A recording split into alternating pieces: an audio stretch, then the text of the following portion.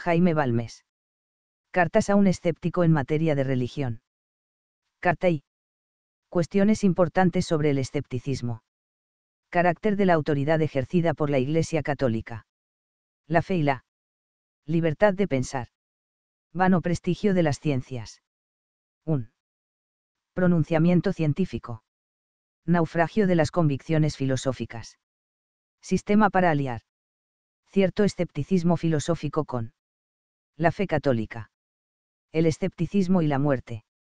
El escepticismo origen de un tedio insoportable. Es una de las plagas características de la época. Motivos de la permisión divina. La fe contribuye a la tranquilidad de espíritu. Mi estimado amigo, difícil tarea me ha deparado usted en su apreciada, hablándome del escepticismo, este es el problema de la época, la cuestión capital, dominante, que se levanta sobre todas las demás, cual entre tenues arbustos el encumbrado ciprés. ¿Qué pienso del escepticismo? ¿Qué concepto formo de la situación actual del espíritu humano, tan tocado de esta enfermedad? ¿Cuáles son los probables resultados que ha de acarrear a la causa de la religión?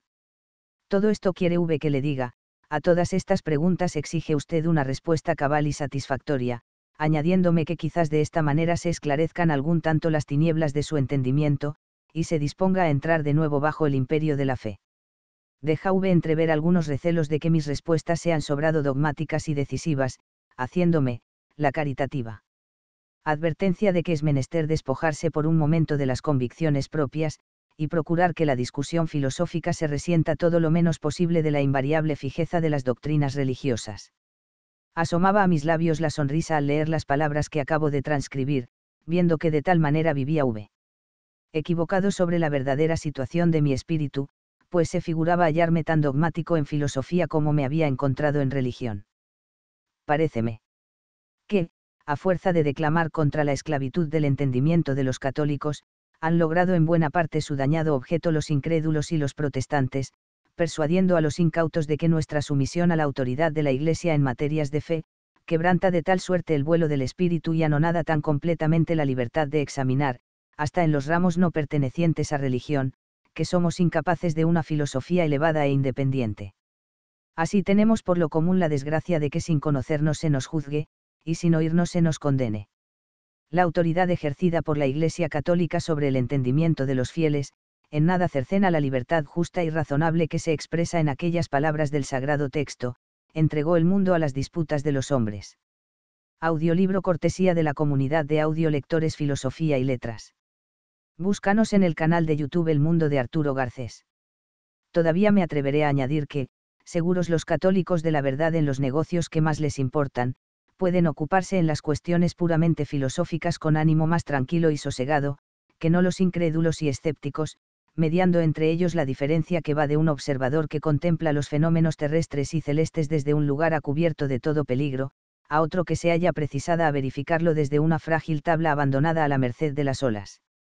cuando entenderán los enemigos de la religión que la sumisión a la autoridad legítima nada tiene de servilismo, que el homenaje tributado a los dogmas revelados por Dios no es torpe esclavitud, sino el más noble ejercicio que hacer podamos de la libertad.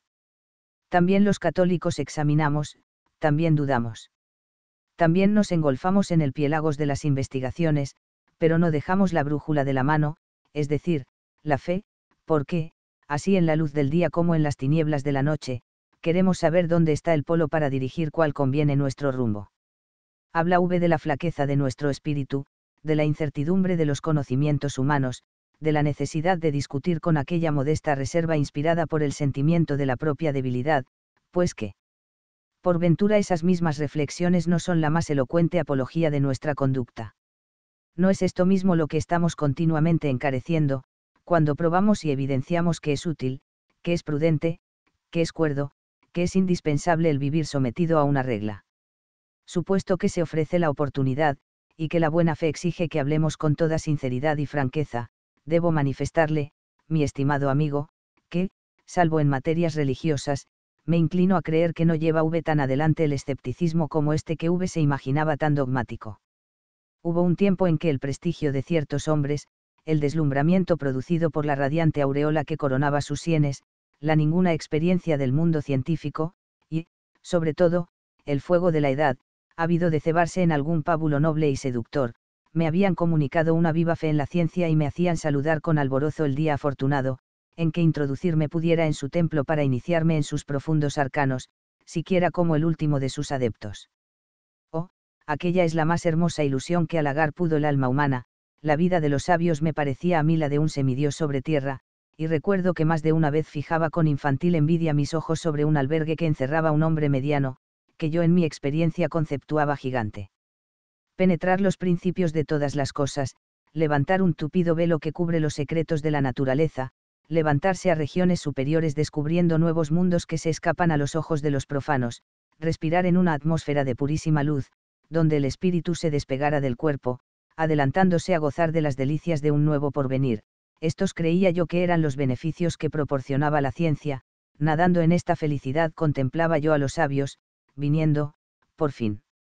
Los aplausos y la gloria que a porfía les rodeaban, a solazarlos en los breves momentos en que, descendiendo de sus celestiales excursiones, se dignaban poner de nuevo sus pies sobre la tierra. La literatura, me decía yo a mí mismo, sus investigaciones sobre lo bello, lo sublime, sobre el buen gusto, sobre las pasiones, le suministrarán reglas seguras para producir en el ánimo del oyente o del lector el efecto que se quiera, sus estudios sobre la lógica e ideología les darán un clarísimo conocimiento de las operaciones del espíritu, y de la manera de combinarlas y conducirlas para alcanzar la verdad en todo linaje de materias, las ciencias matemáticas y físicas deben de rasgar el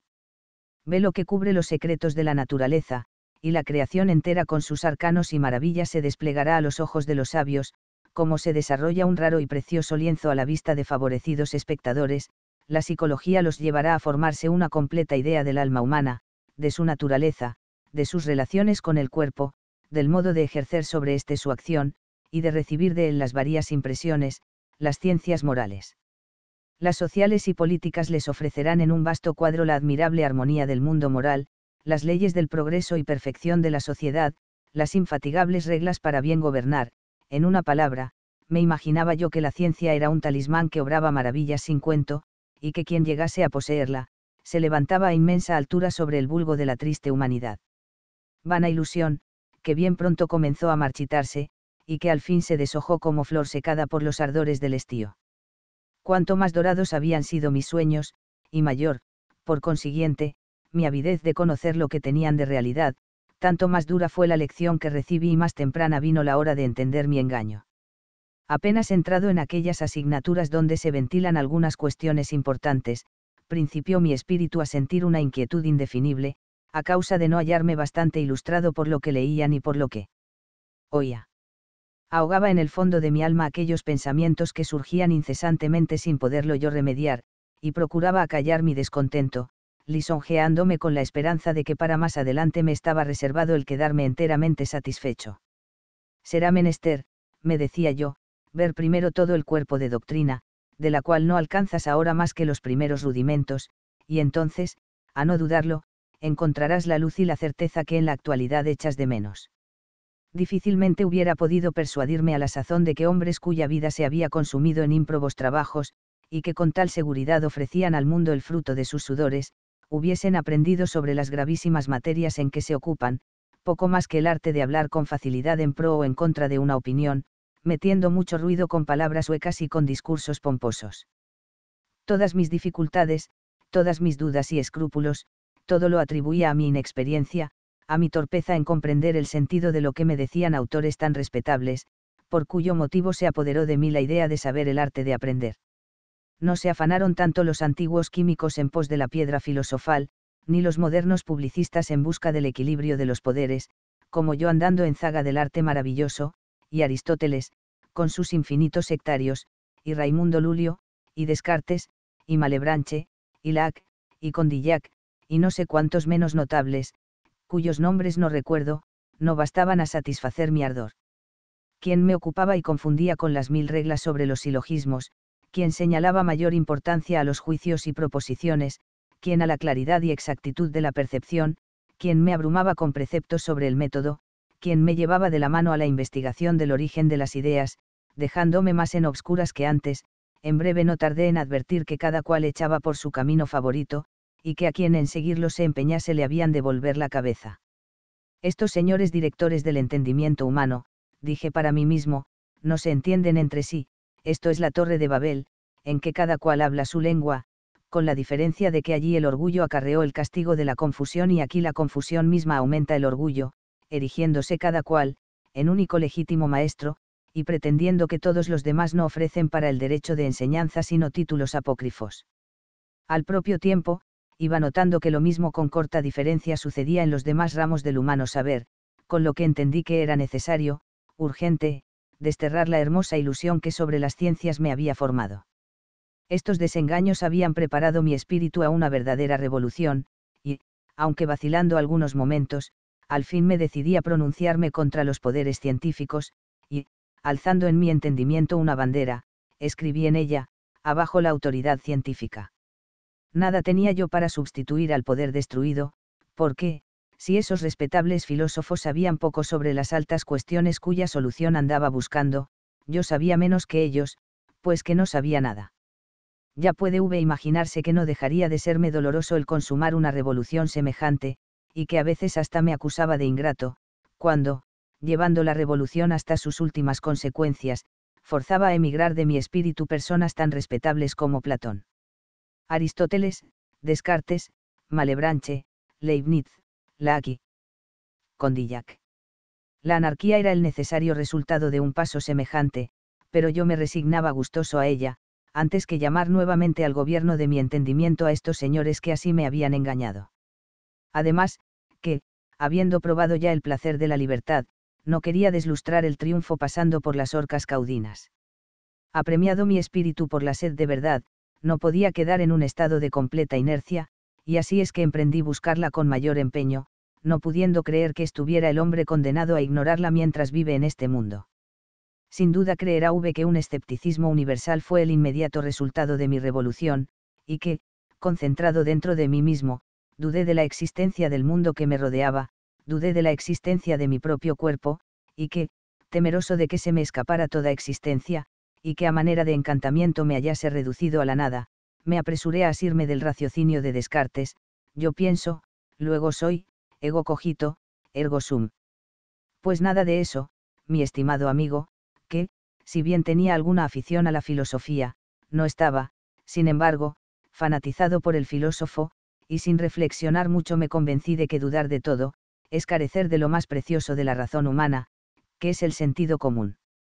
No me faltaba la noticia del axioma o entimema de Descartes y de otras semejantes proposiciones o principios, pero siempre me pareció que tan cierto me estaba de que existía como de que pensaba, como de que tenía cuerpo, como del movimiento, como de las impresiones de los sentidos, como del mundo que me rodeaba, y, por consiguiente, reservándome fingir por algunos momentos esa duda para cuando el ocio y el humor lo consintieran, me quedé con todas las convicciones y creencias que antes, salvo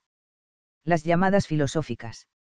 Para estas fui, y he sido, y seré inexorable, la filosofía proclama sin cesar el examen, la evidencia, la demostración, enhorabuena, pero sepa al menos que, cuando seamos hombres y no más, nos arreglaremos en nuestras convicciones cual a nosotros nos cumpla, siguiendo las inspiraciones del buen sentido, pero, en los ratos en que seamos filósofos, que para todo hombre son ratos muy breves, reclamaremos sin cesar el derecho de examen, exigiremos evidencia, pediremos demostración seca. Quien reina en nombre de un principio, menester es que se resigne a sufrir los desacatos que dimanar puedan de las consecuencias. Claro es que en este naufragio universal de las convicciones filosóficas no entraban las religiosas, éstas las había adquirido por otro camino, se presentaban a mi espíritu con otros títulos, y, sobre todo, se encaminaban de suyo a dirigir la conducta, a hacerme, no sabio, sino bueno, de consiguiente, contra ellas no se irritó mi susceptibilidad pirrónica. Todavía más, lejos de que sintiera inclinación a separarme de las creencias que se me habían inspirado en la infancia, me convencí más y más de la necesidad, y hasta del interés propio, que tenía en no perderlas, pues que comencé a mirarlas como la única tabla de salvación en este proceloso mar de las cavilaciones humanas. Acrecentóse el deseo de aferrarme en la fe católica, cuando, ocupándome algunos ratos, con espíritu de completa independencia, en el examen de las trascendentales cuestiones que la filosofía se propone resolver, me vi rodeado por todas partes de espesísimas tinieblas, sin que se descubriese más luz que algunas ráfagas siniestras, que, sin alumbrar el camino, solo servían para hacerme visible la profundidad de los abismos a cuyo borde se hallaban mis plantas. Por esto conservaba en el fondo de mi alma la fe católica como un tesoro de inestimable valor, por esto, al encontrarme angustiado en vista de la nada de la ciencia del hombre, y cuando me parecía que la duda se iba apoderando de mi espíritu, haciendo desaparecer de mis ojos el universo entero, como desaparecen de la vista de los espectadores las mentirosas ilusiones con que por algunos momentos los ha entretenido un hábil prestigiador, daba una mirada a la fe, y su solo recuerdo era bastante a conformarme y alentarme. Recorriendo las cuestiones que cual insondables piélagos rodean los principios de la moral, examinando los incomprensibles problemas de la ideología y de la metafísica, echando una ojeada a los misterios de la historia y a los escrúpulos de la crítica, contemplando la humanidad entera en su actual existencia y en los sombríos arcanos de su porvenir, deslizábanse a veces por mi entendimiento pensamientos aciagos, cual monstruos desconocidos que asoman su cabeza, asustando al viajero en una playa. Solitaria, pero yo tenía fe en la providencia, y la providencia me salvó. He aquí cómo discurría para fortificar mi espíritu, dejando a la gracia que no dejara estériles mis débiles esfuerzos. Si dejas de ser católico, no serás por cierto ni protestante, ni judío, ni musulmán, ni idólatra, estarás, pues, de golpe en el deísmo. Entonces te hallarás con Dios, pero, no sabiendo nada sobre tu origen y tu destino, nada sobre los incomprensibles misterios que por experiencia ves y sientes en ti mismo y en la humanidad entera, nada sobre la existencia de premios, y penas en otro mundo, sobre la otra vida, sobre la inmortalidad, del alma, nada sobre los motivos que haya podido tener la providencia en condenar a sus criaturas a tantos sufrimientos sobre la tierra, sin darles ninguna noticia que consolarlas pudiera con la esperanza de otros destinos, nada entenderás de las grandes catástrofes que con tanta frecuencia ha padecido, padece y andará padeciendo el humano linaje, es decir, que no hallarás la acción de la providencia en ninguna parte, no hallarás, por consiguiente, a Dios, por tanto, dudarás de su existencia, si es que no abraces decididamente el ateísmo. Fuera Dios del universo, el mundo es hijo del acaso, y el acaso es una palabra sin sentido, y la naturaleza un enigma, y el alma humana una ilusión, y las relaciones morales nada, y la moral una mentira. Consecuencia lógica, necesaria, inflexible, el término fatal que no puede el hombre contemplar sin estremecerse, negro e insondable abismo al cual no cabe abocarse sin espanto y horror. Así medía el camino que me era preciso seguir, una vez apartado de la fe católica, si continuar intentara en el examen filosófico sacando consecuencias de los principios que yo propio hubiera sentado en el momento de la defección. A tanta insensatez no quería yo llegar, no quería suicidarme de tal suerte matando mi existencia intelectual y moral, apagando de un soplo la sola antorcha que alumbrarme podía en el breve trecho de la vida. Así me he quedado con mucha desconfianza en la ciencia del hombre, pero con profunda fe religiosa, lo hube pusilanimidad o como más le agradare, no creo, sin embargo, que me pese de la resolución cuando me halle al borde de la tumba. Hay en las regiones de la ciencia, como en los senderos de la práctica, ciertas reglas de buen juicio y prudencia de que no debe el hombre desviarse jamás. Todo lo que sea luchar con el grito de nuestro sentido íntimo, con la voz de la naturaleza misma, para entregarse a vanas cavilaciones, es ajeno de la cordura, es contrario a los principios de la sana razón. Por esta causa, debe condenarse como insensato el sistema de un escepticismo universal hasta en las materias puramente filosóficas, sin que por esto sea menester abrazar ciegamente las opiniones de esta o aquella escuela. Pero donde conviene particularmente la sobriedad en el uso de la razón, es en materias religiosas, porque, siendo éstas de un orden muy elevado, y rozándose en muchos puntos con las torcidas inclinaciones del corazón, tan presto como la razón, empieza a cavilar y sutilizar en demasía, se halla el hombre en un laberinto donde paga muy caros su presunción y orgullo. Quédase el entendimiento en un cansancio, en un abatimiento, en una postración indecibles, desde que se ha levantado contra el cielo, como nos cuentan las historias de aquel brazo que, en el momento de extenderse a un objeto sagrado, se sintió herido de parálisis. Singularidad notable, el escepticismo religioso sirve únicamente en medio de la dicha terrena, solo se alberga tranquilamente en el hombre, cuando, rebosando de salud y de vida, mira como eventualidad muy lejana el instante supremo en que le será preciso al espíritu el despegarse del cuerpo mortal y pasar a otra vida. Pero desde el momento en que la existencia está en peligro, cuando vienen las enfermedades, como heraldos de la muerte, a indicarnos que no está lejos el terrible trance, cuando un riesgo imprevisto nos advierte que estamos como colgantes de un hilo sobre el abismo de la eternidad, entonces el escepticismo deja de ser satisfactorio, la mentida seguridad que poca notes nos proporcionara, se trueca en incertidumbre cruel, angustiosa, llena de remordimientos, de sobresalto, de espanto. Entonces el escepticismo deja de ser cómodo, y pasa a ser horroroso, y en su mortal postración busca el hombre la luz, y no la encuentra, llama a la fe, y la fe no le responde, invoca a Dios, y Dios se hace sordo a sus tardías invocaciones. Y para ser el escepticismo duro, cruel tormento del alma, no es necesario hallarse en esos trances formidables en que el hombre fija azorada su vista en las tinieblas de un incierto porvenir, en el curso ordinario de la vida, en medio de los acontecimientos más comunes, siente mil veces el hombre cual cae gota a gota sobre su corazón el veneno de la víbora que en su seno abriga. Momentos hay en que los placeres cansan, el mundo fastidia, la vida se hace pesada, la existencia se arrastra sobre un tiempo que camina con lentitud perezosa. Un tedio profundo se apodera del alma, un indecible malestar le aqueja y atormenta.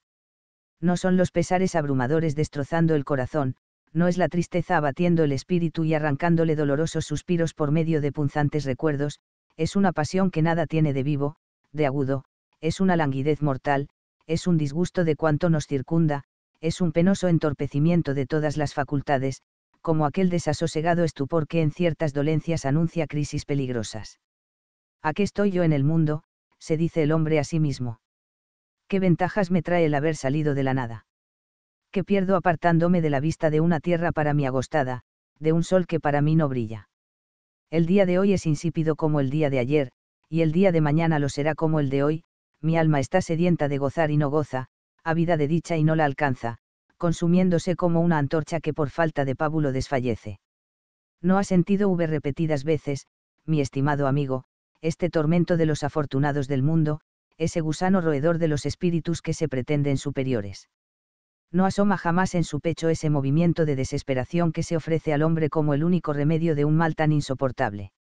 Pues sepa V que uno de sus funestos manantiales es el escepticismo, ese vacío del alma que la desasosiega y atormenta, esa ausencia espantosa de toda fe, de toda esperanza, esa incertidumbre sobre Dios, sobre la naturaleza, sobre el origen y destino del hombre.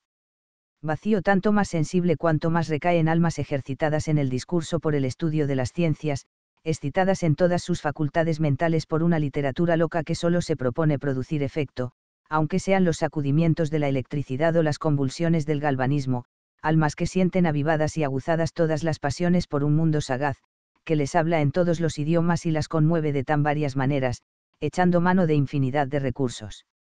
He aquí, mi estimado amigo, lo que pienso del escepticismo, lo que opino de sus efectos sobre el espíritu humano. Le considero como una de las plagas características de la época, y uno de los más terribles castigos que ha descargado Dios sobre el humano linaje. ¿Cómo se puede remediar un mal tamaño?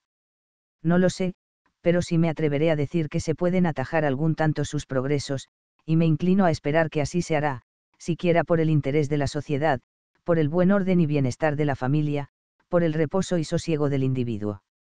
El escepticismo no ha caído de repente sobre los pueblos civilizados, es una gangrena que ha cundido con lentitud, lentamente se ha de remediar también, y sería uno de los más estupendos prodigios de la diestra del Omnipotente, si para su curación no fuera menester el transcurso de muchas generaciones. Así entenderá V, mi estimado amigo, que no me hago ilusiones sobre la verdadera situación de las cosas, y que, flotando yo en medio de las olas sobre la tabla que me conducirá a salvamento, no pierdo de vista el destrozo que en mis alrededores existe, no olvido la funesta catástrofe que han sufrido los espíritus por un fatal concurso de circunstancias durante los tres últimos siglos. Como permite Dios, me dice V, que ande fluctuando la humanidad en medio de tantos errores, y que de tal suerte se extravíe sobre los puntos que más le interesan. Esta dificultad no se limita a la permisión divina con respecto a las sectas separadas, sino que se extiende a las demás religiones, como éstas han sido muchas y extravagantes desde que el humano linaje se apartó de la pureza de las tradiciones primitivas, la objeción abarca la historia entera, y el pedir su solución es nada menos que demandar la clave para explicar los arcanos que en tanta abundancia se ofrecen en la historia de los hijos de Adán. No es este asunto que se preste a ser aclarado en pocas palabras, Si aclaración llamarse puede lo que sobre tan profundo misterio alcanza el débil hombre, como quiera, procuraré hacerlo en otra carta, dado que la presente va tomando más ensanche del que fue menester.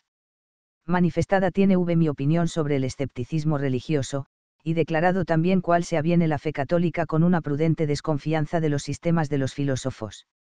Muchos quizás no se avengan con esta manera de mirar las cosas, sin embargo, la experiencia demuestra que el espíritu se halla muy bien en este estado, y que cierto grado de escepticismo científico hace más fácil y llevadera la fe religiosa.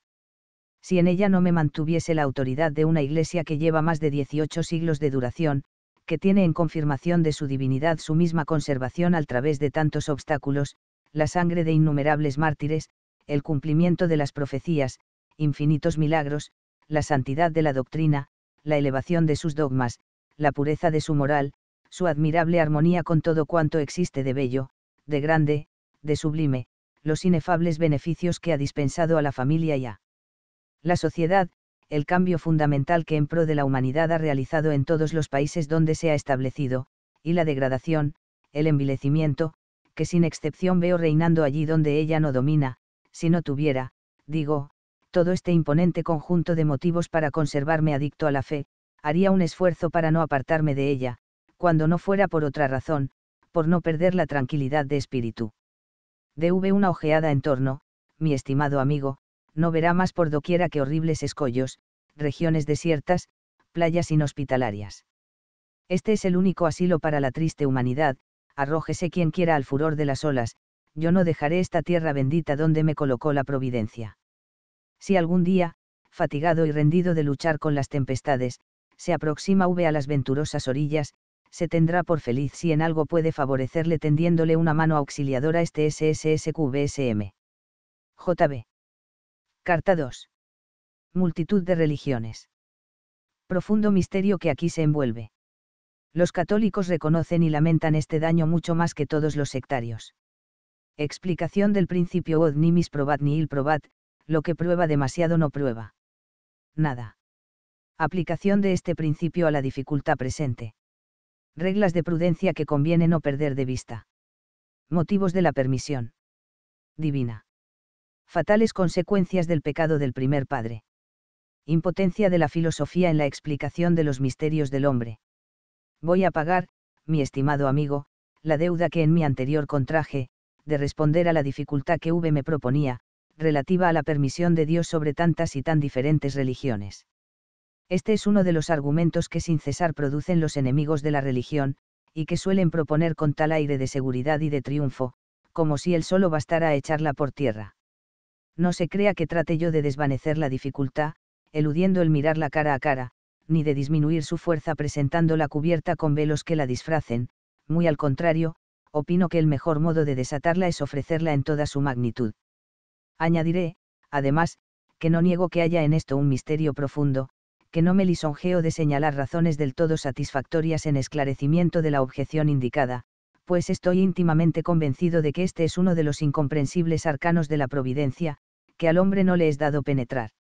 Me parece, no obstante, que les hace a mucha más mella de la que hacerles debiera, y tan distante me hallo de creer que en nada destruya ni debilite la verdad de la religión católica, que antes juzgo que en la misma fuerza de dicha dificultad podemos encontrar un nuevo indicio de que nuestra creencia es la única verdadera. Es cierto que la existencia de muchas religiones es un mal gravísimo, esto lo reconocemos los católicos mejor que nadie, pues que somos los que sostenemos que no hay más que una religión verdadera, que la fe en Jesucristo es necesaria para la eterna salvación, que es un absurdo el decir que todas las religiones pueden ser igualmente agradables a Dios, y, por fin, los que tal importancia damos a la unidad de la enseñanza religiosa, que consideramos como una inmensa calamidad la alteración de uno. Cualquiera de nuestros dogmas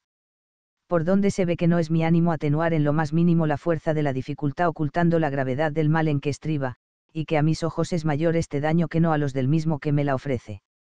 Nadie aventaja ni aun iguala a los católicos en confesar lo inmenso de esa calamidad del humano linaje, porque sus creencias los precisan a mirarla como la mayor de todas. Los que consideran como falsas todas las religiones, los que se imaginan que en cualquiera de ellas puede el hombre hacerse agradable a Dios y alcanzar la eterna salud, los que profesando una religión que creen única verdadera, no profesan el principio de la caridad universal sin distinción de razas, pueden contemplar con menos dolor esas aberraciones de la humanidad, pero esto no es dado a los católicos, para quienes no hay verdad ni salvación fuera de la Iglesia, y que, además, están obligados a mirar a todos los hombres como hermanos, y desearles en lo íntimo del corazón que abran los ojos a la luz de la fe, y que entren en el camino de la salud eterna. Bien se echa de ver que no trato, como suele decirse, de huir el cuerpo a la dificultad, y que antes procuro pintarla con vivos colores. Ahora voy a examinar su valor, presentándola desde un punto de vista en que por desgracia no se la considera comúnmente. Tienen los dialécticos un principio que dice, Wod nimis probat il probat, lo que prueba demasiado no prueba nada, lo que significa que, cuando un argumento cualquiera no solo concluye lo que nosotros nos proponemos, sino también lo que a las claras es falso, de nada sirve para probar ni aún lo que nosotros intentamos. La razón en que este principio se funda es muy clara, lo que conduce a un resultado falso, ha de ser falso también, luego, por más especioso que sea su argumento, por más apariencias que tenga de solidez, por el lirismo hecho de llevarnos a una consecuencia falsa, nos da una infalible señal de que o entraña alguna falsedad en las proposiciones de que se compone, o algún vicio de razonamiento en el enlace de las mismas, y por tanto en la deducción a que nos lleva. Si, por ejemplo, me propongo demostrar que la suma de los ángulos de un triángulo es mayor que un recto, y con mi demostración pruebo que dicha suma es mayor que dos rectos, esta demostración de nada servirá, porque con ella pruebo demasiado, es decir, que es mayor que dos rectos, lo que no puede ser, y este resultado será para mí una infalible señal de que hay un vicio en la demostración, y que no puedo aprovecharme de ella para probar nada.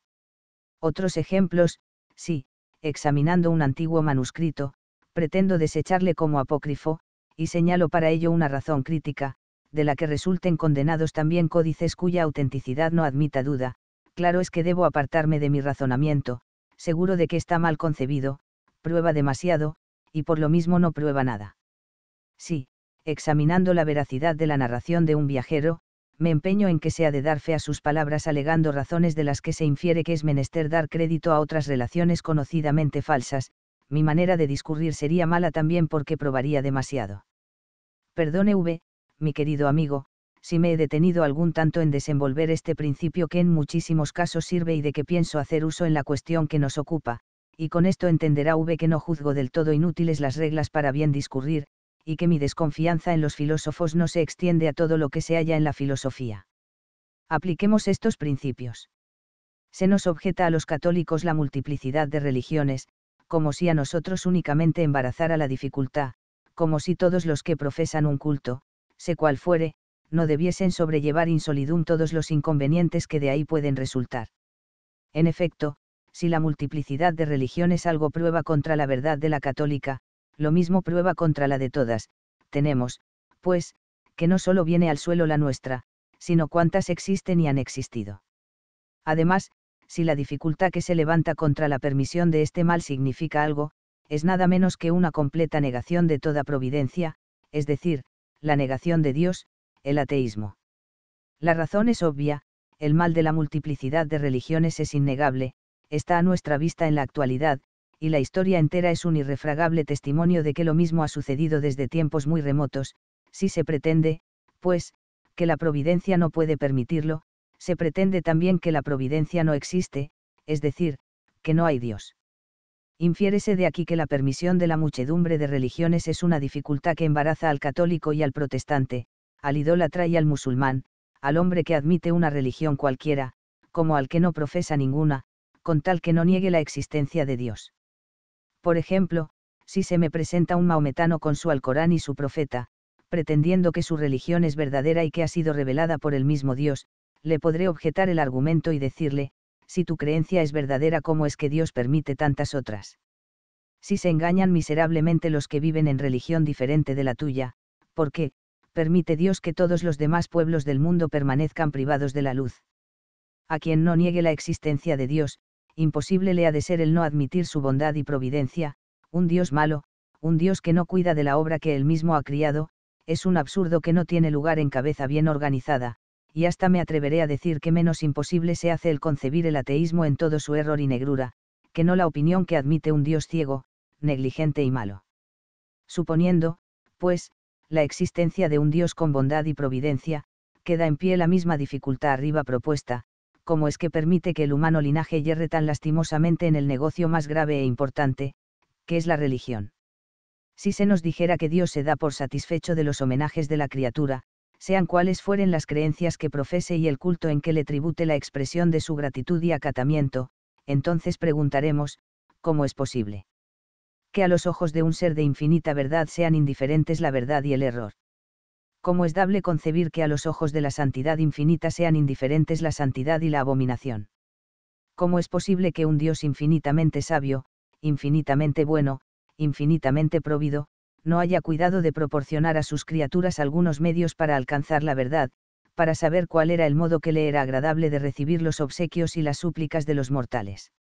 Si las religiones solo tuviesen entre sí diferencias muy ligeras, el absurdo de darlas todas por buenas fuera menos repugnante, pero recuérdese que casi todas ellas están diametralmente opuestas en puntos importantísimos, que las unas admiten un solo Dios, y otras los adoran en crecido número, que unas reconocen el libre albedrío del hombre, y otras lo desechan, que unas asientan por uno de los principios fundamentales la creación, otras se avienen con la eternidad de la materia, recórrasela. Enorme variedad de sus respectivos dogmas, de su moral, de su culto, y dígase si no es el mayor de los absurdos el suponer que Dios puede darse por satisfecho con ádaras y ouns tan contradictorias.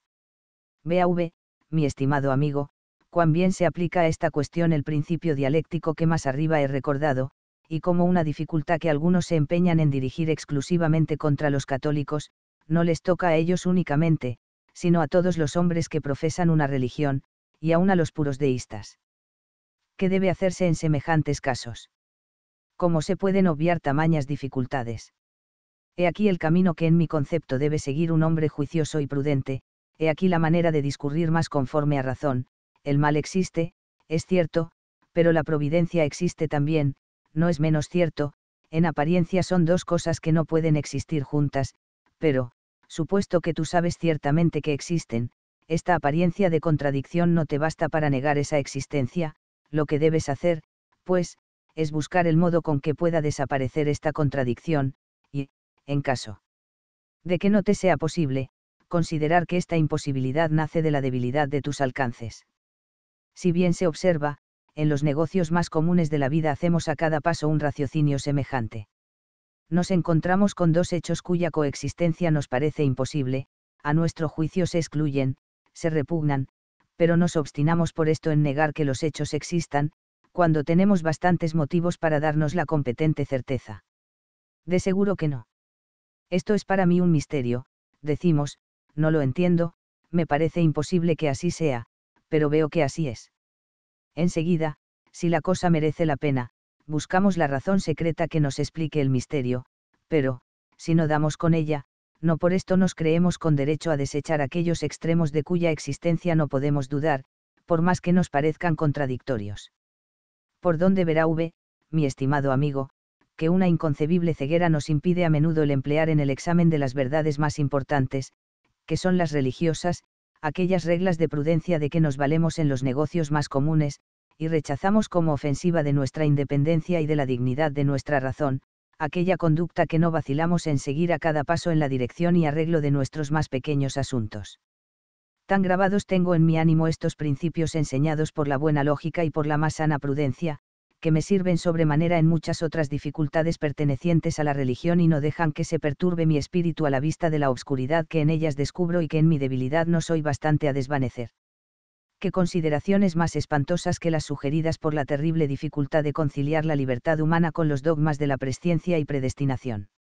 Si el hombre no atiende a más que a la certeza e infalibilidad de la presciencia divina, quédase sobrecogido de horror, erízansele los cabellos a la sola consideración de la fijeza del destino, la sangre se le hiela en las venas al pensar que, antes de nacer él, ya sabía Dios cuál había de ser su paradero, pero, tan luego como reflexiona un instante, sobreponiéndose al terror y a la desesperación que se apoderaban de su alma, encuentra abundantes motivos para sosegarse, haya aquí un misterio. Pavoroso, es verdad, pero que no le abate ni desalienta. Eres libre, se dice a sí mismo, para obrar el bien y el mal. Sí, dudarlo no puedes, te lo enseña la fe,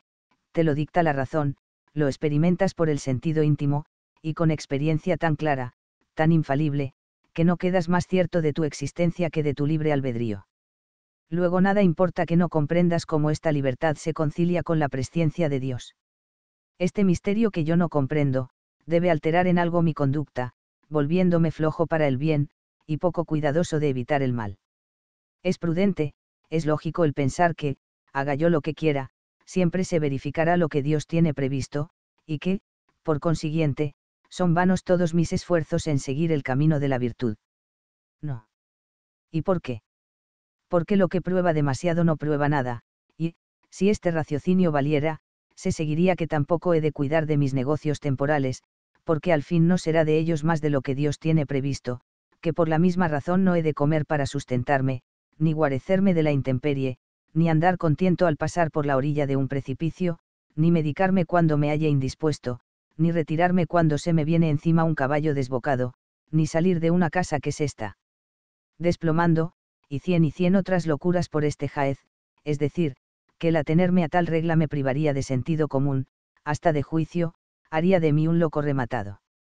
Luego la tal regla es falsa, luego de nada debe servirme, luego lo que he de hacer es dejarle a Dios sus incomprensibles arcanos, y portarme yo como hombre recto, juicioso y prudente. A esto vienen a parar muchas de las dificultades. Que contra la religión se proponen, miradas superficialmente, ofrecen una balumba abrumadora, examinadas de cerca, al tocarlas con la vara de la razón y del buen sentido, desaparecen cual vanos fantasmas.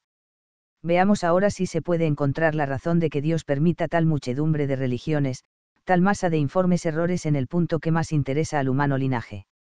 La explicación de este misterio, yo no alcanzo que pueda encontrarse sino en otro misterio, en el dogma de la religión católica sobre la prevaricación y consiguiente degeneración de la descendencia de Adán. El pecado, y, como su consiguiente castigo, las tinieblas en el entendimiento, la corrupción en la voluntad, He aquí la fórmula para resolver el problema, Rivalb la historia, consultad la filosofía, nada os dirán que pueda ilustraros, si no se atienen a este hecho misterioso, obscuro, pero que, como ha dicho Pascal, es menos incomprensible al hombre que no lo es el hombre sin él. Esta es la única clave para descifrar el enigma, solo por ella alcanzamos a explicar esas lamentables aberraciones de la mayor parte de la humanidad, no hay otro medio de dar una explicación plausible a esta calamidad inmensa, como ni a tantas otras que afligen la infortunada prole de los primeros prevaricadores. El dogma es incomprensible, es verdad, pero atreveos a desecharle, y el mundo se os convierte en un caos, y la historia de la humanidad no es más que una serie de catástrofes sin razón ni objeto, y la vida del individuo es una cadena de miserias, y no encontráis por doquiera sino el mal, y el mal sin contrapeso, sin compensación, todas las ideas de orden, de justicia, se confunden en vuestra mente, renegando de la creación, acabáis por negar a Dios. Sentad, al contrario, este dogma como piedra fundamental, el edificio se levanta por sí mismo, vivísima luz esclarece la historia del género humano, divisáis razones profundas, adorables designios, allí donde no vierais sino injusticias, o acaso, y la serie de los acontecimientos desde la creación hasta nuestros días se desarrolla a vuestros ojos, como un magnífico lienzo donde encontráis las obras de una justicia inflexible y de una misericordia inagotable, combinadas y hermanadas bajo el inefable plan trazado por la sabiduría infinita. Si entonces me preguntáis por qué tan considerable porción de la humanidad está sentada en las tinieblas y sombras de la muerte, os diré que el primer padre quiso ser como un Dios sabiendo el bien y el mal, que su pecado se ha transmitido a toda su descendencia, y que en justo castigo de tanto orgullo está el género humano tocado de ceguera. Esta calamidad, grande como es, no necesita que se le señale otro manantial que a todas las otras que nos afligen. Las terribles palabras que siguieron al llamamiento de Adán cuando le dijo Dios, Adán, ¿dónde estás?, resuenan dolorosamente todavía después de tantos siglos, y en todos los acontecimientos de la historia, en todo el curso de la vida, siempre se trasluce el terrible fulgor de la espada de fuego, colocada a la entrada del paraíso. El sudor del rostro, la muerte, se os ofrecerán por doquiera, en ninguna parte notaréis que las cosas sigan el camino ordinario, siempre herirá vuestros ojos la formidable enseña del castigo y de la expiación. Cuanto más se medita sobre estas verdades, más profundas se las encuentra, in sudore vultus tu hispane, comerás el pan con el sudor de tu rostro, dijo Dios al primer padre, y con este sudor lo come toda su descendencia. Recordad esa pena, y haced las aplicaciones a cuantos objetos os plazca, y no hallaréis nada que de ellas se exceptúe. No vive el hombre de solo pan, sino de toda palabra que procede de la boca de Dios, no se verifica, pues, la terrible pena solo con respecto al pedazo de pan que nos sustenta, sino en todo cuanto concierne a nuestra perfección. En nada adelanta el hombre sin penosos trabajos, no llega jamás al punto que desea sin muchos extravíos que le fatigan, en todo se realiza que la tierra, en vez de frutos, le da espinas y abrojos. Ha de descubrir una verdad. No la alcanza sino después de haber andado largo tiempo tras extravagantes errores. Ha de perfeccionar un arte. Cien y cien inútiles tentativas fatigan a los que en ello se ocupan, y a buena dicha puede tenerse si recogen los nietos el fruto de lo que sembraron los abuelos. Ha de mejorarse la organización social y política. Sangrientas revoluciones preceden la deseada regeneración, y a menudo, después de prolongados padecimientos, se hallan los infelices pueblos en un estado peor del en que antes gemían. Se ha de comunicar a un pueblo la civilización o cultura de otro. La inoculación se hace con hierro y fuego, generaciones enteras se sacrifican para alcanzar un resultado que no verán sino generaciones muy distantes. No veréis el genio sin grandes infortunios, no la gloria de un pueblo sin torrentes de sangre y de lágrimas, no el ejercicio de la virtud sin penosos sinsabores, no el heroísmo sin la persecución, todo lo bello, lo grande, lo sublime, no se alcanza sin dilatados sudores, ni se conserva sin fatigosos trabajos, la ley del castigo, de la expiación, se muestra por todas partes de una manera terrible. Esta es la historia del hombre y de la humanidad, historia dolorosa ciertamente, pero incontestable, auténtica, escrita con letras fatales donde quiera que los hijos de Adán hayan fijado su planta. Yo no sé, mi estimado amigo, por qué no ha llamado más la atención este punto de vista, y por qué han debido escandalizarse tanto los filósofos de los dogmas de la religión que tan en armonía se encuentran con lo que nos están diciendo los fastos de todos los tiempos y la experiencia de cada día. La prevaricación y degeneración del humano linaje es el secreto para descifrar los enigmas sobre la vida y los destinos del hombre, y, si a esto se añade el adorable misterio de la reparación, comprada con la sangre del Hijo de Dios, se forma el más admirable conjunto que imaginarse pueda, un sistema tan sublime, que a la primera ojeada manifiesta su origen divino. No, no pudo nacer de cabeza humana combinación tan asombrosa, no pudo el espíritu finito idear un plan tan vasto, tan estupendo, donde se trabarán de tal suerte unos arcanos con otros arcanos, que del fondo de su obscuridad pavorosa arrojarán rayos de vivísima luz para esclarecer y resolver todas las cuestiones que sobre el origen y destino del hombre andaba hacinando la filosofía. Esto es lo principal que tenía que decirle a V sobre las dificultades propuestas, ignoro si V quedará enteramente satisfecho, sea como fuere, lo que puedo asegurarle con toda la sinceridad y convicción de que soy capaz, es que, en las obras de todos los filósofos, desde Platón hasta Cousin, no hallará V sobre el particular nada con que un espíritu sólido pueda contentarse, si no está tomado de la religión. Ellos lo saben, y ellos propios lo confiesan. Una vez han llegado a dudar de la divinidad del cristianismo, no saben de qué asirse, acumulan sistemas sobre sistemas, palabras sobre palabras, si su espíritu no es de alto tempel, abandonan la tarea de investigar, fastidiados de no divisar en ningún confín del horizonte un rayo de luz, y se abandonan al positivismo, o, en otros términos, procuran sacar partido de la vida disfrutando de las comodidades y placeres, si su alma ha nacido para la ciencia, si sedienta de verdad no quiere abandonar. La tarea de buscarla, por grandes que sean las fatigas y patente la inutilidad de los esfuerzos, sufren durante toda su vida, y acaban sus días con la duda en el entendimiento y la tristeza en el corazón. En la actualidad, entusiasta como es V de la filosofía y admirador de ciertos nombres, no comprenderá fácilmente toda la verdad y exactitud de mis palabras, pero día vendrá en que recuerde mis avisos aún mucho antes de que blanqueen su cabeza las canas. No, no necesitará V que la tardía vejez, cargada de escarmientos y desengaños, venga a abrirle los ojos, no sé si los abrirá V para ver y abrazar la verdadera religión, pero sí al menos para conocer la futilidad de todos los sistemas filosóficos en lo tocante al origen, vida y destino del hombre. ¿Qué más? Ni siquiera necesitará usted estudiarlos a fondo para quedarse profundamente convencido de la impotencia del espíritu humano, abandonado a sus propios recursos, en el vestíbulo mismo del templo de la filosofía, encontrará la duda y el escepticismo, y penetrando en su santuario oirá el orgullo disputando sobre objetos de poca entidad, ocupándose en juegos de palabras simbólicas e ininteligibles, y procurando en cuanto le es posible ocultar su ignorancia, eludiendo con una afectada preterición. Las cuestiones que más de cerca nos interesan, ¿cuáles son? Las relativas a Dios y al hombre. No se deje v deslumbrar con los vanos títulos con que se adornan los diferentes sistemas, ni se abandone a supersticiosas creencias con respecto a los pretendidos misterios de la filosofía alemana, ni tome v por profundidad de ciencia la obscuridad del lenguaje. No olvidemos que la sencillez es el carácter de la verdad, y que poco fía de sus descubrimientos quien no se atreve a presentarlos a la luz del día. Estos tan ponderados filósofos, que rodeados de tinieblas viven como trabajadores que estuviesen explotando riquísimas minas en las entrañas de la tierra, porque no nos manifiestan el oro puro que han recogido.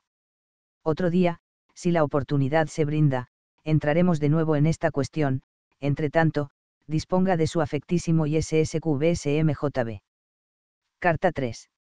Sencilla demostración de la existencia de Dios. Eternidad de las penas del infierno errado método que suelen seguir en las disputas los enemigos de la religión. Método que debiera observarse. Dogma de la Iglesia. Sobre la eternidad de las penas. La misericordia no excluye la justicia. El sentimiento. Abuso que de él se hace. Reflexión sobre su influencia. En los errores de nuestra época. Aplicación al dogma de la eternidad de las penas. Razones naturales que apoyan al dogma imposibilidad de comprender los misterios. Nuestra ignorancia. Hasta en las cosas naturales. La duración eterna y la temporal. El purgatorio. Observaciones sobre un carácter distintivo del hombre en esta vida con respecto a las cosas futuras. Necesidad de una impresión aterradora. La explicación filosófica. Los frailes y los poetas magnífico pasaje de Virgilio. Mi querido amigo, cuando, según me indica V en su última, veo que llegaremos a entablar una seria disputa sobre materias religiosas, me ha llenado de indecible consuelo la seguridad que me da V de no haber llegado su extravío al extremo de poner en duda la existencia de Dios, esto allana sobremanera el camino a la discusión, pues que no es posible dar en ella un solo paso sin estar de acuerdo sobre esta verdad fundamental. Y no sin motivo he querido cerciorarme de las ideas que sobre este particular profesaba usted, pues que nunca podré olvidar lo que me sucedió con otro escéptico, de quien sospechando yo si tal vez hasta ponía en duda la existencia de Dios, o si al menos no la concebía tal como es menester, y dirigiéndole en consecuencia algunas preguntas, me salió con una extraña ocurrencia, que fuera chistosa, a no ser sacrílega.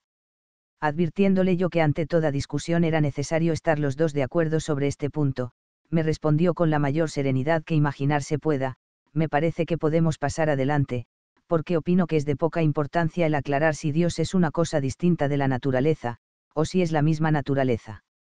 A tanto llega la confusión de ideas trastornadas por la impiedad, y este hombre, por otra parte, era de más que mediana instrucción, y de ingenio muy despejado.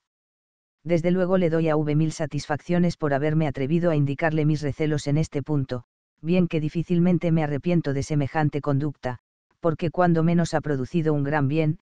¿cuál es? El que V se explica sobre este particular de tal modo, que, revelando mucho buen sentido, me hace concebir grandes esperanzas de que no serán estériles mis esfuerzos. Una y mil veces he leído aquellas juiciosas palabras de su apreciada, en las que expone el punto de vista desde el cual considera esta importante verdad. Permítame V que se las reproduzca en la mía, y que le recomiende encarecidamente que no las olvide jamás. Nunca me he devanado mucho los sesos en buscar pruebas de la existencia de Dios, la historia, la física, la metafísica, servirán para esta demostración todo lo que se quiera, pero yo confieso ingenuamente que para mi convicción no he menester tanto aparato científico. Saco la muestra de mi faltriquera, y al contemplar su curioso mecanismo y su ordenado movimiento, nadie sería capaz de persuadirme de que todo aquello se ha hecho por casualidad, sin la inteligencia y el trabajo de un artífice, el universo vale, a no dudarlo, algo más que mi muestra, alguien, pues, debe de haber que lo haya fabricado.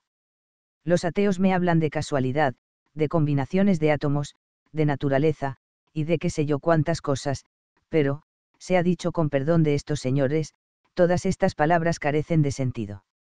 Nada tengo que advertir a quien con tanto pulso aprecia el valor de los dos sistemas, estas palabras tan sencillas como profundas, las estimo yo en más que un tomo lleno de razones. Pasando al punto de que me habla V en su apreciada, comenzaré por decirle que me ha hecho gracia el que V abra la discusión religiosa, atacando el dogma de la eternidad de las penas. No esperaba yo que acometiera V tan pronto por este flanco, y, vaya dicho entre los dos, esta anomalía me ha dado a entender que V le ha cobrado al infierno un poquito de miedo. La cosa no es para menos, y el negocio es grave, urgente, de aquí a pocos años hay que saber por experiencia propia lo que hay sobre este particular, y dice V muy bien que para los que se engañan en esta materia, el chasco debe de ser pesado en demasía. No tengo dificultad en abordar por este lado las cuestiones religiosas, pero no puedo menos de observar que no es este el mejor método para dejarlas aclaradas cual conviene. Las doctrinas católicas forman un conjunto tan trabado, y en que se nota tan recíproca dependencia, que no se puede desechar una sin desecharlas todas, y, al contrario, admitidos ciertos puntos capitales, es imposible resistirse a la admisión de los demás. Sucede muy a menudo que los impugnadores de esas doctrinas escogen por blanco una de ellas, tomándola en completo aislamiento, y amontonando las dificultades que de suyo presenta, atendida la flaqueza del entendimiento del hombre. Esto es inconcebible, exclaman, la religión que lo enseña no puede ser verdadera, como si los católicos dijésemos que los misterios de nuestra religión están al alcance del hombre, como si no estuviéramos asegurando continuamente que son muchas las verdades a cuya altura no puede elevarse nuestra limitada comprensión. Al leer o oír la relación de un fenómeno o suceso cualquiera, nos informamos ante todo de la inteligencia y veracidad del narrador, y, en estando bien asegurados, por este lado, por más extraña que la cosa contada nos parezca, no nos tomamos la libertad de desecharla. Antes que se hubiese dado la vuelta al mundo, pocos eran los que comprendían cómo era posible que volviese por Oriente la nave que había dado la vela para Occidente, pero bastaba esto para resistirse a dar crédito a la narración de Sebastián de Elcano, cuando acababa de dar cima a la atrevida empresa del infortunado Magallanes. Sí, levantándose del sepulcro uno de nuestros mayores, oyera contar las maravillas de la industria en los países civilizados, debería, por ventura, andar mirando detalladamente la relación que se le hace de las funciones de esta o aquella máquina, de los agentes que la impulsan, de los artefactos que produce, y desechar enseguida lo que a él le pareciese incomprensible. Por cierto que no, y, procediendo conforme a razón y a sana prudencia, lo que debiera hacer sería asegurarse de la veracidad de los testigos, examinar si era posible que ellos hubiesen sido engañados, o si podrían tener algún interés en engañar, y, cuando estuviese bien cierto de que no mediaba ninguna de estas circunstancias, no podría, sin temeridad, rehusar el ascenso a lo que se le refiriera, por más que a él le fuera inconcebible, y le pareciese que pasaba los límites de la posibilidad. De una manera semejante conviene proceder cuando se trata de materias religiosas, lo que se debe examinar es si existe o no la revelación, y si la Iglesia es o no depositaria de las verdades reveladas, entendiendo asentadas estas dos bases, que importa que este o aquel dogma se muestren más o menos plausibles, que la razón se halle más o menos humillada, por no llegar a comprenderlos existe la revelación.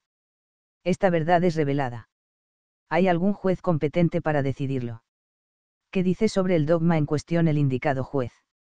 He aquí el orden lógico de las ideas, he aquí el orden lógico de las cuestiones, he aquí la manera de ilustrarse sobre estas materias, lo demás es divagar, es exponerse a perder tiempo en disputas que a nada conducen. Lejos de mí el intento de huir, por medio de estas observaciones, el cuerpo a la dificultad, pero nunca habrá sido fuera del caso el emitirlas para que se tengan presentes cuando sea menester. Voy al punto de la dificultad. Dice V que se le hace muy cuesta arriba el dar crédito a lo que nos están enseñando los predicadores sobre las penas del infierno, y que repetidas veces ha oído cosas que de puro horribles rayaban en ridículas. Resérvome para más allá el decirle a V cosas curiosas sobre esos horrores, por ahora, y no sabiendo a punto fijo cuáles son los motivos de queja que tiene V sobre el particular, me contentaré con advertir que nada tiene que ver el dogma católico con esta o aquella ocurrencia que haya podido venirle a un orador. Lo que enseña la Iglesia es que los que mueren en mal estado de conciencia, es decir, en pecado grave, sufren un castigo que no tendrá fin. He aquí el dogma, lo demás que puede decirse sobre el lugar de este castigo, sobre el grado y la calidad de las penas, no es de fe, pertenece a aquellos puntos sobre los que es lícito opinar en diferentes sentidos, sin apartarse de la fe católica. Lo que sí sabemos, pues que la escritura lo dice expresamente, es que estas penas serán horrorosas, y bien, ¿para qué necesitamos saber lo demás? Penas terribles, y sin fin. No basta esta sola idea para dejarnos con escasa curiosidad sobre el resto de las cuestiones que aquí se pueden ofrecer. ¿Cómo es posible, dice V, que un Dios infinitivamente misericordioso castigue con tanto rigor? ¿Cómo es posible, contestaré, yo, que un Dios infinitamente justo no castigue con tanto rigor, después de haber procurado llamarnos al camino de la salvación por los muchos medios que nos proporciona durante el curso de nuestra vida. Cuando el hombre ofende a Dios, la criatura ultraja al Criador, el ser finito al ser infinito, esto reclama, pues, un castigo en cierto modo infinito. En el orden de la justicia humana es más o menos criminal el atentado, según es la clase y la categoría de la persona ofendida, con qué horror es mirado el hijo que maltrata a sus padres. Qué circunstancia más agravante que la de ofender a una persona en el acto mismo en que nos está dispensando un beneficio. Pues bien. Aplíquense estas ideas, adviértase que en la ofensa del hombre a Dios hay la rebelión de la nada contra un ser infinito, hay la ingratitud del Hijo con el Padre, hay el desacato del súbdito contra su Supremo Señor, de una débil criatura contra el soberano de cielo y tierra, cuántos motivos para afear la culpa cuántos títulos para aumentar la severidad de la pena. Por un simple acto contra la vida o la propiedad de un individuo, castiga la ley humana al reo con la pena de muerte, es decir, con la mayor de las penas que sobre la tierra existen, esforzándose en cierto modo en aplicar un castigo infinito, pues que priva al ajusticiado de todos los bienes de la sociedad para siempre, porque, pues, el juez supremo no podrá castigar también al culpable con penas que duren para siempre. Y nótese bien que la justicia humana no se satisface con el arrepentimiento, consumado el crimen, le sigue la pena, y no basta que el criminal haya mudado de vida, Dios pide un corazón contrito y humillado, no quiere la muerte del pecador, sino que se convierta y viva, y no descarga sobre el delincuente el golpe fatal sin haberle puesto a la vista la vida y la muerte, sin haberle dejado la elección, sin haberle ofrecido la mano con cuya ayuda pudiera apartarse del borde del precipicio. A quién, pues, podrá culpar el hombre sino a sí mismo. ¿Qué tienen de repugnante ni de cruel esas ideas? Fácil es alucinar a los incautos, pronunciando enfáticamente los nombres de eternidad de penas y de misericordia infinita, pero examínese a fondo la materia, atiéndase a todas las circunstancias que la rodean, y se verán desaparecer como el humo las dificultades que a primera vista se habían ofrecido. El secreto de los sofismas más engañosos consiste en el artificio de presentar los objetos no más que, por un lado, de aproximar de golpe dos ideas, que, si parecen contradictorias, es porque no se atiende a las intermedias que las enlazan y hermanan. Es fácil observar que los autores más célebres entre los enemigos de la religión, resuelven a menudo las cuestiones más graves y complicadas con una salida ingeniosa, o una reflexión sentimental. Ya se ve, como todas las cosas presentan tan diferentes aspectos, no es difícil a un ingenio perspicaz coger dos puntos cuyo contraste hiera vivamente el ánimo de los lectores, y, si a esto se añade algo que pueda interesar el corazón, no cuesta mucho trabajo dar al traste, en el ánimo de los incautos, con el sistema de doctrinas más bien cimentado. Ya que acabo de mentar el sentimentalismo, no puedo pasar por alto el abuso que se hace de este linaje de argumentos, dirigiéndose al corazón en muchos casos en que solo se debe hablar al entendimiento. Así, en el asunto que nos está ocupando, cómo resiste un corazón sensible al horrendo espectáculo de un infeliz condenado a padecer para siempre. Se ha dicho que los grandes pensamientos salen del corazón, y en esto, como en todas las proposiciones demasiado generales, hay una parte de verdad y otra de falsedad, porque, si bien es indudable que en muchas cosas es el sentimiento un excelente auxiliar para comprender a fondo ciertas verdades, también lo es que no debe nunca tomársele por principal guía, y que no se le ha de permitir jamás que llegue a dominar los eternos principios de la razón. Los derechos y deberes de padres e hijos, de marido y mujer, y todas las relaciones de familia, no se comprenderán quizás tan perfectamente si, analizados a la sola luz de una filosofía disecante, no se escuchan, al propio tiempo, las inspiraciones del corazón, pero, en cambio, también se trastornarán los sanos principios de la moral, y se introducirá el desorden en las familias, si, prescindiendo de los severos dictámenes de la razón, solo nos empeñamos en regirnos por lo que nos sugiere la volubilidad de nuestros afectos. Mucho me engaño si no se encuentra aquí uno de los más fecundos manantiales de los errores de nuestra época.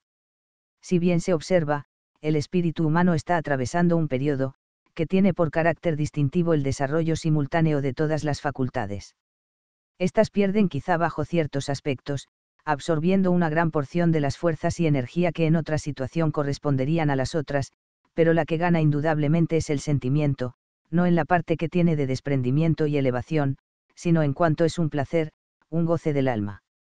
Así notamos que no prevalece en la literatura la imaginación, ni tampoco el discurso, sino el sentimiento en sus más raros y extravagantes matices, llamando en su auxilio la razón y la fantasía, no como amigos, sino como dependientes. De donde resulta que la filosofía se resiente también del mismo defecto, y que de su tribunal rara vez salen bien librados los austeros principios de la moral eterna. Este sentimiento muelle se esfuerza en divinizar el goce, busca una excusa a todas las acciones perversas, califica de deslices los delitos, de faltas las caídas más ignominiosas, de extravíos los crímenes, procura desterrar del mundo toda idea severa, ahoga los remordimientos, y ofrece al corazón humano un solo ídolo, el placer, una sola regla, el egoísmo.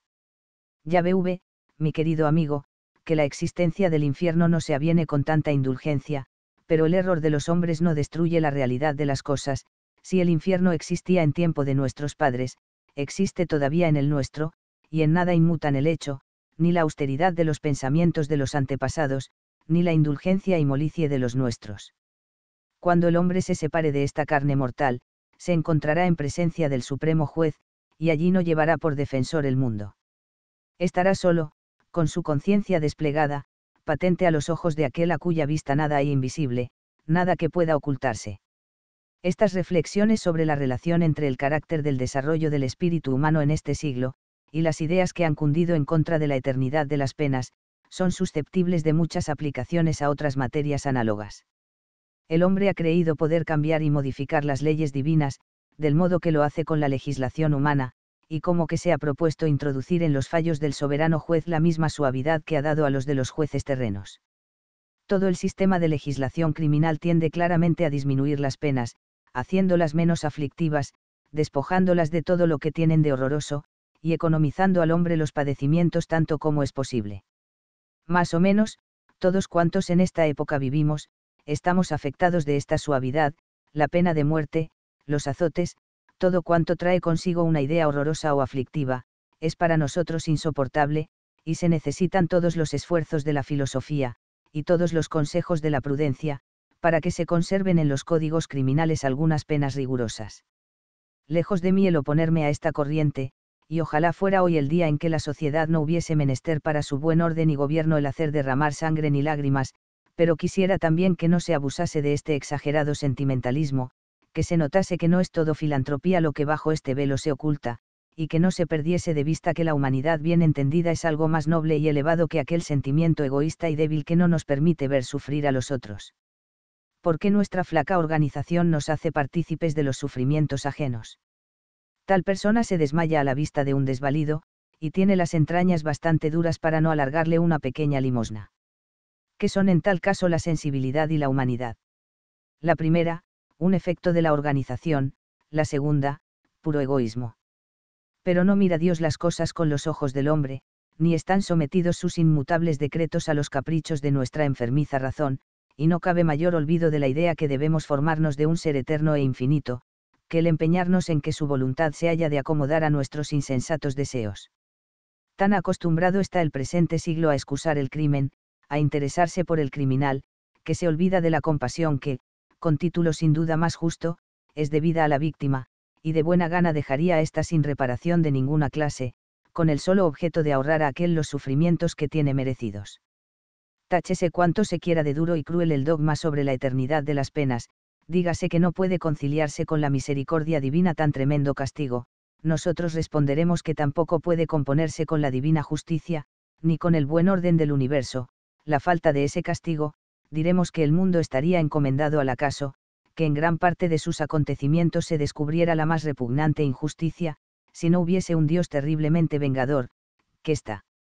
esperando al culpable más allá del sepulcro, para pedirle cuenta de su perversidad durante su peregrinación sobre la tierra. ¿Y qué? No vemos a cada paso ufana y triunfante la injusticia, burlándose del huérfano abandonado, del desvalido enfermo, del pobre andrajoso y hambriento, de la desamparada viuda, e insultando con su lujo y disipación la miseria y demás calamidades de esas infelices víctimas de sus tropelías y despojos. No contemplamos con horror padres sin entrañas, que con su conducta disipada llenan de angustia la familia de que Dios les ha hecho cabezas, llevando al sepulcro a una consorte virtuosa, dejando a sus hijos en la miseria, y no transmitiéndoles otra herencia que el funesto recuerdo y los dañosos resultados de una vida escandalosa. No se encuentran a veces hijos desnaturalizados, que insultan cruelmente las canas de quien les diera el ser, que le abandonan en el infortunio, que no le dirigen jamás una palabra de consuelo, y que con su desarreglo y su insolente petulancia abrevian los días de una afligida ancianidad. No se hallan infames seductores que, después de haber sorprendido el candor y mancillado la inocencia, abandonan cruelmente a su víctima, entregándola a todos los horrores de la ignominia y de la desesperación. La ambición, la perfidia, la traición, el fraude, el adulterio, la maledicencia, la calumnia y otros vicios que tanta impunidad disfrutan en este mundo, donde tan poco alcanza la acción de la justicia, donde son tantos los medios de eludirla y sobornarla, no han de encontrar un Dios vengador que les haga sentir todo el peso de su indignación. No ha de haber en el cielo quien escuche los gemidos de la inocencia cuando demanda venganza que no es verdad, no, que el culpable experimente ya en esta vida todo lo bastante para el castigo de sus faltas, atormentanle, sí, los remordimientos roedores, agréganse las enfermedades que sus desarreglos le han acarreado, abrumanle las desastrosas consecuencias de su perversa conducta, pero tampoco le faltan medios para embotar algún tanto el punzante estímulo de su conciencia, tampoco carece de artificios para neutralizar los malos efectos de sus bacanales, tampoco escasea de recursos para salir airoso de los malos pasos a que sus extravíos le conducen. Y, además, que son estos padecimientos del malvado en comparación de los que sufre también el justo. Las enfermedades le abruman, la pobreza le acosa, la maledicencia y la calumnia le denigran, la injusticia le atropella, la persecución no le deja sosiego, las tribulaciones de espíritu se agregan también, y, semejante al divino Maestro, sufre en esta vida los tormentos, las angustias, el oprobio de la cruz. Si su paciencia es mucha, si acierta a resignarse como verdadero cristiano, hace algún tanto más llevadero sus padecimientos, pero no deja por esto de sentirlos, y a menudo más duros de los que han caído sobre el hombre manchado con cien crímenes. Sin las penas y los premios de la otra vida, ¿dónde está la justicia? ¿Dónde la providencia? ¿Dónde el estímulo para la virtud, y el freno para el vicio? Pregúntame V, mi estimado amigo, si comprendo perfectamente cuál es el objeto que Dios se pueda proponer en prolongar por toda la eternidad las penas de los condenados, y adelántase a contestar a la razón que podía señalarse de que así se satisface la divina justicia, y se aparta a los hombres del camino del vicio, con el temor de tan horrendo castigo. Dice V, por lo tocante al primer punto, que jamás ha podido concebir la razón de tanto rigor, y que, aun cuando no deja de columbrar la relación que existe entre la eternidad de la pena y la especie de infinidad de la ofensa por la cual se impone, sin embargo, le queda todavía alguna obscuridad que no acierta a disipar. Muy errado anda V, mi apreciado amigo, si se imagina que a todos los demás no les sucede lo mismo, pues que sabido es que el entendimiento humano se anubla, tan pronto como toca en los umbrales de lo infinito. De mí sabré decir que tampoco concibo estas verdades con entera claridad, y que, por más firme certeza que de ellas abrigue, no puedo lisonjearme que se presenten a mi espíritu con aquella evidencia que las pertenecientes a un orden finito y puramente humano, pero, lejos de que me desanime esta niebla, que procede al propio tiempo de la debilidad de nuestros alcances, y de la sublime naturaleza de los objetos, he considerado repetidas veces que, si por este motivo debiera negar mi ascenso, no podría prestarle tampoco a muchas otras verdades de las que me sería imposible dudar, aunque en ello me esforzara. Estoy seguro de la creación, no solo por lo que me enseña la religión revelada, sino también por lo que me dicta la razón natural, y, no obstante, cuando medito sobre ella, cuando quiero formarme una idea clara y distinta de aquel acto sublime en que Dios dijo, hágase la luz, y la luz fue hecha, siéntese mi entendimiento con cierta flaqueza, que no le permite comprender con toda perfección el tránsito del no ser al ser. Estoy cierto, y hube conmigo, de la existencia de Dios, de su infinidad, eternidad, inmensidad, y demás atributos, pero, ¿nos es dado acaso formarnos ideas bien claras de lo que por estos nombres se expresa? Es bien seguro que no, y lea usted todo cuanto han escrito sobre ello los teólogos y filósofos más esclarecidos, y echará de ver que, más o menos, adolecían del mismo achaque que nosotros. Si quisiera dar más amplitud a estas reflexiones, fácil sería encontrar mil y mil ejemplos de esta debilidad de nuestro entendimiento, hasta en las cosas físicas y naturales, pero esto me empeñaría en largas discusiones sobre las ciencias humanas, alejándome del principal objeto. Además, que no dudo bastará lo dicho para dejar sentado que no debe hacer mella en un espíritu sólido esta obscuridad de que están rodeados a nuestra vista algunos objetos, y que, mientras sobre ellos podamos adquirir por conducto seguro la competente certeza, no conviene abstenerse de prestar asenso por el solo asomo de algunas dificultades más o menos graves, más o menos embarazosas. No son muchas las materias en que pueden señalarse, en apoyo de una verdad, razones más satisfactorias que las arriba indicadas en pro de la justicia de la eternidad de las penas, sea cual fuere el concepto que hube forme de mis reflexiones, al menos no podrá negarme que no son para despreciadas por el simple obstáculo de una dificultad, que más bien se funda en un sentimentalismo exagerado que en un raciocinio sólido y convincente. Por tanto, solo me resta recordarle que no se trata de saber si nuestro entendimiento comprende o no con toda claridad el dogma del infierno, sino de averiguar si en realidad este dogma es verdadero y si los fundamentos en que le apoyamos sus sostenedores tienen las señales características que puedan convencer de que realmente ha sido revelado por Dios. ¿De qué nos serviría el comprenderlo más o menos claramente, si tuviésemos el tremendo infortunio de haberle de sufrir? Por lo que toca al segundo punto que V indica en su apreciada, no estoy de acuerdo en que una pena de duración limitada pudiese ejercer sobre el ánimo de los hombres una impresión equivalente, y de idénticos resultados, en cuanto al arreglo de la conducta. Pretende V que, en estando acompañada la pena de mucha duración, o de un tormento muy terrible, bastaría para enfrenar las pasiones, poniéndose un límite a los malos deseos, con cuya observación se da por el pie a la razón que señalamos los cristianos de que la existencia del infierno es una salvaguardia de la moral. Pero a mí me parece que V no ha sondeado lo suficiente este asunto, y no ha reparado en que, si bien es verdad que la idea del tormento nos espanta y aterra cuando se ha de sufrir en esta vida, nos causa muy ligera impresión si se ha de reservar para la otra. Dos pruebas daré de esto, una experimental, otra científica. El dogma del purgatorio lleva ciertamente una idea terrible, y así los libros de devoción, como los predicadores, están pintando continuamente aquel lugar de expiación con los colores más espantosos. Los fieles lo creen así, lo están oyendo sin cesar, oran por los parientes y amigos difuntos, que pueden estar detenidos en él, pero, hablando ingenuamente, es mucho el miedo que se tiene al purgatorio. Por sí solo, fuera un dique bastante robusto para oponerse al ímpetu de las pasiones. Dígalo cada cual por experiencia propia, díganlo también por la ajena, cuantos han tenido ocasión de observarlo. Las penas que para aquel lugar se nos anuncian son terribles, es verdad, su duración puede ser mucha, es cierto, el alma no saldrá de allí hasta haber pagado el último cuadrante, no tiene duda, pero aquella pena tendrá fin, estamos seguros de que no puede durar siempre, y, colocados en medio del riesgo de largos padecimientos en la otra vida, y de la necesidad de soportar leves molestias en la presente, repetidas veces preferimos aventurarnos a lo primero para preservarnos de lo segundo. De esto, que la experiencia nos está mostrando a cada paso, nos señala la razón las causas, bastando para conocerlas una sencilla consideración de la naturaleza humana. Mientras vivimos en esta tierra, se halla nuestro espíritu unido al cuerpo, que nos transmite sin cesar las impresiones de todo cuanto le rodea. Posee, a la verdad, nuestra alma algunas facultades que, elevadas por naturaleza sobre todo lo corpóreo y sensible, se rigen por otros principios, versan sobre más altos objetos, y habitan, por decirlo así, en una región que de suyo nada tiene que ver con todo cuanto existe material y terreno. Sin desconocer, empero, la dignidad de estas facultades, ni la altura de la región en que moran, menester es confesar que es tal la influencia que sobre las mismas ejercen las otras de un orden inferior, que a menudo las hacen descender de su elevación,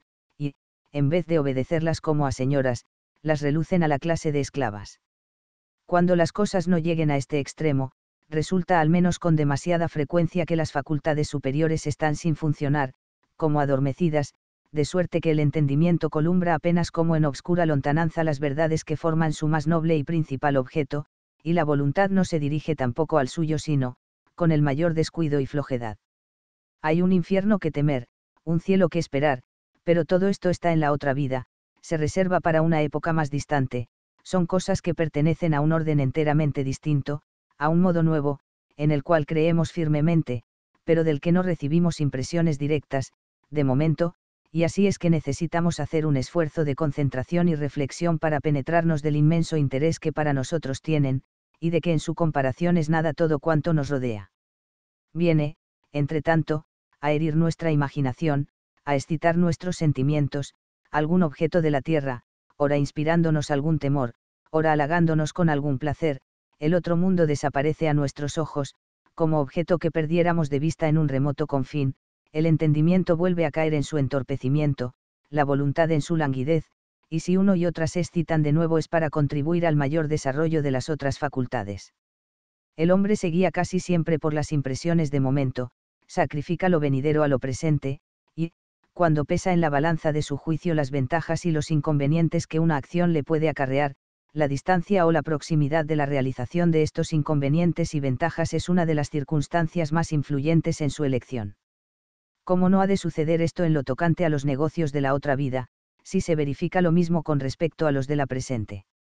No es infinito el número de los que sacrifican las riquezas, el honor, la salud, la vida, a un placer de momento. ¿Y esto por qué? Porque el objeto que halaga está presente, y los males, distantes, y el hombre se hace la ilusión de evitarlos, o bien se resigna a sufrirlos, como quien se arroja a un precipicio con los ojos vendados.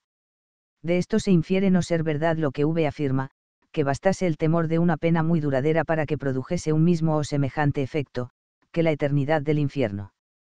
No es verdad, antes, al contrario, puede asegurarse que desde el momento que se separase de la idea de las penas la de eternidad, perderían la mayor parte de su horror, y quedarían reducidas a la misma línea que las del purgatorio.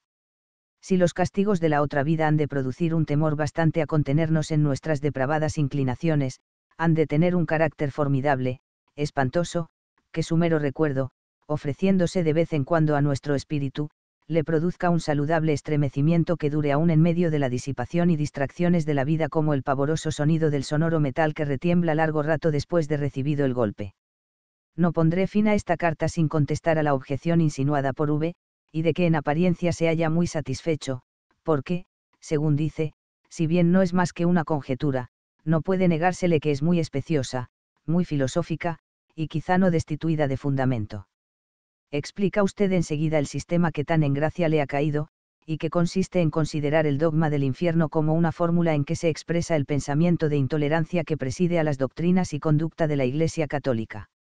Permítame V que transcriba sus propias palabras, que de esta suerte no mediará el peligro de una mala inteligencia, ya se ve, se quería sujetar el entendimiento y el corazón del hombre ciñéndolos con un aro de hierro, faltaban en lo humano los medios de realizarlo, y ha sido preciso hacer intervenir la justicia de Dios. No se podría sospechar que los ministros de la religión católica, quizás más engañados que engañadores, han apelado al recurso, común entre los poetas, de desenlazar una situación complicada llamando en su auxilio algún dios, o, hablando en términos literarios, empleando la máquina. Mucho me engaño si en la pretendida justicia de un dios inexorable no se trasluce el sacerdote católico con su terquedad inflexible. Algo duro se muestra V, mi estimado amigo, en el pasaje que acabo de insertar, y por más sorpresa que le hayan de causar mis palabras, me atrevo a decirle que, lejos de encontrarle filosófico, como acostumbra, le hallo aquí, primero muy inexacto, y después ligero en demasía. Inexacto, porque supone que el dogma de la eternidad de las penas pertenece exclusivamente a los católicos, cuando le profesan también los protestantes, ligero, porque ha pretendido convertir en expresión del pensamiento dominante en el cristianismo un hecho creído generalmente por el humano linaje. El prurito, tan común de nuestra época hasta entre los escritores de primera nota, de señalar una razón filosófica fundada en una observación nueva y picante, le ha extraviado a V de una manera lastimosa, haciéndole perder de vista por un momento lo que no ignoran cuantos saben medianamente la historia. En resumen, quería V significar que esto era una invención de los sacerdotes cristianos, bien que, salvando su buena fe, con suponerles víctimas de una ilusión, pero, ¿cómo ha podido olvidar que siglos antes de aparecer el cristianismo estaba la creencia del infierno generalmente extendida y arraigada? Algo satírico está V con los buenos frailes que se Complacen en asustar a niños y mujeres con las horrendas descripciones de tormentos fraguados en imaginaciones descompuestas y groseras, y que difícilmente puede soportar sin reírse o sin fastidiarse un hombre de sana razón y de buen gusto. Bien se conoce que quiere V hacer pagar caros a los pobres predicadores los ratos que le llevaba al sermón su buena madre, y que sin duda hubiera V empleado de mejor gana en sus juegos y entretenimientos, pero, se ha dicho sin ánimo de ofender, y únicamente en defensa de la verdad, da V aquí un solemne tropiezo, en que solo puede consolarle el tener muchos compañeros de infortunio, entre los que se proponen burlarse con demasiada ligereza de los dogmas y prácticas de nuestra religión. Y se ríe de las exageraciones de los frailes en esta materia, que se le hacen insoportables por descabelladas y de mal gusto, pues bien, yo le emplazo a V a que me cite la descripción que le parezca más descabellada entre las que haya oído de boca de un predicador, y me obligo a presentarle otra sobre el mismo objeto que no le irá en zaga a la primera, ni en lo feo, ni en lo extravagante, ni en lo horrible. ¿Y sabe V de quién serán esas descripciones y rasgos? Nada menos que de Virgilio, de Dante, de Tasso, de Milton. No advertía V que a la espalda del buen capuchino a quien tan despiadadamente acometía V, tropezaba con una reserva tan respetable en materias de razón y de buen gusto a veces la precipitación en el juzgarnos es más dañosa que la misma ignorancia. Sucédenos a menudo que despreciamos una expresión, en odio o desprecio de la persona que la dice, expresión que nos pareciera admirable, si la oyésemos en boca de otro que nos inspirase más respeto. Por esto decía graciosamente Montaigne que se divertía en sembrar en sus escritos las sentencias de filósofos graves, sin nombrarlos, con la mira de que sus lectores críticos, creyendo habérselas solo con Montaigne, injuriasen a Séneca, y dieran de narices sobre Plutarco. No es fácil decir a punto fijo la variedad de horrores del infierno, pero lo cierto es que así cristianos como gentiles han convenido en mostrárnoslos con espantosos colores. Virgilio no era ni fraile, ni predicador, ni cristiano, ni escaseaba de buen gusto, y, sin embargo, difícil es reunir más horrores de los que nos presenta, no solo en el infierno, sino ya en el camino vestibulum ante ipsum primiscune infaucibus orci. Lectus et ultrices posuere cubilia curae. Pellentesque habitant morbi, tristisque senectus et metus, et malesuada feims, et turpise gestas, terribiles visu formae, letumque, laborque. Tam consanguineus letis opor, et malamentis. Gaudia, mortiferum que adverso in limine ibellum ferrei que eumenidum talami, et discordia damans vipereum crinem vitis in nexa cruentis multaque praeterea variarum monstra ferarum. Centauri inforibus estabulant, que biformes. Et sentam yemanais briareus, acebello alernae rendum stridens flammisque arma ata chimaera. Gorgones, arpiaeque, et forma tricorporis umbrae. Antes de llegar a la fatal mansión, nos encontramos ya con cabelleras de víboras, con hidras que rugen con horrible estridor, con monstruos armados de fuego, y junto con los gozos vedados, malamentis gaudia, el llanto y los remordimientos vengadores, luctus et ultrices curae. Pero, sigamos adelante, y el horror se aumenta hasta el extremo. Triples murallas bañadas con un río de fuego, gemidos, ruido de azotes, estrépito de cadenas, serpientes y la hidra con cincuenta bocas, buitre que roe las entrañas, y otros objetos semejantes, he aquí lo que nos presenta el poeta en la mansión, según él mismo dice, de los defraudadores, adúlteros, crueles con sus padres, incestuosos, traidores a su patria, y culpables de otros crímenes. Mucho dudo que V haya oído cosas más horribles. Y, como si no le bastara el espantoso cuadro que acaba de pintar con inimitable pincel, exclama, non, mi si linguae sentam sint, ora que sentam, ferrea vox, omnes celerum comprendere formas. Omnia poenarum percurrere nomina posim. Inid, L6 cien lenguas, cien bocas, férrea voz, no le bastarían para nombrar siquiera la variedad de penas de aquella mansión de horror. Como quiera, dentro de medio siglo la cuestión del infierno estará prácticamente resuelta para los dos, ruego al cielo que lo sea felizmente para ambos, pero, si hube. Tiene la temeridad de aventurarse a lo que pueda suceder, me quedaré llorando su funesta ceguera, suplicando al Señor se digne iluminarle antes que llegue el día de la ira, en que a la presencia del juez supremo velarán su faz los ángeles tutelares, no sabiendo qué alegar en descargo de V para librarle de la tremenda sentencia. DV Suafmo. QBSM. JB. Carta 4. Filosofía del porvenir. Descripción de esta filosofía y retrato de los que la profesan. Pasaje de Virgilio. M. R. Jaufroy. El cristianismo y las masas. M. R. Cousin. Pasaje notable de M. R. Pedro Larú sobre las convicciones de M. R. Cousin. Profecía de M. R. Cousin. El catolicismo no está amenazado de muerte. En los cuatro ángulos del universo está dando señales que acreditan su vida y vigor. Observaciones sobre la decadencia de la fe y de las costumbres. Combátese el error de los que pretenden desalentar con la exageración de semejante decadencia. Reseña histórica de los grandes males que en todas épocas ha sufrido la Iglesia. Su estado actual no es tan desconsolador como algunos creen. Como calculan los incrédulos la decadencia de la fe conviene no confundir la sociedad con las capitales, ni estas con algunos círculos muy reducidos. La transición y la perfectibilidad. Mi estimado amigo, mucho me complace que me haya ofrecido la oportunidad de manifestarle mi parecer sobre esa filosofía que V apellida del porvenir, pues que, si bien V la crítica hasta motejarla, traslúcese, no obstante, que no ha dejado de hacerle mella, mayormente en lo que ella dice sobre los destinos del catolicismo la V filosofía del porvenir, y, en efecto, no cabe nombre más bien adaptado para calificar esa ciencia estrambótica que, sin resolver nada, sin aclarar nada, solo se ocupa en destruir y pulverizar, respondiendo enfáticamente a todas las preguntas, a todas las dificultades, a todas las exigencias, con la palabra porvenir.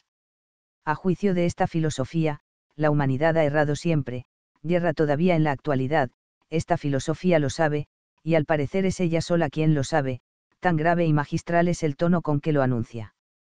Demandadle dónde está la verdad, cuando será dado al hombre encontrarla. En el porvenir.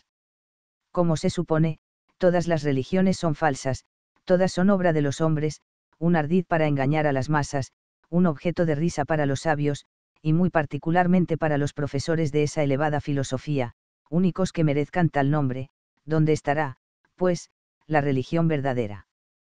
¿Cuándo podrán los hombres profesarla? En el porvenir. Ningún filósofo alcanzó a descifrar el enigma del universo, de Dios y del hombre, vendrá un día afortunado en que se verifique el hallazgo de la deseada clave. En el porvenir. La organización social y política se ha de cambiar radicalmente, se ignora lo que se ha de sustituir a lo que actualmente existe, quien nos ilustrará para resolver acertadamente tan espinoso problema. El porvenir. Las masas populares sufren atrozmente en los países más cultos, la desnudez, el hambre, la más repugnante miseria, contrastan de una manera escandalosa con el lujo y los goces de los potentados y la vida bona de los filósofos, ¿de dónde? Saldrá el remedio para situación tan angustiosa. Del porvenir. El porvenir para la historia, el porvenir para la religión, el porvenir para la literatura, el porvenir para la ciencia, el porvenir para la política, el porvenir para la sociedad, el porvenir para la miseria, el porvenir para sí mismo, el porvenir para lo presente, el porvenir para lo pasado, el porvenir para todo.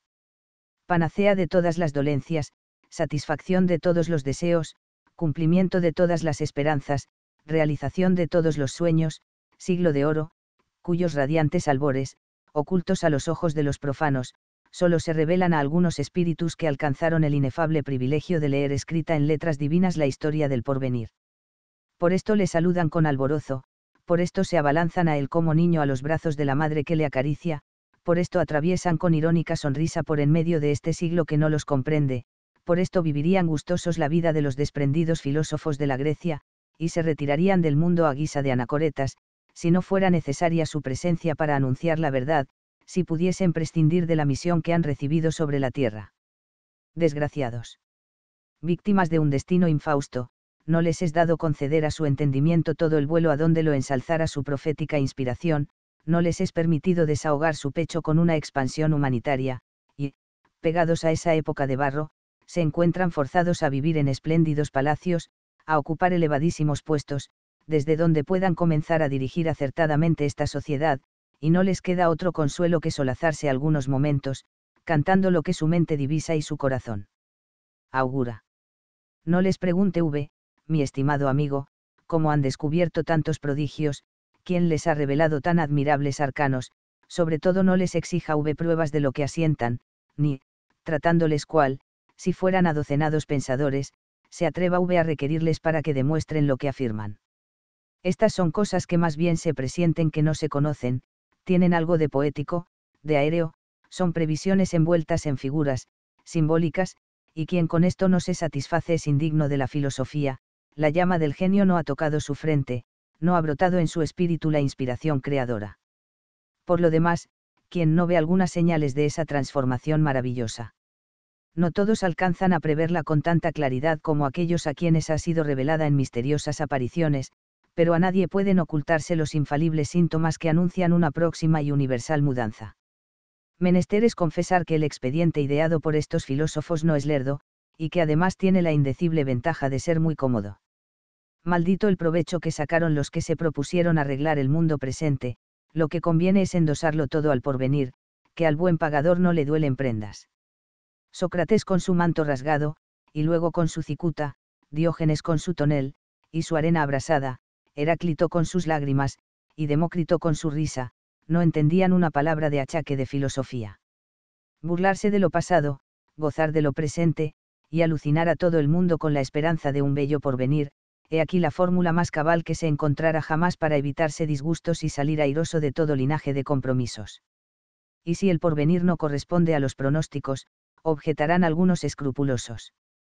Medrados estamos, si hemos de darnos pena por lo que sucederá, el negocio consiente largas, el plazo que tomamos no es breve, y para no aventurar nada lo dejamos indefinido, siempre podremos solicitar una nueva dilación, y, si alguien de nosotros hasta se adelanta a fijar tiempo, no tengáis cuidado, que no debe de ser tan olvidadizo que no recuerde aquello de.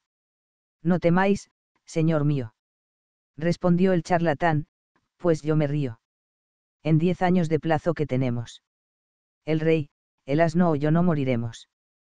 Echa la debida justicia a la filosofía del porvenir, réstame el nutantem pondere mundum, quiero decir, la gravísima complicación de los problemas que pesan sobre la sociedad, y ver hasta qué punto tienen fundamento los filósofos para hablarnos de las transcendentales mudanzas que las futuras generaciones están destinadas a presenciar.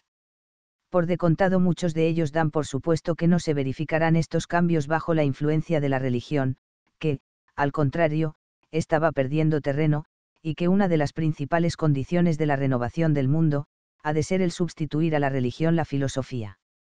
Ya se ve, cómo, en sentir de ciertos hombres, las religiones, y particularmente el cristianismo, no son otra cosa que una producción espontánea de las ideas de las masas, abriéndose paso y encarnándose, cuando son maduras, en una imaginación exaltada, a menudo alucinada por la revelación que ella anuncia, uno, se dará un paso agigantado en la carrera de la perfección social, cuando las masas sean bastante ilustradas para contemplar la verdad en toda su pureza, cara a cara, sin necesidad de los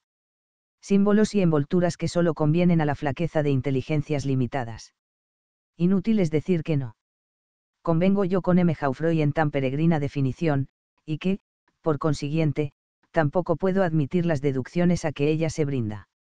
No creo, pues, que jamás puedan dirigirse bien las masas, y en esta palabra masas comprendo la sociedad entera, sin la influencia de la religión, y que tan absurdo me parece el que la filosofía llegue nunca a llenar el vacío ocupando su puesto, como el que la religión sea una producción espontánea de las ideas de las masas.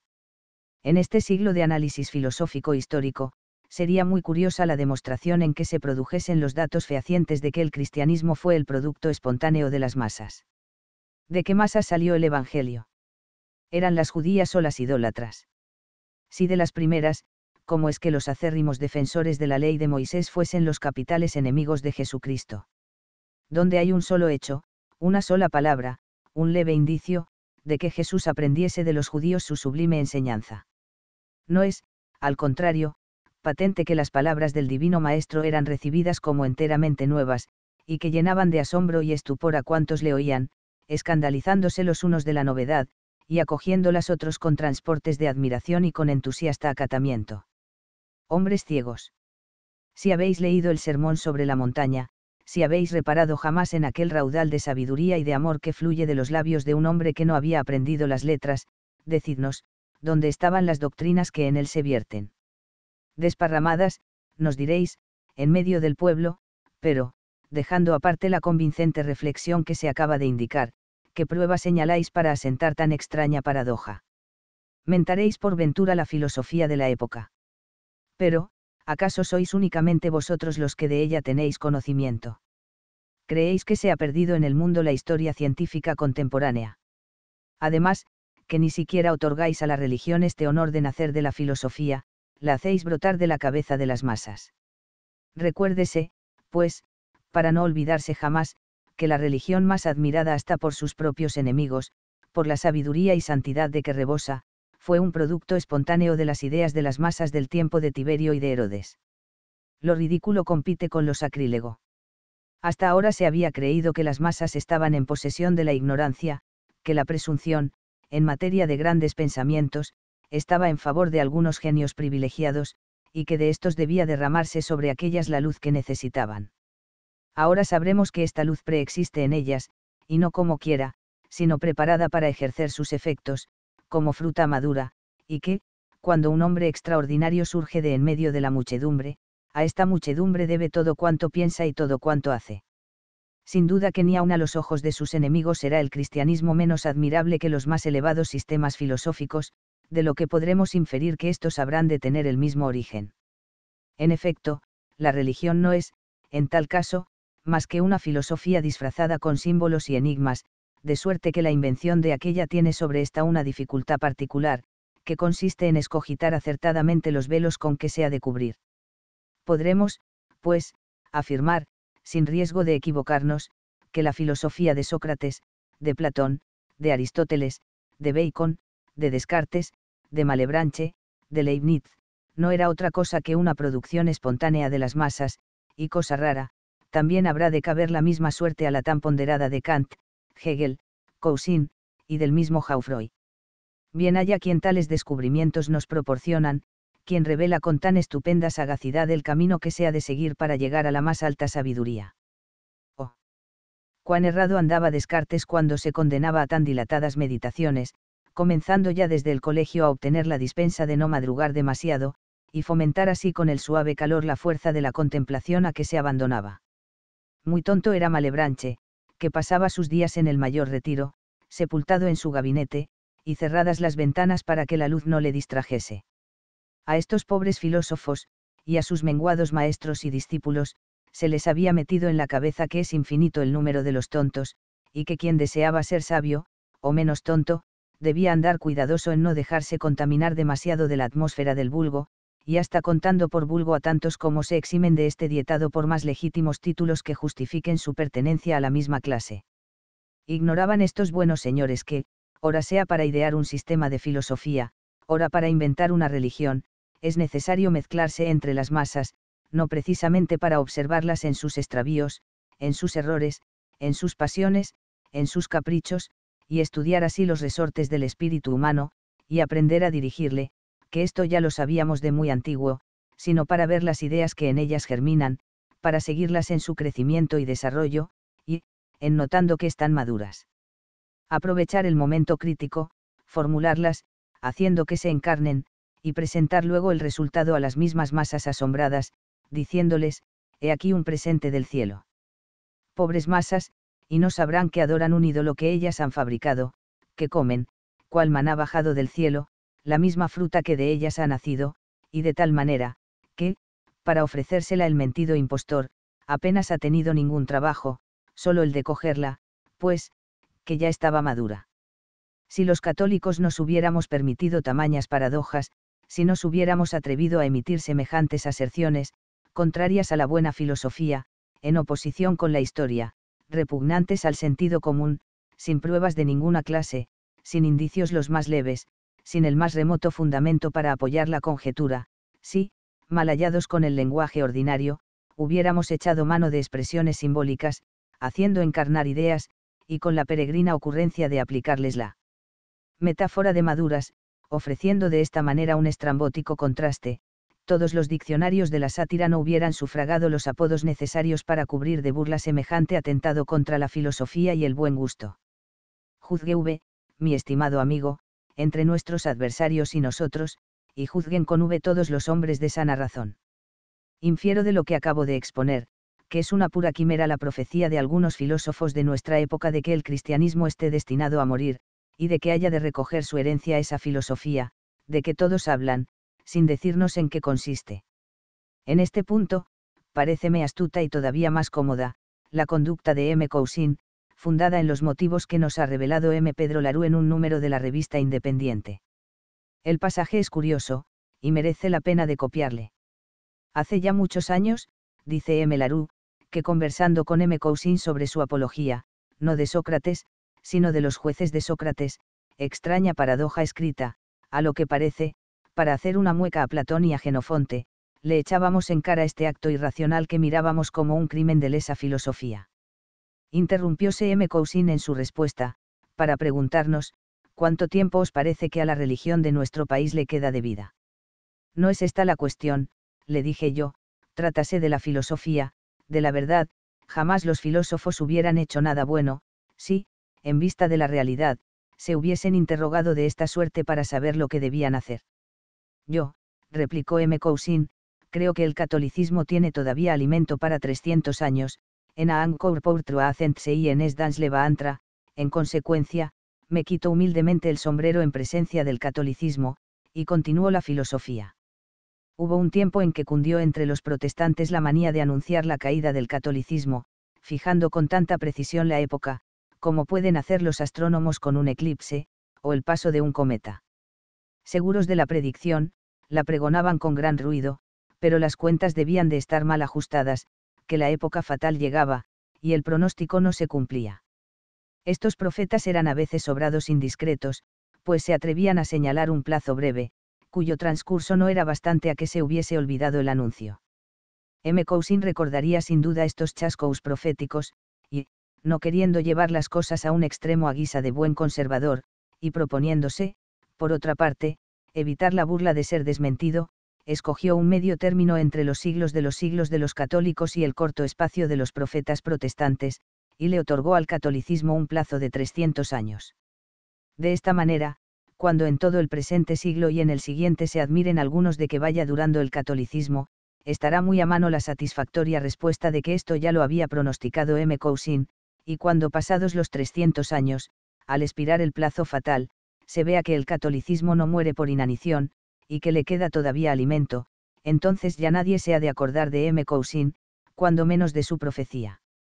En lo moral como en lo físico, el primer síntoma de estar tocado de muerte un ser cualquiera, es no crecer, no producir, la cercana extinción de la vida se muestra siempre por la falta del desarrollo y de la acción del ser que muere.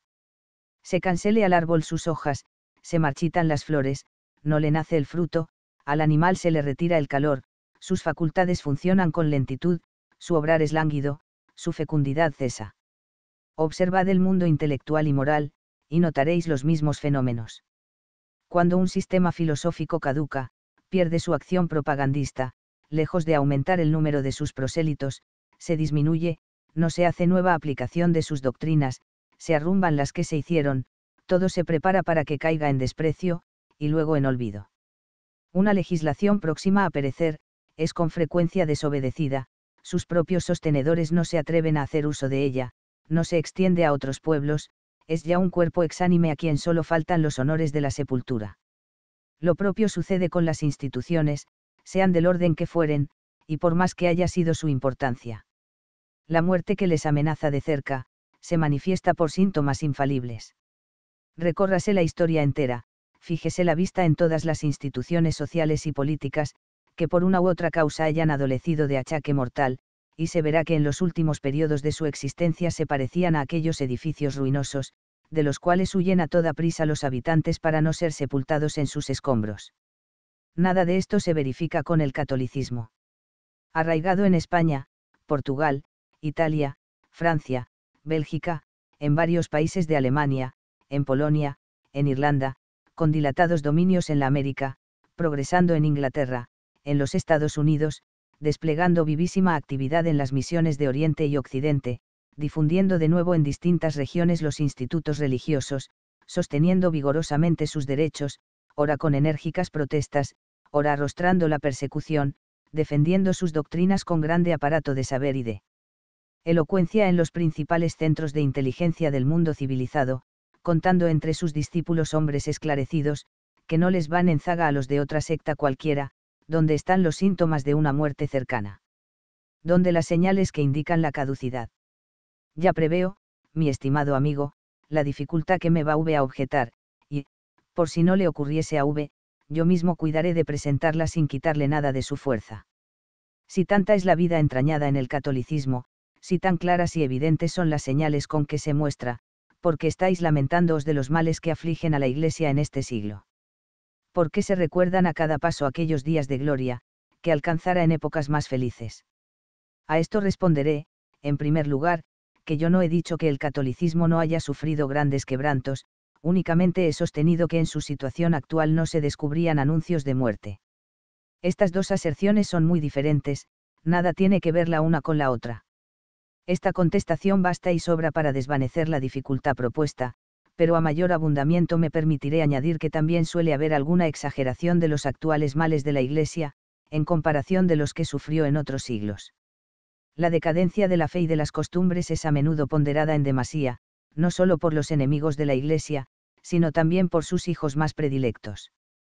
Estos por celo y por un santo pesar, aquellos por espíritu de maledicencia y por un secreto placer de anunciar el desmoronamiento de lo que desean ver arruinado, todos contribuyen a que suenen muy alto los ayes en que se lamentan los males de la época, y a que los hombres ignorantes o poco advertidos se imaginen que, comparado con el de los antiguos tiempos el catolicismo de ahora, ha pasado a ser, de un reino pacífico, rico, poderoso, floreciente, una miserable comarca, entregada a un reducido número de moradores, víctimas de la degradación y de la anarquía. Con perdón de los que así opinan, y para consuelo de los que desearían ver en la Iglesia un cuadro más halagüeño, diré que no es esto lo que enseña la historia, y que, cuando tan sentidamente se lamentan los males de nuestro tiempo, es por la sencilla razón de que siempre la enfermedad presente es la peor. ¿Cuántos desean comprender algún tanto la historia del cristianismo, y no escandalizarse a cada paso por los acontecimientos adversos que en tanta abundancia nos ofrece, no deben jamás perder de vista que la religión de Jesucristo lo es de sufrimientos, de contrariedades, de persecuciones, es una religión de sacrificio, que se inauguró sobre la tierra con la inmolación del Cordero sin mancilla. Todo lo que a ella pertenece, lleva este formidable sello, el bautista precursor es decapitado, y su cabeza sirve de presente en una orgía para abrevar de sangre una horrible venganza, los apóstoles sufren el martirio en las diversas partes del mundo, y viene tras ellos una muchedumbre que nadie puede contar, de todas lenguas, tribus, naciones, condiciones, edades, sexos, que sufren los tormentos y la muerte por la fe, y lavan sus estolas en la sangre del Cordero. Os desalientan las apostasías que estáis presenciando, los errores que pululan, el extravío de tantos que, o por interés, o por vergüenza, o por otras pasiones, niegan al Divino Maestro. Pero, olvidáis, acaso, la traición de Judas y la negación de San Pedro. Vemos, es cierto, muchedumbre de sectas separadas, vemos cuál se asestan contra la Iglesia los tiros del sofisma y de la calumnia, pero, es esto otra cosa que una repetición de lo que ha sucedido en todos los siglos desde su fundación. En el primero brotan como inmundos insectos las inmorales herejías de Simón, Cerinto, Menandro, Evión, Saturnino, Basílides y Nicolao. En el segundo aparecen los gnósticos. Valentinianos, orfitas, archonticos, callanos. Elcésitas, encratitas, marcionistas, montanistas y otros. En el tercero encontramos los sectarios de Praxeas, de Sabelio, de Paulo de Samosata, de Navaatou, de Manes, de suerte que, mientras la iglesia tenía contra sí los potros, los caballetes, la cuchilla, las hogueras, y todo linaje de horrendos suplicios, veía salir de su propio seno hijos ingratos que le despedazaban las entrañas corrompiendo la pureza de la moral y del dogma, levantando cátedra contra cátedra, y propalando, cual doctrinas emanadas del cielo, los sueños de la ilusión, y de la impostura. ¿Y qué diremos de los siglos siguientes? Se habla de la paz de Constantino, se ponderan las ventajas que de ella resultaron a la Iglesia, es cierto, pero no lo es menos que aquella paz fue a menudo interrumpida, con frecuencia muy amargada, y que el divino esposo no le dejó olvidar un momento que estaba en tierra de peregrinación, que era militante, y que no le era dado disfrutar aquí abajo de la calma y felicidad que le están reservadas para cuando la Jerusalén de este mundo esté absorbida en la celestial. En el mismo siglo en que la cruz se enarboló sobre el trono de los Eisars, experimentó la Iglesia tantos sinsabores, que difícilmente se los causaran más dolorosos los rigores de la persecución. Quien ignora la turbación y desastres acarreados por los cismas de los donatistas, melecianos y luciferianos.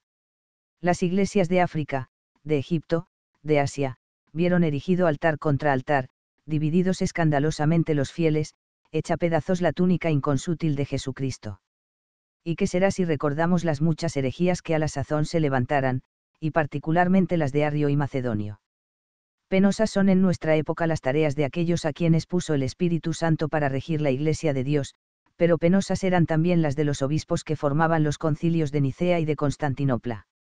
Y no faltaban también emperadores que afligían a la Iglesia, extralimitándose de sus facultades y entrometiéndose en los negocios puramente eclesiásticos, y había también un Juliano apóstata que se complacía en abatirla y humillarla, y había también escritores venenosos que derramaban por todas partes sus funestas doctrinas, y los apologistas de la religión se veían precisados a trabajar sin descanso, a multiplicarse, por decirlo así, para hacer frente a los muchos puntos que reclamaban él. Auxilio de su saber y de su elocuencia en defensa de la religión. San Atanasio, San Cirilo, San Basilio, los dos Gregorius, San Epifanio, San Ambrosio, San Agustín, San Jerónimo, San Juan Crisóstomo, y otras lumbreras de aquel siglo, recuerdan los empeñados combates que a la sazón sostuvo la verdad contra el error, supuesto que para alcanzar la inmortal victoria se empeñaron en la lucha tantos gigantes. Sigue luego la irrupción de los bárbaros, y la Iglesia, lejos de disfrutar la época bonancible que parecía necesitar para su descanso, se encuentra entre la ferocidad de los invasores, los estragos que en ellos había pecho el arrianismo, el ciego y caviloso prurito de disputa de los emperadores de Oriente, y el espíritu de resistencia a la autoridad que se desenvuelve en diferentes herejías. ¿Cuántos concilios? ¿Cuántas decisiones de los papas? ¿Cuántos escritos de varones eminentes por su santidad y sabiduría? Cuántos vaivenes en los pueblos sometidos a la Iglesia. Cuántas oscilaciones en la fe. ¿Dónde está esa calma que algunos echan de menos, ese predominio no disputado, esa envidiable bonanza en que se imaginan la barquilla de San Pedro, surcando un mar sosegado y tranquilo? De esta suerte, y con varia, pero siempre agitada fortuna, se llegó al siglo X, en el no hubo herejías, pero en cambio había una profunda ignorancia, madre de la corrupción, que a su vez engendra también los más detestables errores, a eternam timueres aecula noctem. Tomaron cuerpo entonces las violencias de los príncipes salidos de la barbarie, entronizóse el feudalismo, siguió la lucha de los pueblos contra los señores, y de estos entre sí y con los reyes, brotando de ese caos nuevas herejías con un carácter más práctico, más invasor, más amenazador que las antiguas. No necesito recordarle a V, mi estimado amigo, los nombres de los que, ora con las armas, ora con la pluma, ora con la predicación, se desencadenaron contra la Iglesia, la historia de estos errores y contiendas es inseparable de la de Europa, solo diré que la aparición del protestantismo, si bien fue una catástrofe de imponderables consecuencias, no fue, sin embargo, un hecho del todo nuevo, sino que tomó un carácter peculiar a causa de la época en que nació. Grandes males tiene que llorar actualmente la Iglesia, pero mucho dudo que sean iguales a los del siglo XVI y siguiente, ni en errores, ni en desastres, parece que nada dejaban que desear al genio del mal. Por lo que toca al siglo pasado, está demasiado cerca de nosotros para que sea necesario mentarle siquiera, baste recordar que se abrió con las disputas y la terquedad del jansenismo, y se cerró dignamente con la constitución del clero y las persecuciones de la Convención. No me he propuesto hacer ni un ligero bosquejo de las contrariedades que en todos tiempos ha sufrido la Iglesia, para que pudiesen compararse con las que padece en el nuestro, y si únicamente echar allá y acullá algunas plumadas, que al menos recordasen los principales acontecimientos que tan trabajosa y gloriosa a la vez nos presentan su historia. Con esto desearía que se consolasen los fieles que con excesiva aflicción contemplan los males de nuestra época, reflexionando que no es tan cierto como ellos quizás se imaginan, que este sea el tiempo en que Dios ha permitido que campease con más audacia el poder del príncipe de las tinieblas. Al menos por mi parte abrigo sobre este particular fuertes dudas, que se ofrecerán a cualquiera que repase con atención los anales eclesiásticos. Ateniéndonos a lo sucedido durante el siglo pasado y el presente, se me dirá que en Francia la fe ha perdido mucho, y se me recordará que lo propio acontece en Portugal, España e Italia, pero yo replicaré que también ha crecido en Irlanda, que ha ganado mucho en Inglaterra y Escocia, y, sin empeñarme en discusiones sobre la exactitud de la compensación, observaré que la Iglesia ha conquistado en nuestra época una ventaja inmensa, cuál es, que entre los países más civilizados y cultos no hay ninguno donde se la mire con hostilidad perseguidora. Y no se me cite en contrario el ejemplo de Rusia, ni un extravío pasajero del gobierno de Prusia, ni las anomalías de otros países, la causa de la religión parece más bella cuando se enlaza con los recuerdos de nacionalidad de un pueblo desgraciado, y la Iglesia se presenta más hermosa y lozana, cuando tiene por perseguidores el raquitismo en política y la nulidad en filosofía. Calculan algunos incrédulos la decadencia de la fe, por lo que observan en las personas de su trato, y, como éstas son a menudo de las mismas ideas, deducen que la incredulidad es el estado normal de los entendimientos. Acontece en este punto lo mismo que en los relativos a costumbres. El inmoral halla la inmoralidad en todas partes, no hay para él un hombre honrado, una mujer honesta, un magistrado íntegro, un comerciante de buena fe, la perfidia, la corrupción, el soborno, reinan en todas las almas, y, si bien reparáis en su manera de discurrir, sus propios vicios no son más que el resultado de la profunda convicción de que es enteramente imposible el ejercicio de la virtud. No le faltan, ni excelente índole, ni buenos deseos, ni la fuerza de ánimo necesaria para practicar el bien, pero qué fruto sacaría de constituirse en única excepción sobre la tierra. Víctima de las malas artes y de las pasiones de sus semejantes, fuera un estéril holocausto ofrecido en las aras de la virtud, de esa diosa que de tan antiguo abandonó, para no volverlas a ver, las moradas sublunares. No es verdad, mi estimado amigo, que así hablan los hombres inmorales, que tienen bastante conocimiento para reflexionar un poco sobre su estado, creando una especie de filosofía que les sirva de comodín contra los remordimientos de su conciencia. Aplique V a la incredulidad lo que acabo de decir, y hallará una perfecta analogía. Habla el incrédulo con hombres que comparten sus errores, echan una ojeada sobre el estado de las creencias, y, como cada cual recuerda haberse hallado con otros de la misma opinión, cuando menos sus maestros o discípulos, llevan todos su contingente de incredulidad observada en distintos lugares, e infieren, sin vacilar, que la inducción es cumplida, que todos los votos están recogidos, que la fe no tiene un solo partidario, y está condenada irremisiblemente, desterrada para siempre del mundo. Fulano, dicen, aparenta creer, pero es hipocresía, Zutano lo finge por interés, Mengano por no contristar a una madre, a una esposa devotas, por lo demás, todos los hombres que piensan están acordes en este punto, el hecho es tan cierto, que se halla fuera de discusión. Con esta seguridad he oído hablar, estos discursos he oído hacer, pero yo, que no podía olvidar lo que he visto con mis ojos, yo, que tampoco había descuidado observar y recoger hechos sobre la misma materia, no podía resignarme a abdicar mis opiniones y a suponer errados todos mis cálculos. Además, encontraba también otro motivo para no dar mucha importancia a las inducciones de mi adversario, sin apariencias de contradecirle, daba a la conversación un giro que indicarme pudiera las fuentes donde había bebido ese profundo conocimiento del mundo, el teatro donde había hecho sus observaciones sobre el estado actual de las creencias. Desde luego echaba de ver que de las personas y círculos a que se refería, aun cuando él no me lo hubiera dicho, a la legua hubiera yo sospechado que no abundaban de fe, si es que de antemano no me constaba lo mismo que él me estaba revelando. Hablábale entonces de otra sociedad, como suele decirse, de otras reuniones, de otros hombres, no tenía noticia de ellos, no estaban en su cuerda. Traía la conversación al movimiento religioso de este o de aquel país, pronunciaba el nombre de un autor distinguido en esta materia, recordábale un pasaje interesante de una obra escogida, a esta literatura no se había dedicado mucho, siquiera por amor propio, afectaba tener de esto algunos conocimientos, bien que con la modestia de no manifestarlos, pero yo, para mis adentros, infería que aquel hombre hablaba de lo que no sabía, que en sus cálculos deducía de lo particular lo universal, y que todo su aparato de observación sobre el estado de las creencias se reducía a noticias de que no carece ninguna persona entendida. Ni la sociedad, mi estimado amigo, está toda en las capitales, ni las capitales se forman exclusivamente de un determinado número de reuniones, por más que éstas sean a menudo las más presumidas y pretenciosas, necesario es extender la vista algo más allá, cuando se quiere formar juicios sobre el estado de las creencias. No sucede con ellas lo que con el movimiento político o mercantil. Estos se limitan a círculos por lo común muy estrechos, y, para juzgar de su situación y tendencias, basta regularmente colocarse en algunos de los centros en cuyo torno se verifican.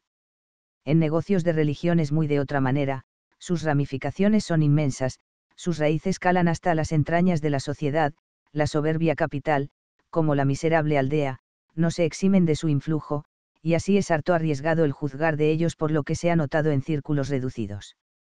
Pero ya esta carta va tomando más ensanche del que conviene, y así, resumiendo mis ideas, diré que lo que V llama tan acertadamente la filosofía del porvenir, es una de tantas quimeras como sueña el espíritu humano, que ningún problema resuelve, que nada nos dice sobre las altas cuestiones que se propone ventilar, que sus pronósticos no llevan camino de cumplirse, y que el catolicismo no presenta señales de muerte ni caducidad. Por lo tocante a las profundas mudanzas que en sentir de esos filósofos se han de verificar en la sociedad, convengo con ellos, pero no creo que sea de la manera que los mismos se figuran. No tengo dificultad en reconocer que estamos en una época de transición, pero me inclino a pensar que esta transición, lejos de ser característica de nuestra época, es, en cierto modo, general a toda la historia de la humanidad, porque es evidente que el género humano está pasando continuamente de un estado a otro. La perfectibilidad indefinida de que nos están hablando sin cesar los filósofos del porvenir, es también asunto sobre el cual abrigo yo mis dudas, así como sobre lo que dan por supuesto y enteramente incuestionable, de que la humanidad, aun aquí en la Tierra, adelanta siempre hacia la perfección, haciendo sin cesar nuevas conquistas. El escepticismo filosófico de que, como le dije en una de mis anteriores, estoy algo tocado, hace que, al oír enunciar alguna proposición demasiado general, no me deje alucinar ni por la celebridad ni el tono magistral de quien la emite, y que, en uso de mi independencia, examine si el acreditado maestro podría haberse equivocado. Esto me ha sucedido con la transición actual, y con la marcha continua de las sociedades, y con las mudanzas que para lo venidero se nos pronostican, sobre todos estos puntos le diré mis opiniones en otra que pienso escribirle otro día. Ahora no puedo hacerlo, ya por no alargar demasiado la presente, ya porque non tantum estoti. Queda de V su afectísimo SSQVS. M. JB. Carta V. La sangre de los mártires asiéntase el hecho histórico. Se propone una dificultad contra la fuerza de este argumento. Pasaje de Prudencio. Lo que puede el entusiasmo por una idea. Reflexiones sobre la exaltación de ánimo, según las causas de que procede y el objeto a que se dirige. La guerra. El duelo. El valor y la fortaleza. Régulo y cébola. Los mártires situación horrible en que se encontraban. La persecución y el entusiasmo. Disipase un error muy dañoso. El perseguir una doctrina no es buen medio para propagarla. Pruebas tomadas de la filosofía y de la historia. Cotejo entre la propagación del cristianismo y la del protestantismo. Ya veo, mi estimado amigo, que me ha de ser muy difícil realizar el pensamiento que en un principio me proponía de dar cierto orden a la discusión religiosa que íbamos entablando, encerrándola en un cauce del cual no pudiese salir, sin perjuicio de dirigirla por países amenos, y permitiéndole tortuosidades caprichosas, que le quitasen la apariencia de la regularidad escolástica, y diesen a la materia un aspecto agradable y entretenido. Inútiles son todos mis conatos para hacerle entrar a V en este plan, pues, según parece, le gusta más el tratar puntos inconexos, divagando como abeja entre flores. Aun cuando conozco muy bien los inconvenientes de este sistema de conducta, y, si mal no me acuerdo, se los llevo ya indicados en una de mis anteriores, preciso se me hace el seguirle a V por el camino que le play señalarme, para que no le venga a V a la mente que trato de esquivar cuestiones delicadas, y que, envolviendo a mi contrincante en una nube de autoridades y, de raciocinios teológicos, me propongo ocultar puntos flacos, apartando de ellos el peligro de un ataque. Sin embargo, esta necesidad fuera para mí más desconsoladora, si V no se sirviese advertirme que no carece del conocimiento de las mejores obras que se han escrito en defensa de la religión, y que, reservándose estudiarlas para cuando haya más tiempo y paciencia, solo intenta en la actualidad aclarar, por vía de recreo y esparcimiento, algunos puntos difíciles, como quien quita la broza que impide la entrada a un camino anchuroso. A decir verdad, no me desagrada que V haya traído la discusión sobre el punto de la sangre de los mártires, pues es asunto sobre el cual hay mucho que decir, y en el que tarde o temprano hubiéramos tenido que entrar, si la controversia hubiese seguido el curso que yo deseaba. Esta sangre es, a no dudarlo, uno de los argumentos más firmes en apoyo de la verdad de nuestra santa religión, y así, al examinar las razones que los cristianos podemos alegar en defensa de nuestra fe, o, como suele decirse, los motivos de credibilidad, tampoco hubiera yo olvidado el presentarle a V ese prodigio, en que personas de todas las edades, sexos y condiciones mueren con heroica fortaleza, por no profanarse ni con un solo acto que no estuviese conforme con la fe del crucificado. Pero, antes de hablar yo, quiero que hable V, y así, para no confundir las ideas, y con la mira de que ni uno ni otro olvidemos el verdadero estado de la cuestión, y de que, por consiguiente, la respuesta pueda ser más cabal y ajustada, reproduciré lo que me dice V en su apreciada.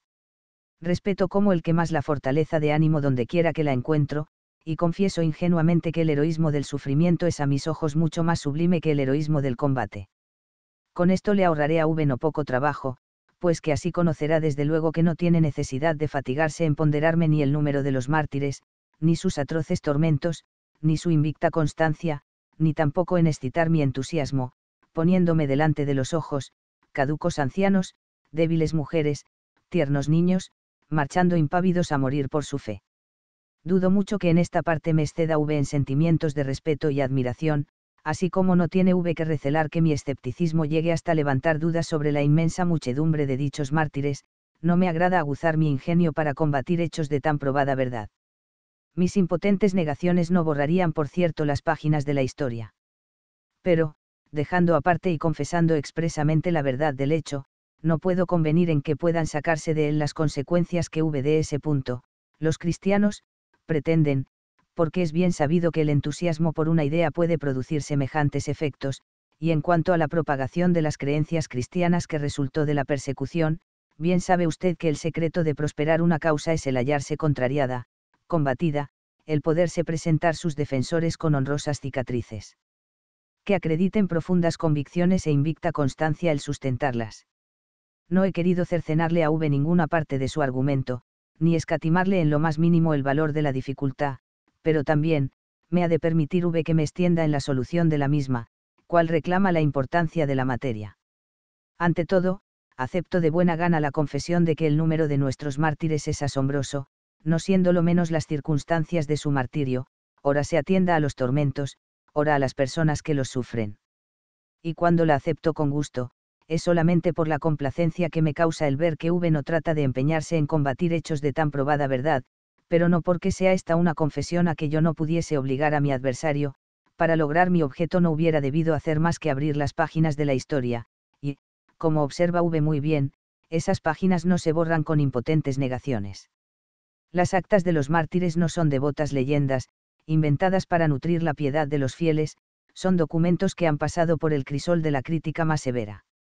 Ruinar, Mavillón, Natal Alejandro, Fleury, Tillemón, Papebroche, Olstenio, y otros críticos por cierto nada sospechosos de excesiva credulidad, y cuya inmensa erudición y refinado discernimiento les aseguran completa competencia, hubieran venido en mi ayuda, si V no hubiese tenido la prudente precaución de abstenerse de una contienda, en la que no hubiera llevado ventaja, a pesar de toda la brillantez de su talento, que valen los raciocinios contra hechos más claros que la luz del día.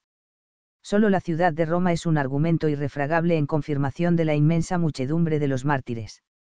Se ha dicho que los subterráneos de la ciudad eterna eran un gran sepulcro, digna peana de la cátedra de San Pedro. Vimos en la ciudad de Rómulo, decía Prudencio, innumerables cenizas de santos, si preguntas, o Valeriano, por las descripciones de los túmulos y los nombres de las víctimas, difícil se hace el responderte, tan grande es el número de los justos sacrificados por el furor impío de Roma idólatra. Hay en muchos sepulcros algunas letras que nos indican el nombre del mártir o contienen breve alabanza, pero hay mármoles mudos que encierran silenciosa muchedumbre y que solo significan el número. ¿Cuántos cúmulos de cadáveres sin ningún nombre? Acuérdome que en solo un lugar vi las reliquias de 60, cuyos nombres solo conoce Cristo. Así hablaba en el siglo IV este insigne español, por donde se echa de ver que, ya en aquellos tiempos, causaban los subterráneos de Roma la profunda y religiosa admiración que producen en los viajeros de nuestra época. Diez persecuciones cuentan la Iglesia bajo los emperadores gentiles, que son las de Nerón, Domiciano, Trajano, Antonio Vero, Severo, Maximino, Decio, Valeriano, Aureliano y Diocleciano, en todas se cometieron horrendas atrocidades, y es necesario tener en cuenta que no se limitaba la persecución a pocos puntos, sino que se extendía por todo el ámbito del imperio. Espanto causa el leer en los autores contemporáneos las tremendas escenas que ofrecía a cada paso la crueldad de los perseguidores luchando con la firmeza de los mártires, jamás religión alguna se vio sometida a tan dura prueba, jamás se mostró con más evidencia la humanidad elevada a una altura inmensamente superior a sus fuerzas. El entusiasmo por una idea dice V que puede producir semejantes efectos, esta dificultad exige una respuesta detenida no negamos nosotros que puedan venir casos en que una persona se exalte de tal suerte por una idea, afecto, o interés, que sea capaz de sacrificar su existencia, los ejemplos no fueran difíciles de encontrar en la historia de los tiempos pasados, y no faltan tampoco en los nuestros. Pero no se trata aquí de saber hasta dónde pueden llegar la fuerza y energía moral de este o aquel individuo, vivamente poseído de un objeto, no se intenta disputar la posibilidad de dar gustoso la vida por él, y hasta de sufrir atroces tormentos, la fuerza de nuestro argumento no consiste en semejantes aserciones, desmentidas por la razón y la historia, lo que decimos nosotros es que, atendida la humana flaqueza, no es posible sin particularísima asistencia del cielo que por espacio de tres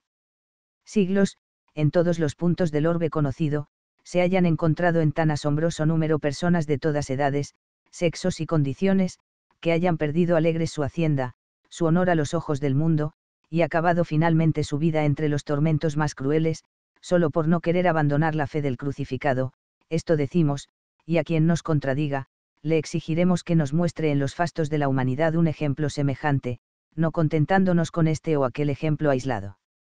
Le pediremos que nos lo presente a millares de millares como podemos presentarlos nosotros, y, seguros de que no le ha de ser posible, creeremos estar en nuestro derecho cuando afirmemos que nuestra religión tiene un carácter de que están destituidas las otras. Me dice V.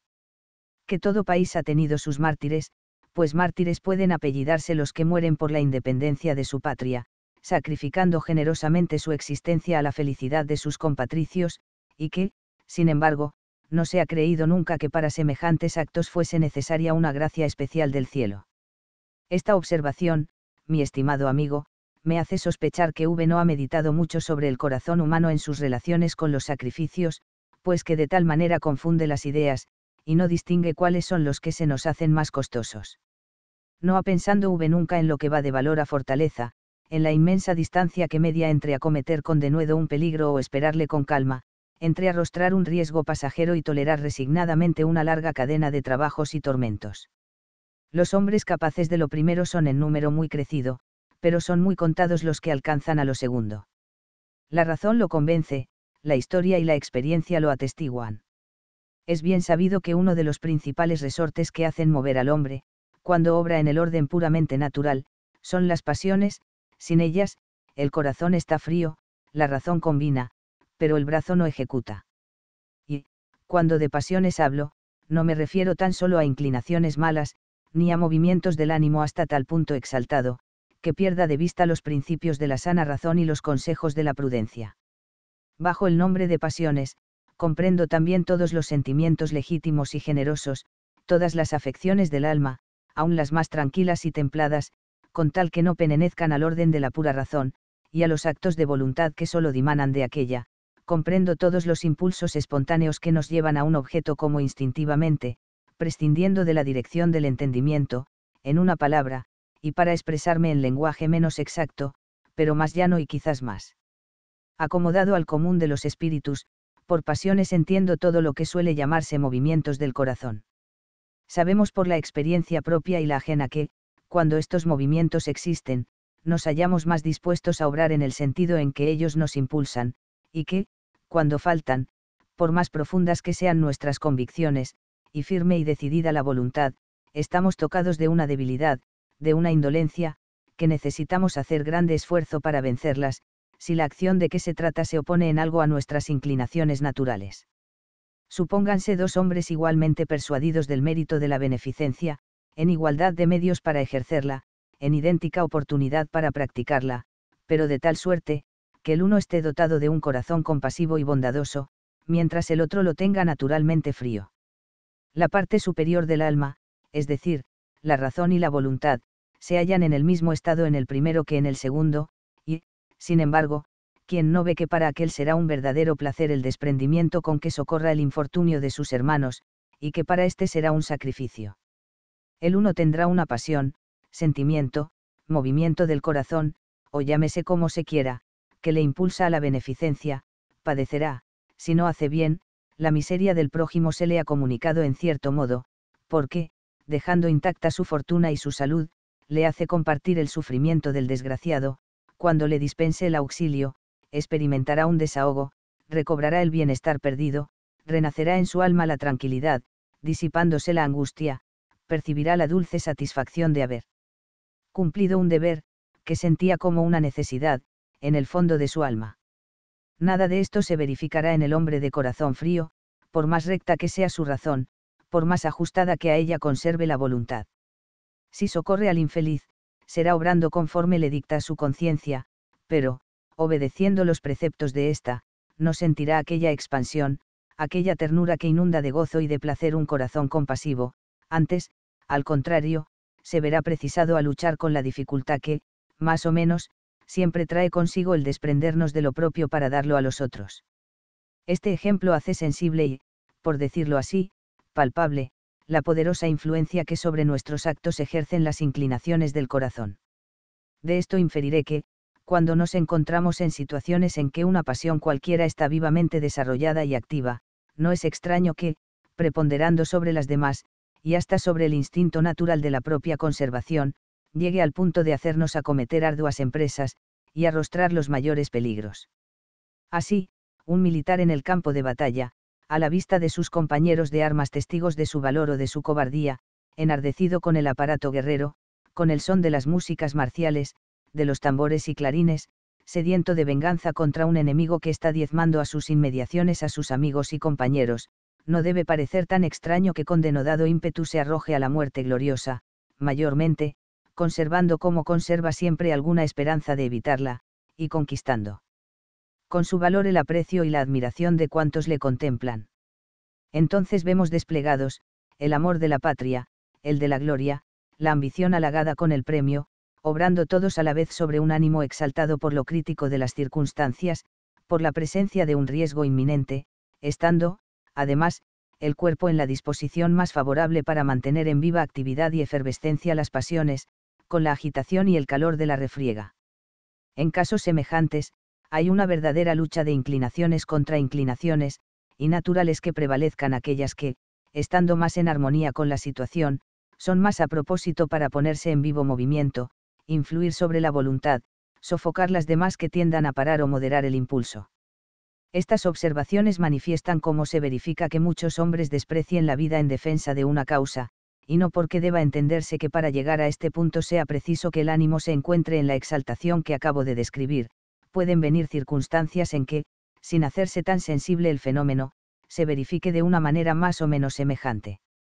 Así, un joven que se haya empeñado en uno de los lances que se apellidan de honor, no está en el mismo caso de un militar en el campo de batalla, sin embargo, y por más que en apariencia la situación se muestre muy distinta, no lo es tanto en la realidad si la examinamos en sus relaciones con las causas que impelen al desprecio de la vida. Una preocupación funestísima, pero que por esto no deja de estar arraigada en muchos espíritus, le hace creer que, si no acepta el duelo que se le ofrece, o si él a su vez no desafía a su adversario, según es la ofensa recibida, se cubre de ignominia y baldón, y no podrá presentarse a la sociedad sin la nota deshonrosa de cobarde. En el hombre constituido en esta alternativa, no vemos ciertamente tan de bulto los motivos que le impulsan a arrostrar el peligro, como los hemos visto en el soldado, no se nos muestra tan patente la agitación del ánimo fluctuante entre el temor y la esperanza, entre el amor de la vida y el del honor, pero no deja por esto de existir la lucha, y tan viva quizás como existir puede en el campo de batalla. Por más vanidad que entre muchas veces en el sentido de la palabra honor, no puede negarse que ejerce sobre nuestro ánimo una influencia tan viva, tan mágica, que ni la salud ni la fortuna producen en nuestro espíritu un efecto tan fuerte e instantáneo. Dejando aparte el examen de las causas, consigno aquí el hecho, para manifestar que en el caso supuesto hay también una verdadera exaltación de ánimo, una pasión fuerte que sojuzga a las demás, sometiéndolas a un tiránico imperio, y arrastrando el corazón dominado, hasta el deplorable extremo de poner la vida como cosa liviana.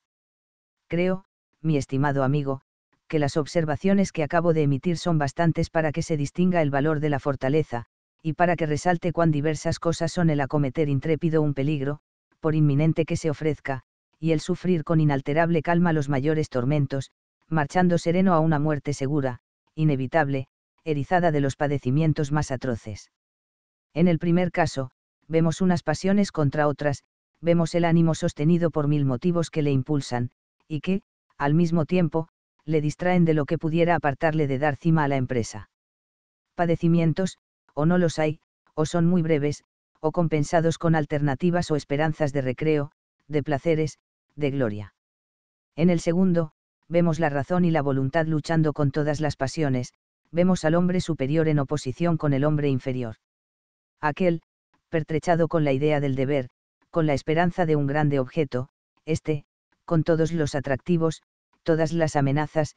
todos los temores, todas las vicisitudes que se agitan en esa región tempestuosa que, no sabiendo cómo apellidarla, le damos el nombre de corazón. No intento decir con esto que no pueda hallarse, en el orden puramente natural, un desprendimiento asombroso, ni que en todos los actos que denominamos heroicos deba suponerse una gracia sobrenatural, semejante asistencia no la tuvieron ciertamente los gentiles, ni tantos otros héroes pertenecientes a falsas sectas, sin embargo, encontramos en ellos rasgos sorprendentes que nos entusiasman y admiran.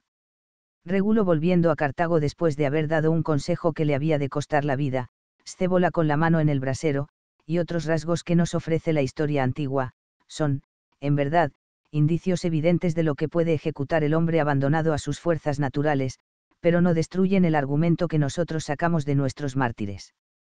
Los héroes de que estamos hablando, son muy contados, los nuestros son innumerables, los héroes eran, por lo común, hombres formados, endurecidos con los trabajos de la guerra, agrandado su espíritu con la intervención en los negocios públicos, ávidos de gloria, colocados en circunstancias críticas, en que el peligro de la patria daba vuelo a su entusiasmo y energía a su denuedo, entre los mártires se ven ancianos, mujeres, niños, hombres de las condiciones más humildes, que no habían ocupado. Jamás puestos distinguidos, y que, por tanto, no habían podido adquirir aquel fiero orgullo que, siendo una de las pasiones más poderosas de nuestro corazón, nos comunica a veces una firmeza de que sin él no fuéramos capaces. Para formarnos idea del mérito de los mártires, acerquémonos a uno de aquellos ilustres presos, tan desgraciados a los ojos del mundo, tan felices en Jesucristo. Su nombre no se sabe, su categoría es obscura, ¿por qué se haya detenido? ¿Por qué cree que un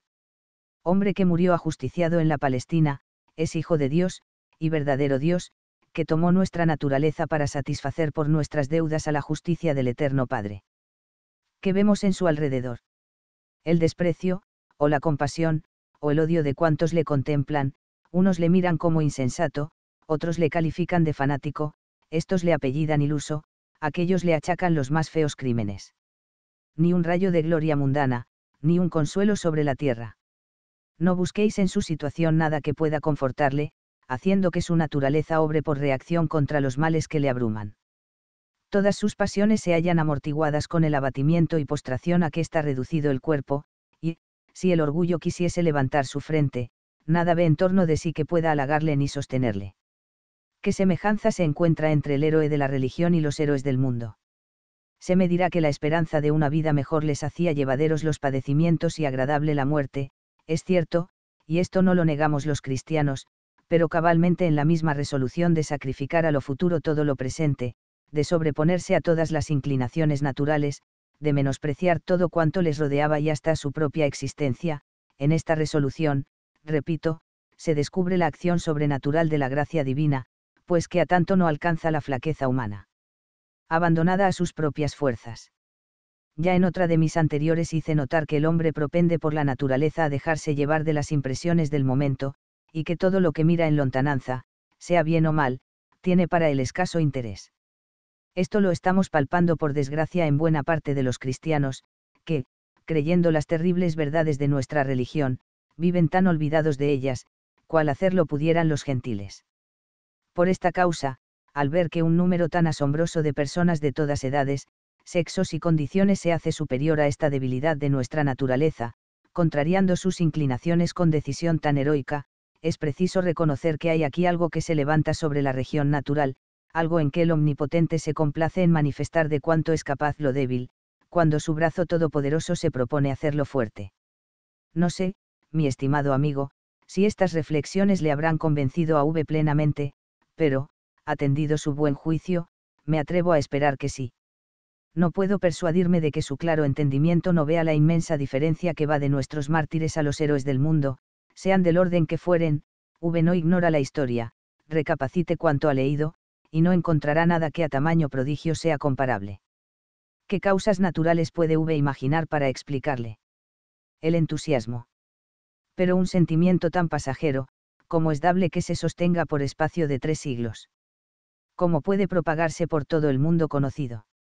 La gloria humana. Pero tantos que perecían sin dejar siquiera su nombre, ¿cómo podrá decirse que muriesen por la gloria? ¿Y qué clase de gloria será esta que así atrae al fogoso joven como al caduco anciano, a la matrona como a la doncella, al adulto como al niño, al sabio como al ignorante, al rico como al pobre, al magnate como al mendigo? Pongámonos de buena fe, y será preciso reconocer que, por más poderoso que sea sobre nuestro corazón el ascendiente de gloria, no alcanzó jamás a producir un efecto tan grande, tan universal, en situaciones y personas tan diferentes, pongámonos de buena fe, y descubriremos aquí el dedo de Dios. Si los cristianos hubiesen sido pocos, y habitado todos en países muy vecinos, viviendo sujetos a las mismas influencias y durando su religión muy corto tiempo, entonces no fuera tan contrario a razón el decir que se introdujo entre ellos cierta exaltación del ánimo, y que se fue comunicando de unos a otros.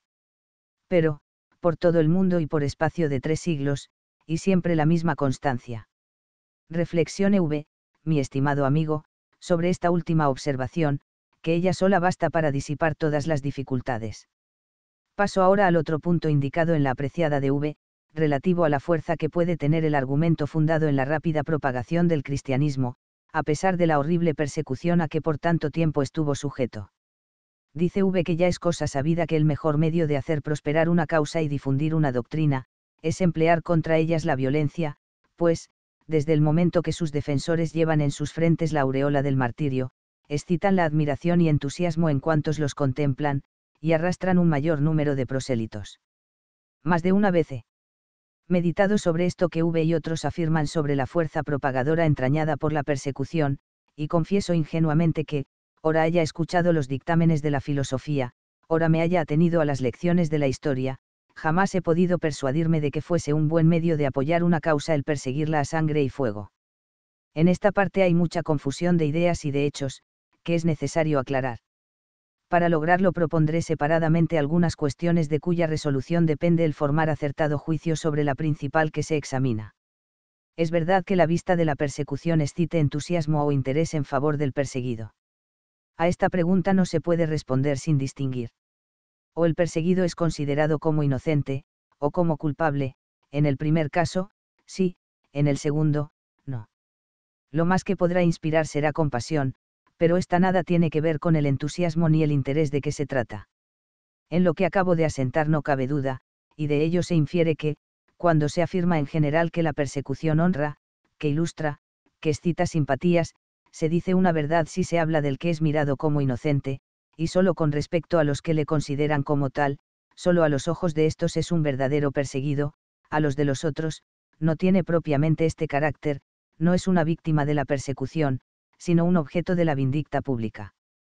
Resulta de lo dicho que, si en un país se suscita una persecución contra una causa o una doctrina, si éstas son consideradas como justas y santas, los que por ellas sufran serán respetados y admirados, pero, si son reputadas falsas, injustas, contrarias al bien común, entonces el castigo de los criminales, lejos de excitar semejante admiración y respeto, inspirará a lo más sentimientos de estéril compasión en favor de los que se supongan ilusos, o, como suele decirse, engañados de buena fe. No se hallaban, por cierto, los mártires cristianos en situación favorable, en ninguno de los sentidos que acabo de indicar. Profesando una religión diametralmente opuesta a todas las recibidas en la generalidad de los pueblos, predicando que el culto tributado a los dioses reinantes no era más que criminal idolatría, apartándose de las diversiones de los gentiles como de abominaciones nefandas, eran mirados con aversión, con odio, con execración, se los abrumaba de calumnias, se los consideraba como enemigos del resto de los hombres, como perturbadores de la sociedad, y, para hacerles apurar las heces del cáliz, se les achacaba que en la celebración de sus misterios cometían horrendos crímenes. Nadie ignora el frenesí con que se pedía la sangre de los confesores de Jesucristo, los cristianos a las fieras, los enemigos al fuego, este era el grito que se levantaba por todos los ángulos del mundo. Cubiertos de insultos, de befa y de escarnio, mientras expiraban entre los tormentos más atroces, teníase a gran dicha si en las tinieblas podían salir de sus lóbregas moradas algunos hermanos que diesen sepultura al mutilado cadáver entregado por pasto a los brutos carniceros. Ahora, al contemplarlos sobre los altares, al oír que se les entonan himnos de alabanza, al saber que ciñen en el cielo la inmarcesible corona cuyos resplandores se reflejan en los cultos que se les tributan en la tierra, cuéstanos trabajo el concebir todo el horror de la situación en que se hallaban, en los formidables trances de sus tormentos y muerte. No, no veían en torno de sí ese respeto, esa admiración que nosotros ahora les ofrecemos, veían, sí, el odio, el insulto, la calumnia, y lo que quizás es más doloroso para el corazón humano, la burla y el desprecio. Solo Dios era su consuelo, solo Dios era su esperanza, solo Dios era su sostén en aquellos terribles momentos en que, luchando con el mundo y consigo mismos, arrostraban impávidos la muerte por confesar la fe del crucificado. No bastan para semejantes prodigios las causas naturales, no bastan los esfuerzos de la débil humanidad, a quien no se contente con semejantes razones, le opondremos el famoso dilema, o estaban sostenidos milagrosamente por el cielo, o no lo estaban, si lo primero, entonces os halláis de acuerdo con nosotros, si lo segundo, os diremos que este es el mayor de los milagros, el hacer sin milagro cosas tan milagrosas inferiremos de esto que la constancia de los mártires no pudo estar sostenida por el placer de excitar admiración y entusiasmo, y así viene al suelo lo que pudiera decirse, que los honores de la persecución, ilustrando a las víctimas, contribuían a destruir el objeto que se proponía el perseguidor. Es cierto que el perseguir una doctrina sea buen medio para propagarla. La pregunta parece ya algo extraña, a primera vista, sin embargo, esto es lo que a cada paso se sustenta, contradiciendo abiertamente la filosofía y la historia. Si se afirmase que la verdad se abre paso al través de la persecución, el aserto sería muy diferente, pero pretender que la persecución misma haya de ser un vehículo, es un absurdo, a no suponer que de este vehículo se sirva para sus altos fines la infinita sabiduría del Todopoderoso. El hombre ama naturalmente el bienestar, tiene un fuerte apego a la vida, un grande horror a la muerte, luego los tormentos y el patíbulo son poderosos resortes para apartarle de una causa que le exponga al riesgo de sufrirlos. Me habla V, mi estimado amigo, de la belleza del sufrimiento, de la brillante aureola que circunda las sienes de la víctima que marcha serena a ofrecerse en holocausto, todo esto es verdad, pero temo mucho que no sea muy a propósito para influir sobre la generalidad de los hombres, temo mucho que en la práctica no sea de presentar la cosa tan encantadora y atractiva como se nos muestra en los libros y no me eche V en cara que tenga el corazón poco sensible, que no comprendo toda la sublimidad de las acciones heroicas, la siento y la comprendo muy bien, pero, tratándose de examinar la realidad, y no las ficciones, se me hace preciso atenerme a lo que estoy viendo en las páginas de la historia y me están enseñando las lecciones de la experiencia. ¿Cuántos son los hombres generosos que sacrifican su bienestar, su fortuna y su vida, por la causa de la verdad y de la justicia? Son ahora, y fueron en todos tiempos, muy pocos, y la misma admiración que nos inspiran es una prueba evidente de que tan heroica fortaleza no es el patrimonio común de la humanidad. Quiere V partidarios. Distribuya honores, prodigue riquezas, abreve de placeres, que, si no tiene otra cosa que palmas de martirio, bien pronto se quedará V con pocos rivales que le disputen la aureola de una vida de padecimientos y de una muerte afrentosa. A decir verdad, no creía yo que debiese hallarme en la precisión de recordarle a V estas verdades, que, por tristes, no dejan de ser verdades, imaginábame que, siendo V escéptico, debía de ser algo más positivo, y que, viviendo en época de vicisitudes habría aprendido a conocer mejor a los hombres, y a formarse ideas más exactas sobre las inclinaciones de nuestro corazón. El buen sentido de la humanidad ha rechazado en todos tiempos esa invención filosófica de las ventajas de la persecución, los tiranos se han engañado algunas veces abusando desmedidamente del hierro y del fuego, pero en medio de sus excesos andaban guiados de una idea verdadera, cuál es, que, para destruir una causa o sofocar una doctrina, es un excelente medio el erizarlas de peligros y de males para cuantos intenten seguirlas. Yo ando buscando en la historia los buenos efectos de la persecución en pro de la causa perseguida, y no los encuentro.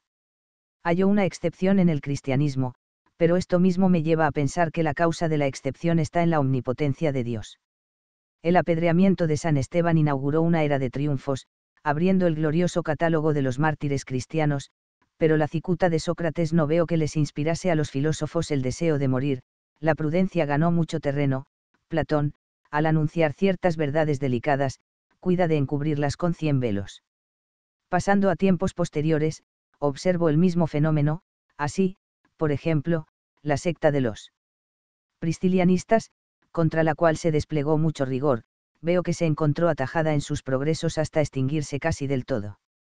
Una de las religiones que más extensión han alcanzado, fue sin duda la de Mahoma, y por cierto que sus progresos no se debieron a la persecución, sino a las armas con que arrolló a sus adversarios, y a los halagos con que arrastró gran número de prosélitos. Cuando las guerras religiosas del mediodía de Francia, en tiempo de los albigenses, tampoco veo que estos sectarios medrasen con la contrariedad, muy al revés, fuéronse disminuyendo cada día, hasta llegar a un estado de postración y casi aniquilamiento me dirá V que el protestantismo cundió y se arraigó a pesar de todos los contratiempos que tuvo que sufrir, y que, así como la llamada reforma se extendió a pesar de las persecuciones, no es extraño que aconteciese lo propio con respecto al cristianismo. Yo no sé dónde han encontrado ustedes estas tremendas contrariedades y persecuciones sufridas por la malhadada reforma, no parece, sino que estamos hablando de las épocas de los jeroglíficos, pues que de tal manera se trastornan los hechos, y se hacen comparaciones absurdas. Echemos una ojeada sobre la historia de los primeros tiempos del protestantismo, y veremos que estuvo muy distante de deber sus progresos a las ponderadas persecuciones. En Alemania, desde el momento de su aparición, contó de su parte muchos y muy poderosos sostenedores, entre ellos algunos príncipes que lo manifestaron abiertamente, ora protegiendo por varios medios la difusión y arraigo de las nuevas doctrinas, ora apelando a las armas, cuando creyeron llegado el caso de emplear la violencia. Lo que, en Alemania, aconteció a poca diferencia en los demás países del continente, más o menos infestados por el protestantismo, sin exceptuar a Francia, donde es bien sabido que, a más de los patronos que encontró en las clases elevadas, pudo contar, durante mucho tiempo, con uno que valía por todos, Enrique IV. No es menester recordar la historia de Enrique VIII de Inglaterra, nadie ignora de cuáles medios echó mano este violento monarca para propagar y arraigar el cisma a que le lanzara su ciega pasión, y el sistema de este perseguidor continuó en los reinados siguientes, con igual, si no mayor, recrudescencia. A poco de haber nacido, el protestantismo ya tenía en su favor grandes ejércitos, poderosos príncipes, naciones enteras, qué punto de comparación hay entre la propagación de la llamada reforma y la de la religión cristiana. Si no le faltaron algunos que se sacrificaron por ella, recuerde que en esto no sucedió sino lo mismo que se verifica en todas las causas civiles, siempre de uno y otro lado se ven fogosos partidarios que, o mueren peleando en el campo de batalla, o tienen bastante aliento para arrostrar los cadalsos. Figurémonos que por espacio de tres siglos hubiese debido luchar con las horribles persecuciones de que fue víctima el cristianismo, donde estaría actualmente. ¿Queréis saberlo? Observad lo acontecido en los países donde se le reprimió con mano fuerte. En Francia tuvo diferentes alternativas de indulgencia y de rigor, pero tan pronto como se emplearon contra él las medidas severas con alguna perseverancia, fue debilitándose, casi hasta llegar a desaparecer. A qué estaba reducido algún tiempo después de la revocación del edicto de Nantes. Jamás ha podido reponerse de los golpes que le descargó Luis XIV, siendo de notar que aún en la actualidad, después de tantos años de tolerancia, es todavía muy insignificante. En aquel país, la inmensa mayoría está dividida entre el catolicismo y la incredulidad. Lo sucedido en España puede darnos una idea de la fortaleza del protestantismo para hacer frente a la persecución. Sabido es que a mediados del siglo XVI había alcanzado bastantes prosélitos, siendo tanto más peligrosos, cuanto pertenecían a categorías distinguidas. La Inquisición, sostenida y alentada por Felipe II, desplegó contra los sectarios el rigor que nadie ignora, al cabo de poco, ya no se hablaba de partidarios de las nuevas doctrinas. Era esta la conducta de los primeros cristianos. Abandonaban tan fácilmente el terreno donde habían logrado hacer algunas conquistas. Dígalo el mundo entero, dígalo especialmente esta misma España, regada y fecundada con la sangre de tantos mártires. Nada vale el alegrar el rigor de la Inquisición, este rigor no podía, por cierto, compararse con el empleado por los procónsules del imperio, por más horribles que se quieran pintar las penas aplicadas a los herejes, no se las encontrará semejantes a las que sufriera San Vicente. Lo que se ha dicho de España, puede decirse de Portugal y de Italia, por manera que el protestantismo no llegó a conservarse en ninguno de los países en que se vio precisado a arrostrar una contrariedad sostenida. Donde se trató seriamente de estirparle, fue estirpado, presentando un contraste notable con el catolicismo, que aun en los reinos donde sufrió mayores quebrantos, se ha conservado siempre, sin que sus perseguidores hayan alcanzado a lograr su completa desaparición. En confirmación de esta verdad, recuérdese lo sucedido en la Gran Bretaña. Yo no sé, mi estimado amigo, qué es lo que puede responderse a las razones que acabo de exponer, paréceme que, después de haberlas leído, se le habrá presentado a V algo más robusto el argumento que se funda en la sangre de los mártires. Examine V con detención e imparcialidad este grande hecho, que hace a la vez horrorosas y sublimes las primeras páginas de la historia de la Iglesia, y no dude que verá en él algo maravilloso, que no es posible explicar por causas naturales. Creo haber desvanecido las dificultades que le impedían a V el dar a nuestro argumento toda la importancia que se merece. Como quiera, estoy seguro de que no podrá V dejarme en cara que haya esquivado el tratar la cuestión bajo todos los aspectos, ni procurado disminuir en lo más mínimo la fuerza de la dificultad, para no hallarme en la precisión de deshacerla. Si no he podido avenirme con ideas que daba V por recibidas, tampoco me he tomado la libertad de rechazarlas sin aducir las razones en que me apoyaba. Tratando uno con escépticos, es preciso no mostrarse crédulo en demasía, y, por consiguiente, conviene no aceptar sin examinar, aun cuando sea necesario contradecir autoridades filosóficas que pasan por respetables. Mucho desearía que pudiésemos continuar discutiendo sobre los motivos de credibilidad, pero, atendido el curso que va tomando la polémica, no sé si, después de haber andado V, primero por el infierno, y después por los cadalsos de los mártires, otro día se me plantará de un vuelo entre los conciertos de los querubines. Entre tanto vea V en que puede complacerle este su seguro servidor QVSM. JB. Carta B. La transición social. Postración de un espíritu.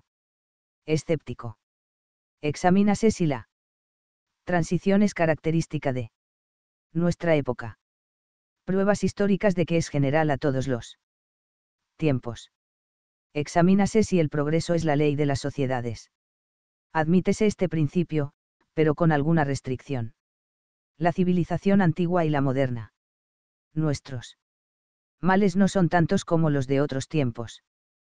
Causas que contribuyen a abultarlos. El cristianismo nada tiene que temer de las transiciones sociales. Mi apreciado amigo, si no tuviera otras pruebas de la verdad que se encierra en aquella doctrina de los católicos de que la fe es un don de Dios, no me inclinaría poco a tenerla por cierta la experiencia de lo que he visto en V y otros que han tenido la desgracia de apartarse de la fe de sus mayores. Disputan, escuchan, al parecer con docilidad, hacen concebir las mayores esperanzas de que van a rendirse a la evidencia de los argumentos con que se los apremia, pero al fin salen con un frío que sé yo, que hiela la sangre, y disipa de un golpe todas las ilusiones del fiel que estaba anhelando el momento de ver entrar en el redil la oveja extraviada. Así lo hace V en su última, nada tiene que objetarme a lo que he dicho sobre la sangre de los mártires, confiesa que ninguna religión puede presentar un argumento semejante, manifiéstase satisfecho del contenido de mis anteriores con respecto a los varios puntos que formaban el objeto de sus dudas, y, cuando me saltaba el corazón de alegría pensando que iba V a decidirse, no diré a entrar de nuevo en el número de los creyentes, pero sí a engolfarse más y más en la discusión con el deseo de hallar definitivamente la verdad, me encuentro con la desolante cláusula que me ha llenado de una profunda tristeza. ¿Qué sabemos nosotros? dice V con un abatimiento que me penetra el corazón, ¿qué sabemos nosotros?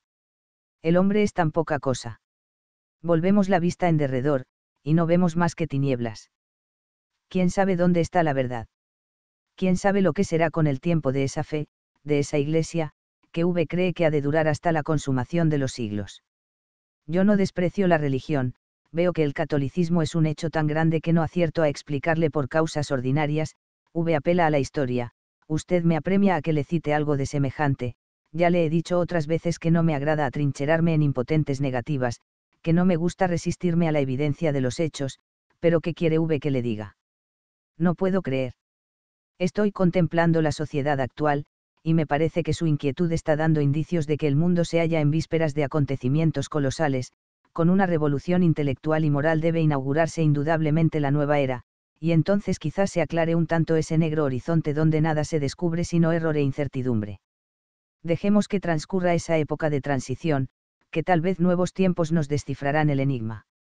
En medio de mi aflicción, no crea V, mi estimado amigo, que yo extrañe semejante lenguaje, no es usted el primero de quien lo he oído, pero permítame cuando menos que le haga advertir que con sus palabras a nada responde, nada prueba, nada afirma, nada niega, no hace más que desahogarse estérilmente pintando con pocas palabras el verdadero estado de su espíritu.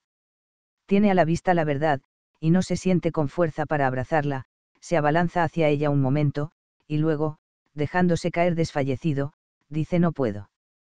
Entonces habla V de este porvenir de que usted mismo se reía en una de sus anteriores, habla de esa transición que no sabe en qué consiste, duda, fluctúa, aguarda para más allá el resolverse, lo aplaza para los tiempos futuros, para esos tiempos hay, en que V habrá, ya dejado de existir. Triste consuelo. Engañosa esperanza.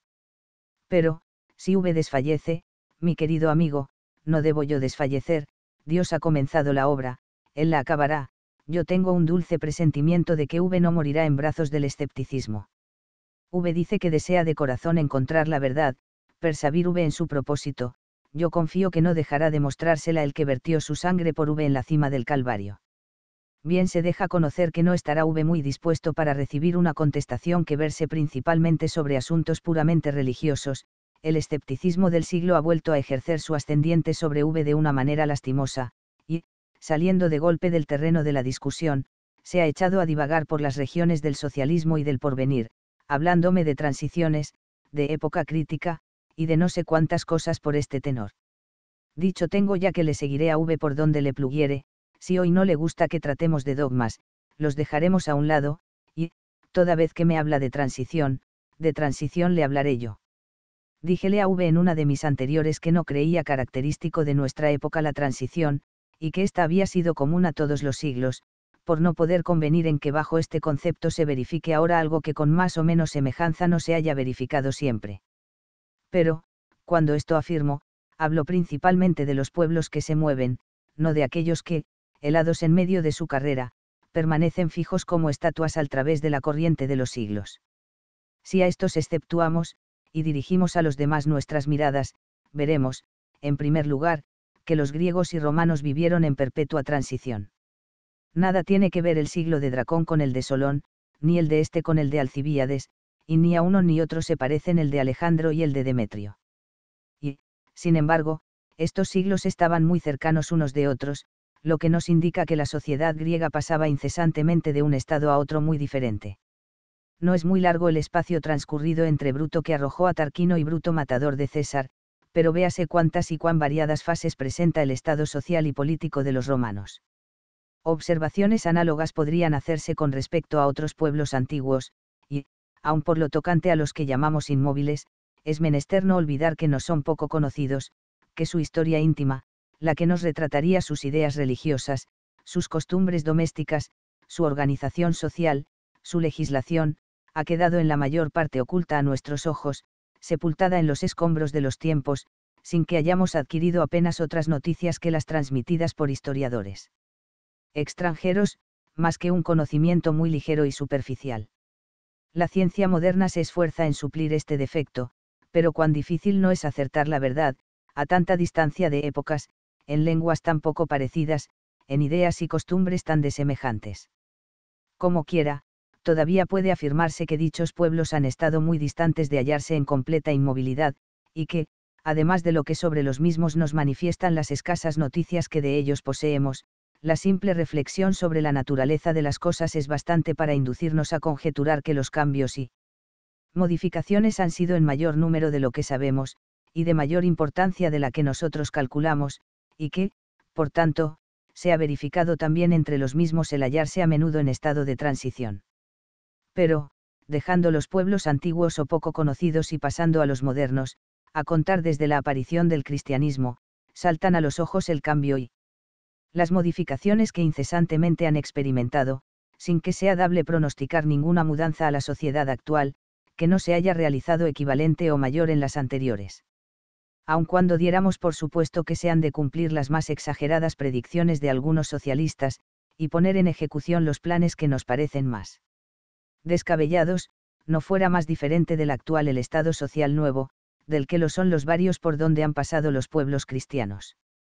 Si los hombres que vivían cuando la esclavitud era general, y se la consideraba como una condición indispensable en toda sociedad bien organizada, hubiesen oído hablar de un Estado semejante al que disfrutan los pueblos europeos, no habrían acertado a concebir ni cómo podía mantenerse el orden público, ni distribuirse el trabajo, ni proporcionarse comodidades y placeres a las clases ricas, en una palabra, creyeran imposible que sociedades tan numerosas pudiesen subsistir faltándoles esa base. Para ellos tan necesaria e imprescindible. Decida un señor feudal encastillado en su fortaleza que vendrá un día en que todos sus títulos serán menospreciados, en que su nombre y el de todos.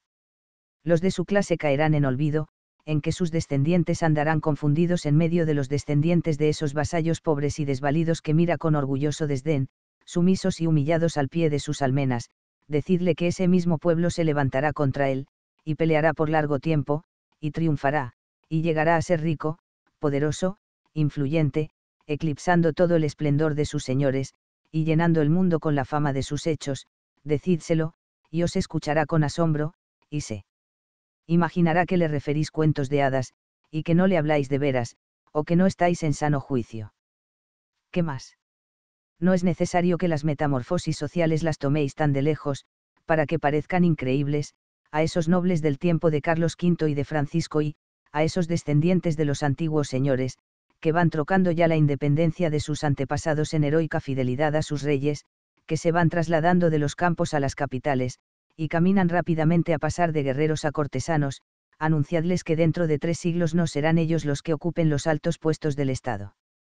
Los que guíen los ejércitos a la victoria, los que ejerzan las funciones de la magistratura, y que su voto en los grandes negocios no será considerado como de más valer que el de los descendientes de esos plebeyos que riegan con su sudor las tierras, que ejercen los oficios humildes, y que, reunidos en modestos gremios, parecen contentarse con la posición social que les ha cabido después de la guerra.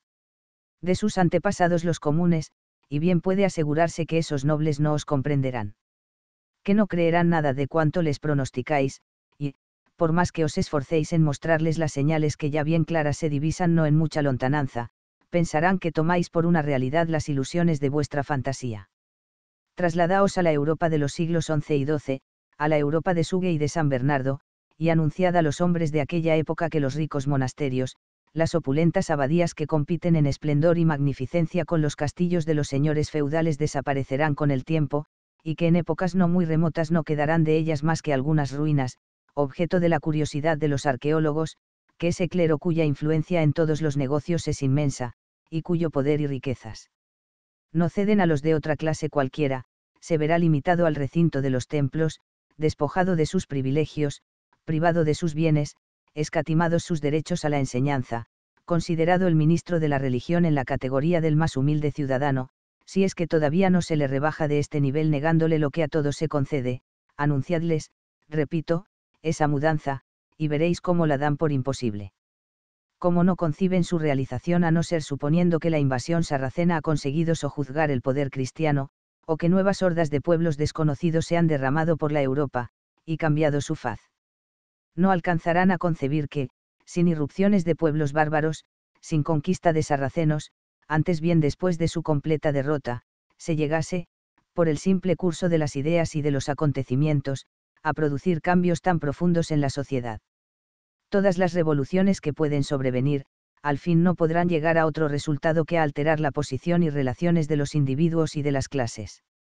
Supóngase las mudanzas que se quieran, y difícilmente se imaginará ninguna, ni con respecto a la propiedad, ni a la organización del trabajo, ni a la distribución de sus productos, ni a la condición doméstica, ni al rango social, ni a la influencia política, que sea de más importancia y magnitud que las verificadas en los tiempos que nos han precedido. La transición ha existido como existe ahora, las naciones europeas han pasado incesantemente por diferentes estados, o dejando completamente el que tenían, o modificándole de mil maneras hasta transformarle en otro que en nada se le parece. Yo desearía, mi estimado amigo, que V anduviese haciendo suposiciones hasta las más arbitrarias y caprichosas, y las cotejase con los hechos históricos que nadie ignora, y estoy seguro de que se quedaría V convencido de la verdad de lo que acabo de establecer. Se quiere suponer que las clases menesterosas saldrán del abatimiento en que se hallan, acercándose mucho a las medias, y aún a las superiores. Véase si los jornaleros de ahora distan más de sus dueños, que los esclavos de sus amos, y los vasallos de sus señores, es cierto que no, y, sin embargo, ni rastro queda en Europa de la antigua esclavitud, y solo se conservan leves vestigios del vasallaje, y los descendientes de los que vivían sometidos a estas condiciones, se hallan en la misma categoría que los nietos de aquellos que un día se vieran colocados a inmensa distancia, así por lo tocante a riquezas, como a honores, consideraciones. Y todo linaje de distinción y poderío. Se quiere suponer que la propiedad sufrirá modificaciones profundas, que su distribución estará sometida a leyes muy diferentes. Compárense los siglos medios con el nuestro, parangónese, por ejemplo, la Francia de Carlomagno con la Francia de Napoleón, la de San Luis con la de Luis Felipe. Se quiere imaginar una nueva organización del trabajo, sujetando a otras reglas al operario y al capitalista, alterando notablemente sus relaciones, y variando las bases actuales sobre la repartición de los productos. Comparad al colono de ahora con el vasallo del señor feudal, al jornalero de nuestros tiempos con el esclavo de los tiempos antiguos. La industria y el comercio deben estar en el porvenir sujetos a nuevas leyes que alterarán la organización interior de los pueblos y sus relaciones en lo exterior. Abrid nuestros códigos de comercio, dad una ojeada a nuestros usos y costumbres sobre este particular, y cotejadlo todo con lo que estaba en práctica entre nuestros mayores. Por basta que sea la escala en que estos ramos se desenvuelvan, por mayor pujanza y poderío que lleguen a adquirir, distarán más del estado actual que el que dista este del en que se encontraban cuando la Iglesia en sus concilios atendía paternalmente a la protección del naciente tráfico mercantil. Las poderosas compañías comerciales de Francia, de Bélgica, de Alemania, de Inglaterra, de los Estados Unidos, no le parece a V que distan algo de aquellas caravanas de mercaderes, cuya seguridad en los caminos podían afianzar a duras penas las excomuniones de la Iglesia. No le parece a V que en esto ha habido no pequeña transición. Y que no podríamos decir, si atendiéramos a las mudanzas sociales y políticas, a la diversidad de posiciones que respectivamente han perdido o conquistado las diferentes clases. Un abismo tan profundo nos separa de nuestros antepasados, que, si ellos se levantaran del sepulcro, nada comprenderían de lo que estamos presenciando. ¿Dónde está el poder del feudalismo, de la nobleza y del clero? ¿Qué se hicieron las prerrogativas, los privilegios, los honores que disfrutaban? ¿En qué se parecen los tronos de ahora a los tronos de entonces? ¿Qué tienen de semejante nuestras formas de gobierno con las antiguas? ¿Qué nuestra administración? ¿Qué nuestros sistemas de hacienda? ¿Qué nuestras guerras, y nuestra diplomacia? Pensamos de otra manera, sentimos de otra manera, obramos de otra manera, vivimos de otra manera, nuestra condición, así particular como pública, se ha cambiado tan completamente, que para comprender lo que fue, nos vemos precisados a hacer un esfuerzo de imaginación, la que, sin embargo, solo es bastante para ofrecernos cuadros muy imperfectos y descoloridos. ¿Por qué nos parecen tan poéticos aquellos tiempos, mi estimado amigo? ¿Por qué figuran tanto en nuestra literatura? ¿Por qué distan inmensamente de la realidad que tenemos a la vista? Quiero yo inferir de aquí que, cuando se nos anuncian grandes mudanzas en la organización de los pueblos, no debemos resistirnos a creerlas por la sola razón de que nos parezcan muy extrañas, porque, si bien se observa, la sociedad actual no dista menos de las anteriores de lo que distaría de la presente la venidera, en las varias combinaciones que se pueden concebir y ensayar. La instabilidad es uno de los caracteres distintivos de las cosas humanas, y poco ha reflexionado sobre la naturaleza del hombre, poco se ha aprovechado de las lecciones de la historia y de la experiencia, quien pronostica demasiada duración a lo que de suyo es tan flaco y deleznable. Que la sociedad esté bajo un poder revolucionario o conservador, que se procure impulsarla o detenerla, ella varía siempre, pasa sin cesar de un estado a otro, ora mejor, ora peor. Esta alternativa entre mejor y peor me lleva, mi querido amigo, a otra cuestión, a que, según se deja entender, es V un poco aficionado, como no puede menos de serlo, atendido el espíritu de nuestra época. Dícese a cada paso que el progreso es la ley de las sociedades, que no se desvían jamás de ella, y que en medio de las más terribles revoluciones y catástrofes camina la humanidad hacia un destino, que, no sabiéndose cuál es, se tiene cuidado de cubrirle con un velo dorado.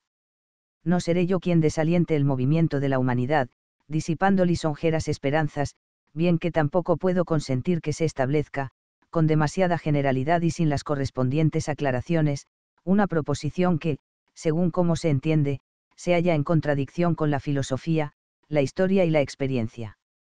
Es muy frecuente hablar de perfección, de perfectibilidad, de ley de progreso, sin distinguir nada, sin fijar nada, sin expresar si se trata de las sociedades tomadas en particular o en conjunto, es decir, sin determinar si la ley cuya existencia se afirma, rige en toda la sociedad, o tan solamente es propia del género humano, considerado con abstracción de esta o aquella de sus partes.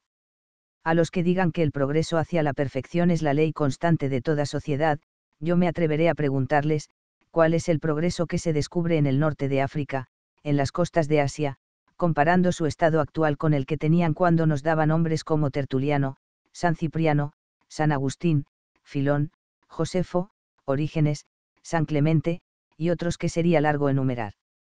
Esto no tiene réplica, así como, por otra parte, nada prueba contra los que afirman que, si bien esta o aquella sociedad decae, la humanidad progresa, que la civilización transmigra, que unos pueblos adquieren lo que otros pierden, y que, de esta suerte, existe una verdadera compensación. Así, por ejemplo, en el caso presente, se ha resarcido e indemnizado la humanidad de sus pérdidas en África y en Asia, con el inmenso desarrollo que ha logrado en Europa y América, pues, si se compararan los millones de hombres que viven actualmente bajo un régimen civilizado, sería incomparablemente mayor el número a lo que era entonces, y, si se añaden las ventajas que la civilización moderna lleva a la antigua, no solo por traer consigo un mayor y más perfecto desarrollo intelectual y moral, sino también por ofrecer mayor suma de comodidades materiales, y disminuir sobremanera los males que afligen a la triste humanidad, será tanta y tan palpable la diferencia, que no será posible establecer siquiera un razonable parangón. Confieso, mi estimado amigo, que estas reflexiones son de gran peso, y que, a mi juicio, deciden la cuestión, desde el punto de vista histórico, considerando en más a la humanidad, y habida razón de las compensaciones arriba indicadas, por manera que tengo por demostrado que la humanidad ha progresado siempre, que su estado fue mejor en los siglos medios que durante la civilización antigua, y que actualmente se aventaja en mucho a la de todos los tiempos anteriores. ¿Cómo, me dirá V, es posible olvidar la confusión y las calamidades de la época de la irrupción, y la tenebrosa ignorancia, la asquerosa corrupción que la siguieron? Podremos decir que la humanidad del tiempo de Atila era comparable con la del siglo de Augusto. Yo creo, sin embargo, que esto, tan falso y absurdo a primera vista, es rigurosamente verdadero, y además susceptible de una demostración tan cabal, que nada deje que desear. La difusión de las verdaderas ideas sobre Dios, el hombre y la sociedad, y las relaciones que entre sí tienen, la propagación de la civilización a un sinnúmero de pueblos que antes vivían en la más abyecta barbarie, la abolición de la esclavitud, la extensión a la generalidad de los hombres del goce de los derechos de hombre, esto se andaba realizando en la época de que tratamos, y nada de esto se realizaba en el siglo de Augusto, con perdón, pues, de los manes de Virgilio y de Horacio, opto. Desde luego por los tiempos apellidados bárbaros. Se sonríe V de la paradoja, mi estimado amigo. Imagínase tal vez que ni yo mismo creo lo que acabo de decir. Pues viva V seguro de que hablo de todas veras, y que mis palabras son la expresión de convicciones profundas. Ya indicaba en una de mis anteriores que en ciertas materias quizás no llevaba V tan lejos como yo el espíritu de examen, y que estaba medianamente tocado de escepticismo, esto produce que, en cuanto se me alcanza, no me dejo deslumbrar por nombres, ni por opiniones recibidas, y por más seguridad con que oiga afirmar una cosa, me ocurre desde luego un quién sabe. Que me pone desconfiado y meditabundo. A pesar de todo, paréceme que difícilmente me absolverá. V de la blasfemia que acabo de proferir contra el siglo de Augusto, y así menester, será alegar descargos. Escúchelo sube sin prevención, que al fin no fuera extraño que se conformase con mi modo de opinar. Y, a la verdad, deslumbradores son los rayos de la ciencia, hechiceros los cantos de la poesía, seductor el brillo de las artes, pero si nada de esto sirve para el bien de la humanidad, si únicamente se limita a realzar el esplendor, y acrecentar y avivar los placeres de unos pocos que moran en opulentos palacios, comiendo del sudor del pueblo, disipando los tesoros que se han amontonado de las provincias estrujándolas con la mayor crueldad, que gana en ello el humano linaje. Esta civilización y cultura son acaso más que bellas mentiras. Hay paz,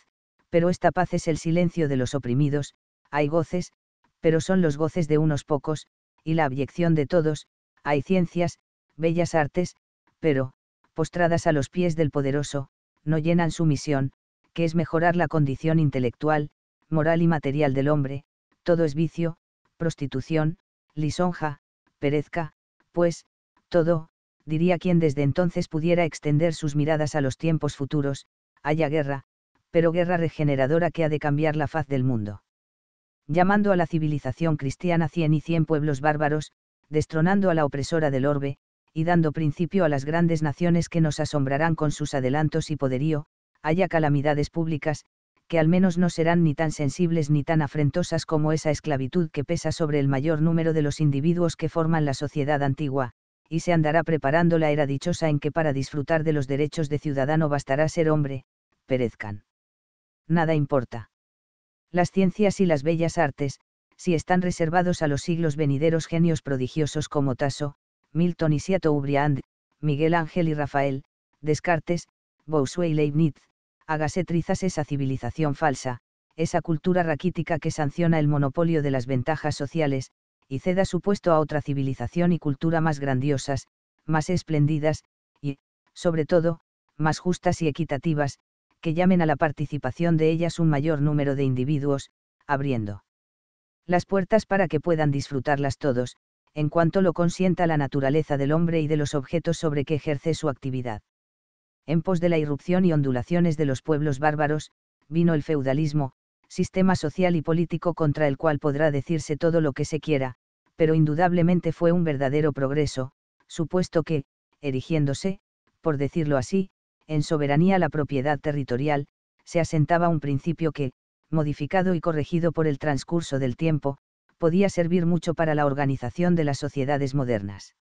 Había desorden, opresión, vejaciones, males sin cuento, es verdad, pero al menos se comenzaba a establecer un sistema, se daba asiento a los pueblos vencedores, se arraigaba el amor a la vida agrícola y el respeto a la propiedad, se desarrollaba el espíritu de familia, y las inclinaciones del corazón, encontrando objetos más estables y apacibles, se hacían por necesidad menos turbulentas, se preparaban a la tranquilidad y a la dulzura. Malos como eran los tiempos de los siglos XII y XIII, quien no los prefiriera a los que siguieron después de la disolución del imperio de Carlomagno. Nadie negará que hasta principios del siglo XVI sociedades europeas andaban mejorándose rápidamente, por manera que, no verificándose en ningún otro punto del globo decadencia notable, ya que los demás pueblos pueden decirse que en general permanecieron estacionarios, todavía debemos confesar que el linaje humano progresaba. Los grandes descubrimientos que tuvieron lugar en el siglo XV, hacían esperar que en el XVI se inauguraría una era de prosperidad y ventura que, rebosando en Europa, se derramaran por todas las regiones de la tierra. Desgraciadamente el cisma de Lutero vino a desvanecer en buena parte tan halagüeñas esperanzas, y las calamidades que han caído sobre la Europa durante los tres últimos siglos, podrían hacernos dudar de la proposición que llevamos establecida. Como quiera, aun llevando en cuenta los males acarreados por los cismas religiosos, y la incredulidad e indiferentismo, que han sido su consecuencia, no me parece que pueda negarse que la humanidad en general haya carecido de la compensación arriba indicada. Tomando las cosas en su raíz, es decir, desde que Lutero y sus secuaces dividieron en dos la gran familia europea, debe considerarse que las sucesivas conquistas que ha ido haciendo el catolicismo en las Indias orientales y occidentales, resarcen quizás con ventaja las pérdidas que en Europa ha sufrido la unidad de la fe.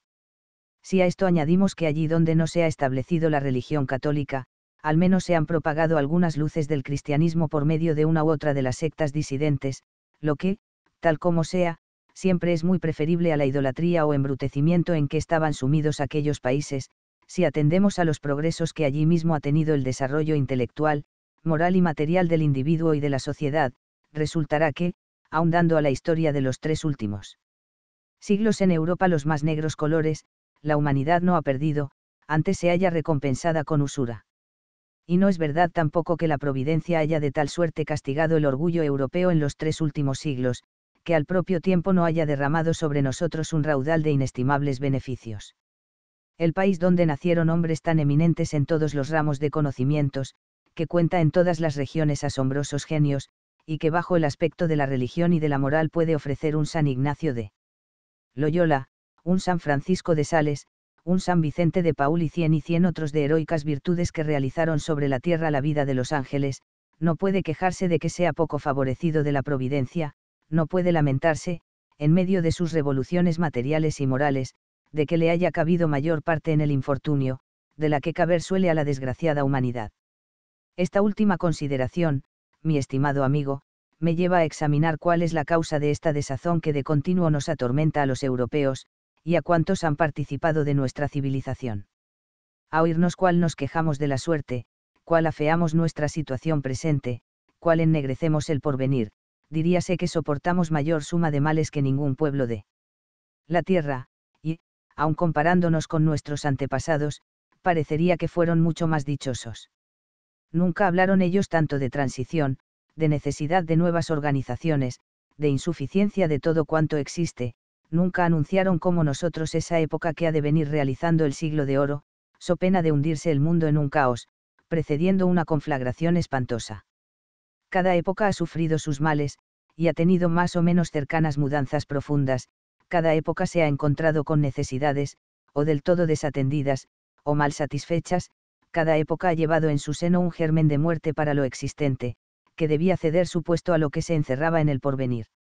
Añadiré, además, que dudo mucho que los tiempos presentes deban en nada posponerse a los pasados, considerando los pueblos civilizados en general, y prescindiendo de dolorosas excepciones que por necesidad deberán ser pasajeras, y me inclino a creer que no son mayores nuestros males, sino que se abultan en gran manera por dos motivos, primero porque reflexionamos demasiado sobre ellos, semejantes al enfermo que aguza sus dolencias haciéndolas objeto continuo de sus pensamientos y palabras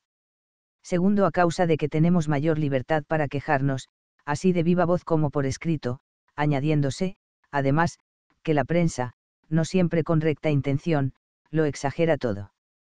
Se habla, por ejemplo, de pauperismo, convengo en que es una llaga dolorosa y que merece llamar la atención de todos los hombres amantes de la humanidad, pero lo que desearía saber es qué resultado nos daría el mismo asunto, si lo examinásemos con relación a los tiempos que nos precedieron qué mayor y más doloroso pauperismo que la antigua esclavitud. Ni en el número de los infelices, ni en el grado de su infelicidad, es comparable aquel estado con el de las clases inferiores de nuestra época. Ya sé que algunos se han adelantado a decir que la suerte de los esclavos negros es preferible a la de nuestros jornaleros, no negaré que, sí. Se consideran no más que algunos extremos excepcionales, así en el bien como en el mal, si se torna un esclavo negro, a quien le haya cabido un amo racional, prudente, compasivo, que se guíe por las inspiraciones de la sana razón y de la caridad cristiana, y se le compara con alguno de los jornaleros más desgraciados, se podrá sostener quizás el parangón, pero, hablando en general, y poniendo de una parte la masa de los esclavos negros, y de otra la de los jornaleros europeos, será preferible. La suerte de aquellos a la de estos.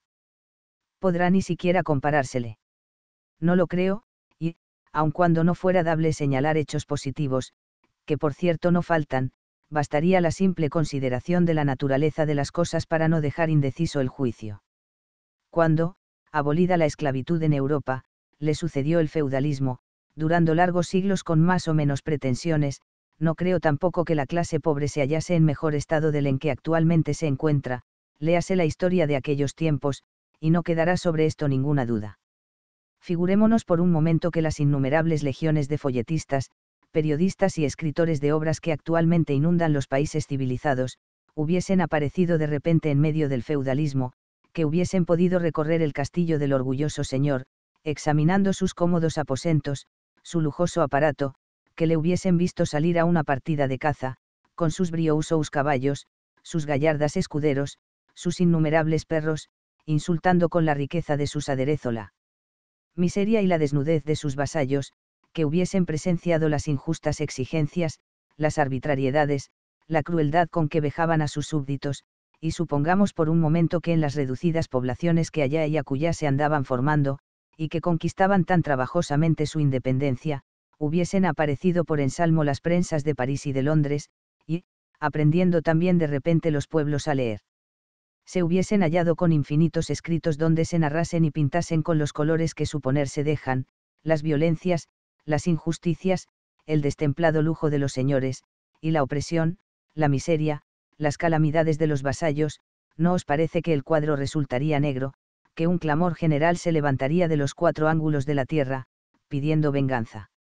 ¿No os parece que se pondría también de acuerdo todo el mundo en que jamás fueron mayores los males de la humanidad, que jamás fue más urgente aplicarle un remedio, que jamás fue más necesaria, más inminente, una profunda mudanza en la organización social. Volvamos la medalla y miremos su reverso, imaginémonos que en nuestro siglo callan de repente la prensa y la tribuna, que se desvía de la política la atención pública, que no se piensa en las cuestiones sobre la organización social, que los amos se ocupan únicamente de sus negocios, los jornaleros de su trabajo, que nadie cuida de contar cuántos pobres hay en Inglaterra, en Francia y los demás países, que no circulan las narraciones de los padecimientos de las clases menesterosas, con el cálculo de las onzas de pan o de patatas que tocan al infeliz trabajador o a sus hijos, y con la descripción de la triste y mugrienta habitación en que se ve precisado a albergarse, y que, con todo, siguiese como ahora el movimiento de la industria, y se ocupasen los mismos brazos, y fuesen los mismos los salarios, y el mismo el precio de los alimentos y vestidos no es claro que nuestro estado social no se mostraría con tan negros colores, ni veríamos tan amenazador el porvenir. Véase pues, mi estimado amigo, con cuánta razón he dicho que nuestros males eran mayores porque pensábamos demasiado en ellos, porque, hay mil medios y motivos de recordarlos, de exagerarlos, y porque el estado actual de la civilización lleva necesariamente consigo el acto reflejo de ocuparse en sí misma y no crea V que yo esté mal avenido con que se dé la conveniente publicidad a los sufrimientos del pobre, ni que desee que se imponga silencio a la clase que sufre, para que no cause siquiera el padecimiento de algunas molestias y zozobras a la clase que goza, solo he querido indicar un carácter de nuestra época, señalando la razón de que parezca tener otras particularidades, que se le atribuyen como propias, no obstante, de serle comunes con todas las que la han precedido. Que, por lo tocante a las simpatías en favor de la clase menesterosa, a nadie cedo, y, respetando como es debido la propiedad y demás legítimas ventajas de las clases altas, no dejo de conocer la sinrazón y la injusticia que a menudo las deslustra y las daña. Me inclino a creer que, si V no ha adoptado mis opiniones en todas sus partes, al menos convendrá en que no son para desatendidas, supuestos los argumentos en que las he apoyado, y estoy seguro de que, en adelante, separará V algo más en el verdadero sentido de la palabra transición, y no le dará tanta importancia como antes le concedía. Ciertamente no alcanzo como se ha podido meter tanto ruido con estas y otras expresiones semejantes, cuando, bien analizadas, no se encuentra que signifiquen otra cosa que la instabilidad de las cosas humanas, instabilidad cuyo conocimiento no data ciertamente de los tiempos modernos. Así, tampoco concibo cómo se atreven algunos a pronosticar la muerte del catolicismo, fundándose en que el nuevo estado a que van a pasar las sociedades, no podrá consentir ni los dogmas ni las formas de esta religión divina, como si el mundo hubiese permanecido durante 18 siglos sin ninguna clase de mudanza, como si la fe y las augastas instituciones que nos dejó Jesucristo, necesitasen para conservarse de las obras del hombre. ¿Acaso la organización social del primer siglo del cristianismo no era muy diferente de la del tiempo de Teodosio el Grande? ¿Acaso la Europa de los bárbaros se parecía en nada a la Europa del imperio? ¿Acaso la época del feudalismo se asemejaba a los trastornos de la irrupción de las hordas del norte, ni la prepotencia de los varones a la pujanza de la monarquía? ¿Acaso el siglo de Francisco y fue el siglo de Luis XIV, ni este el de Luis Felipe? Verificáronse en ese espacio de 18 siglos revoluciones colosales, pasaron sobre la sociedad europea vicisitudes innumerables, la vida pública y privada de los pueblos se modificó, se cambió de mil maneras, y, sin embargo, la religión, permaneciendo la misma, sin prestarse a ninguna de aquellas transacciones que la destruirían por su base, ha podido y sabido acomodarse a lo que demandaba la diversidad de tiempos y de circunstancias, sin hacer traición a la verdad, no ha perdido de vista. El curso de las ideas, sin sacrificar a las pasiones la santidad de la moral, ha tenido en cuenta las mudanzas de los hábitos y de las costumbres, sin alterar su organización interior en lo que tiene de inalterable y de eterno, ha creado infinita variedad de instituciones acomodadas a las necesidades de los pueblos sometidos a su fe. Ignora V estos hechos, mi estimado amigo. Hay en ellos algo que consienta ni disputa siquiera. Deje V, pues, esas palabras vanas que nada significan, que solo sirven a nutrir con vagas generalidades ese fatal estado de duda y de escepticismo que es la verdadera agonía del espíritu. Bien conoce V que no aborrezco el progreso de la sociedad, que lo miro como un beneficio de la providencia,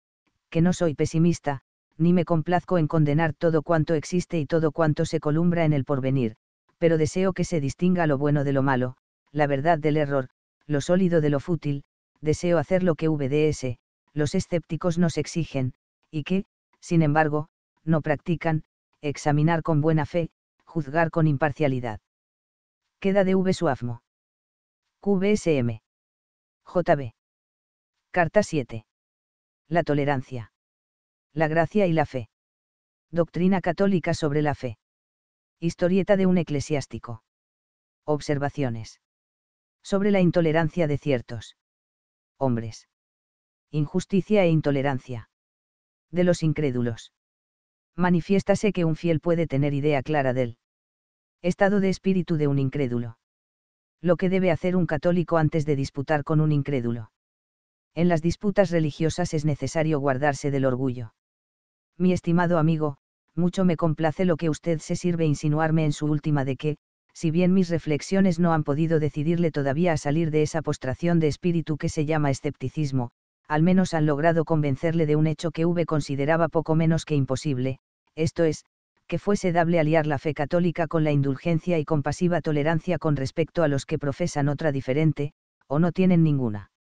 Bien se conoce que V, a pesar de haber sido educado en el catolicismo, se ha dejado imbuir demasiado en las preocupaciones de los impíos y de algunos protestantes, que se han empeñado en pintarnos como furias salidas del Averno, que únicamente respiramos fuego y sangre. Usted me da las gracias porque sufro con paciente calma las dudas, la incertidumbre, las variaciones de su espíritu, en esto no hago más que cumplir con mi deber, obrando conforme a lo que prescribe nuestra sacrosanta religión, la cual da tan alta importancia a la salvación de un alma, que, si toda una vida se consagrase a la conversión de una sola y esto se consiguiese, debieran tenerse por bien empleados los trabajos más penosos. Mis profundas convicciones, o, hablando más cristianamente, la gracia del Señor, me tiene firmemente adherido a la fe católica, pero esto no me impide el conocer un poco el estado actual de las ideas, y la diferencia de situaciones en que se encuentran los espíritus. Un escéptico me inspira viva compasión, porque desgraciadamente son muchas, en los tiempos que corren, las causas que pueden conducir a la pérdida de la fe, y así es que, al encontrarme con alguno de esos infortunados, no digo nunca con orgullo non sum sicutunus existis, no soy como uno de estos el verdadero fiel que está profundamente penetrado de la gracia que Dios le dispensa, conservándole adherido a la religión católica, lejos de ensoberbecerse, ha de levantar humildemente el corazón a Dios, exclamando de todas veras, Domine, propitius esto mi peccatori, Señor, tened misericordia de este pecador. Acuérdome que, al seguir mi curso de teología, se explicaba en la cátedra aquella doctrina de que la fe es un don de Dios, y que no bastan para ella, ni los milagros, ni las profecías, ni otras pruebas que demuestran claramente la verdad de nuestra religión, sino que, además de los motivos de credibilidad, se necesita la gracia del cielo, a más de los argumentos dirigidos al entendimiento, es menester una pia moción de la voluntad, pia motio voluntatis, y confieso ingenuamente que nunca entendí. Bien semejante doctrina, y que, para comprenderla, me fue necesario dejar aquellas mansiones donde no se respiraba sino fe, y hallarme en situaciones muy varias y en contacto con toda clase de hombres. Entonces conocí perfectamente, sentí con mucha viveza cuán grande es el beneficio que dispensa Dios a los verdaderos fieles, y cuán dignos de lástima son aquellos que en apoyo de su fe solo reclaman el auxilio de los motivos de credibilidad, solo invocan la ciencia y se olvidan de la gracia. Repetidas veces me ha sucedido encontrarme con hombres que, a mi parecer, veían como yo las razones que militan en favor de nuestra religión, sin embargo, yo creía, y ellos no, ¿de dónde esto? me preguntaba a mí mismo, y no sabía darme otra razón, sino exclamar, misericordia dominicianon sumus consumpti. Con este preámbulo conocerá V, mi querido amigo, que sus dudas no han debido cogerme de improviso, ni ocasionadome aquel estremecimiento que naturalmente me causaran si no hubiese tenido a la vista las reflexiones que preceden, bien que de paso me permitirá V que no apruebe la dura invectiva a que se abandona contra las personas intolerantes. Sabe usted que en sus palabras se hace culpable de intolerancia, y que un hombre no llega a ser perfectamente tolerante sino cuando tolera la misma intolerancia. Pongámonos por Dios de buena fe, y no miremos las cosas con espíritu de parcialidad. Me hace V el favor de decirme que ya me conceptuaba con bastante conocimiento del mundo para no imitar el ejemplo de aquellas personas que no pueden supertar la menor palabra contra su fe, y que, constituyéndose desde luego los heraldos de la divina justicia, no aciertan sino a mentar la hora de la muerte, el infierno, y que acaban por romper bruscamente con quien ha tenido la imprudencia o poca cautela de franquearles su espíritu. Refiéreme V la historieta de aquel buen eclesiástico que antes le distinguía a V con particulares muestras de aprecio y de amistad, y que se horrorizó de tal suerte al saber trataba con un incrédulo, que fue preciso cortar toda clase de relaciones. Paréceme, mi querido amigo, que en las propias palabras de usted encuentro yo la apología de la persona a quien usted tanto inculpa, y a los ojos de quien mire las cosas con verdadera imparcialidad, no se le hará tan extraña semejante conducta. Era, dice V mismo, un joven de conducta irreprensible, de costumbres severas, de un celo ardiente, pero tenía la desgracia de no haber tratado jamás sino con personas devotas, de no haber manejado otros libros que los del seminario, y apenas le parecía posible que circulasen en el mundo otras doctrinas que las que se le habían enseñado por espacio de algunos años en el colegio de donde acababa de salir. Tuve la imprudencia de responder con una burlona sonrisa a una de sus observaciones sobre un punto delicado, y desde entonces quedé perdido sin remedio en su opinión. Y bien, V se queja en substancia de que aquel joven no tuviese hábitos de tolerancia, donde quería V que los hubiese aprendido. El espíritu de aquel hombre, podía estar dispuesto para el ataque que contra sus creencias se permitió su contrincante, con la significativa sonrisa. No es demasiado exigente quien pide serenidad a un hombre que, quizás por primera vez, mira combatido o despreciado lo que él considera como más santo y augusto. Es grave desacuerdo y además una solemne injusticia el inculpar la conducta de quien, guiado por un entendimiento convencido y un corazón recto, se porta cual por necesidad debe portarse, atendidas la educación e instrucción que ha recibido, y las circunstancias que le han rodeado en todo el curso de su vida. Nuestro espíritu se forma y se modifica bajo la influencia de mil causas, y a ellas es preciso atender, cuando se quiere formar exacto juicio sobre la situación en que se encuentra, y el sendero que probablemente haya de seguir. Lo demás es empeñarse en violentar las cosas, sacándolas de su quicio pretendería V que un misionero encanecido en su santa carrera tenga el mismo modo de mirar los objetos que cuando salió de los estudios. No fuera esta una pretensión extraña. Es cierto que sí, pues no menos lo sería el exigirle ya en su primera juventud el mismo comportamiento que le han enseñado largos años de trabajos apostólicos en lejanos y variados países. Es poco menos que imposible, sin larga práctica del mundo, saber colocarse en el puesto de los otros, haciéndose cargo de las razones que los impelen a pensar u obrar de esta o aquella manera, y es mucho más difícil en materias religiosas, refiriéndose estas a lo que hay de más íntimo en el alma del hombre, cuando estamos vivamente poseídos de una idea, se nos hace inconcebible que los demás puedan mirar con indiferencia lo que nosotros contemplamos como lo más importante en esta vida y en la venidera. Por cuyo motivo, no hay asunto que más a propósito sea para exaltar el ánimo, y es de aquí que las guerras que se han hecho a título de religión, han sido siempre muy obstinadas y sangrientas. Quisiera yo que de estas reflexiones se penetrasen los que arroso y belloso, como suele decirse, hablan contra la intolerancia, pues que, de esta suerte, no sucediera tan a menudo que hombres en extremo intolerantes en todo lo que concierne a la religión, no quieran sufrir la intolerancia con que a su vez les corresponden las personas religiosas. Bien comprenderá V, mi querido amigo, que no deseo yo prevalerme de estas reflexiones para mostrarme intolerante, pues que, si me he extendido algún tanto sobre el particular, ha sido con la idea de desvanecer la prevención con que por algunos es mirada la intolerancia de ciertas personas, resultando que se estiman en menos hombres, por otra parte, muy dignos de aprecio. Me habla V de la dificultad de entendernos, siendo tan opuestas nuestras ideas, y habiendo sido tan diferente nuestro tenor de vida, es bien posible que dicha dificultad exista, sin embargo, por lo que a mí toca, no alcanzo a verla. Creería V que hasta llego a comprender muy bien esa situación de espíritu en que se fluctúa entre la verdad y el error, en que el espíritu, sediento de verdad, se encuentra sumido en la desesperación por la impotencia de encontrarla. Imagínanse algunos que la fe está reñida con un claro conocimiento de las dificultades que contra ella pueden ofrecerse al espíritu, y que es imposible creer desde el momento que en él penetran las razones que en otros producen la duda, no es así, mi querido amigo, hombres hay que creen de todas veras, que humillan su entendimiento en obsequio de la fe con la misma docilidad que hacerlo puede el más sencillo de los fieles, y que, sin embargo, comprenden perfectamente lo que pasa en el alma del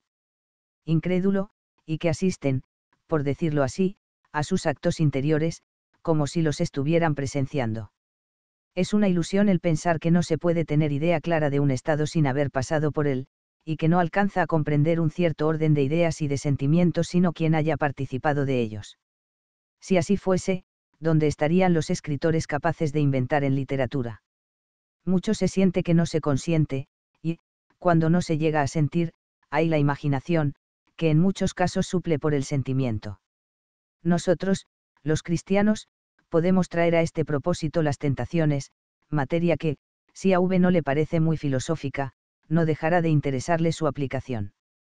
Leemos en las vidas de los santos que Dios permitía que les asaltase el demonio con pensamientos y deseos tan contrarios a las virtudes que ellos con más ardor practicaban, que les era necesario llamar en su auxilio toda su confianza en la misericordia divina para no creerse abandonados del cielo, y culpables de los mismos pecados que más detestaban en el fondo de su alma. Cuando tan violenta era la acometida, que les hacía concebir temores de haber sucumbido, cuando tan vivas eran las imágenes con que a su fantasía se presentaban los objetos malos, que, a pesar de la aversión que les profesaban, se los hacían tomar como una realidad, bien se concibe que no dejarían aquellas santas almas de comprender el estado de un hombre que se hallase encenagado en los mismos vicios.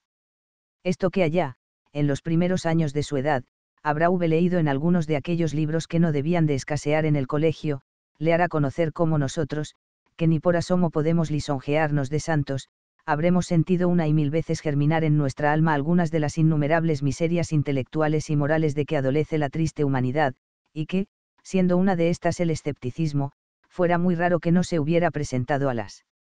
puertas de nuestra alma como huésped de mal agüero. Cerradas las conservas el verdadero fiel, ayudado de los auxilios de la gracia, desafía a todas las potestades del infierno a que las rompan, si pueden, pero acontece entonces lo que nos dice el apóstol San Pedro, anda dando vueltas el diablo como león rugiente buscando a quien devorar. Créalo V, mi estimado amigo, resistiéndole fuertemente con la fe, no ha podido mordernos, pero conocemos bien su rugido. Sobre todo, en el siglo en que vivimos, es poco menos que imposible que esto no suceda a los hombres que por una u otra causa se hallan en contacto con él. Ora cae en las manos un libro lleno de razones especiosas y de reflexiones picantes, ora se oyen en la conversación algunas observaciones en apariencia juiciosas y atinadas, y que a primera vista como que hacen vacilar los sólidos cimientos sobre que descansa la verdad, tal vez se fatiga el espíritu y se siente como sobrecogido por una especie de tedio, desfalleciendo algunos momentos en la continua lucha que se ve forzado a sostener contra infinitos errores, tal vez, al dar una ojeada sobre la falta de fe que se nota en el mundo, sobre la muchedumbre de religiones, sobre los secretos de la naturaleza, sobre la nada del hombre, sobre las tinieblas de lo pasado y los arcanos de lo venidero, desfilan por la mente pensamientos terribles. Angustiosos instantes en que el corazón se inunda de cruel amargura, en que un negro velo parece tenderse sobre cuanto nos rodea, en que el espíritu, agobiado por el aciago fantasma que le abruma, no sabe a dónde volverse, ni le queda otro recurso que levantar los ojos al cielo y clamar, domine, sálvanos, perimus, Señor, salvadnos, que perecemos. Así permite el Señor que sean probados los suyos, y hace más meritoria la fe de sus discípulos, así les enseña que para creer no basta haber estudiado la religión, sino que es necesaria la gracia del Espíritu Santo. Mucho fuera de desear que de esta verdad se convenciesen los que se imaginan que no hay aquí otra cosa que una mera cuestión de ciencia, y que para nada entran las bondades del Altísimo. ¿Sabe usted, mi querido amigo, lo primero que debe hacer un católico cuando le viene a la mano algún incrédulo en cuya conversión se proponga trabajar? Cree sin duda, que se han de revolver los apologistas de la religión, recorrer los apuntes propios sobre las materias más graves, consultar sabios de primer orden, en una palabra, pertrecharse de argumentos como un soldado de armas. Conviene, en verdad, no descuidar el prevenirse para lo que en la discusión se pueda ofrecer, pero, ante todo, antes de exponer las razones al incrédulo, lo que debe hacerse es orar por él. Dígame usted, ¿quién ha hecho más conversiones, los sabios, o los santos? San. Francisco de Sales no compuso ninguna obra que bajo el aspecto de la polémica se llegue a la historia de las variaciones de Bossuet, y yo dudo, sin embargo, que las conversiones a que esta obra dio jugar, a pesar de ser tantas, alcancen ni con mucho a las que se debieron a la angélica unción del santo obispo de Ginebra. Por ahí puede V conocer, mi querido amigo, que no la sacó lo que suele llamarse un disputador, ni un ergotista, y que, por más que aprecie en su justo valor la ciencia, y particularmente la eclesiástica, tengo muy grabada en el fondo del alma la saludable verdad de que los caminos de Dios son incomprensibles al hombre, de que es vano confiar en la ciencia sola, y que algo más que ella se necesita para conservar y restaurar la fe. Pedía V tolerancia y tolerancia le ofrezco, la más amplia que encontró jamás en hombre alguno, se arredraba V por la dificultad que había de mediar en entendernos, y no dudo que con mis aclaraciones se habrá desvanecido semejante recelo, como no temo tampoco que se figure V en adelante que le haya yo de salir al paso con lo que apellida sutilezas de escuela, y argumentos valederos para personas ya convencidas. Si V, pues, se sirve continuar proponiéndome las principales dificultades que le impiden volver a la religión que comienza a echar de menos a los pocos años de perdida, yo procuraré responderle como mejor alcanzare, pero sin pretender ninguna palma si quedare usted satisfecho, ni darme por abochornado si continuare en su incredulidad. Cuando se combate contra los enemigos de la religión, que solo buscan medios de atacarla valiéndose de cuanto les sugieren la astucia y la mala fe, entonces la disputa puede tomar el carácter de un combate en regla, pero, cuando tiene uno la fortuna de encontrarse con hombres que, si bien han tenido la desgracia de perder la fe, desean, no obstante, volver a ella, y buscan de corazón los motivos que puedan conducirlos a la misma, entonces el hacer alarde de la ciencia, el mostrar espíritu de disputa, el pretender el laurel del vencimiento, es un insoportable abuso de los dones de Dios, es un completo olvido de los caminos que, según nos ha manifestado, se complace el Señor en seguir, es sacar a plaza el orgullo, es decir, el enemigo declarado de todo bien, y el más grave obstáculo para que puedan aprovecharse las mejores disposiciones. Si se hace de la disputa religiosa un asunto de amor propio, ¿cómo podemos prometernos que la gracia del Señor fecundará nuestras palabras? Los apóstoles convirtieron el mundo, y eran unos pobres pescadores, pero no confiaban en la sabiduría humana, ni en la elocuencia aprendida en las escuelas, sino en la omnipotencia de aquel que dijo, hágase la luz, y la luz fue hecha. Bien comprenderá V que no por esto desprecio la ciencia, el mejor medio de conservarla y ennoblecerla es señalarle sus límites, no permitiéndole el desvanecimiento del orgullo.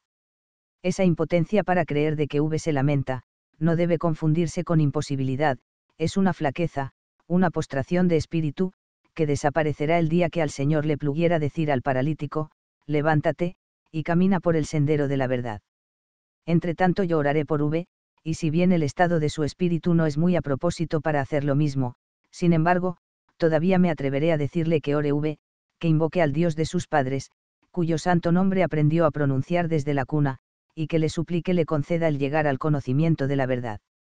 quizás o pensamiento de horror, quizás pensará V, ¿cómo puedo llamar a Dios, si en ciertos momentos, abatido por el escepticismo, hasta siento flaquear mi única convicción, y no estoy bien seguro ni de su existencia.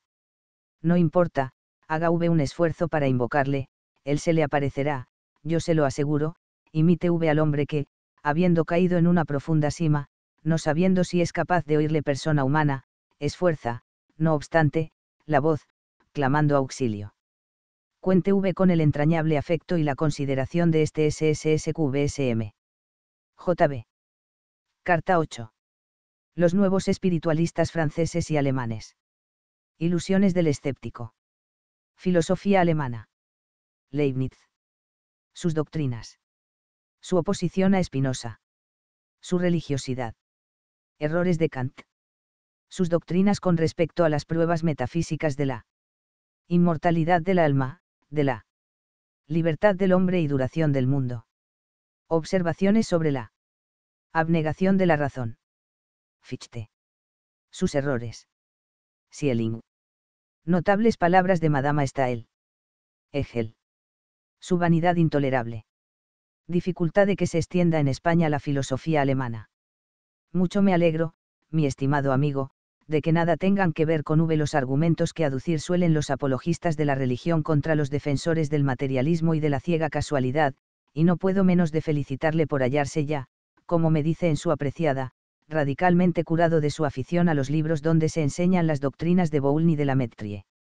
A decir verdad, no esperaba menos del claro talento y noble corazón de V, pues no concilio cómo, en poseyendo semejantes cualidades, sea posible leer obras de esta clase.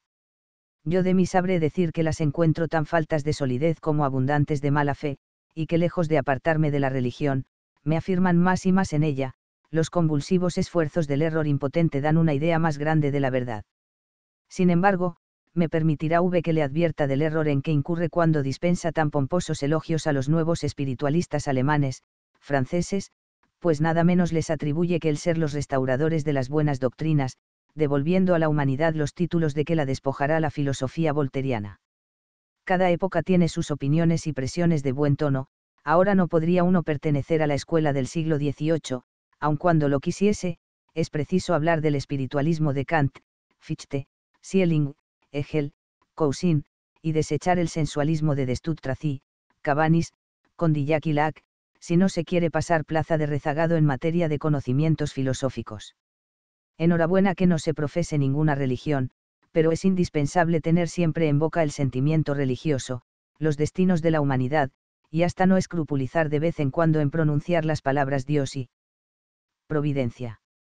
Hablando ingenuamente, cuando he leído en su apreciada de V los nombres que acabo de recordar, no he podido convencerme de que V se hubiese devanado mucho los sesos en el estudio de altas y abstrusas cuestiones metafísicas, más bien me inclinaría a creer que sus ideas sobre el particular habrán sido cogidas al vuelo en los periódicos, sin haberse tomado mucha pena en aclararlas y analizarlas. No le culpo a V por esto, pues al fin sus opiniones, como de un simple particular, no ejercerán influencia sobre el público, que, si se tratase de un escritor, que debe siempre saber lo que recomienda o censura, entonces me tomaría la libertad de amonestarle que anduviese más recatado en sus deseos de introducirnos innovaciones que podrán sernos muy dañosas. ¿Sabe V lo que es la filosofía alemana? ¿Tiene usted noticia de sus tendencias, y hasta de sus expresas doctrinas sobre Dios y el hombre? ¿Cree V que el abismo a donde conduce es mucho menos profundo que el de la escuela de Voltaire? Piensa V, por ventura, que Schelling y Hegel son legítimos sucesores de su compatriota Leibniz, de ese grande hombre que, según la expresión de Faantanel, conducía de frente todas las ciencias, y que, a pesar de lo que puede objetarse contra algunos de sus sistemas, abrigaba, no obstante, tan altas ideas sobre la religión y tantas simpatías por la católica.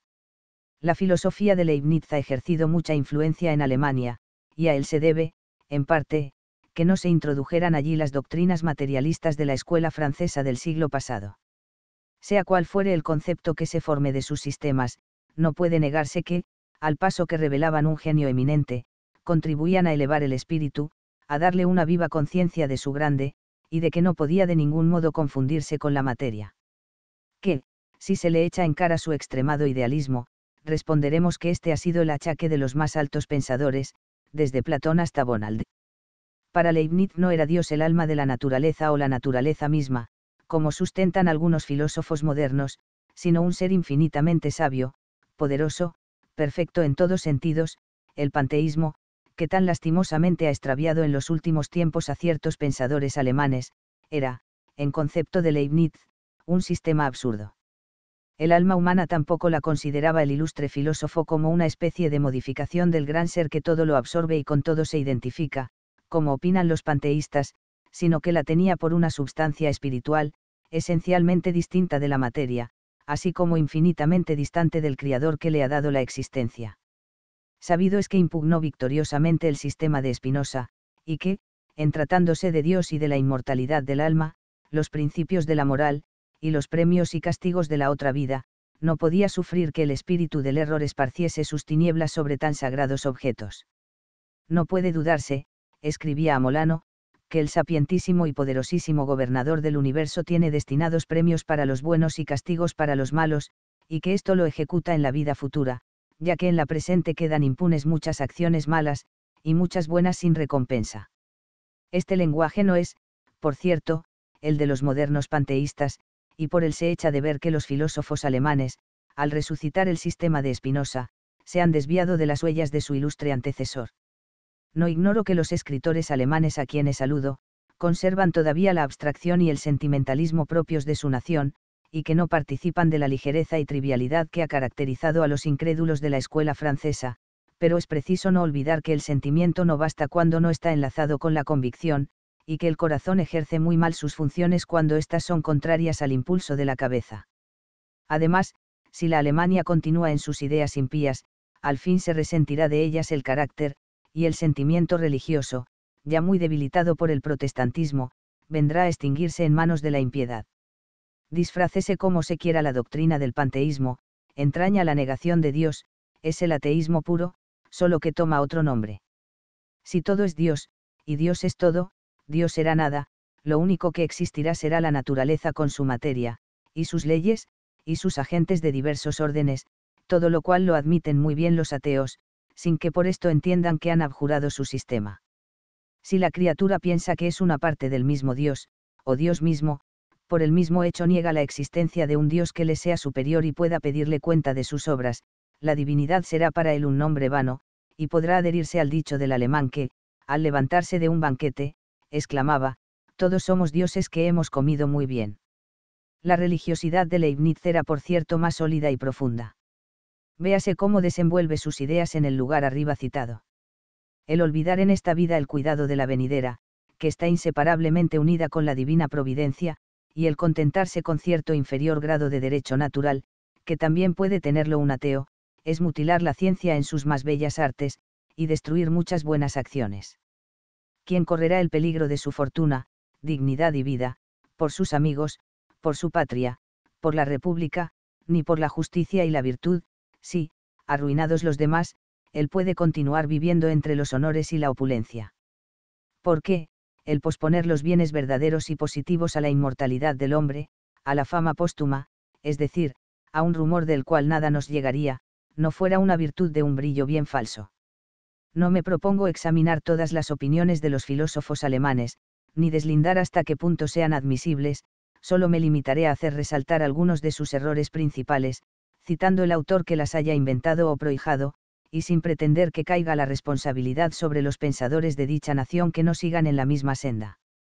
Kant no llevó tan adelante sus errores con respecto a Dios, al hombre y al universo, como lo han hecho algunos de sus sucesores, pero menester es confesar que, intentando promover una especie de reacción contra la filosofía sensualista, dejó tan en descubierto las principales verdades, que nada le tiene que agradecer la filosofía verdadera con respecto a la conservación de ellas.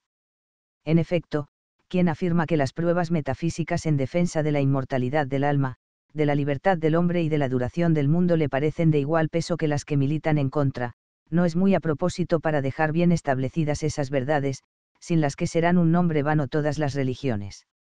Enhorabuena que demos mucha importancia al sentimiento y a las inspiraciones de la conciencia, que conozcamos la debilidad de nuestro raciocinio y no exageremos sus alcances, pero conviene también guardarnos de destruirle, de matar la razón a fuerza de desconfiar de ella, extinguiendo esa antorcha que nos ha dado el Criador, y que es un hermoso destello de la divinidad. Sucede a veces, mi apreciado amigo, que la abnegación de la razón no proviene de humildad, sino de un excesivo orgullo, de un exagerado sentimiento de superioridad que se desdeña de examinar, y que cree suficiente mirar para ver, sin necesidad de discurrir. No me encontrará V en el número de aquellos que en todo apelan al raciocinio, y que nada conceden al sentimiento, nada a aquellas súbitas inspiraciones que nacen en el fondo de nuestra alma sin que nosotros mismos sepamos de dónde nos han venido, conozco, y se lo he dicho a V mil veces, que nuestra razón es débil en extremo, que es excesivamente cavilosa, que todo lo prueba, que todo lo combate, pero de aquí a negarle su voto en las altas cuestiones de metafísica, y desecharla como incompetente para discernir en ellas entre la verdad y el error, hay una distancia inmensa. Est modus in rebus. Si Kant llevó la sobriedad de la razón hasta un externo reprensible, señalándole límites estrechos en demasía, no faltaron otros que exageraron las fuerzas de la misma, pretendiendo explicar con su sola ayuda el universo entero. Sabido es que Fichte se entregó a un idealismo tan extravagante, que, dándolo todo al alma, llega, por decirlo así, al anonadamiento de todos los objetos exteriores, su sistema conduce a la negación de la existencia de todo cuanto no sea el yo que piensa. A pesar de las dañosas consecuencias a que puede conducir semejante doctrina, no son estas más peligrosos, e inmediatamente destructoras de toda religión y moral, que las de Sieling, quien, no obstante, todos los velos con que encubre su sistema, al fin viene a parar al panteísmo de Spinoza.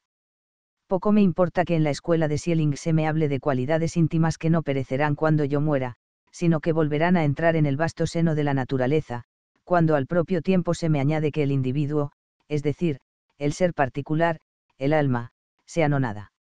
Poco me importa que se me hable de espiritualismo y que se condene el materialismo, si al fin no se me consuela con el pensamiento de la inmortalidad, si en último resultado se me dice que la inmortalidad es una quimera, y que, si algo queda de mí después de la disolución del cuerpo, no será yo mismo que pienso y quiero, sino ciertas cualidades que no sé lo que son, y que poco me han de importar cuando yo no exista. No falta quien ha dicho que Aristóteles había dejado algo obscuros ciertos pasajes de sus obras, con la mira de que, ofreciendo lugar a interpretaciones diversas, diesen pie a sus discípulos para defenderle contra sus adversarios. Sea lo que fuere de semejante conjetura, es preciso convenir en que los filósofos alemanes han dejado muy atrás en esta parte al filósofo de esta gira pues han sabido envolver en tan espesa nube sus ideas, que ni aun los iniciados en el secreto han podido lisonjearse de penetrar sus profundidades. En sus tratados de metafísica, dice Madama Stael hablando de Kant, toma las palabras como cifras y les da el valor que le acomoda, sin pararse en el que tienen por el uso. Lo mismo puede afirmarse de los más famosos filósofos de la misma nación, nadie ignora el misterioso lenguaje de Fichte y de Schelling, por lo tocante a Hegel, él mismo ha dicho, no hay más que un hombre que me haya comprendido, y temiendo, sin duda, que esto era ya demasiado, añadió, y ni aun este me ha comprendido. Bien podrá suceder que V se fatigue, si le presento algunas muestras de esta filosofía tan ponderada, pero creo muy del caso arrostrar el ligero inconveniente, pues de esta manera lograré que V no se deje fácilmente engañar por encomiadores que ensalzan lo que no comprenden. No dudo que V está ya en la convicción de que los filósofos alemanes se pasean por un mundo imaginario, y que quien forme empeño en seguirlos, es menester que se despoje de todo lo que se parece a los pensamientos comunes, pero yo creo poderle demostrar algo más, yo creo poderle demostrar que no basta el desentenderse de los pensamientos comunes, sino que es preciso olvidarse hasta del sentido común. Si encuentra V la palabra demasiado dura, no me culpe de temerario hasta haberme oído, entre tanto, no olvide V que tratamos de hombres que han manifestado un soberano desprecio de todo lo que no era ellos, que han pretendido enseñar a la humanidad a manera de infalibles oráculos, y que, bajo apariencias misteriosas y enfáticas, han llevado su orgullo mucho más allá que todos los filósofos antiguos y modernos. Hegel, este hombre a quien, según afirma él mismo, nadie comprendió, nos asegura que ha fijado los principios, arreglado el sistema y determinado el límite de toda filosofía. Él lo ha descubierto todo, después de él nada queda por descubrir, la humanidad no debe hacer más que desarrollar las teorías del sublime filósofo, y aplicarlas a todos los ramos de los conocimientos.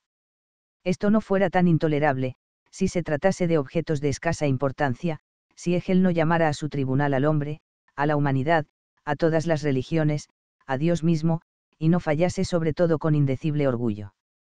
Hegel, ha dicho Lerminier, se glorifica en sí mismo, se sienta como árbitro supremo entre Sócrates y Jesucristo, toma al cristianismo bajo su protección, y parece que piensa que, si Dios ha criado el mundo, Hegel lo ha comprendido.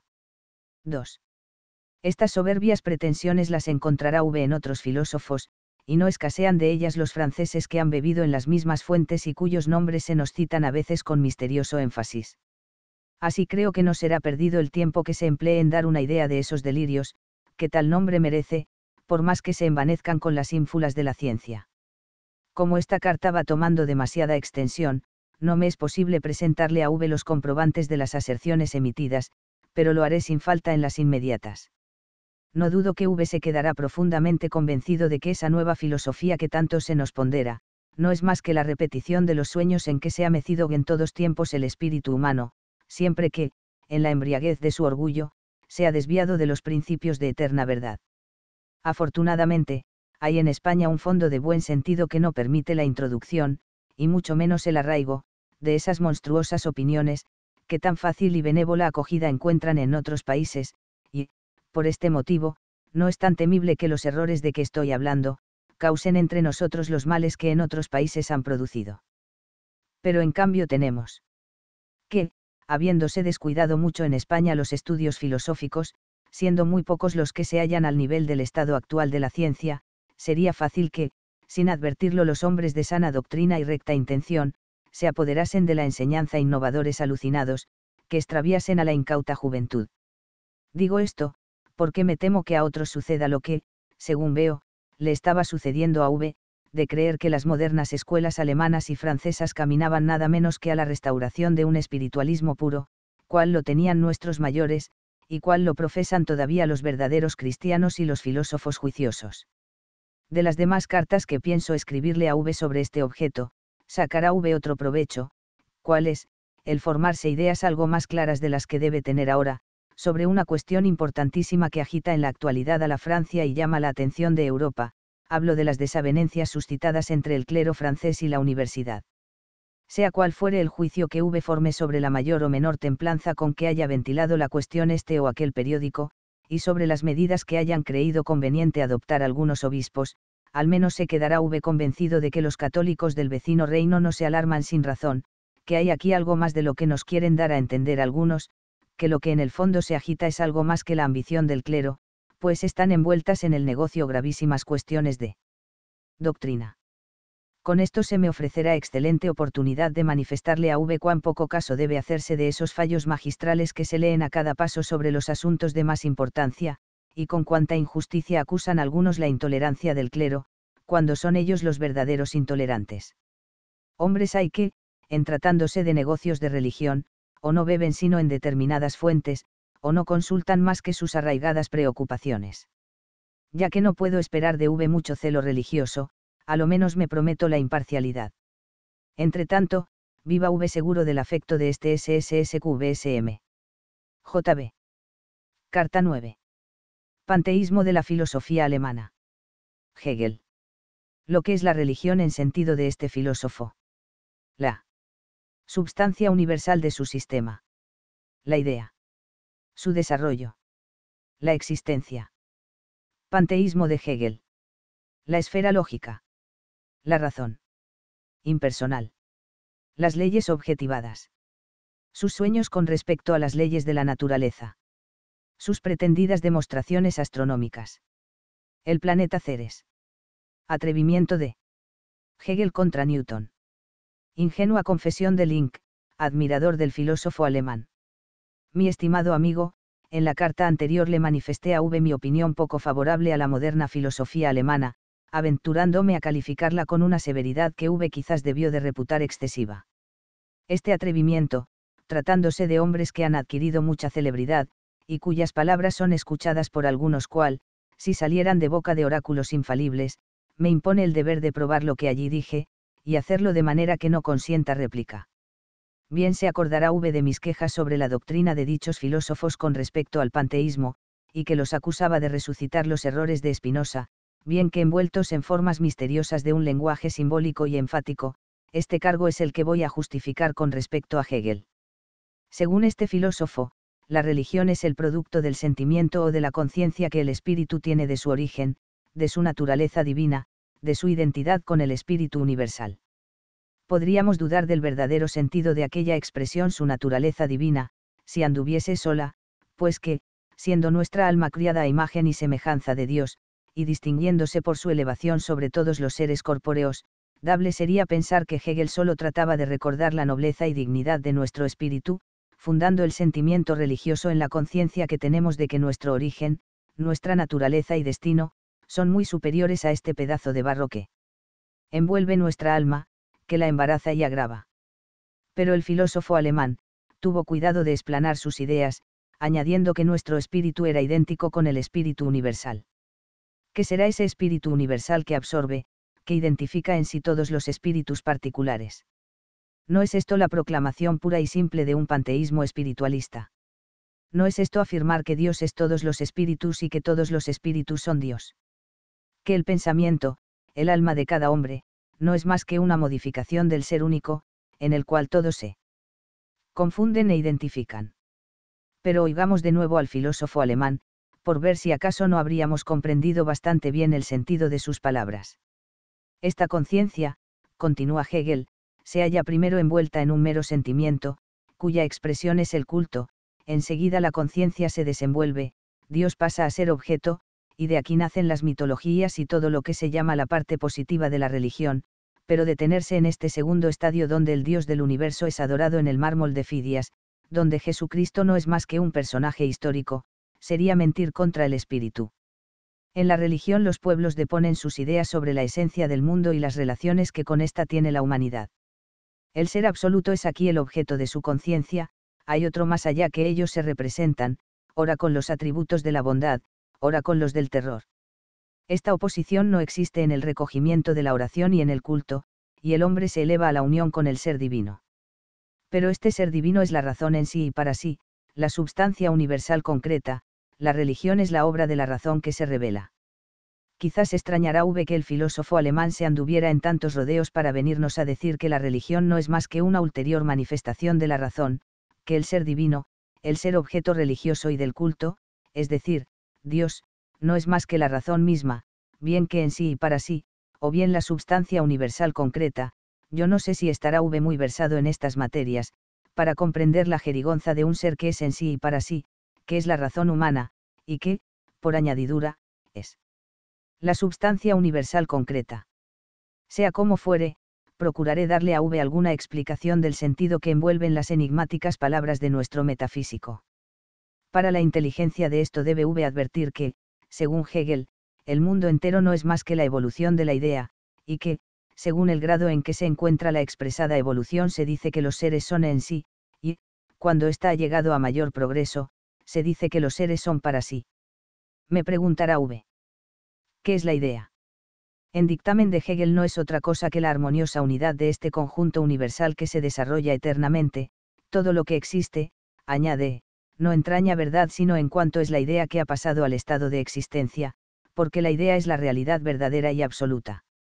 Y no crea V que con semejante definición se nos quiera expresar la inteligencia divina, o bien la infinita esencia del Criador, en la cual está representado, desde toda la eternidad, todo lo existente y todo lo posible, nada de esto, cuando Hegel habla de la armoniosa unidad, se refiere a este conjunto universal que tiene un desarrollo eterno, es decir, al mundo mismo, que va tomando diferentes formas y modificándose de varias maneras.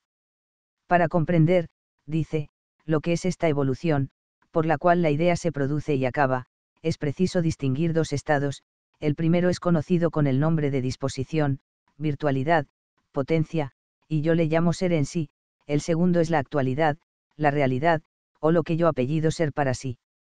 El niño que nace tiene la razón virtualmente, en germen, mas no posee todavía la posibilidad real de la razón. Es razonable en sí, pero no llega a serlo para sí, sino a medida que se desenvuelve. Todo esfuerzo para conocer y saber, toda acción, no tiene otro objeto que sacar a luz lo que está oculto, que realizar o actualizar lo que existe virtualmente, de objetivar lo que es en sí, de desenvolver lo que existe en germen. Llegar a la existencia es sufrir un cambio, y, sin embargo, quedar lo mismo, ved, por ejemplo, como la encina seil de la bellota, producense cosas muy diversas, pero todo estaba encerrado ya en el Gerraen, aunque invisible e idealmente. Pasaré por alto las muchas y graves consideraciones que podrían hacerse sobre el peregrino significado que da el filósofo alemán a la palabra idea. Se les había ocurrido a los autores de sistemas ideológicos el escogitar varios para explicar el misterio del pensamiento, dando también diferentes acepciones a la palabra idea, pero decir que esta es la armoniosa unidad del conjunto universal que se desarrolla eternamente, o, en términos más claros, llamar idea a la naturaleza misma, creo que solo podía venir a la mente de quien, proponiéndose confundirlo todo en el monstruoso panteísmo, comienza por dar a las palabras una significación inusitada y extravagante. Yo desearía que se me explicase qué necesidad hay de tantos rodeos para llegar a decirnos que en el mundo no hay más que un ser, o una substancia, que ésta sufre diferentes modificaciones, y que todo cuanto existe no es más que uno de los accidentes del conjunto universal que sin cesar se transforma. Este es ciertamente el pensamiento de Hegel, el niño tenía el uso de razón en potencia, el adulto en acto, aún más, y hablando con mayor precisión, el mismo adulto, cuando piensa, está en acto, cuando duerme, está en potencia de pensar. Dice Hegel que todo esfuerzo para conocer y saber, y hasta toda acción, tiene por objeto el sacar a luz lo que está oculto, realizar o actualizar lo que es virtualmente, esto necesita comentarios, es verdad que el esfuerzo para conocer y saber tiende a hacernos presente y ponernos en claro lo que para nosotros está o obscuro o enteramente oculto, pero no lo es que ninguna acción tenga otro objeto que realizar o actualizar lo que es virtualmente. No puede negarse que en el orden de la naturaleza hay un desarrollo continuo en que unos seres salen de otros, como la encina de la bellota, pero los hay también cuya esencia se opone a que hayan dimanado de otro cualquiera, a no ser que hayan pasado instantáneamente de la no existencia a la existencia, es decir, sin haber sido criados. Llegar a la existencia, dice Hegel, es sufrir un cambio, y, sin embargo, quedar lo mismo, esta proposición asentada en general destruye toda idea de creación, pues que no existe esta, cuando no se pasa de la nada al ser. Si llegar a la existencia no es más que sufrir una mudanza y quedar lo mismo, tendremos que, cuando el universo comenzó a existir, no fue porque hubiese sido criado por Dios, sino porque, verificándose una gran transformación en la materia preexistente, resultó ese conjunto que nos asombra con su inmensidad, y nos encanta con su belleza y armonía. Semejante suposición nos lleva en derechura a la eternidad del mundo, al caos de los antiguos, a todos los absurdos sobre el origen de las cosas, que las luces del cristianismo habían desterrado de la tierra. Extraño es que filósofos que se glorían de altamente espiritualistas, que manifiestan despreciar el materialismo francés del siglo pasado, lo establezcan tan lisa y llanamente combatiendo la espiritualidad, la inmortalidad, y el origen divino de nuestra alma. Si cuando ésta comienza a existir no hay más que la mudanza de un ser, a manera que la encina es lo contenido en la bellota, bien que, desenvuelto y transformado, podremos inferir que el alma brota del fecundo seno de la naturaleza lo propio que los gérmenes materiales, será un producto más o menos útil, más o menos activo, más o menos depurado, pero no será más que el ser que ya antes existía, que la planta salida de la semilla. Esta doctrina es esencialmente materialista, sin que basten a sincerarla de tan grave cargo todos los misterios y enigmas del nuevo lenguaje filosófico. Lo que es simple, lo que es indivisible, no puede ser el resultado de la transformación de otro ser, lo que pasa de un estado a otro adquiriendo una nueva forma, una nueva existencia, como lo hacen los vegetales salidos del germen, es compuesto, porque no es dable concebir esa mudanza sucesiva sin acompañarle la idea de partes. Podemos muy bien admitir que una substancia enteramente simple ejerza actos muy diferentes, y reciba impresiones muy varias, pues que todas estas modificaciones pueden realizarse sin alterar su naturaleza, como en efecto lo estamos experimentando a cada paso con respecto a nuestro espíritu, pero afirmar que la substancia misma no es más que otra transformada y desenvuelta, es asentar que esta substancia consta de partes, que se pueden combinar de distintas maneras. La dificultad de atacar semejantes delirios proviene de que esos nuevos filósofos han tenido la ocurrencia de adoptar un lenguaje tan extraño y enigmático, que siempre está uno en la duda de si ha dado o no en el verdadero sentido del autor. Así, en el caso que nos ocupa, si Hegel hubiese dicho sencillamente que en el mundo no hay más que un ser, una substancia, que comprende en sí todo el conjunto de cuanto existe, añadiendo que lo que a nosotros nos parecen seres o sustancias particulares, no son otra cosa que modificaciones de la substancia única que todo lo absorbe, sabríamos que tenemos a la vista un profesor del panteísmo, y al combatirle no vacilaríamos sobre cuáles son los mejores argumentos para demostrar la falsedad del monstruoso sistema. Pero, como quiere V habérselas con un hombre que empieza hablándole de idea, de armoniosa unidad, de conjunto que se desarrolla eternamente, de idea que es la realidad misma, de evoluciones, de ser en sí y para sí, de tránsitos de virtualidad a la actualidad, todo para venir a parar a que el universo entero no es más que un desarrollo sucesivo, saliéndole al fin con el estupendo descubrimiento de que un niño al nacer tiene la razón virtualmente, más que no la posee actualizada, y que la encina ha salido de la bellota. Las ramas, dice Hegel, las hojas, las flores, el fruto de una misma planta, proceden cada uno para sí, mientras que la idea interior determina esta sucesión. Sabría V decirme lo que debe de ser el que las ramas, las hojas, las flores, el fruto procedan para sí, ni cuál podrá ser el significado de la idea interior, aplicada a las plantas. Supone Hegel que dentro de la naturaleza hay un ser inteligente y próvido que lo ve todo, que lo arregla todo, queriendo llamar idea el pensamiento de este ser, distinguiéndole, empero, de la materia. Entonces vendrá a parar a la idea de Dios, porque también decimos nosotros que Dios está en todos los seres, en todas las partes, viéndolo todo, ordenándolo todo, conservándolo todo, presidiendo a ese magnífico desarrollo que de continuo se está obrando en la naturaleza, conforme a las leyes establecidas por el Criador. Mas nosotros afirmamos que el autor de tantas maravillas existía desde toda la eternidad, antes que nada, existiese fuera de él, y ahora conserva, mueve, vivifica el mundo, no como el alma al cuerpo, sino de una manera independiente, libre, sin estar ligado con su criatura, sino obrando por medio de su voluntad omnipotente, y repitiendo a cada paso lo que con tan sublime pincelada nos describió Moisés, hágase la luz, y la luz fue hecha. Pero, el dar a la naturaleza una idea interior, atada, por decirlo así, con los seres corpóreos, es afirmar que el mundo es un ser animado, que funciona del propio modo que nuestro cuerpo, vivificado por el alma, lo que, si anda acompañado de la confusión del espíritu con la materia, si se supone que la existencia de los seres espirituales y corporales no es más que un desarrollo simultáneo del admirable conjunto, forma el panteísmo puro, tal como lo concibiera Spinoza. Quizás no creía V, mi apreciado amigo, que a tal extremo llegara la filosofía moderna de los indignos sucesores de Leibniz, mas, por esto he creído conveniente presentarle a V los mismos textos del ponderado filósofo, para que se convenciera a un tiempo de que la ensalzada superioridad se reduce a resucitar errores antiguos, bien que cubiertos con nombres extravagantes. Interminable sería esta carta, y estoy seguro de que se le haría a V algo pesada, si me propusiera mostrarle, ni aún, en resumen, todas las paradojas a que fue conducido Hegel por su enigmático sistema. Nada le diré a V del desarrollo de la idea en la esfera lógica, de la razón impersonal, y otras cosas por este tenor, quiero limitarme a decirle dos palabras sobre la peregrina esperanza que abrigaba el filósofo de que por medio de su teoría era dable determinar a priori las leyes del mundo físico. Riéranse ciertamente Newton y Leibniz de pretensión tan extraña, riéranse todos los físicos modernos, acordes en que no hay otro medio para llegar al conocimiento de las leyes de la naturaleza que la observación, pero Hegel les respondería con la mayor seriedad que, no siendo las leyes del mundo físico otra cosa que las de nuestro espíritu, bien que objetivadas, es muy posible pasar del conocimiento de estas al de aquellas.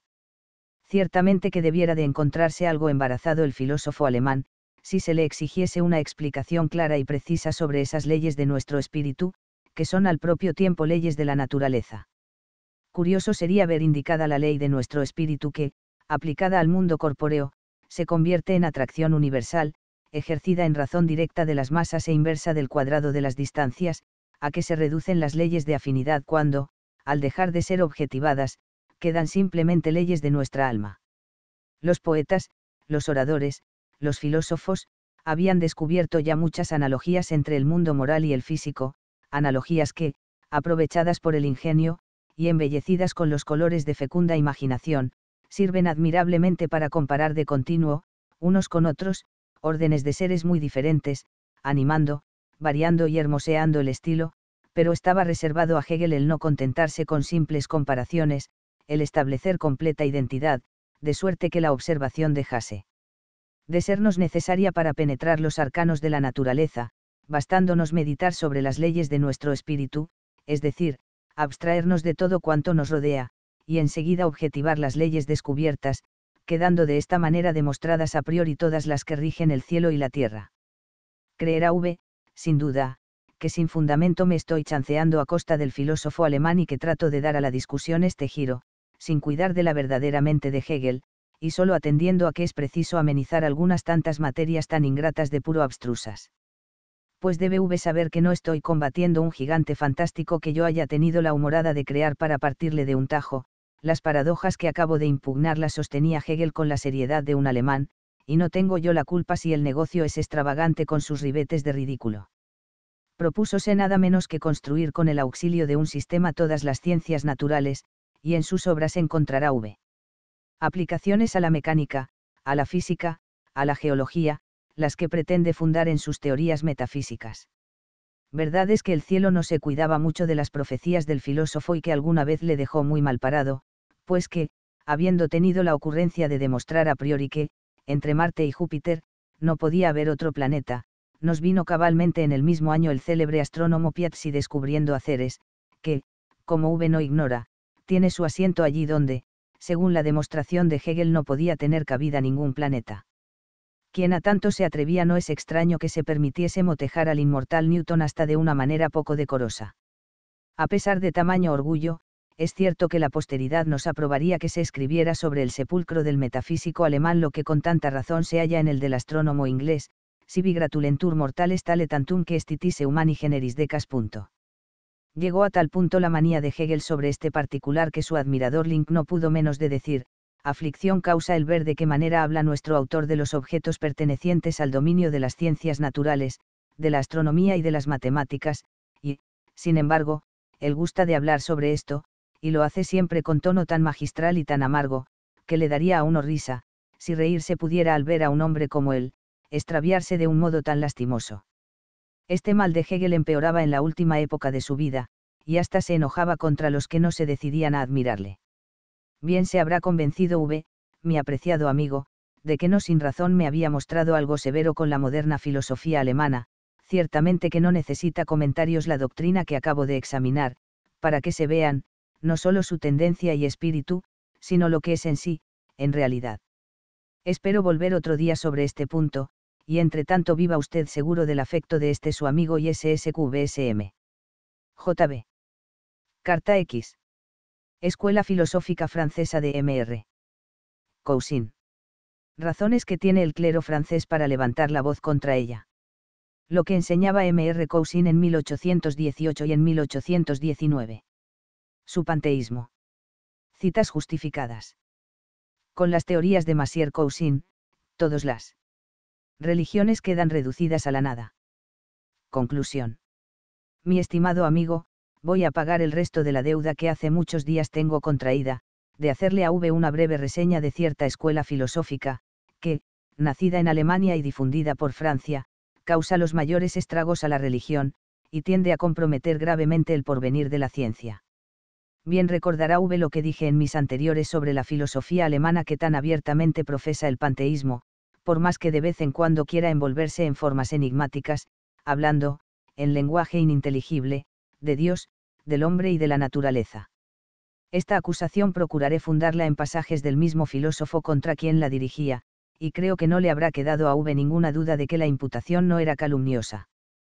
Quizás le será difícil a V persuadirse de que iguales cargos puedan hacerse a la escuela francesa que sigue las huellas de M. Cousin, porque, habiendo oído repetidas veces las invectivas de los universitarios contra la intolerancia del clero, se habrá usted imaginado que la filosofía del jefe del eclecticismo es inocente en todas sus partes, y que solo cabe apellidarla impía en hombres que se alarmen, no por el error sino por la sola luz de la razón, y se empeñen en condenar el entendimiento humano a eterna inmovilidad y a la más estúpida ignorancia. No me costará mucho trabajo sacarle a V de este error, y demostrarle hasta la última evidencia que no sin razón levanta la voz el clero francés contra el veneno que se procura ofrecer a los jóvenes en copa de oro. En primer lugar, debe saber V que ya en 1819 enseñaba M. Cousin que no había demostración de la existencia y de los atributos de Dios, ni experimental, ni de otra clase. Es cierto que, al propio tiempo, afirmaba que la existencia de Dios es una verdad superior a todas las otras y hasta a los principios que se llaman axiomas, mas no deja de añadir lo siguiente, sea cual fuere la opinión que se adopte sobre el particular, queda establecido que ni la experiencia sola, ni la experiencia ayudada del raciocinio, puede alcanzar la existencia de los atributos esenciales de Dios. ¿De qué servía el decir que la existencia de Dios es una verdad superior a todas las otras, si luego se la combatía por sus cimientos, asegurando que la razón no podía alcanzarla, y declarando, por consiguiente, vana ilusión la creencia en que estuvieron los filósofos de que habían conseguido por medio de las criaturas elevarse al conocimiento del Criador. No podríamos suponer que en 1819 no se atrevía M. Cousin a manifestar su pensamiento todo entero, y que así tributaba aparentes homenajes a la verdad para poder continuar minándola, sin alarmar demasiado a los que no se hubieran podido resignar a la enseñanza del panteísmo. Bien pronto se convencerá V de que esta conjetura no está destituida de fundamento. Leamos las palabras de su curso de 1818, página 55, y por ellas echaremos de ver que el fondo de su filosofía era el mismo que hemos hecho notar en la escuela alemana. El ser absoluto, dice, conteniendo en su seno el yo y no yo finito, y formando, por decirlo así, el fondo idéntico de todas las cosas, uno y muchos a un tiempo, uno por la substancia, muchos por los fenómenos, se aparece a sí mismo en la conciencia humana. No puede haber más que una substancia, añade en la página 139, la substancia de la verdad o la suprema inteligencia. Dios es el ser único y universal, página 274, Dios es la substancia universal, cuyas ideas absolutas componen la sola manifestación accesible a la inteligencia del hombre, página 390, Dios no es más que la verdad en su esencia, 128, no es otra cosa que el mismo bien, el orden moral tomado substancialmente. Obras de Platón, tomo primero, argumento de Leutifrón, página 3. No sabemos de Dios otra cosa, sino que existe, y que se manifiesta a nosotros por la verdad absoluta. Curso de 1818, página 140. La materia, tal como se la define vulgarmente, no existe, pues que por lo común se la mira como una masa inerte, sin organización y sin regla, cuando en realidad está penetrada de un espíritu que la sostiene y ordena, ella no es, pues, otra cosa que el reflejo visible del espíritu invisible, el mismo ser que vive en nosotros, vive en ella, est Deus in nobis, est Deus in rebus, página 265. Estudiad la naturaleza, elevaos a las leyes que la rigen y que hacen de ella una verdad viviente, una verdad que se ha hecho activa, sensible, en una palabra, Dios es la materia. Profundizad, pues, la naturaleza, cuanto más os penetraréis de sus leyes, más os acercaréis al Espíritu Divino que la anima. Estudiad sobre todo la humanidad, pues que ella es todavía más santa que la naturaleza, porque, estando animada de Dios como ésta, lo conoce así, mientras la naturaleza lo ignora, abarcad el conjunto de las ciencias físicas y de las morales, separad los principios que ellas encierran, poneos en presencia de estas verdades, referidlas al ser infinito que es su origen y sostén, y habréis conocido con respecto a Dios todo lo que de Él nos es dado conocer en los estrechos límites de nuestra inteligencia finita, páginas 141 a 142. Si V reflexiona sobre estos pasajes de M. Cousin, mejor diré, con solo que V atienda al sentido literal y obvio de algunas de sus proposiciones, verá V el panteísmo cubierto con un velo muy transparente. Según M. Cousin, no puede haber más que una substancia, Dios es el ser único y universal, el ser absoluto es uno por la substancia, y muchos por los fenómenos, el hombre no es más que una participación de ese ser absoluto, pues que el ser que contiene en sí el yo, y el no yo finito, y que constituye, por decirlo así, el fondo idéntico de todas las cosas, se aparece a sí mismo en la conciencia humana.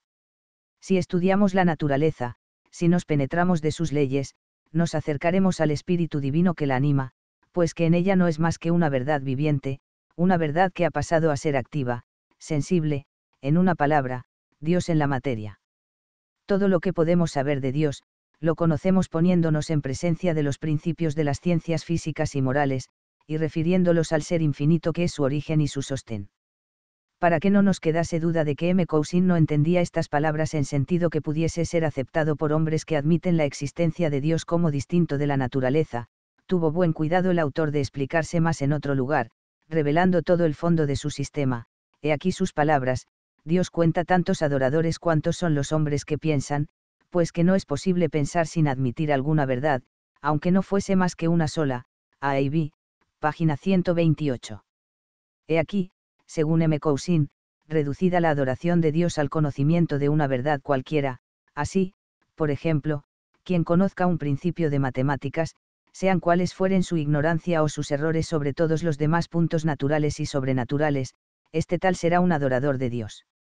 De esta suerte no es posible que haya ateos, pues que, como todo hombre admitirá cuando menos su propia existencia, ya admite una verdad, y, por consiguiente, adora a Dios. M. Cousin vio que esta consecuencia nacía de su doctrina, y lejos de rechazarla la abrazó y la consignó en sus escritos. He aquí cómo se expresa sobre el particular, no hay ateos, el que hubiese estudiado todas las leyes de la física y de la química, aun cuando no resumiese su saber bajo la denominación de verdad divina o de Dios, sería, no obstante, más religioso, o, si se quiere, sabría más sobre Dios, que quien, después de haber recorrido dos o tres principios como el de la razón suficiente o el de causalidad, hubiese formado desde luego un todo al que llamar a Dios. No se trata de adorar un nombre, Dios, sino de encerrar en este título el mayor número de verdades posible, pues que la verdad es la manifestación de Dios, página 141. Cuando habéis concebido una verdad como idea, dice en otro lugar, concebid que ella existe, y así la unís a la substancia, el que concibe la verdad, concibe, pues, la substancia, sea que él lo sepa o que lo ignore. Para saber si alguno cree en Dios, yo le preguntaría si cree en la verdad, de donde se sigue que la teología natural no es más que la ontología y que la ontología está en la psicología. La verdadera religión no es más que esta palabra añadida a la idea de la verdad, ella es, página 385. Bien claro se echa de ver que el Dios de M. Cousin no es el Dios de los cristianos, pues no es otra cosa, según él, que la naturaleza misma, el conjunto de las leyes que la rigen, bastando conocer una cualquiera de ellas o una verdad, sea la que fuere, para eximirse de la nota de ateo. Creer en Dios, según M. Cousin, es creer en la verdad, la teología natural no es más que la ciencia de los seres en abstracto, y la religión no es otra cosa que una palabra, añadida a esta verdad, con esta teoría tenemos proclamado sin rodeos el panteísmo, según ella, Dios es todo, y todo es Dios, es decir, que el ser infinitamente perfecto, esencialmente distinto de la naturaleza, será una quimera, pues que no hay otro ser que la naturaleza misma, todo cuanto existe, todo será fenómenos de la substancia universal, de ese ser único que todo lo absorbe, que todo lo identifica en sí mismo, que es a un tiempo espíritu y materia, que es activo e inerte, que ha existido siempre y siempre existirá, y, por consiguiente, no hay creación, y todas las transformaciones que vemos en el universo, no son otra cosa que diferentes fases de un ser único que se modifica de varias maneras. No crea V, mi estimado amigo, que estas doctrinas de M. Cousin con respecto a Dios fuesen vertidas como al acaso, sin estar enlazadas con otros principios que las sostuviesen. Muy al contrario, ellas son las consecuencias del principio fundamental de los panteístas sobre la substancia, he aquí cómo la define en sus fragmentos filosóficos, tom I, página 312 de la tercera edición La substancia es aquello que no supone nada fuera de sí, relativamente a la existencia. Tenemos, pues, que la substancia ha de ser única, ya que en su esencia excluye la coexistencia de otros seres, luego todo cuanto existe, finito o infinito, no puede ser más que una substancia única, luego los seres que a nosotros nos parecen distintos, no son en realidad otra cosa que modificaciones del ser universal, único, que todo lo identifica en sí. Estos corolarios no asustan a M. Cousin, antes bien los adopta como la única doctrina razonable. Una substancia absoluta, dice, debe ser única para ser absoluta. Las substancias relativas destruyen la idea misma de substancia, y substancias finitas que suponen fuera de ellas otra substancia con la cual se ligan, se parecen mucho a fenómenos, página 63. La substancia de las verdades absolutas, dice en otro lugar, es necesariamente absoluta, si es absoluta, es también única, porque, si no es única, se puede buscar alguna cosa que exista fuera de ella, y entonces se sigue que ella no es más que un fenómeno relativamente a este nuevo ser, el cual, si se dejase sospechar que fuera de él existía también alguna cosa, perdería a su vez la naturaleza de ser, y no sería más que un fenómeno. El círculo es infinito, o no hay substancia, o no hay más que una, página 312. No cabe profesar con más claridad el principio fundamental de los panteístas, solo faltaba saber si M. Cousin admitía en toda su extensión la doctrina de la escuela de Spinoza. Desgraciadamente encontramos un pasaje donde formula su pensamiento de la manera más explícita que imaginarse pueda, diciendo, el Dios de la conciencia no es un Dios abstracto, un rey solitario, relegado más allá de la creación sobre el trono desierto de una eternidad silenciosa, y de una existencia absoluta que se parece a la misma nada. Es un Dios a un tiempo verdadero y real, a un tiempo substancia y causa, siempre substancia y siempre causa, no siendo substancia, sino en cuanto es causa, y causa, sino en cuanto es substancia, es decir, siendo causa absoluta, uno y muchos, eternidad y tiempo, espacio y número, esencia y vida, indivisibilidad y totalidad, principio, fin y medio, en la cumbre del ser y en su más humilde grado, infinito y finito a un tiempo, triple en fin, es decir, a un mismo tiempo Dios, naturaleza y humanidad. En efecto, si Dios no es todo, es nada, si es absolutamente indivisible en sí, es incomprensible, y su incomprensibilidad es para nosotros su destrucción.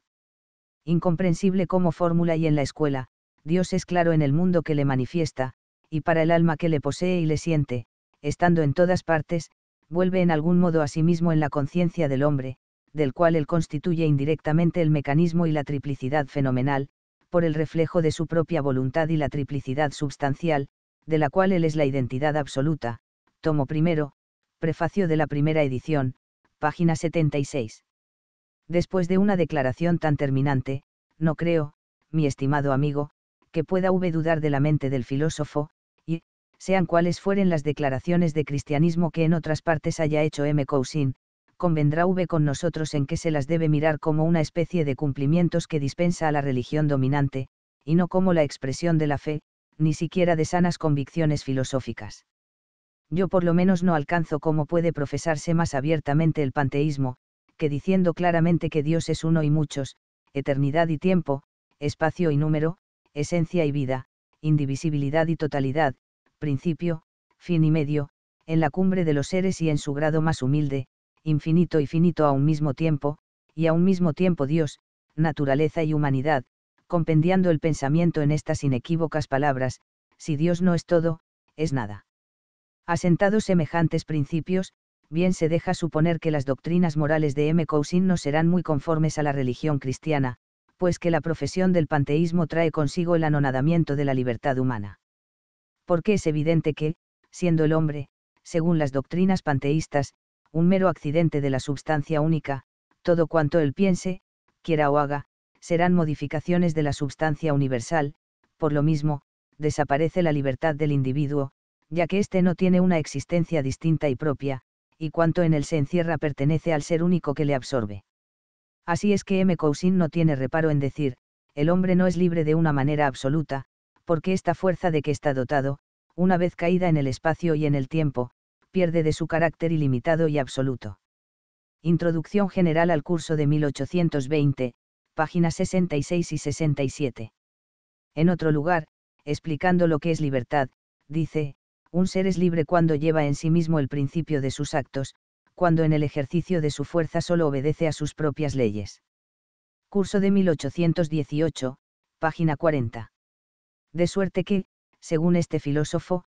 para ser libre no es necesario tener la elección entre obrar y no obrar, y entre obrar esto o aquello, sino que es suficiente el tener en sí mismo el principio de sus actos, y no obedecer más que a sus propias leyes.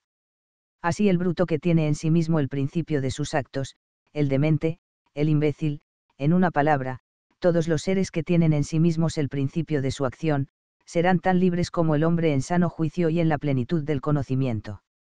La revelación y hasta todas las religiones quedan reducidas a la nada con las teorías de M. Cousin, y en vano es que este filósofo se empeñe en sostener que sus doctrinas no están reñidas con el cristianismo.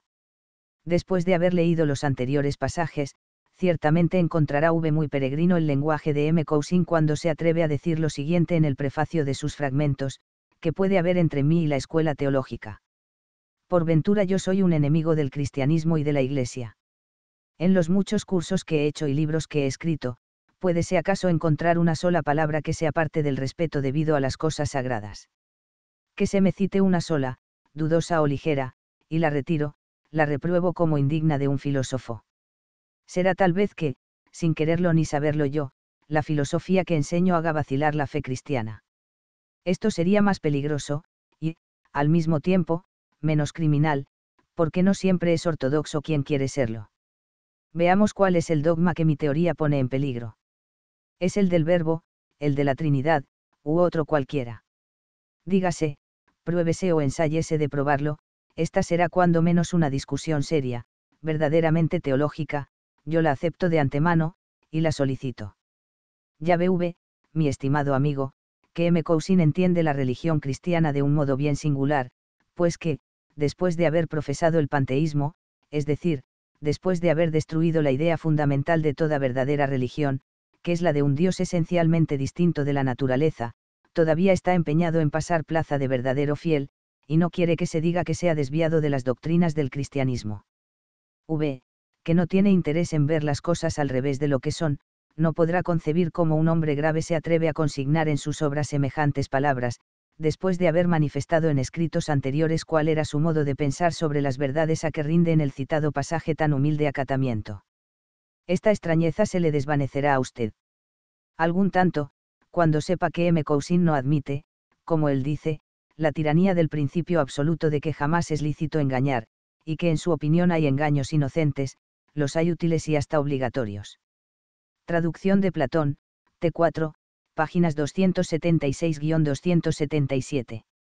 Quien de tal modo niega a Dios su naturaleza, y al hombre su libre albedrío, no es mucho que no escrupulice en legitimar la mentira, lo singular es que él se haya podido hacer la ilusión de que semejante engaño en lo tocante a sus doctrinas había de alucinar a nadie. Es tan vivo el contraste, o, mejor diremos, la contradicción entre unos y otros pasajes, que para no verla sería preciso cerrar los ojos a lo que es más claro que la luz del día. Con esta breve reseña habrá formado V concepto de lo que son esos sistemas filosóficos, en los cuales suponía V tendencias espiritualistas muy sanas, y hasta muy conformes con la enseñanza del cristianismo. Así habrá podido V rectificar, o, mejor diré, variar la opinión que había formado sobre el clero católico de Francia, imaginándose que sus clamores contra el veneno de alguno de los jefes de la universidad eran declamaciones fanáticas, nacidas únicamente del espíritu de intolerancia, y del empeño de encerrar el entendimiento humano en los límites prescritos por el antojo de los eclesiásticos. Ahora, para en adelante, me tomaré la libertad de advertirle a V que, cuando lea en alguna de nuestras publicaciones científicas y literarias fallos magistrales sobre este linaje de materias, no se deje V sorprender fácilmente por el tono de seguridad con que se expresa el escritor, que las más veces, lejos de enterarse a fondo del estado de la cuestión, no hace más que traducir al pie de la letra las palabras de algún periódico de Allende los Pirineos. Y como quiera que los que más en boga andan en ciertas regiones, no son los más adictos a las doctrinas católicas, acontece que el fallo emitido con aire de imparcialidad y de pleno conocimiento de causa, es copia literal de una de las partes, sin que el escritor español se haya tomado la pena de escuchar los descargos que hubiera alegado la otra. Pero basta de la filosofía de Schelling, Hegel y Cousin, pues que, si mucho no me engaño, debe de estar V medianamente fatigado, con la substancia universal, y las transformaciones, y los fenómenos, y el ser único que se revela a sí mismo en la conciencia humana, y semejantes abstracciones, de la alta concepción de esos filósofos que se levantan a inmensa altura sobre el resto de la humanidad, olvidándose en su atrevido vuelo, de llevar consigo las nociones del sentido común. Nosotros, que a tanto no alcanzamos, cuidaremos de no desviarnos hasta tal punto de los senderos trazados por una razón juiciosa, sin que nos importe mucho el que se nos diga que recibimos la inspiración de musa pedestre. Entre tanto V en que puede complacerle este su atento y SSQVSM. JB. Carta 11. ¿Cómo ha podido introducirse en Francia la filosofía alemana? Su oposición con el genio francés. Conjeturas sobre el porvenir de esa filosofía en Francia. Se. Propone el argumento de un escéptico contra la religión. Cristiana. Palabras del escéptico. Su equivocación sobre la enseñanza del cristianismo con. Respecto al amor propio. Es falso que la religión nos prohíba. Amarnos a nosotros mismos. Pruebas sacadas del mismo catecismo. Lo que significa el principio de la caridad bien. Ordenada. Lo que nos dice él. Catecismo sobre el origen y destino. Del hombre. La religión cristiana hermana y armoniza de una manera admirable el amor de Dios, el de sí mismo y el del prójimo. ¿Cómo se entiende la muerte del amor propio de qué? hablan los autores místicos. ¿Cómo se entiende el aborrecimiento de sí mismo? ¿Cómo entendían los santos el amor propio en medio de las mortificaciones? Recursos que le quedan al escéptico después de desbaratados sus argumentos. Nuevo terreno en que en tal caso se colocaría la cuestión. La moralidad del Evangelio ha sido aplaudida hasta por los más violentos enemigos del cristianismo. Un consejo a los impugnadores de la religión cristiana. Mi estimado amigo, tengo particular complacencia en que su apreciada V me exima, ahora para siempre, de hablarle de la filosofía alemana y de la francesa, que es una imitación de la misma. Ya tenía yo un presentimiento de que su juicio de V, naturalmente recto, amante de la verdad y enemigo de abstracciones, no había de avenirse muy bien con ese lenguaje simbólico y esos pensamientos fantásticos, con que los buenos alemanes han engalanado la filosofía, sin duda en los ratos de ocio que les habrá proporcionado en abundancia su clima de escarchas y de niebla. Extraña usted con razón que esta filosofía haya podido cundir en Francia, donde los espíritus propenden más bien al extremo opuesto, es decir, a un positivismo sensual y materialista. Yo creo que esto ha sido una especie de necesidad, supuesto que, habiéndose desacreditado tan completamente la filosofía volteriana, érales preciso a los que querían echarla de filósofos, cubrirse con un manto más grave y majestuoso, y, como quiera que no tenían ganas de seguir a los buenos escritores que les habían precedido en su mismo país, menester fue dirigir las miradas allende el Rin y traer con grande ostentación, en medio de un pueblo caprichoso y novelero, los sistemas de Schelling y Hegel, como portentosos inventos que hubiesen hecho progresar de una manera admirable al ingenio humano. Por lo demás, si he de decir francamente lo que pienso, opino que el genio francés no se acomodará bien con la filosofía alemana, que descubrirá lo que hay en su fondo, a saber, el panteísmo, y que, sin detenerse mucho en sutilizar y cavilar sobre la substancia universal y única, llegará pronto a la última consecuencia, que es el puro ateísmo, sin los ambajes de palabras misteriosas. En deduciendo este resultado, observará que nada se le dice de nuevo sobre lo que le enseñaran sus filósofos del siglo pasado. Desdeñará, pues, esta filosofía que se apellida nueva, como un plagio de otra envejecida y caduca, y entonces será preciso andar en busca de otros manantiales de ilusión, para dar pábulo, siquiera por algún tiempo, a la curiosidad de las escuelas y a la vanidad de los maestros. Esta es la historia del entendimiento humano, mi querido amigo, recorra V sus páginas, y notará desde luego que el fenómeno que nosotros presenciamos, es la reproducción de lo mismo que vieron los siglos anteriores. No es poco el provecho que de aquí sacan los hombres religiosos, pues que, contemplando la versatilidad del entendimiento humano, comprenden mucho mejor la necesidad de una guía en medio de las ilusiones y extravíos. Casi me ha sorprendido el argumento que V me propone contra la verdad de nuestra religión, fundándose en que contrariamos con nuestras doctrinas uno de los sentimientos más indelebles y al propio tiempo más inocentes que se abrigan en nuestro pecho, el amor propio. Me han hecho gracia las cláusulas en que V desenvuelve sus ideas, las razones en que las apoya, serían ciertamente muy fuertes, si no estribasen en una suposición falsa, y, por lo mismo, no fueran como edificios sin cimiento. Yo no sé, dice V en su apreciada, qué espíritu misantrópico reina entre los católicos, que todo lo cubre de negra tristeza.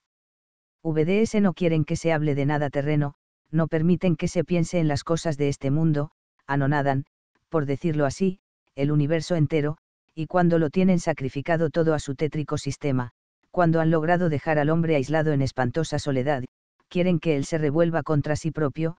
que se niegue, que se anonade también a sí mismo, que se despoje de sus sentimientos más íntimos, que se aborrezca, haciendo un esfuerzo cruel contra los más vivos instintos de su naturaleza. Pues que Dios Criador será contrario de Dios Salvador. Dios, que nos ha comunicado el amor de nosotros mismos, que lo ha escrito en nuestras almas con caracteres indelebles, ese mismo Dios, cuando obra, como dicen VDS. en el orden de la gracia, se complacerá en obrar contra sí mismo como autor de la naturaleza. Estas son cosas que yo no he podido comprender nunca, y difícil se me hace creer que V consiga disiparme las tinieblas que en esta parte me impiden conocer la verdad. Bien se me alcanza que V se me ha de descolgar con un elocuente sermón sobre la miseria y la iniquidad del hombre, sobre los justos motivos que tenemos para profesarnos un odio santo, pero desde luego le prevengo a V que esa santidad yo no puedo desearla, que, por más débil y vano y malo que me conozca, yo no puedo menos de quererme, y que, comparando mi nada con la elevación de los querubines, más afición me siento, más amor a mi menguado ser, que no hacía aquellas elevadas inteligencias que diz que rayan muy alto allá en las jerarquías celestiales. El tono de seguridad con que V se expresa, me hace entender que tiene V aquí algo más que dudas, pues, según parece, abriga verdaderas convicciones, y no lo extraño, supuesto que estriba V en un principio falso, lo da, por cierto, y sobre él levanta el edificio de sus discursos. Algunas palabras que habrá, leído V en ciertos libros místicos las ha tomado V al pie de la letra, y de aquí el achacar a la religión doctrinas que ella no profesa. ¿Quién le ha dicho a V que el cristianismo condena el amor propio, entendiendo esta condenación en un sentido riguroso? He aquí el vacío que ha dejado usted en sus raciocinios, no se ha cuidado de asegurarse bien del principio en que los apoyaba, y así, creyendo construir sobre base sólida, ha formado, como suele decirse, un castillo en el aire. No es la primera vez que esto le acontece a la religión, pues sucede muy a menudo que para combatirla se forman fantasmas, y contra ellos se pelea llamándolos hijos suyos, cuando no son más que creaciones del pensamiento del mismo que la ataca. No quiero yo decir que V haya procedido en esta parte de mala fe, estoy seguro de que padece una equivocación, que reconocerá tan pronto como yo se la ponga de manifiesto, y esto me lisonjeo de poder lograrlo, no obstante, lo que V dice de que ha de ser difícil disipar las tinieblas que le impiden el conocimiento de la verdad por lo que toca a descolgarme con el elocuente sermón sobre la miseria y maldad del hombre, me parece que debiera V vivir tranquilo, cuando hartas pruebas le tengo dadas de que no soy aficionado a declamaciones de ninguna clase. Pero vamos al punto de la dificultad. Es falso que la religión nos prohíba el amarnos nosotros mismos, y tan falso es, que, antes, al contrario, uno de sus preceptos fundamentales es este mismo amor. Para convencerle a V, no necesito más que el catecismo creo que no se le habrá olvidado todavía aquello de que debemos amar al prójimo como a nosotros mismos, en lo cual está consignado de la manera más explícita el precepto del amor que cada cual debe profesarse a sí propio. Este amor se nos da por modelo del que debemos tener a los prójimos, y claro es que el precepto sería contradictorio, si se nos prohibiese ese mismo amor, que ha de servir de dechado y como de norma, para arreglar el que debemos a los otros. Sabe V que aquel principio que corre muy válido en el mundo de que la caridad bien ordenada comienza por sí mismo, está expresamente consignado en todos los tratados teológicos que se han escrito sobre la caridad. En ellos se explica el orden que ésta debe seguir, según son diferentes las relaciones con los objetos a que se extiende, y, siendo el primero y principal Dios, el segundo somos nosotros mismos. Por el pronto ya ve que quedan desbaratados todos sus raciocinios, ya que he negado redondamente el principio en que estribaban, aduciendo en pro de mi negación pruebas tan claras y sencillas, que V no podrá desechar, sin embargo, quiero ampliar mis ideas sobre este punto, haciendo de ellas aplicaciones que le dejen a V cumplidamente satisfecho.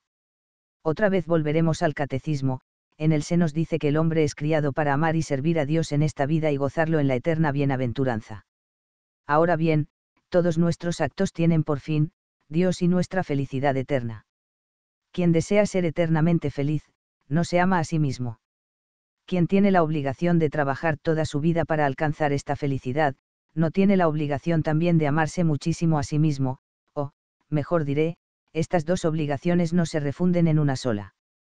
El cristiano tiene por dogma de que esta vida es un tránsito para la otra, si desprecia lo terreno, si no hace caso de las vanidades del mundo, es porque todo es pasajero, todo es nada en comparación de la dicha que tiene prometida para después de su muerte, si procura merecerla con sus buenas obras, sus bienes, su salud, su vida, su honra, todo debe perderlo antes que empañar su conciencia con un solo acto que le cerrara las puertas del cielo, pero en esa abnegación, en ese desprendimiento de sí mismo, queda salvo el amor propio bien ordenado, pues se desprecia lo poco para alcanzar lo mucho, se abandona lo terrenal por obtener lo celeste, se deja lo temporal por ganar lo eterno. Bien examinadas las doctrinas cristianas, se encuentra que hermanan y armonizan de una manera admirable el amor de Dios, el de sí mismo y el del prójimo, y, por consiguiente, es de todo punto falso que esta inclinación natural que nos lleva a amarnos a nosotros mismos, quede destruida por la religión, es rectificada, bien ordenada, purificada de las manchas que la afean, preservada de los extravíos que pudieran perderla, dirigida al supremo fin, infinitamente santo, infinitamente bueno, que es Dios. ¿Cómo se entiende, pues, esa muerte del amor propio de que están hablando los autores místicos? Se entiende la extirpación de los vicios, el refrenar las pasiones, el guardarnos del orgullo, en una palabra, el cuidar de que el amor del hombre sensual no dañe al hombre moral. El hacer que prevalezca lo superior sobre lo inferior, no es matar el amor, sino hacerle obrar en un sentido conforme a la ley eterna y altamente provechoso a nosotros mismos, quien se abstiene de una comida a la que se siente inclinado por su apetito, si lo hace con el fin de evitarse el daño que de ella teme, podrá decirse, por ventura, que no se ame, que se aborrezca a sí propio. Se dirá, con mucha verdad,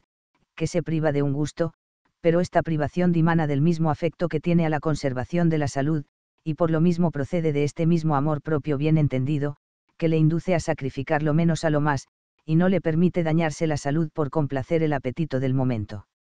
Con este ejemplo tan sencillo, y que presenciamos todos los días sin que cause ninguna extrañeza, se explican fácilmente las relaciones de las doctrinas cristianas con el amor propio, no siendo necesario más que extender el mismo principio a objetos elevados, y considerar que la norma que ha dirigido una acción particular, es la misma con que se ordena toda la conducta del cristiano. Pues, como se dice que nos aborrezcamos a nosotros mismos. Este aborrecimiento no se refiere, ni puede referirse, sino a lo que hay en nosotros de malo, ya sea actos o hábitos pecaminosos, base a ciertas inclinaciones que tienden a apartarnos del camino de la ley de Dios, pero de ninguna manera debemos ni podemos aborrecer nuestra naturaleza en lo que tiene de bueno, en lo que es obra de Dios, antes al contrario, debemos amarla, y la prueba de que es así, está en que debemos aborrecer el mal que haya en ella, y aborrecer el mal de una cosa, es desear. Su bien, es amarla. Ya sabe V, mi estimado amigo, que, de las reglas dadas para la conducta de los cristianos, unas son preceptos, otros consejos, la observancia de las primeras es necesaria para la eterna salvación, la de las segundas contribuye a hacernos perfectos en esta vida, y a merecernos más alto grado de gloria en la venidera, mas no nos obliga de tal suerte, que, si lo omitimos, nos hagamos reos de culpa. Esto mismo se aplica a la conducta con respecto al amor propio, por los prefectos estamos obligados a abstenernos de toda infracción de la ley de Dios, por más que a ello nos impulsen nuestros apetitos desordenados, así como debemos sacrificar el placer que nos resulta de la satisfacción de las pasiones, cuando se trate de ejercer un acto expresamente mandado en la ley divina, a sofocar de esta manera el amor propio todos estamos obligados, si no lo hacemos así, tenemos por dogma que no nos será otorgada la vida eterna, antes sí un castigo que no tendrá fin. Pero hay ciertas abstinencias, ciertas mortificaciones de los sentidos que no entran en el orden de los preceptos, y pertenecen solo al de los consejos. Estas mortificaciones las vemos practicadas, con más o menos rigor, por las personas que desean caminar hacia la perfección, y en algunos santos hallamos la austeridad conducida a tan alto punto, que nos asombra y aterra mas en estos mismos santos no estaba ahogado el amor bien entendido de sí mismo, se entregaban sin tasa a la penitencia, ya para purificarse cumplidamente de sus faltas, ya también para hacerse más agradables al Señor, ofreciéndole en holocausto sus sentidos, su cuerpo, todo cuanto tenían y todo cuanto eran, pero estos hombres extraordinarios se olvidaban, por ventura, de sí mismos. Se olvidaban, sí, del hombre sensual, o, mejor diremos, le tenían declarada guerra a muerte, abatiéndole, atormentándole cuanto les era posible, pero la razón de esto se encuentra en que le miraban como enemigo del hombre espiritual, como enemigo temible, altamente peligroso, de quien no convenía fiarse un solo instante, a quien no se podía soltar la cadena del cuello sin el riesgo inminente de que se levantara contra su dueño, que es el espíritu, y le redujese a esclavitud. Pero la salvación de su alma, la felicidad eterna en la otra vida, tanto distaban de olvidarla aquellos ilustres penitentes, que antes bien suspiraban incesantemente por ella, ansiaban vivamente que Dios les librase de este cuerpo que los agravaba, así es que el mayor de sus deseos era disolverse y estar con Cristo. La visión de Dios, la unión con Dios en lazos de inefable amor, era el objeto de sus esperanzas, de sus ardientes deseos, de sus continuos gemidos, así es que no puede decirse que se aborreciesen a sí mismos en toda la propiedad de la palabra, sino que se amaban con amor más bien entendido que el resto de los mortales. Con las consideraciones que preceden, creo que se habrá convencido V de que estribaba en una suposición falsa, y de que, si intenta continuar sus ataques contra la religión, considerándola como contraria al amor propio, le será preciso argumentar sobre otros principios. En efecto, desvanecido completamente el error en que V vivía de que la religión cristiana nos prohíbe amarnos a nosotros mismos, y probado hasta la última evidencia que no solo no nos lo prohíbe, sino que, muy al contrario, nos lo manda, solo le resta a V un camino, que es probar que la religión entiende de una manera equivocada el amor propio, y que, proponiéndose dirigirle y purificarle, le sofoca y le mata. Pero sabe V en qué terreno se habrá colocado entonces la cuestión. Sabe V que, considerada bajo este aspecto, nada tiene que ver con lo que estábamos discutiendo hasta aquí, y que se trata nada menos que de examinar si los preceptos y consejos del Evangelio son justos, son santos, son prudentes. No creo que usted se atreva a entablar disputas sobre una verdad generalmente reconocida hasta por los más violentos enemigos del cristianismo. Ellos niegan sus dogmas, se burlan de sus creencias, se ríen de su jerarquía, desprecian su autoridad, la consideran como un mero sistema filosófico, despojándole de todo carácter sobrenatural y divino, pero, en llegando a su moral, todos están acordes en que es pura, en que es admirable, sublime, en que es superior a la de todos los legisladores antiguos y modernos, en que se halla en íntima armonía con la luz de la razón, con los más nobles y bellos sentimientos que se albergan en nuestra alma, en que es la única digna de reinar sobre la humanidad y de dirigir los destinos del mundo, de suerte que, cuando, entregados a sus vanos pensamientos, forjan allá en su mente cristianismos reformados o religiones totalmente nuevas, todos adoptan como modelo de su moral lo enseñado en el Evangelio, aun cuando quizás en el fondo de su corazón profesen, con respecto a la moral misma, doctrinas degradantes y altamente funestas, no se atreven por lo común a exponerlas en público. Y se deshacen en elocuentes elogios de la dulzura, de la santidad, de la elevación de las máximas salidas de la boca de Jesucristo. Se hallará V, pues, en grave conflicto si se propone dirigir sus ataques sobre este punto, y así es que me atreveré a darle un consejo, que bien lo han menester la mayor parte de los que inculpan a la religión, y es que, al juzgar alguno de sus dogmas o máximas, no se deje v. Llevar de esa ligereza que falla sobre los objetos de la mayor importancia, sin haberse tomado la pena de examinarlos con la debida atención, y que reflexione que lo que han creído y enseñado y practicado tantos hombres eminentes en talento y sabiduría, sin duda debe de estar muy fundado, y no es fácil que venga al suelo con cuatro observaciones, que, por ingeniosas, no dejan de ser extremadamente fútiles. Créame V, cuando se le ocurran argumentos de esta clase, que con tanta facilidad le parecen derribar alguna verdad religiosa, suspenda V el juicio, no se precipite, medite, o lea, o consulte, que bien pronto echará de ver que el invencible Aquiles no tiene más fuerza que la que le suministra una suposición falsa, o un raciocinio mal trabado. No dudo que se habrá V convencido de que, si con el tiempo se resuelve a volver al seno de la religión, podrá V amarse a sí mismo. Entre tanto viva V seguro del afecto de este SS y amigo QVSM. JB. Carta 12. Contradicciones de los incrédulos. La moral de los hombres irreligiosos. Defensa de la moral. Del Evangelio. Las pasiones. Actos internos y externos. Diferencia capital entre la religión cristiana y los filósofos que la combaten. Vicio radical del sistema de los incrédulos. Aplicación al principio. De fraternidad universal. Sabiduría de la moral evangélica. Suavidad de los incrédulos convertida en crueldad. Observaciones sobre la providencia. Importancia de la religión. Mi estimado amigo, el método que va siguiendo usted en la discusión epistolar que hemos entablado, me va manifestando una verdad, que, si bien ya la tenía conocida, me la hace V mucho más evidente, hablo de la poca fijeza y exactitud en la moral, vicio de que adolecen generalmente los que no están fundados sobre el sólido cimiento de la religión. Con mucha verdad se ha dicho que la moral sin dogma era justicia sin tribunales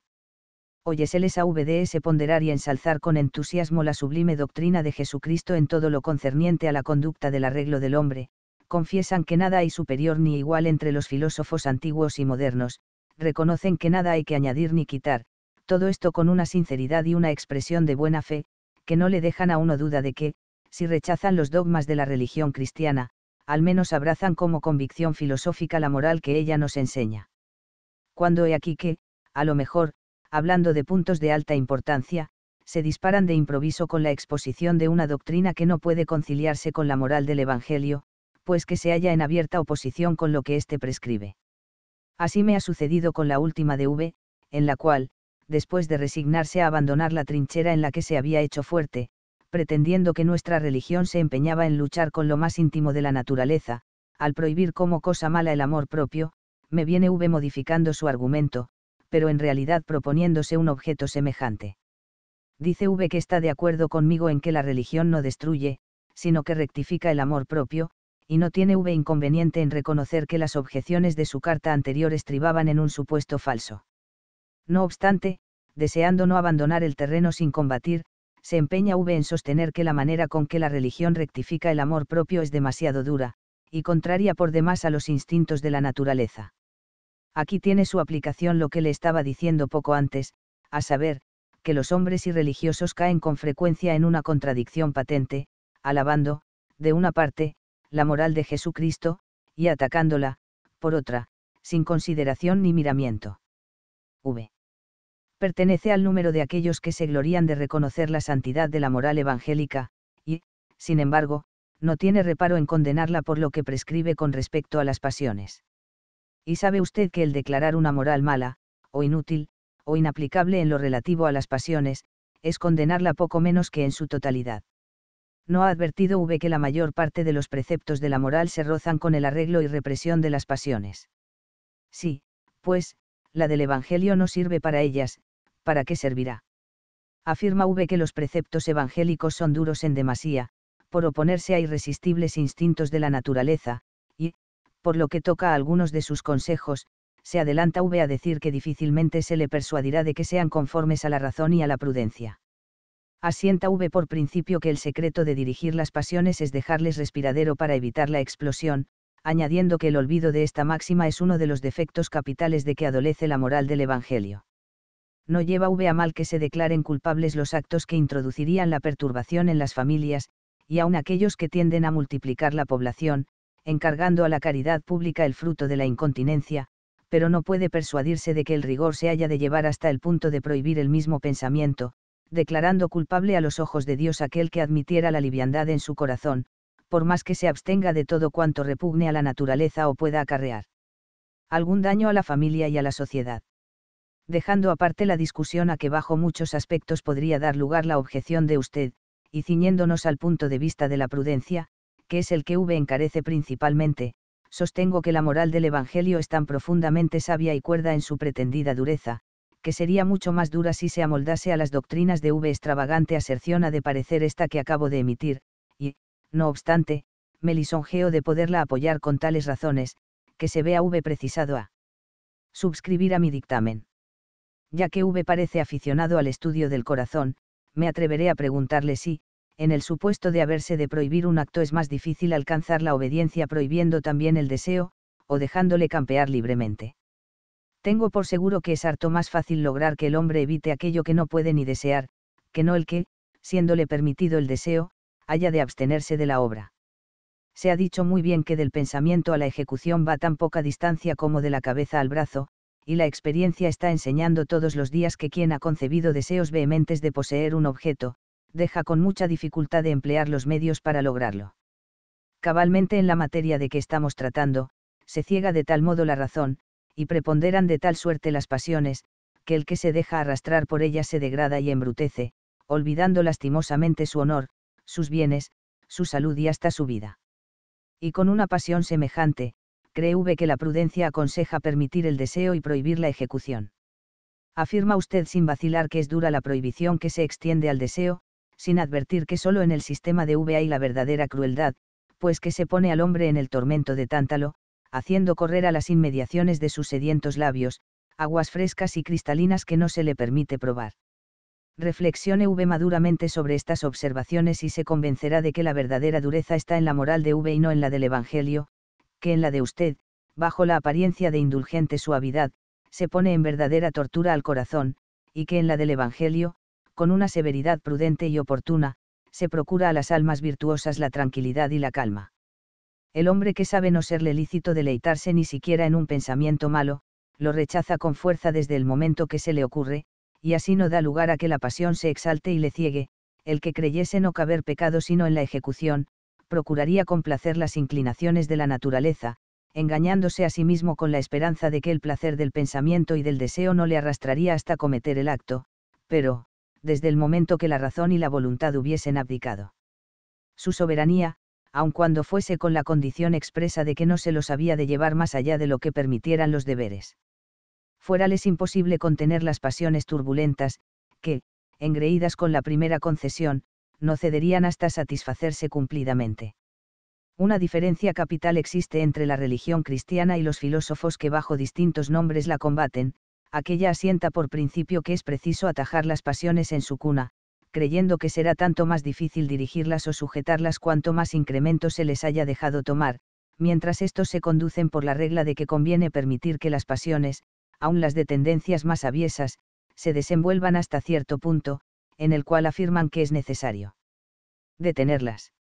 Y cosa notable, así se portan los filósofos que no disponen de otros medios para dominar el corazón que estériles discursos, cuya impotencia se manifiesta siempre que se hallan en lucha con una pasión algo vehemente, y la religión obra en sentido contrario, ella que abunda de medios eficacísimos para obrar sobre el entendimiento y la voluntad, y señorear al hombre entero. La religión fundada por el mismo Dios se atiene a una regla prudente, estimando en más la precaución del mal que no el tener que remediarlo, procurando curarlo cuando es pequeño por ahorrar la dificultad de hacerlo cuando sea grande, y el débil mortal se atreve a soltar el dique a las aguas, afirmando que conviene dejarlas correr libres, y que basta el que, cuando lleguen al límite prefijado, se les diga, de aquí no pasaréis, y aquí quebrantaréis el orgullo de vuestras olas. Yo no sé si se habrá convencido V, mi estimado amigo, con las razones que acabo de alegar en defensa de la moral del Evangelio y en contra del sistema filosófico. Como quiera, no podrá V negarme que estas consideraciones no son para despreciadas, dado que se fundan en la misma naturaleza del hombre y en lo que nos está enseñando la experiencia de todos los días. Lo que hemos aplicado a la pasión más turbulenta y peligrosa de las que afligen a los míseros humanos, puede decirse de todas las demás, bien que de ella se verifica de una manera particular aquello de que no hay más remedio que la fuga. Sentencia profundamente sabia y prudente, que advierte al hombre de lo mucho que importa no perder el dominio sobre sí mismo, porque no le sería fácil encadenar las pasiones, una vez hubiese llegado a soltarlas. Sucede con el individuo lo propio que con la sociedad, si el poder supremo, cuyo cargo es gobernar, principia a ceder a las exigencias de los que deben obedecer, estas van cada día en aumento, la autoridad se degrada a proporción que pierde terreno, hasta que al fin se llega a una completa anarquía o se apela a una reacción violenta, para recobrar lo perdido y restablecer derechos que jamás se debieran haber abdicado. Las leyes de orden tienen una analogía singular, aun en sus aplicaciones a cosas de naturaleza muy diferente, pudiera decirse que es una misma ley, sin más modificaciones que las absolutamente indispensables para atender a la especie del sujeto que por ella se ha de regir. He dicho que cuanto acababa de afirmar sobre la pasión voluptuosa era también aplicable a las demás, y voy a hacérselo sentir a V, atacándole por la parte más sensible, que es la filantropía, ya que VDS los filósofos no pueden tolerar que se ponga en duda su ardiente amor a la humanidad. Están VDS encareciendo continuamente el precepto de fraternidad universal, que, según la religión de Jesucristo, enlaza a todos los hombres como miembros de una misma familia. Infiérese de dicho mandamiento la prohibición de dañar al prójimo, y, según nuestros principios, no solo no podernos dañarle, pero ni aun tener este deseo, por manera que pecamos con solo complacernos en nuestro corazón un pensamiento de venganza. Ahora bien, aplicando al caso presente la teoría de V, resultará que debe condenarse por sobrado dura la moral cristiana en esta parte, y para seguir los consejos de una suave prudencia, será preciso contentarse con declarar que es malo el cometer un acto que dañe a nuestros hermanos, pero no lo es el deseo, si nos limitamos a él. Así la bella fraternidad de VDS se podrá expresar de esta suerte, hombres, no os causéis daño, ni de obra, ni de palabra, porque con esto faltaríais a las reglas de la sana moral, y ofenderíais al Dios que os ha criado, no para que os perjudiquéis mutuamente, sino para que viváis en pacífica armonía. Hasta aquí llega la obligación, pero entrando en el santuario de vuestro interior, sois dueños de desear a los demás hombres todo el mal que os pluguiere, seguros de que con ello no cometeréis ninguna falta, pues que Dios no es tan duro que haya querido, no solo prohibir los hechos, sino también el pensamiento y el deseo. ¿No le parece a V que el precepto de la caridad, de la fraternidad universal, es cosa curiosa y peregrina, si la explicamos de esta manera. Y, sin embargo, es evidente que de esta suerte lo explica V, no habiendo yo hecho otra cosa que reunir las partes del sistema para que se notara más vivamente el contraste. El vicio radical de dicho sistema es poner en desacuerdo lo interior con lo exterior, es suponer que conviene limitar las obligaciones morales a los actos externos, es establecer una especie de moral civil que en último análisis vendría a parar a una jurisprudencia puramente humana, sin otro objeto que impedir el que se perturbase la tranquilidad pública. A este resultado conducen las doctrinas de V, y nada extraño es que así sea, puesto que es muy natural que, en desterrando a Dios del mundo, o no admitiendo religión alguna, es decir, quitando la influencia divina sobre los actos del hombre, queden estos considerados en el orden puramente externo, y no tengan importancia a los ojos del filósofo, sino en cuanto son capaces de producir algún bien exterior o de causar algún mal. Quitando VDS a Dios, o, lo que viene a parar a lo mismo, destruyendo la religión, destruyen también la conciencia, destruyen al hombre interior, y reducen toda la moral a una combinación de utilidades bien calculadas. Estas consecuencias le serán a V desagradables, y no me cabe duda de que hará un esfuerzo por rechazarlas, más, para evitar disputas, le ruego a V que vuelva a seguir el hilo del raciocinio que me ha conducido a ellas, pues estoy cierto de que, haciéndolo así con imparcialidad y buena fe, no podrá menos de reconocer que mis palabras nada tienen de falso ni hiperbólico. Entre tanto, y para hacer sentir más y más los errores o inconvenientes de la doctrina que V abrazaba con tanta seguridad, voy a hacer una aplicación de ella al mismo precepto de fraternidad universal, no considerado en su parte prohibitiva, sino en la preceptiva.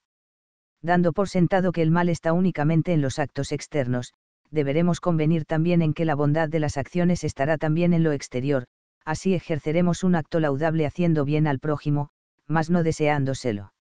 ¿Y sabe V a dónde nos conduce este principio?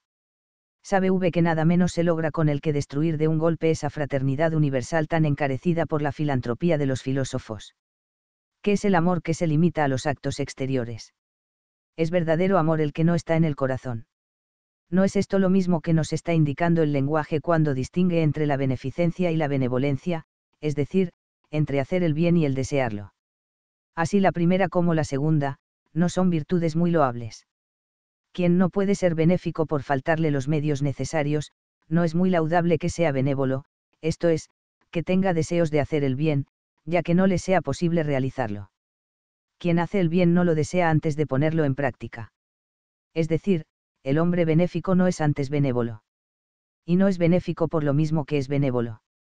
Yo no sé si usted mirará las cosas desde este punto de vista, pero de mí sabré decirle que considero tan enlazados el deseo y el acto, que se me presentan como cosas de un mismo orden, y como que la una es complemento de la otra. Más diré, limitándome a la beneficencia, cuando me figuro a un hombre que hace el bien por un motivo cualquiera, pero que al mismo tiempo no abriga en su corazón un afectuoso deseo que le impulsa a estos actos, es decir, cuando veo la beneficencia separada de la benevolencia, o no concibo allí un acto de virtud, o por lo menos la encuentro manca, despojada de los más bellos adornos que la hacían agradable y encantadora. Ya ve, mi querido amigo, que la religión cristiana no anda tan desacertada en entrometerse en los actos internos, en extender sus mandamientos y sus prohibiciones hasta lo más recóndito que ejecutamos en el fondo de la conciencia, y que el tacharla de dura por este procedimiento, es dar por el pie, no solo a la moral religiosa, sino también a la enseñada por la luz de la razón. Así se enlazan las cosas que parecen más distantes, así se encadenan las verdades con tan estrecha intimidad, que quien se atreve a negar una, se ve forzado a desechar muchas otras, que él tal vez respeta y venera con toda sinceridad y acatamiento.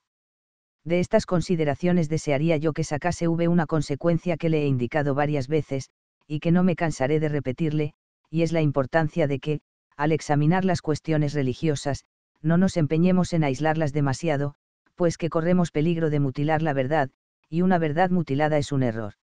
Los incrédulos y los escépticos incurren casi siempre en este defecto, toman un dogma, un precepto moral, una práctica, una ceremonia de la religión, la separan de todo lo demás, la analizan prescindiendo de todas las relaciones que tiene con otros dogmas, preceptos y prácticas o ceremonias, no miran el objeto sino, por un lado, y de esta manera consiguen que la ceremonia parezca ridícula, que la práctica sea irracional, que el precepto sea cruel, que el dogma sea absurdo.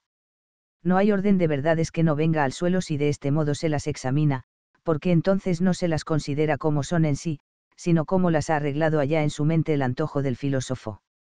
En tal caso se crean fantasmas que no existen, se huye el cuerpo a los verdaderos enemigos, para pelear con otros imaginarios, con lo cual es poco peligroso el entrar en la lucha, partiendo de un tajo descomunales jayanes. En la parte moral, mayormente cuando se trata de los sentimientos más dulces y seductores, no es difícil alucinar a los incautos ofreciéndoles como una expansión inocente lo que es un veneno mortífero. Así, por ejemplo, en la dificultad que V me propone en su apreciada, que cosa más conforme a los instintos de la naturaleza, a los más suaves impulsos del corazón, que la doctrina por usted sustentada. Que, decía V, no basta prohibir los actos que podrían producir malos resultados a la sociedad, a la familia, o al individuo, que sea preciso penetrar hasta lo interior del alma y allí complacerse en atormentar el corazón, obligándole a abstenerse hasta de aquellas exhalaciones que, más bien que crímenes, deberán ser a los ojos de Dios inocentes desahogos de la naturaleza. Si el mal no se consuma, a quien daña el deseo. Es posible que el Criador pueda ofenderse de los actos más inofensivos de su criatura. He aquí lo que se apellidan golpes sentimentales, y que son argumentos decisivos para las almas candorosas y ardientes, que están ansiosas de una doctrina que excuse sus debilidades, aflojando algún tanto la austeridad de la moral que aprendieron en el catecismo. Pero he aquí también sofismas peligrosos, que a nada conducen para el bienestar y consuelo de aquello en cuyo favor se hacen, y que, antes, al contrario, los extravían y corrompen de una manera lastimosa. Que, se podría replicar imitando el propio tono, seréis tan crueles que permitáis arrimar a los labios sedientos el fresco y sabroso licor, y no consintáis probarlo. Seréis tan crueles que soltéis la rienda a la pasión en las regiones interiores y no le dejéis un desahogo en lo exterior. Seréis tan crueles que desencadenéis las tempestades en el fondo del corazón, que allí conservéis a este agitado y combatido por todos lados, sin dejar que el desahogo le alivie de sus penas, y que, extendiéndose la borrasca, se haga menos intensa y dolorosa. O cerrad enteramente la puerta al daño, o permitidle el remedio, no pongáis de tal suerte en lucha al hombre interior con el exterior, al corazón con las obras, ya que de humanos os preciáis, procurad que no sea tan cruel vuestra mentida indulgencia. Por lo que toca al otro punto de si Dios puede indignarse por los actos interiores de su criatura, que, podríamos decir, si relaciones hay entre Dios y el hombre, si el Criador no ha abandonado a su criatura, si la mira todavía como digno objeto de sus cuidados, no es claro, no es evidente, que el entendimiento y la voluntad, es decir, lo más precioso que hay en el hombre, lo que le hace capaz de conocer y amar a su Hacedor, lo que le ensalza sobre los brutos, lo que le constituye rey de la creación, no es aquello, repetiremos, lo que debe suponerse objeto de la solicitud del Supremo Hacedor, y que éste no atiende a los actos exteriores sino en cuanto manan del santuario de la conciencia, donde se complace en ser conocido, amado y adorado. ¿Qué es el hombre, si prescindimos de su interior? ¿Qué es la moral, si no la aplicamos al entendimiento y a la voluntad? Es fundada, es razonable siquiera, una doctrina que, aparentando sobreabundancia de sentimientos de humanidad, y blasonando de dignidad e independencia, mata tan despiadadamente al hombre en lo que tiene de más independiente y más digno. Persuádase V, mi querido amigo, de que no hay verdad, no hay dignidad en nada de lo que se opone a la religión, que lo que a primera vista parece más noble y generoso, es en realidad bajo y degradante, y a propósito de sentimientos filantrópicos, guárdese V de esas inspiraciones repentinas que se le ofrecerán como argumentos decisivos, y que, examinados a la luz de la religión y hasta de la sana filosofía, no son más que raciocinios infundados, o bien que, estribando sobre principios erróneos, conducen a establecer el predominio del cuerpo sobre el espíritu, y a desencadenar sobre la tierra las pasiones voluptuosas. Interim BAV en que puede complacerle este su amigo y SSQBSM. JB. Carta 13. La humildad. Equivocaciones de un escéptico. Dicho de Santa Teresa. Pasaje de San Francisco de Sales. ¿Cómo debe entenderse la humildad? Cuán agradable es la humildad a los ojos del mundo. Mi estimado amigo, ya veo yo que es empeño inútil el de obligarle a V a una discusión seguida sobre los dogmas de la religión y los principios en que se fundan, pues que, fiel a su sistema de no atenerse a ningún sistema, y guardando inviolablemente la regla de su método, que es no observar ninguno, revolotea como mariposa de flor en flor, de suerte que, cuando le creía uno engolfado en alguna cuestión capital y decidido a continuar por largo tiempo el ataque empezado contra un punto de las murallas de la ciudad santa, levanta de improviso los reales, se aposenta en otro campo, y desde allí amenaza abrir nueva brecha, esperando que yo acuda a defender el punto atacado, para luego dirigirse a otra parte y fatigarme inútilmente sin obtener el resultado que deseo. Pero digo mal cuando afirmo que me he fatigado inútilmente, porque, si bien es verdad que no me ha sido posible hasta ahora apartarle a V de su error, porque se ha resistido siempre a sujetarse al trabajo de una discusión sostenida con el debido orden y encadenamiento, me lisonjeo, no obstante, de que habré logrado desvanecerle a V algunas preocupaciones, que sin duda le habrían obstruido el paso en el camino de la fe, si es que algún día, ilustrado su entendimiento por inspiraciones superiores, movido su corazón por la gracia del Señor, se resuelve a emprenderle con seriedad, rompiendo las trabas que le detienen, y saliendo del infeliz estado en que se encuentra, y en que espero no le ha de sorprender la hora de la muerte.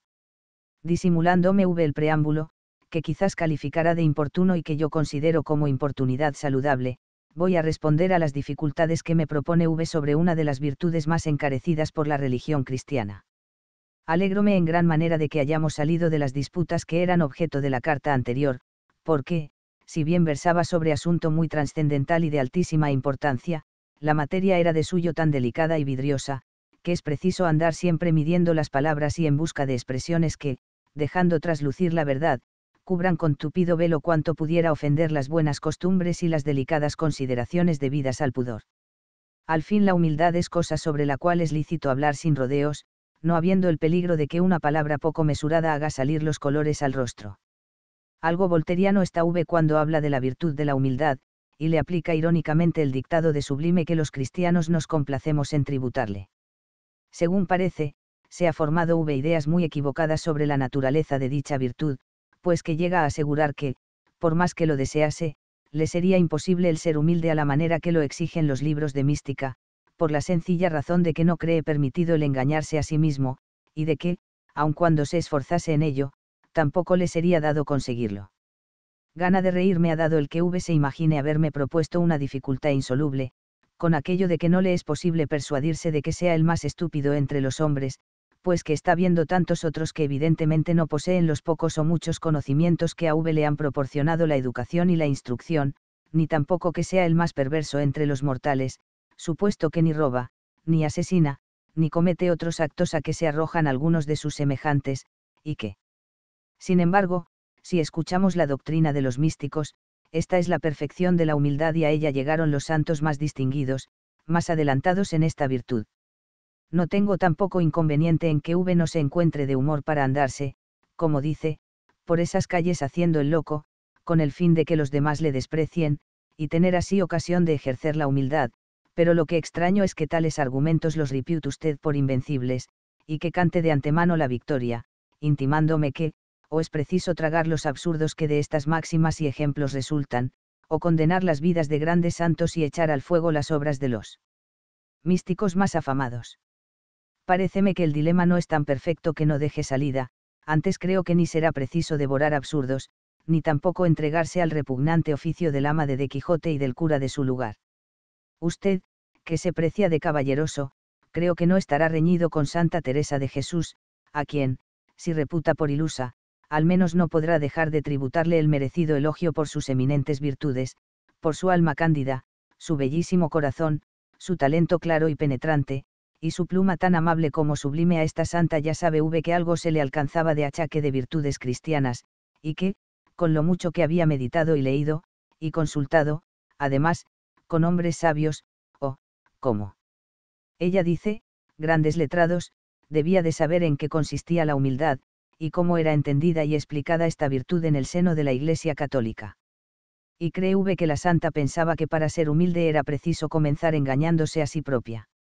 Apostaría yo que V no acierta en la definición que da de la humanidad, definición admirable, y que, preciso me es decirlo, parece escogitada a propósito para contestar a las dificultades de V. Refiere la santa que no comprendía por qué la humildad era tan agradable a Dios, y que, discurriendo un día sobre este punto, alcanzó que era así, porque la humildad es la verdad. Ya ve V que no se trata de engaño, y que tan distante está. De obligarnos a él la humildad, que antes bien con ella disipamos el engaño, porque su mérito más sólido, el título por el cual es agradable a Dios, es el ser verdad. Desenvolveré en pocas palabras esa hermosa sentencia de Santa Teresa de Jesús, y no necesitaré más que esta luminosa observación de la Santa para hacerle comprender a V lo que es la humildad, en sus relaciones con nosotros mismos, con Dios y con el prójimo está en oposición con la virtud de la humildad el que reconozcamos las buenas dotes naturales o sobrenaturales con que Dios nos ha favorecido. No, antes, al contrario, revuelva V todas las obras de los teólogos escolásticos y místicos, y a todos los encontrará de acuerdo en que dicha virtud no se opone a semejante conocimiento. Quien experimenta a cada paso que comprende con mucha facilidad cuanto lee o oye, que le basta fijar su meditación sobre las cuestiones más abstrusas para que se le presenten desde luego claras y despejadas, no hay inconveniente en que se haya interiormente convencido de que Dios le ha dispensado este señalado favor, mas diré, le es imposible dejar de abrigar esta convicción, que tiene por objeto un hecho que está presente a su ánimo y de que le asegura su conciencia propia, como que es una serie de actos que acompañan de continuo su existencia, que constituyen su vida intelectual, aquella vida íntima de que estamos tan ciertos como de la existencia de nuestro cuerpo. Podrá v figurarse que Santo Tomás estuviese persuadido de que era tan ignorante como los legos de su convento. San Agustín era posible que creyese conocer tan poco la ciencia de la religión como el último del pueblo a quien la explicaba. San Jerónimo, que tan aventajados conocimientos poseía en las lenguas sabias y en cuanto es menester para interpretar atinadamente la Sagrada Escritura, diremos que en su interior no estaba penetrado de que poseía más que medianamente el griego y el hebreo, y de que sus investigaciones con que se remontaba hasta las fuentes de la erudición habían sido del todo infructuosas. No, no dicen los cristianos tales disparates. Una virtud tan sólida, tan hermosa, tan agradable a los ojos de Dios, no puede exigir de nosotros tamañas extravagancias, no puede exigir que cerremos los ojos para no ver lo que es más claro que la luz del día.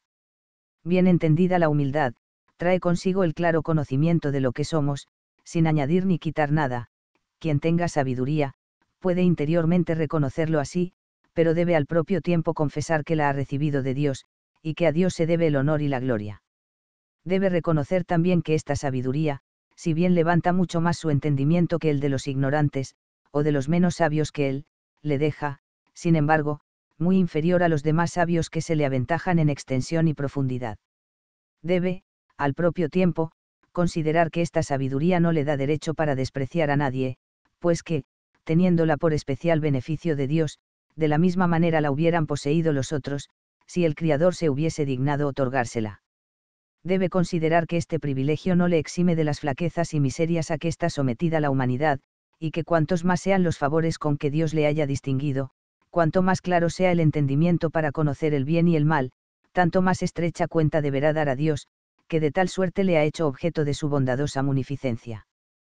Quien tenga virtudes, no hay inconveniente en que lo reconozca así, confesando, al propio tiempo, que son debidas a particular gracia del cielo, que, si no comete las maldades a que se arrojan otros hombres, es porque Dios le tiene de su mano, que, si hace el bien y evita el mal por medio de la gracia, esta gracia le ha sido concedida por Dios, que, si por su misma índole está inclinado a ciertos actos virtuosos, causándole horror los vicios opuestos, esa índole le ha venido también de Dios, en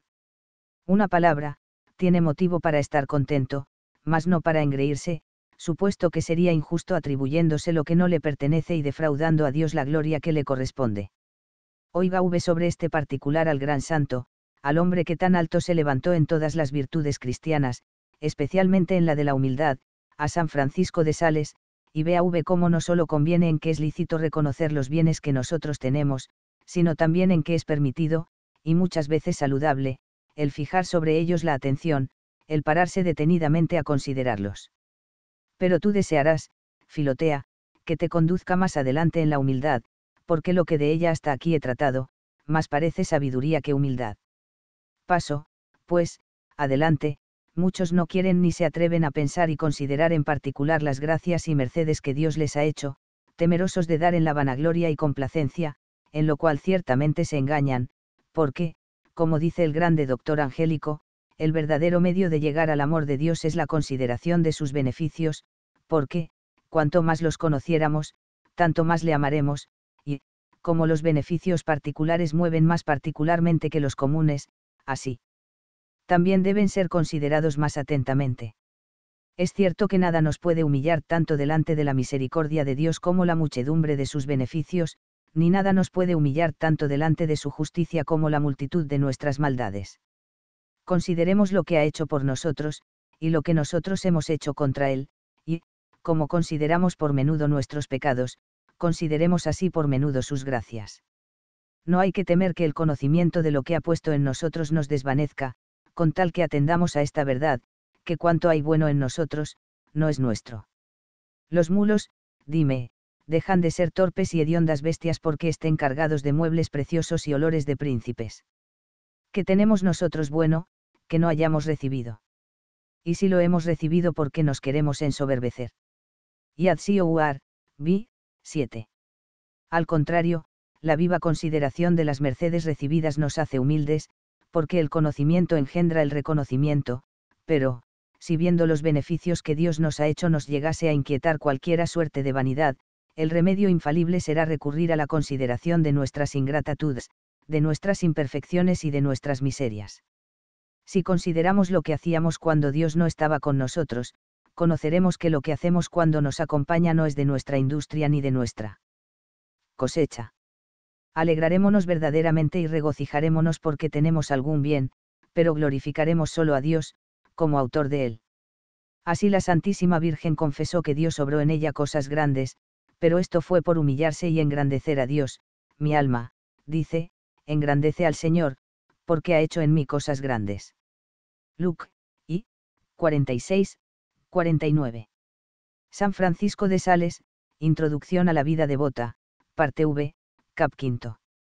No cabe testimonio más concluyente en favor de la doctrina que andaba exponiendo, ya ve v que no se trata de engañarse a sí mismo, sino de conocer las cosas tales como son en sí. Entonces, me objetará v, ¿cómo es que los grandes santos digan a boca llena que son los mayores pecadores del mundo, que son indignos de que la tierra los sostenga, que son los más ingratos entre los hombres? Entienda v el verdadero sentido de estas palabras, advierta que andan acompañadas de un sentimiento de profunda compunción, que son pronunciadas en momentos en que el espíritu se anonada en presencia del Criador, y echará V de ver que son susceptibles de interpretación muy razonable. Aclarémoslo con un ejemplo. Cuando Santa Teresa de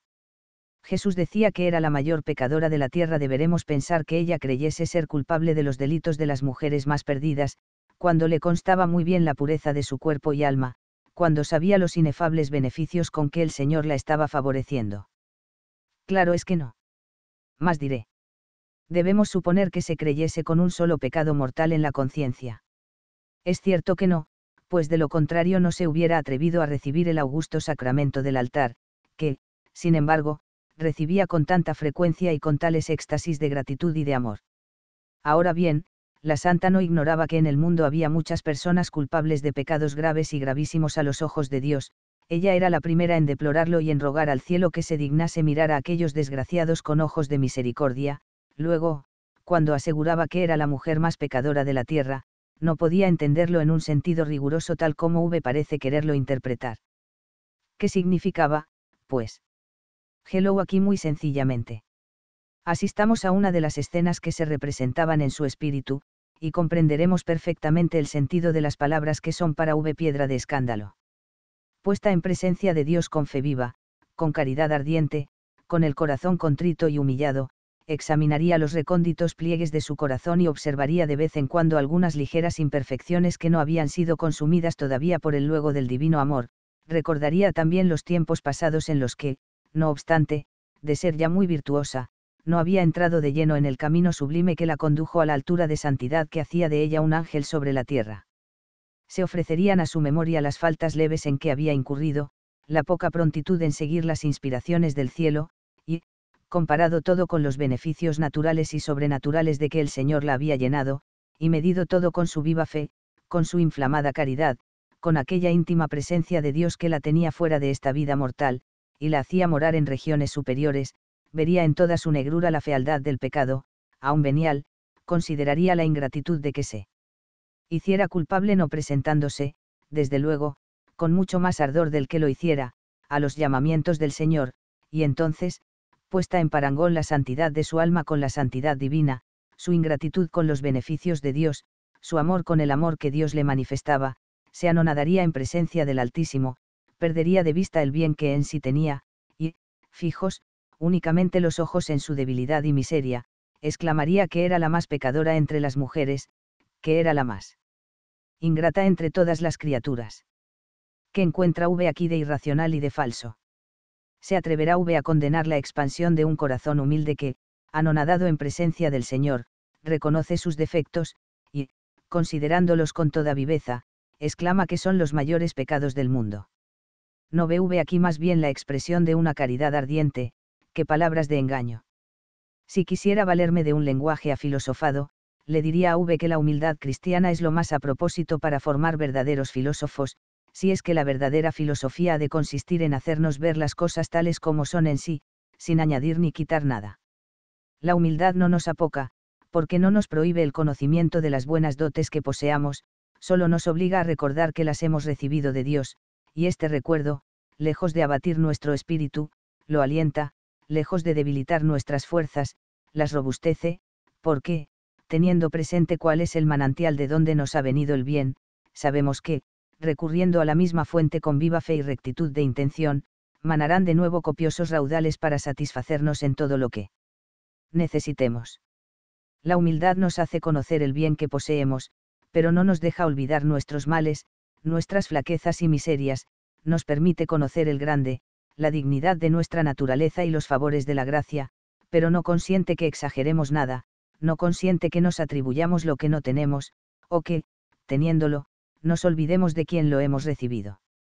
La humildad, pues, con respecto a Dios nos inspira el reconocimiento y la gratitud, nos hace sentir nuestra pequeñez en presencia del Ser infinito. Con respecto a nuestros prójimos, la humildad no nos permite exaltarnos sobre ellos, exigiendo preeminencias que no nos corresponden, nos hace afables en el trato porque, dándonos a conocer nuestras flaquezas nos vuelve compasivos con las que sufren los demás, y, conservando nuestro corazón exento de envidia, que siempre acompaña a la soberbia, hace que respetemos el mérito donde quiera que se halle, y que lo reconozcamos francamente, tributándole el debido homenaje, sin el mezquino temor de que pueda salir perjudicada nuestra gloria. Ya que acabo de pronunciar la palabra gloria, desearía saber si V lleva también a mal que la humildad no nos permita saborearnos en las alabanzas de los hombres, y nos inspire sentimientos superiores a ese humo que desvanece tantas cabezas. Si así fuere, como no lo dudo, me bastará una reflexión para convencerle a V de su error. ¿Le parece a V bueno todo lo que hace el hombre más grande? Creo que no tendrá reparo en decirme que sí. Pues bien, el mismo mundo mira como un héroe a aquel que, haciendo acciones dignas de alabanza, no se para en ella, la menosprecia, y al sentir el fragante aroma pasa sin detenerse, con la cabeza llena de pensamientos elevados, con el corazón henchido de sentimientos generosos, el mundo, pues, hace justicia a los despreciadores de la vanidad humana, es decir, a los que practican actos de verdadera humildad, no quiera V ser menos justo que el mundo. Desea V una contraprueba de lo que acabo de decir. Él aquí, los que no son humildes buscan la alabanza, y sabe V lo que se adquieren tan pronto como se trasluce su afán. El ridículo y la burla. Cuando deseamos parecer bien a los ojos del mundo, si no somos humildes en realidad, lo aparentamos, porque en lo exterior damos a entender que no hacemos caso de la alabanza, y, si se nos tributa, la resistimos diciendo que es inmerecida. Vea V, mi estimado amigo, cuán sabia, cuán noble, cuán sublime es. La religión cristiana, pues en la virtud que tanto abatimiento parece traer consigo, está encerrado el secreto de adquirir gloria sólida aún entre los hombres, estos la ofrecen gustosos a quien la merece y no la busca, pero desprecian y ridiculizan al que la solicita. Tanta es la fuerza de las cosas, que la misma soberbia, para saciar su sed de gloria, se ve precisada a negarse a sí misma, a cubrirse con el manto de la humildad, así se verifica, aún en la tierra, aquella sentencia de la Sagrada Escritura, quien se exalta será humillado, y quien se humilla será exaltado. Basta por hoy de humildad, creo que con lo dicho hasta aquí se quedará V bien convencido de que, para ser verdaderamente humilde conforme al espíritu de la religión cristiana, no necesita V ni andarse haciendo el loco por las calles, ni creer que es digno de ser llevado a presidio o al cadalso, ni tampoco que no tiene más conocimientos de ciencias y literatura que el que no sabe deletrear. Si alguna vez encuentra V en las vidas de los santos algún hecho que no pueda V explicar por las reglas arriba establecidas, recuerde V que nosotros no tenemos inconveniente en decir que hay cosas que son más bien para admiradas que para imitadas, y, además, no quiera V juzgar por mundanas consideraciones, lo que marcha por caminos desconocidos al común de los mortales. Esto es lo que nosotros llamamos misterios y prodigios de la gracia, y que VDS los filósofos apellidarán exaltación y exageración del sentimiento religioso. Entre tanta espera ocasiones de complacerle a V este su afectísimo. SSQSMB. JB. Carta 14. Los cristianos viciosos. Los tibios. Argumentos contra la religión. Solución. ¿Cómo es? Posible que un hombre religioso sea vicioso. El jugador. El disipador. Observaciones sobre las pasiones humanas. Efecto de la religión sobre la moral de los hombres. Sus efectos preventivos. Pruebas. Ejemplos. Flaqueza de la moral de los hombres y religiosos. Observaciones sobre esta moral. Mi estimado amigo, casi me inclinaría a creer que. Empieza V a no encontrarse muy bien en su escepticismo religioso, pues que al parecer se avergüenza de él, no queriendo confesar que se halla en esta parte en situación muy diferente de la de muchos otros, a quienes V, con buena intención sin duda, pero con mucha injusticia, les achaca las mismas ideas. No podía yo figurarme que le causase a V tanta novedad la conducta de muchos cristianos, hasta el punto de llegar a suponer que, o fingen hipócritamente estar adheridos a la religión, o cuando menos la profesan sin entender de ella una palabra. Dice V que no alcanza a comprender cómo es posible que, enseñando la religión doctrinas tan altas, algunas de las cuales son sumamente trascendentales y hasta terribles, haya hombres que, estando convencidos de la verdad de ellas, o las contraríen con su conducta, o vivan haciendo poquísimo caso de las mismas. Añade V que concibe muy bien la religión de un San Jerónimo, de un San Benito, de un San Pedro de Alcántara, de un San Juan de la Cruz, es decir, hombres penetrados profundamente de la nada de las cosas terrenas, de la importancia de la eternidad, y por consiguiente, desasidos de todo lo mundano, muertos a todo cuanto los rodea, y atentos únicamente a la gloria de Dios y a la salvación de sus almas y de las de sus prójimos, pero que no comprende, en primer lugar, la religión de los viciosos.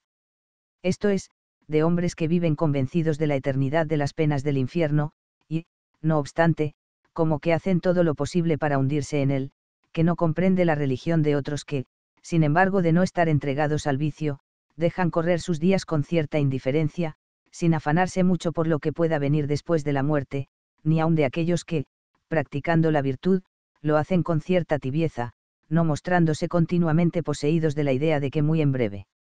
van a encontrarse.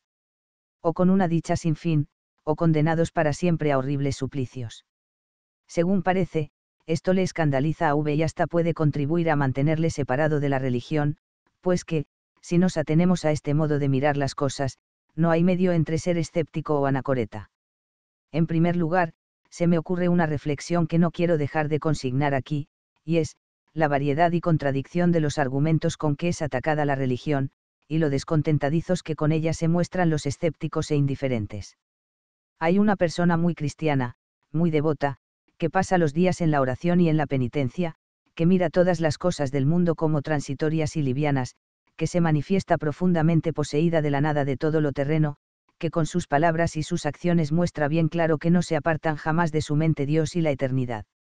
Entonces se dice que la religión es esencialmente apocadora, que estrecha las ideas, que encoge el corazón, que hace a los hombres misántropos, que los inutiliza, y que, por tanto, solo sirve para frailes y monjas.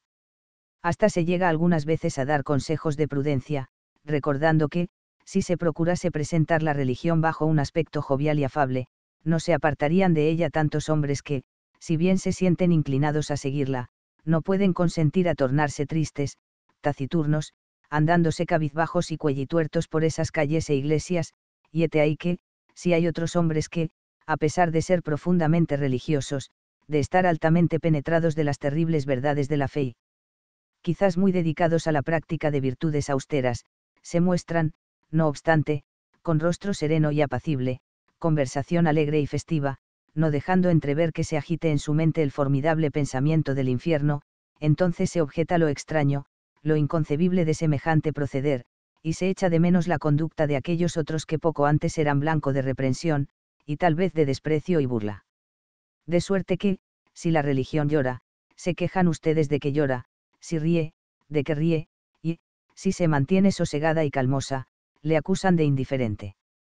Bueno es hacer notar semejantes contradicciones, que dejan en evidencia la sinrazón de los que caen en ellas, ya sea por haber meditado poco sobre los objetos de que hablan, ya por dejarse arrastrar del prurito de hacer cargos a la religión, echando mano de todo linaje de argumentos. Pero vamos derechamente al punto capital de la dificultad, y veamos si es posible contestar satisfactoriamente a las objeciones de V. ¿Cómo es posible que un hombre religioso sea vicioso? Esta es, si no me engaño, la principal dificultad que V presenta, y me ha de permitir V que le diga con toda ingenuidad que muestra muy escaso conocimiento del corazón humano quien propone seriamente una objeción semejante. La vida entera de la mayor parte de los hombres es un tejido de esas contradicciones que V no alcanza a explicarse, si debiéramos dar alguna importancia a dicha objeción, nada menos resultaría sino exigir que todos los hombres arreglasen su conducta a sus ideas, y que quien abrigase una convicción, obrara siempre en consecuencia de ella. Y cuando, y dónde ha existido un proceder semejante. No estamos viendo todos los días que, aun prescindiendo de las ideas religiosas, se verifica aquello de conocer el hombre el bien, de aprobarle, y, sin embargo, ejecutar el mal. Video meliora, provoque, deteriora secuor. Veo lo mejor, me gusta, pero sigo lo peor. No hago el bien que quiero, sino el mal que aborrezco. No nuez va a lo hubo numo cago, udia e Hablamos con un jugador y la conversación llega a girar sobre el vicio que le domina, un predicador en el púlpito no se expresará con más energía contra los males acarreados por el juego. Qué pasión más funesta, le oiréis decir, siempre inquietud, siempre desasosiego y turbación, siempre incertidumbre y zozobra, ahora nadando en la abundancia, no sabiendo qué hacerse del oro, un momento después todo se ha perdido, es preciso pedir prestado a los amigos, o empeñar una finca, o enajenar una prenda, o escogitar algún expediente desastroso para proporcionarse siquiera una pequeña cantidad con que probar fortuna de nuevo. Si perdéis, os halláis en la desesperación, si ganáis, os veis forzado a presenciar la desesperación de los otros, a sofocar tal vez los sentimientos de compasión que brotan de vuestro pecho, disfrazándolos y encubriéndolos con chanzas y algazara. Qué momentos más crueles al salir de la casa de juego, al recordar que habéis labrado quizás el infortunio de vuestra familia o de la de vuestros amigos, al pensar que ibais con la esperanza de mejorar vuestra posición, y tal vez de rico que erais habéis pasado a la más estrecha pobreza. No es posible concebir cómo hay hombres que se abandonen a ese vicio detestable, el jugador es un verdadero loco que va corriendo continuamente tras de una ilusión, a pesar de estar convencido de que es ilusión y no más, de haberlo experimentado una y mil veces en sí y en los otros. En un joven, en el acto de salir de la casa de sus padres, un desliz en esta parte es disculpable hasta cierto punto, en un hombre de alguna experiencia, el vicio carece de excusa. Ha oído V, mi querido amigo, a ese moralista tan juicioso, tan severo, tan inexorable con los jugadores. Pues ve a V, apenas ha concluido su santa plática, quizás mientras está perorando, saca inquietamente su reloj o pregunta a los circunstantes qué hora tienen, y sabe V para qué. Es que el tiempo de la cita está cercano, que la mesita cubierta de paño está esperando, y los compañeros se hallan ya colocados en sus asientos respectivos, y barajando con impaciencia, y maldiciendo al perezoso y tardío, y su pobre corazón salta de gozo al pensar que en breves instantes va a comenzar la tarea, y los montones de dinero irán girando rápidamente en derredor, ahora enfrente de uno de los actores, luego de otro, enseguida de otro, hasta que al fin en las altas horas de la noche se concluirá la función, quedando, por supuesto, vencedor el moralista y completamente vengado de sus descalabros de ayer. Por lo menos, él así lo espera, y tan pronto como ha puesto fin al sermón, se levanta, toma el sombrero y echa a correr, rabiando por la poca puntualidad. ¿Qué le parece a V de semejante contradicción? Oh, se me replicará, este hombre era un hipócrita, decía lo que no pensaba. Es falso, hablaba con la convicción más profunda, y los circunstantes, si no eran jugadores, no eran capaces de comprender toda la viveza con que él sentía lo que expresaba. En prueba de esto, suponed que tiene un hijo, un hermano menor, un amigo, una persona cualquiera por la cual se interese, él le aconsejará que no juegue y lo hará con todas las veras de su corazón, si tiene autoridad para ello, se lo prohibirá severamente, cuando no, se lo rogará con encarecimiento, y, si puede hablar con entera franqueza, exclamará con acento de dolor, crida un hombre experimentado, este vicio ha hecho y está haciendo mi infortunio ay de mí, y siempre temo que me llevará la perdición. El desgraciado no deja de conocer el mal que se hace a sí propio, no deja de conocer su temeridad, su locura, se la echa en cara una y mil veces, así en los momentos de calma y buen juicio, como en los de furor y desesperación, pero no tiene bastante fuerza de ánimo para resistir el impulso de su inclinación, arraigada y acrecentada con el hábito, para conformar sus obras con sus palabras, con sus convicciones más profundas. ¿Quiere V otro ejemplo? Fácil sería amontonarlos hasta lo infinito. Hay un hombre de fortuna respetable, de reputación sin tacha, que disfruta en el seno de su familia de toda la dicha que pueda desear, su instrucción, su moralidad y hasta su misma educación culta y esmerada, le hacen contemplar con lástima los extravíos de otros, no concibe cómo consienten en sacrificar sus bienes a una pasión liviana, en mancillar por ella su nombre, en hacerse objeto del desprecio y ludibrio de cuantos los conocen, sin embargo, transcurrido algún tiempo, una ocasión, un trato frecuente le ha enredado a él mismo en una amistad peligrosa, la hacienda, la fama, la salud, hasta su misma vida, todo lo está sacrificando a su ídolo, ha perdido por esto sus antiguas convicciones. La variación de conducta es efecto de un cambio de ideas. Nada de eso, piensa como antes, no se ha desviado un ápice de sus convicciones primitivas, solo las ha puesto a un lado. A los parientes, a los amigos que le amonestan, que le recuerdan sus propias palabras, que le hacen los cargos que él mismo dirigía a los demás, que le excitan a que tome los consejos que él poco antes diera a los otros, a toda contesta, sí, cierto, tiene V razón, ya con el tiempo, pero. Es decir, que no hay falta de luz en el entendimiento, sino extravío en el corazón, está seguro de que la dorada copa contiene veneno, pero en su ardor febril se la acerca a sus labios con el riesgo, con la certeza de perecer. Recorra V todos los vicios, fije su atención sobre todas las pasiones, y echará V de ver esta contradicción de que voy hablando. Son pocos, poquísimos los hombres que desconocen el mal que se hacen, los daños que se acarrean con su propia conducta, y, sin embargo, cuán difícil es la enmienda. De dónde resulta no ser nada extraño que una persona profundamente convencida de la verdad de la religión, obre contra lo que ella prescribe, y no es prueba de que no crea lo que dice el no ponerlo él mismo en práctica. Si V hubiese leído obras de moral y de mística, o conversado con hombres experimentados en la dirección de las conciencias, sabría la triste y angustiosa situación en que se encuentran a menudo muchas almas, y la paciencia que han menester los confesores para sufrir y alentar a esos desgraciados que proponen dejar el vicio, que lloran amargamente sus culpas, que tiemblan por el eterno castigo a que se hacen acreedores, que, a fuerza de consejos, de amonestaciones, de remedios y precauciones de todas clases, llegan quizás a resistir por algún tiempo su funesta inclinación, y, sin embargo, reinciden y vuelven a los pies del confesor y al cabo de algún tiempo tornan a reincidir, padeciendo de esta suerte congojas mortales, hasta que, más fortalecidos por la gracia, alcanzan a mantenerse firmes, disfrutando así una vida sosegada y tranquila. Si no es imposible, antes sucede con mucha frecuencia, que quien profesa una religión pura y severa, viva en la relajación, no es tampoco incomprensible el que otros no sumidos en semejante miseria se porten, no obstante, con cierta tibieza y frialdad, a pesar de que en su entendimiento se hallen las creencias religiosas muy solidadas, muy firmes y hasta vivas y ardorosas.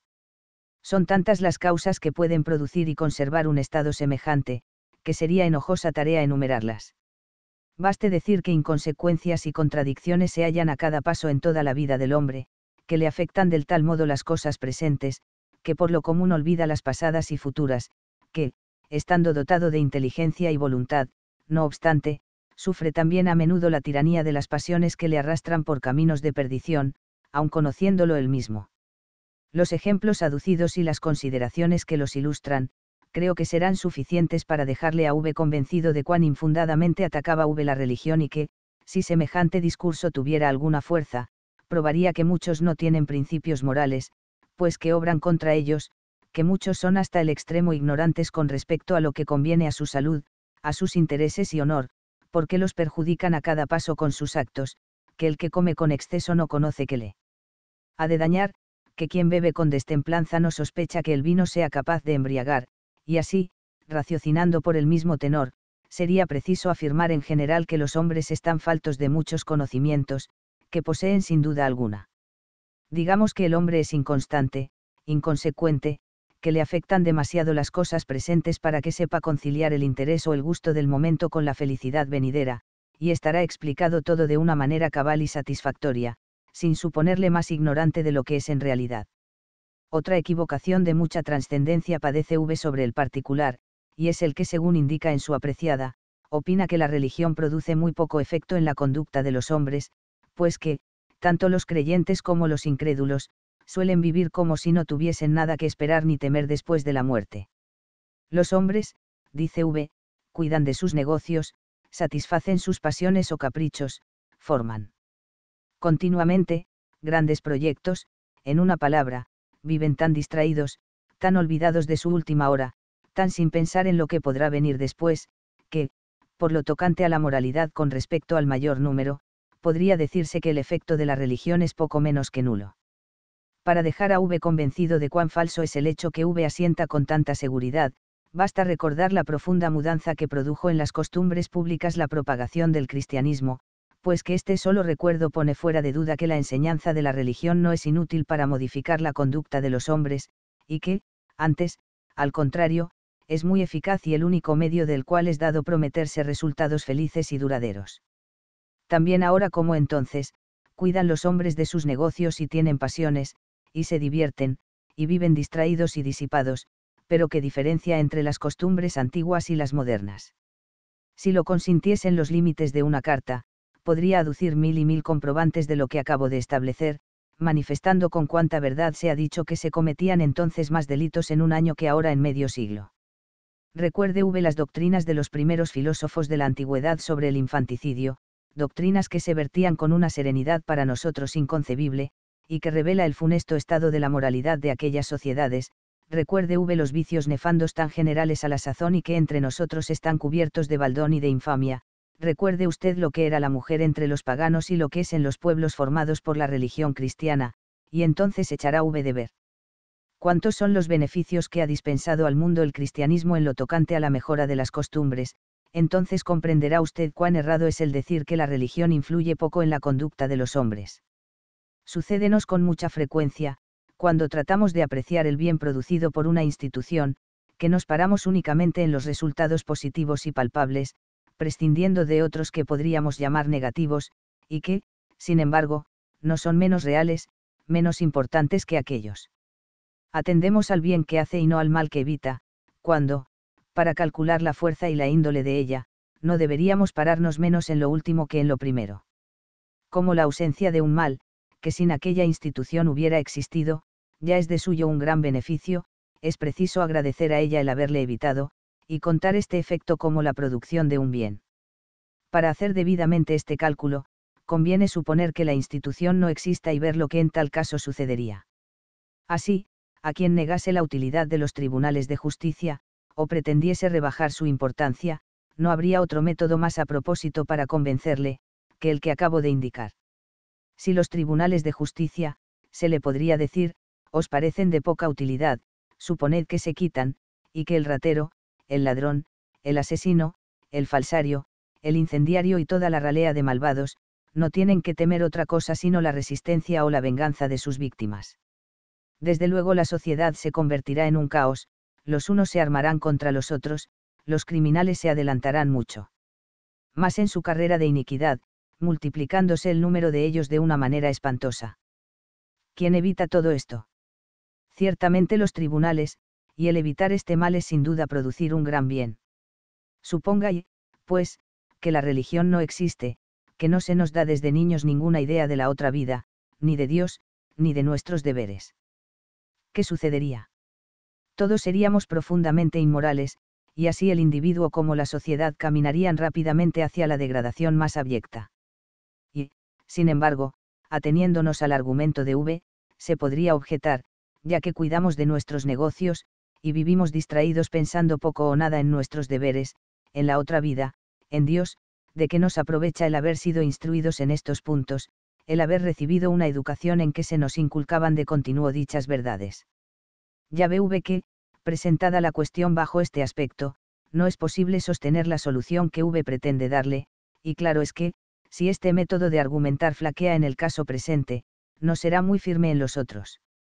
¿Quién le ha dicho a V que ese hombre tan distraído, tan disipado, no piensa en la religión que profesa? Cree V que le ha de estar revelando de continuo lo que pasa en lo íntimo de su corazón, cuando tiene a la vista un cebo que estimula sus pasiones, poniéndolo en riesgo de faltar a su deber. Cree V que le ha de estar narrando cuántas veces las ideas religiosas le han retraído de cometer un mal, o han hecho que lo cometiera mucho menor. Una prueba evidente de los muchos efectos que producen en la conducta de los hombres las ideas religiosas y de lo presentes que están en su memoria, aun cuando parecen haberlas descuidado del todo, es la rapidez instantánea con que se les ofrecen, tan luego como se hallan en peligro de la vida. Casi puede decirse que se despliegan en un mismo momento el instinto de la conservación y el sentimiento religioso. Como obra el instinto de la conservación sobre el curso general de los actos de nuestra vida. Si bien se observa, estamos cuidando incesantemente de conservarnos sin pensar en ello, hacemos de continuos actos que tienden a este fin, y, sin embargo, no reparamos en ello. ¿Cuál es la causa? Es que todo cuanto se liga muy íntimamente con la vida del hombre está sin cesar presente a sus ojos, no lo mira, pero lo ve, lo piensa, sin pensar que lo piense. Lo que se dice de la vida material, puede afirmarse de la vida del alma, hay un conjunto de ideas de razón, de justicia, de equidad, de decoro, que vagan de continuo por nuestra mente, ejerciendo incesante influencia en todos nuestros actos. Ocurre una mentira y la conciencia dice, esto es indigno de un hombre, y la palabra que iba a ser pronunciada es detenida por ese sentimiento de moralidad y de decoro. Se habla de una persona con quien se tiene enemistad, viene la tentación de rebajar su mérito, o revelar una de sus faltas, o quizás de calumniarla, y la conciencia dice, esto no lo hace un hombre de bien, esto es una venganza, y el enemigo calla. Hay la oportunidad de defraudar sin que nadie lo sepa, sin que el honor pueda correr ningún peligro, y, sin embargo, no se defrauda, ¿quién lo impide? La voz de la conciencia. Hay la tentación de abusar de la confianza de un amigo haciendo traición a sus secretos, explotándolos en provecho propio, y, sin embargo, la traición no se consuma, aun cuando el amigo víctima de ella no pudiese ni siquiera sospecharla, ¿quién lo impide? La conciencia. Estas aplicaciones, que podrían extenderse indefinidamente, muestran bien a las claras que el hombre, sin advertirlo, obedece muchísimas veces al grito de la conciencia, y que, aun cuando no piensa, o no cree pensar, en ella, ni en Dios, no obstante, obran en su ánimo esas ideas, y le impulsan, y le detienen, y le hacen retroceder y variar de camino, y modificar continuamente su conducta en todos los instantes de su vida. Si esto se verifica, aun tratándose de los mismos incrédulos, ¿qué sucederá con respecto a los hombres, sinceramente religiosos? a los ojos del mundo podrá parecer que ellos se olvidan completamente de sus creencias, que de nada les sirve la fe en verdades grandes y terribles, que el cielo, el infierno, la eternidad, solo se ofrecen a su mente como ideas abstractas, sin relación alguna con la práctica, pero ellos saben muy bien que la eternidad, y el cielo, y el infierno se les presentan en el acto de querer obrar mal, que ora los apartan del camino de la iniquidad, ora los detienen para que no anden por él con tanta precipitación, ellos saben que, después de haberse abandonado al impulso de sus pasiones, experimentan remordimientos que los atormentan atrozmente y que los hacen arrepentir de haberse desviado del sendero de la virtud. No hay cristiano que no experimente esta influencia de la religión, si es realmente cristiano, es decir, si cree en las verdades religiosas, sufre repetidas veces el castigo de sus malas obras, o disfruta el galardón de las buenas. Esta pena, o este premio, lo siente en lo íntimo de su conciencia, y el recuerdo de lo que ha gozado en un caso, o padecido en otro, contribuye a menudo a que no se permita extravíos contra lo que le prescriben sus deberes. No dudo que con estas reflexiones se quedará usted convencido de que es un error contrario a la razón, a la historia y a la experiencia, lo que V afirma de que la religión influye poco en la conducta de los hombres. Es cierto que los que la profesan no siempre se portan como debieran, es cierto que encontrará V hombres que tienen fe, y, sin embargo, son muy malos, pero, no es menos cierto que, en general, la conducta de las personas religiosas es incomparablemente mejor que la de los incrédulos. ¿Cuántas ha conocido V que no profesando ninguna religión observen una conducta de todo punto irreprensible? Y cuando esto digo no hablo de cometer delitos de los cuales nos apartan cierto horror natural, el temor de la justicia, y el deseo de conservar la reputación, no hablo de cierta inmoralidad asquerosa y repugnante, de la cual retraen el honor, el decoro, y hasta cierta delicadeza de gusto, fruto de la buena educación, hablo de aquella moralidad severa que rige todos los actos de la vida de un hombre, y no le permite desviarse del camino del deber, aun cuando en ello no se interesen ni la honra. Ni los miramientos de sociedad, ni se opongan otras consideraciones que las inspiradas por una sana moral.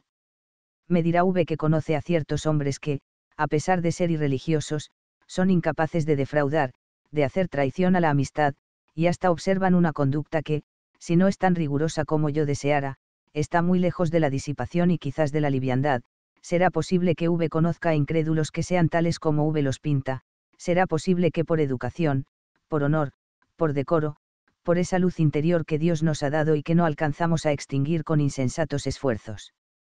Ajusten su conducta una y mil veces a la ley del deber cuando no se atraviesa algún poderoso motivo que los impulsa en sentido contrario, pero no ponga V a esos mismos hombres a prueba de una tentación violenta.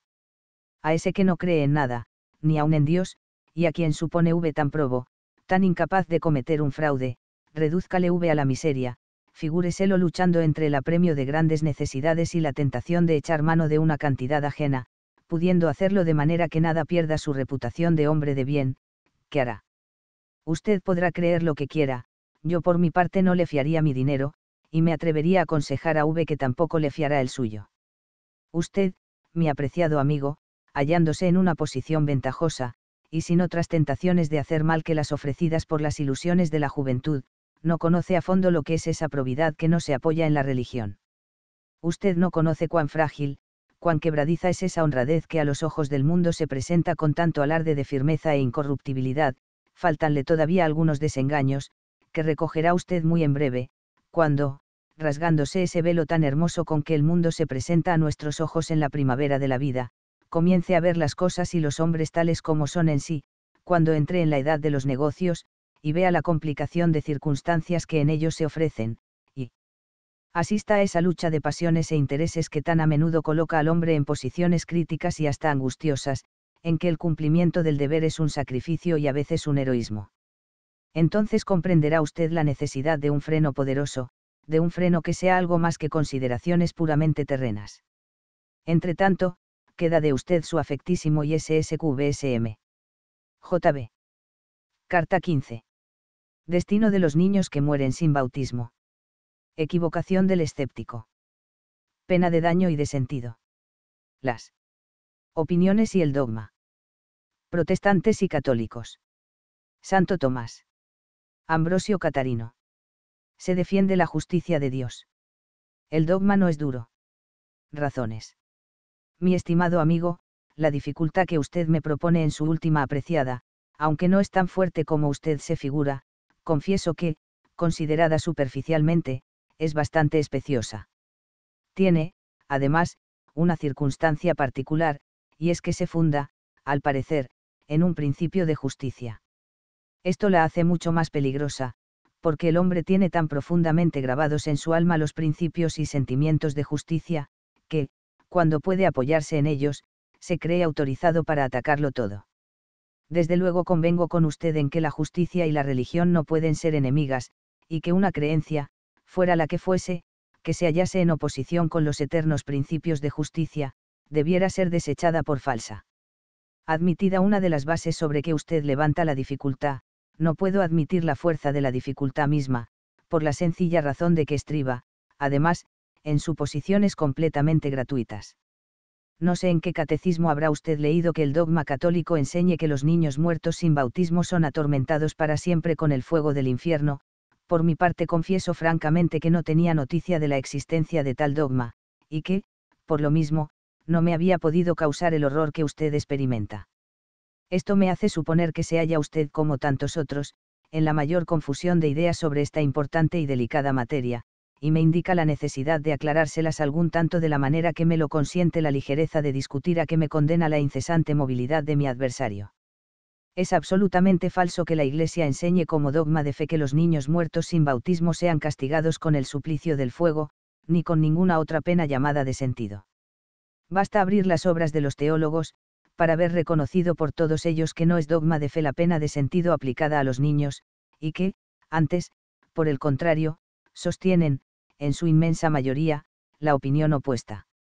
Fácil me sería aducir innumerables textos para probar esta aseveración, pero lo juzgo inútil, porque puede usted asegurarse de la verdad de este hecho empleando un rato en recorrer los índices de las principales obras teológicas, y ver las opiniones que allí se consignan.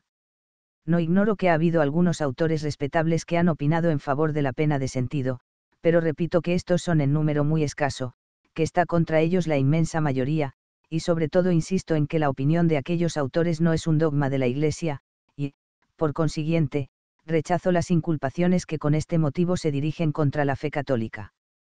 Por sabio, por santo que sea un doctor de la Iglesia, su opinión no es autoridad bastante para fundar un dogma, de la doctrina de un autor a la enseñanza de la Iglesia va a la misma distancia que de la doctrina de un hombre a la enseñanza de Dios. Para los católicos la autoridad de la Iglesia es infalible porque tiene asegurada la asistencia del Espíritu Santo, a esta autoridad recurrimos en todas nuestras dudas y dificultades, en lo cual se cifra la principal diferencia entre nosotros y los protestantes. Ellos apelan al espíritu privado, que al fin viene a parar a las cavilaciones de la flaca razón, o a las sugestiones del orgullo, nosotros apelamos al espíritu divino, manifestado por el conducto establecido por el mismo Dios, que es la autoridad de la Iglesia. Me preguntará V cuál es el destino de estos niños privados de la gloria, y no castigados con pena de sentido, y hallará quizás que la dificultad renace, aunque bajo forma menos terrible, por el mero hecho de no otorgarles la eterna bienaventuranza. A primera vista parece una cosa muy dura que los niños, incapaces como son de pecado actual, hayan de ser excluidos de la gloria, por no habérseles borrado el original con las aguas regeneradoras del bautismo, pero, profundizando la cuestión, se descubre que no hay en esto injusticia ni dureza, y si únicamente el resultado de un orden de cosas que Dios ha podido establecer, y del cual nadie tiene derecho a quejarse la felicidad eterna, que, según el dogma católico, consiste en la visión intuitiva de Dios, no es natural al hombre, ni a ninguna criatura. Es un estado sobrenatural al que no podemos llegar sino con auxilios sobrenaturales.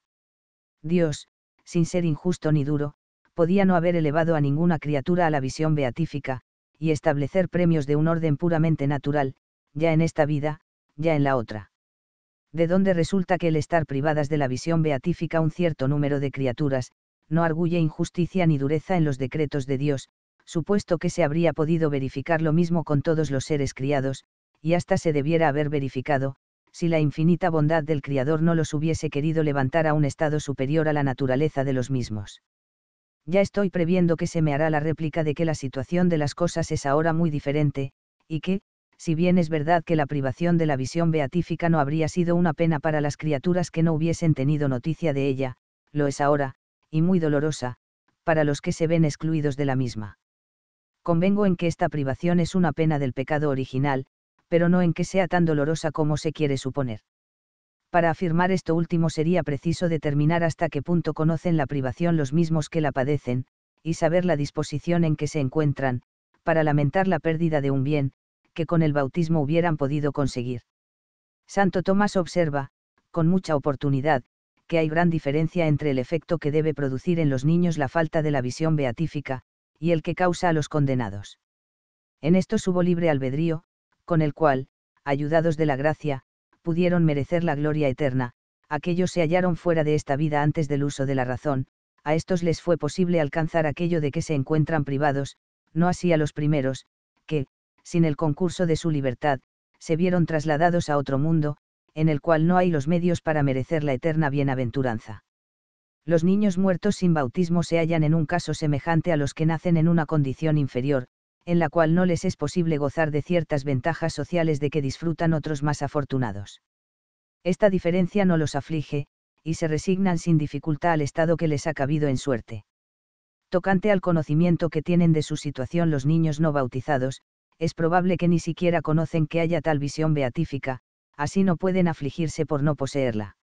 Esta es la opinión de Santo Tomás, quien afirma que estos niños tienen noticia de la felicidad en general, pero no en especial,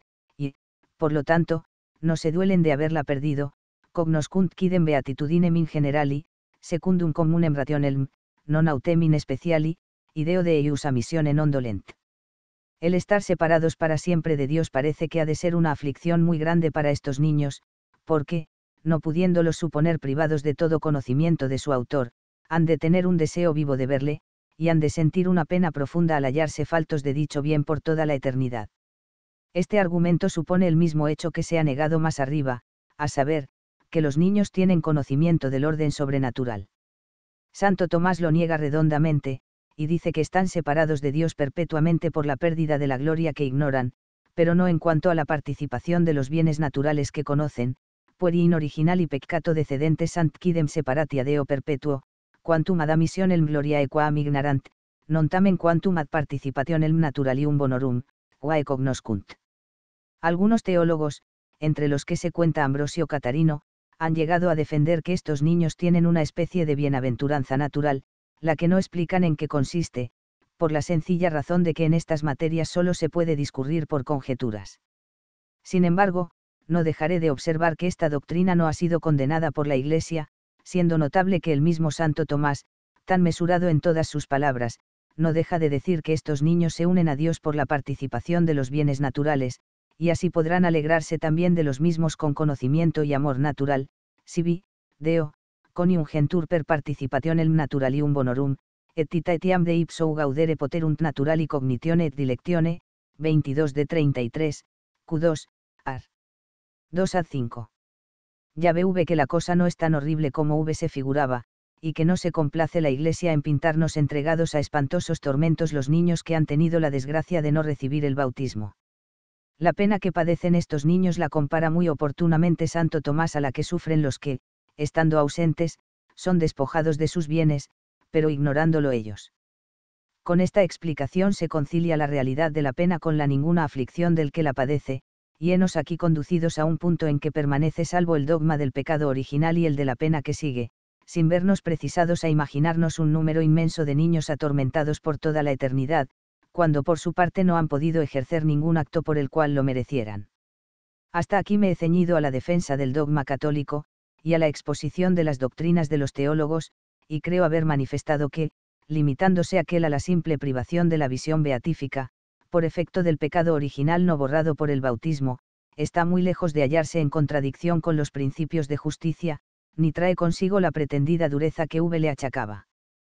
Como es natural, los teólogos se han aprovechado de esta latitud para emitir varias opiniones más o menos fundadas, sobre las que es difícil formar un juicio acertado, faltándonos noticias que solo pudiera proporcionarnos la revelación.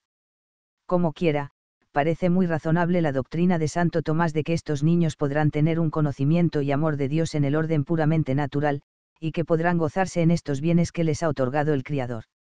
Siendo criaturas inteligentes y libres, no podemos suponerlos privados del ejercicio de sus facultades, pues, de lo contrario, sería preciso considerar sus espíritus como substancias inertes, no por su naturaleza, sino por estar ligadas sus potencias del orden intelectual y moral.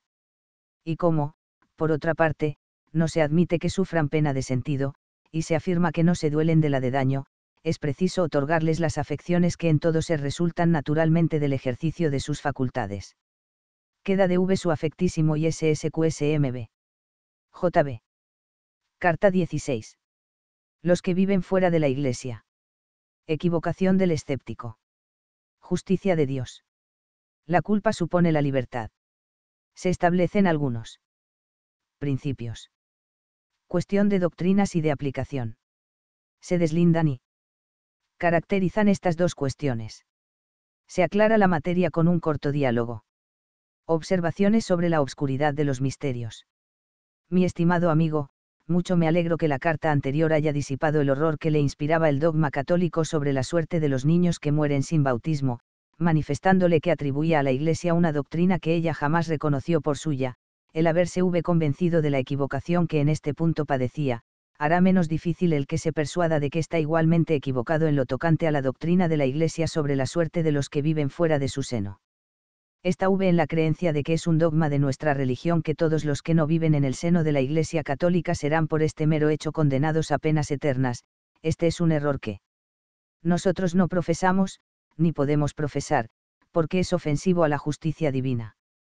Para proceder con buen orden y claridad, voy a exponer sucintamente la doctrina católica sobre este particular. Dios es justo, y, como tal, no castiga ni puede castigar al inocente, cuando no hay pecado, no hay pena, ni la puede haber. El pecado, dice San Agustín, es voluntario, de tal manera, que, si deja de ser voluntario, ya no es pecado. La voluntad que se necesita para hacernos culpables a los ojos de Dios, es la de libre albedrío para constituir la culpa no bastaría la voluntad, si ésta no fuese libre. No se concibe el ejercicio de la libertad, si no va acompañado de la deliberación correspondiente, y ésta implica conocimiento de lo que se hace, y de la ley que se observa, o se infringe. Una ley no conocida no puede ser obligatoria. La ignorancia de la ley es culpable en algunos casos, es decir, cuando el que la padece ha podido vencerla, entonces la infracción de la ley no es excusable por la ignorancia. La Iglesia, columna y firmamento de la verdad, depositaria de la augusta enseñanza del Divino Maestro, no admite el error de que todas las religiones sean indiferentes a los ojos de Dios, y que el hombre pueda salvarse en cualquiera de ellas, de tal modo, que no esté ni siquiera obligado a buscar la verdad en un asunto tan importante. Estas monstruosidades las condena la Iglesia con mucha razón, y no puede menos de condenarlas, so pena de negarse a sí propia. Decir que todas las religiones son indiferentes a los ojos de Dios, equivale a decir que todas son igualmente verdaderas, lo que en último resultado viene a parar a que todas son igualmente falsas. La religión que, enseñando dogmas opuestos a los de otras religiones, las tuviese a todas por igualmente verdaderas, sería el mayor de los absurdos, una contradicción viviente. La Iglesia católica se tiene a sí misma por la verdadera Iglesia, fundada por Jesucristo, iluminada y vivificada por el Espíritu Santo, depositaria del dogma y de la moral, y encargada de conducir a los hombres, por el camino de la virtud, a la eterna bienaventuranza. En este supuesto, proclama la obligación en que todos estamos de vivir y morir en su seno, profesando una misma fe, recibiendo la gracia por sus sacramentos, obedeciendo a sus legítimos pastores, y muy particularmente al sucesor de San Pedro y vicario de Jesucristo, el romano pontífice. Esta es la enseñanza de la Iglesia, y no veo que se le pueda objetar nada sólido, aun examinada la cuestión en el terreno de la filosofía. De los principios arriba enunciados, unos son conocidos por la simple razón natural, otros por la revelación. A la primera clase pertenecen los que se refieren a la justicia divina y a la libertad del hombre, corresponden a la segunda los que versan sobre la autoridad e infalibilidad de la Iglesia. Estos últimos, considerados en sí mismos, nada encierran contrario a la justicia y a la misericordia divina, porque es evidente que Dios, sin faltar a ninguno de estos atributos, ha podido instituir un cuerpo depositario de la verdad y sometido a las leyes y condiciones que hayan sido de su agrado en los arcanos inescrutables de su infinita sabiduría. Hasta aquí se ha examinado la cuestión de derecho, o sea de doctrinas, descendamos ahora a la cuestión de hecho, en la cual se fundan las dificultades que a V le abruman es necesario no perder de vista la diferencia de estas dos cuestiones, una cosa son las doctrinas, otra su aplicación, aquellas son claras, explícitas, terminantes, esta se resiente de la obscuridad a que están sujetos los hechos, cuya exacta apreciación depende de muchas y muy varias circunstancias. Debe tenerse por cierto que no se condenará ningún hombre por solo no haber pertenecido a la Iglesia católica, con tal que haya estado en ignorancia invencible de la verdad de la religión, por consiguiente, de la ley que le obligaba a abrazarla. Esto es tan cierto, que fue condenada la siguiente proposición de Bayo, la infidelidad puramente negativa es pecado. La doctrina de la Iglesia sobre este punto se funda en principios muy sencillos, no hay pecado sin libertad, no hay libertad sin conocimiento.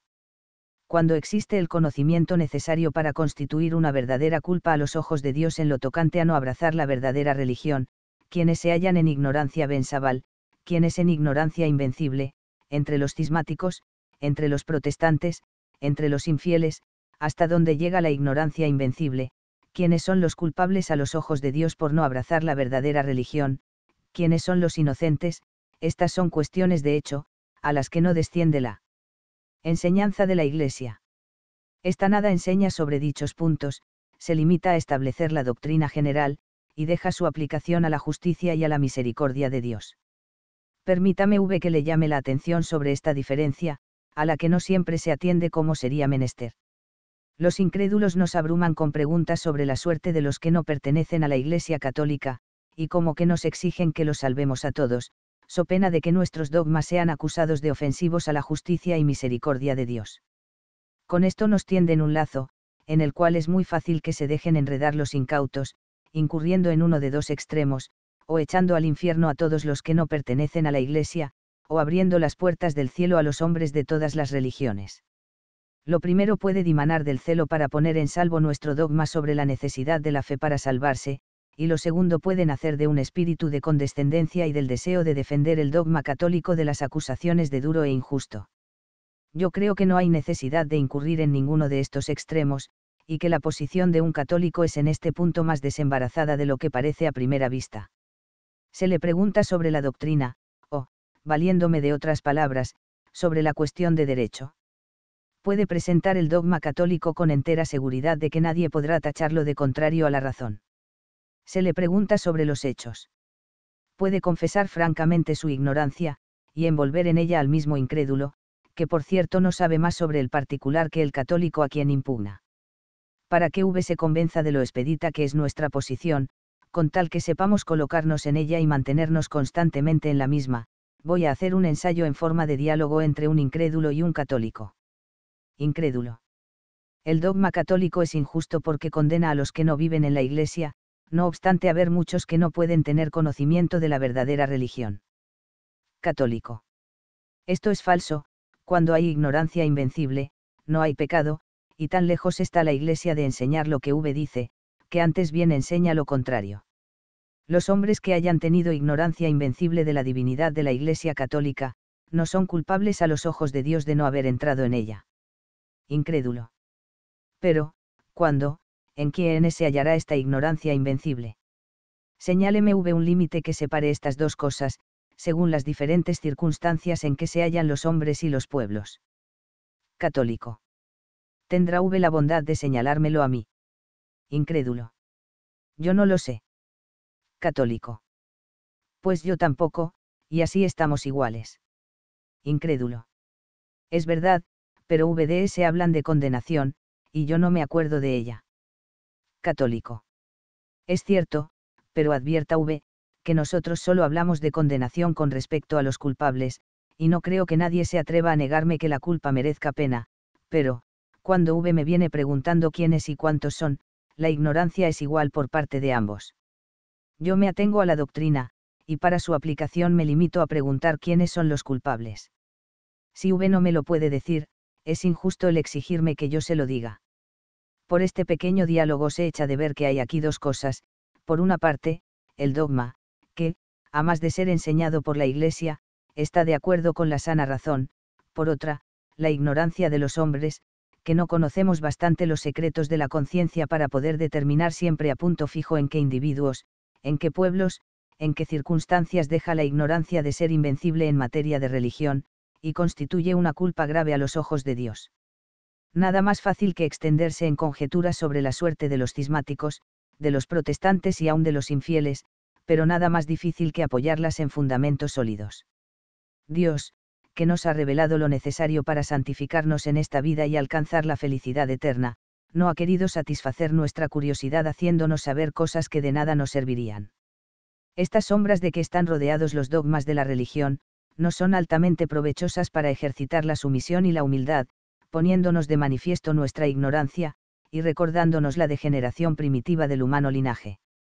Preguntar por qué Dios ha llevado la luz de la verdad a unos pueblos y permitido que otros continuasen sumidos en las tinieblas, equivale a investigar la razón de los secretos de la providencia, y a empeñarse en rasgar el velo que cubre a nuestros ojos los arcanos de lo pasado y de lo futuro. Sabemos que Dios es justo, y que al propio tiempo es misericordioso, sentimos nuestra debilidad, conocemos su omnipotencia en nuestro modo de concebir, se nos presentan a menudo graves dificultades para conciliar la justicia con la misericordia, y no figurarnos a un ser sumamente débil cual víctima de un ser infinitamente fuerte. Estas dificultades se disipan a la luz de una reflexión severa, profunda, y, sobre todo, exenta de las preocupaciones con que nos ciegan las inspiraciones del sentimiento. Y si, merced a nuestra flaqueza, restan todavía algunas sombras, esperemos que se desvanecerán en la otra vida, cuando, libertados del cuerpo mortal que agrava al alma, veremos a Dios como es en sí y presenciaremos el encuentro amistoso de la misericordia y de la verdad y el santo ósculo de la justicia y de la paz. Queda de V su afectísimo y SSQSMB. JB. Carta 17. La visión beatífica. Dificultad del escéptico. El conocimiento y el afecto en sus relaciones con la felicidad. Dos conocimientos de intuición y de concepto. ¿En qué consiste el dogma de la visión beatífica? Sublimidad de este dogma. Mi estimado amigo, las últimas palabras de mi carta anterior han excitado en V el deseo de que yo me extienda en algunas aclaraciones sobre la visión beatífica, porque, según dice, nunca ha podido formarse una idea bien clara de lo que entendemos por esta soberana felicidad. Por cierto, que me ha complacido sobremanera el que se me llame la atención hacia este punto, que no deja en el alma las dolorosas impresiones con que nos afligen algunos de los examinados en otras cartas. Al fin se trata de felicidad, y ésta no puede causar más afecciones ingratas que el temor de no conseguirla. Según veo, no comprende V bien cómo puede constituir felicidad cumplida un simple conocimiento, y no ha de ser otra cosa la visión intuitiva de Dios. No puede negarse que el ejercicio de las facultades intelectuales nos proporciona algunos goces, pero también es positivo que estos necesitan la concomitancia del sentimiento, sin el cual son fríos y severos como la razón de la cual dimanan.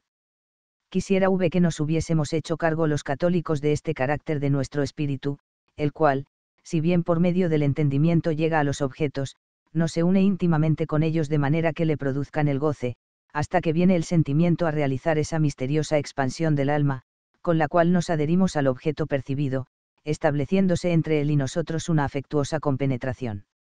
Estas palabras de V encierran un fondo de verdad, en cuanto para la felicidad del ser inteligente exigen, a más del acto intelectual, la unión de amor. Es indudable que, si falta esta última, el conocimiento puro no nos ofrece la idea de felicidad. Sea cual fuere el objeto conocido, no nos haría felices, si lo contemplásemos con indiferencia. Admito sin dificultad que el alma no sería dichosa si, conociendo el objeto que la ha de hacer feliz, no le amase. Sin amor no hay felicidad. Pero, si bien es verdadera en el fondo la doctrina.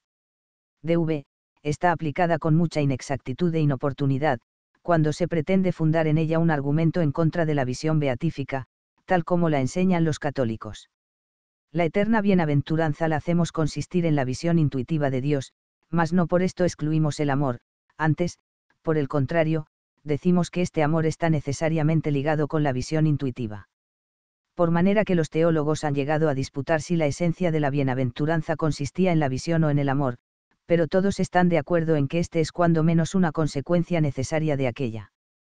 Bien se conoce que hace largo tiempo ha dado V de mano a los libros místicos, y aun a todos los que tratan de religión, puesto que piensa mejorar la felicidad cristiana con este filosófico sentimentalismo, que está muy lejos de levantarse a la purísima altura del amor de caridad que reconocemos los católicos, imperfecto en esta vida, y perfecto en la otra.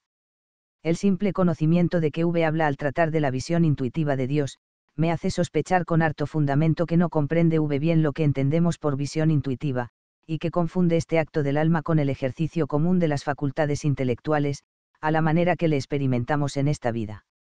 Séame, pues, permitido entrar en algunas consideraciones filosóficas sobre los diferentes modos con que podemos conocer un objeto. Nuestro entendimiento puede conocer de dos maneras, por intuición o por conceptos. Hay conocimiento de intuición, cuando el objeto se ofrece inmediatamente a la facultad perceptiva, sin que ésta necesite combinaciones de ninguna clase para completar el conocimiento. En esta operación, el entendimiento se limita a contemplar lo que tiene delante, no compone, no divide, no abstrae, no aplica, no hace nada más que ver lo que está patente a los ojos. El objeto, tal como es en sí, le es dado inmediatamente, se le presenta con toda claridad, y, si bien termina objetivamente la operación, y en este sentido ejercita la actividad del sujeto, influye también a su vez sobre éste, señoreándole, por decirlo así, y embargándole con su íntima presencia. El conocimiento por concepto es de naturaleza muy diferente. El objeto no es dado inmediatamente a la facultad perceptiva, ésta se ocupa en una idea que en cierto modo es obra del entendimiento mismo, el cual ha llegado a formarla combinando, dividiendo, comparando, abstrayendo, y recorriendo a veces la dilatada cadena de un discurso complicado y penoso. Aunque estoy seguro de que no se ocultará a la penetración de V la profunda diferencia que hay entre estas dos clases de conocimiento, voy a hacerla sensible en un ejemplo que está al alcance de todo el mundo. El conocimiento intuitivo se puede comparar a la vista de los objetos, el que se hace por conceptos es semejante a la idea que nos formamos por medio de las descripciones. V, como aficionado a las bellas artes, habrá admirado mil veces las preciosidades de algunos museos, y habrá leído las descripciones de otras que no le ha sido dado contemplar.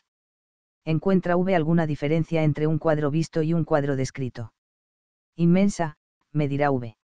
El cuadro visto me presenta de golpe su belleza, no necesito producir, me basta mirar, no combino, contemplo, mi alma está más bien pasiva que activa, y, si en algún modo ejerce su actividad, es para abrirse más y más a las gratas impresiones que recibe, como las plantas se dilatan con suave expansión para ser mejor penetradas por una atmósfera vivificante.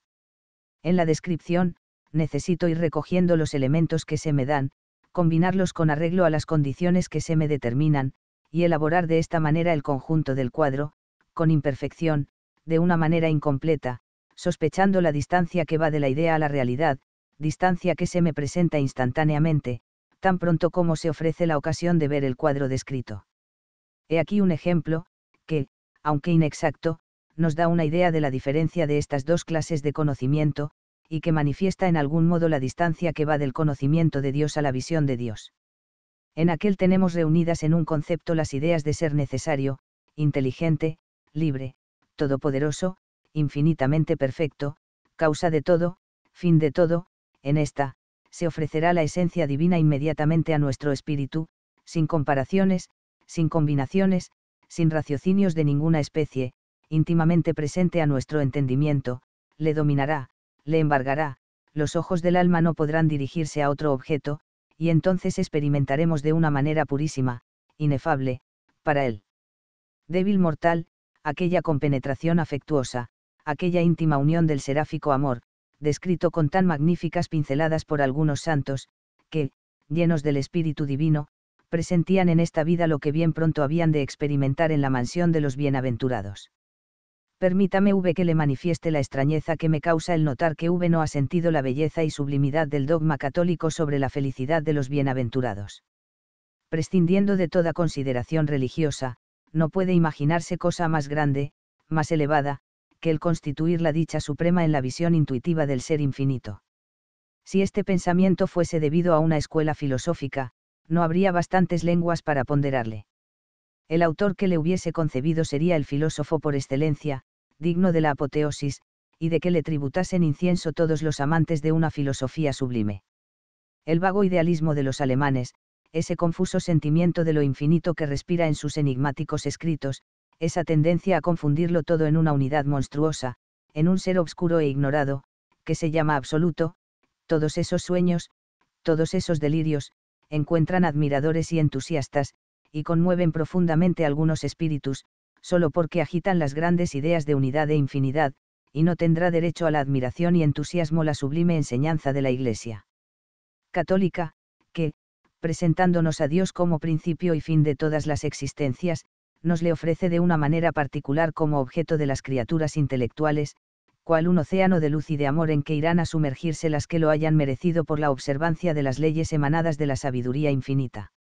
No es digno de admiración y de entusiasmo, aun cuando se le mirara como un simple sistema filosófico, el augusto dogma que nos presenta a todos los espíritus finitos sacados de la nada por la palabra todopoderosa, dotados de una centella intelectual, participación e imagen de la inteligencia divina, destinados a morar por breve espacio de tiempo en uno de los globos del universo, donde puedan contraer mérito para unirse con el mismo ser que los ha criado, y vivir después con él en intimidad de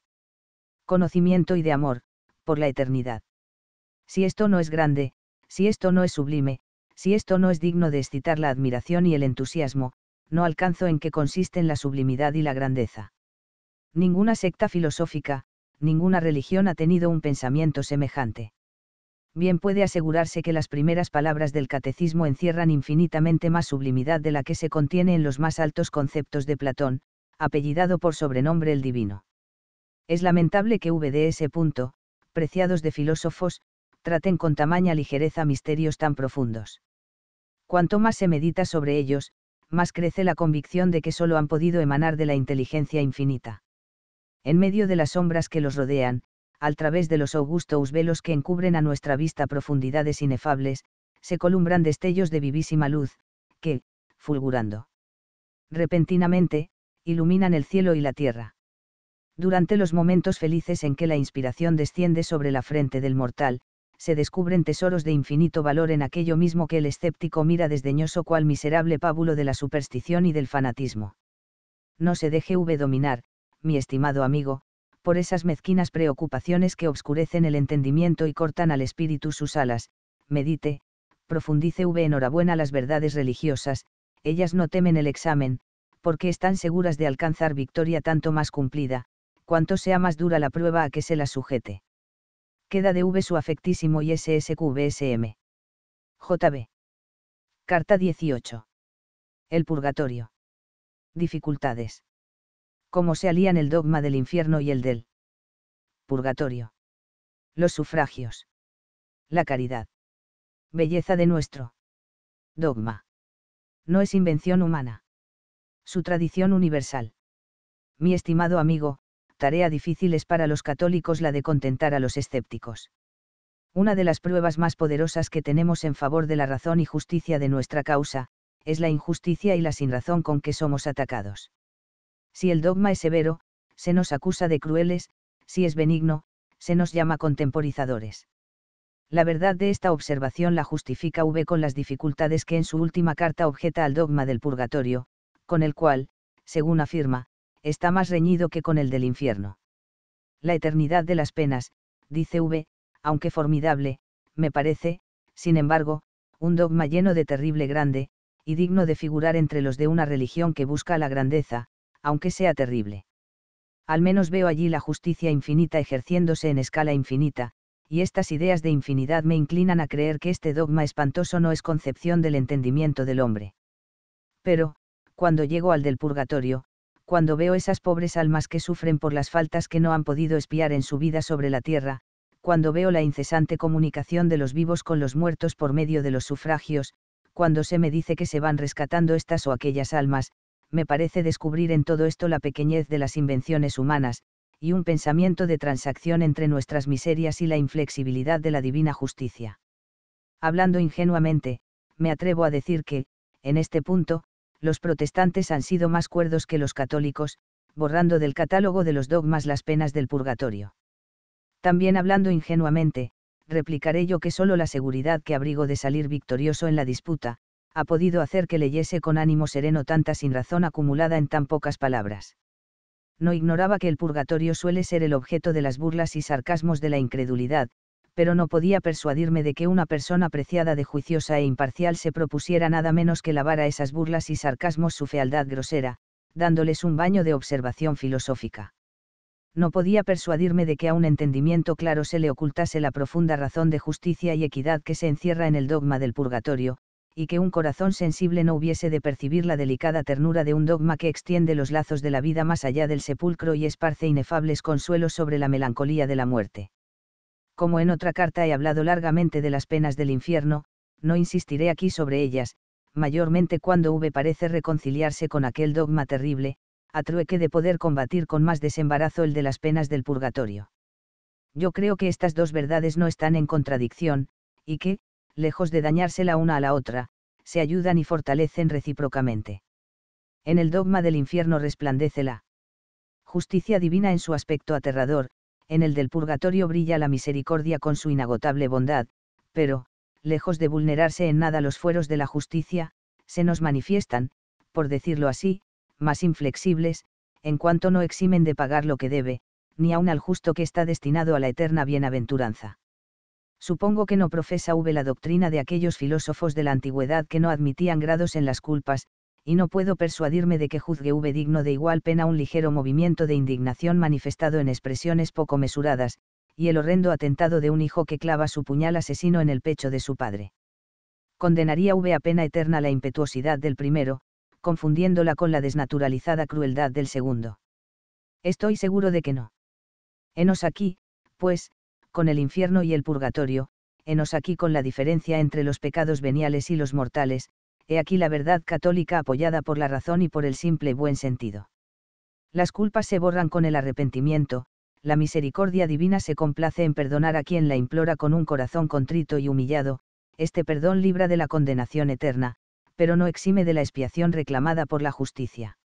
Hasta en el orden humano, cuando se perdona un delito, no se exime de toda pena al culpable perdonado, los fueros de la justicia se templan, mas no se quebrantan.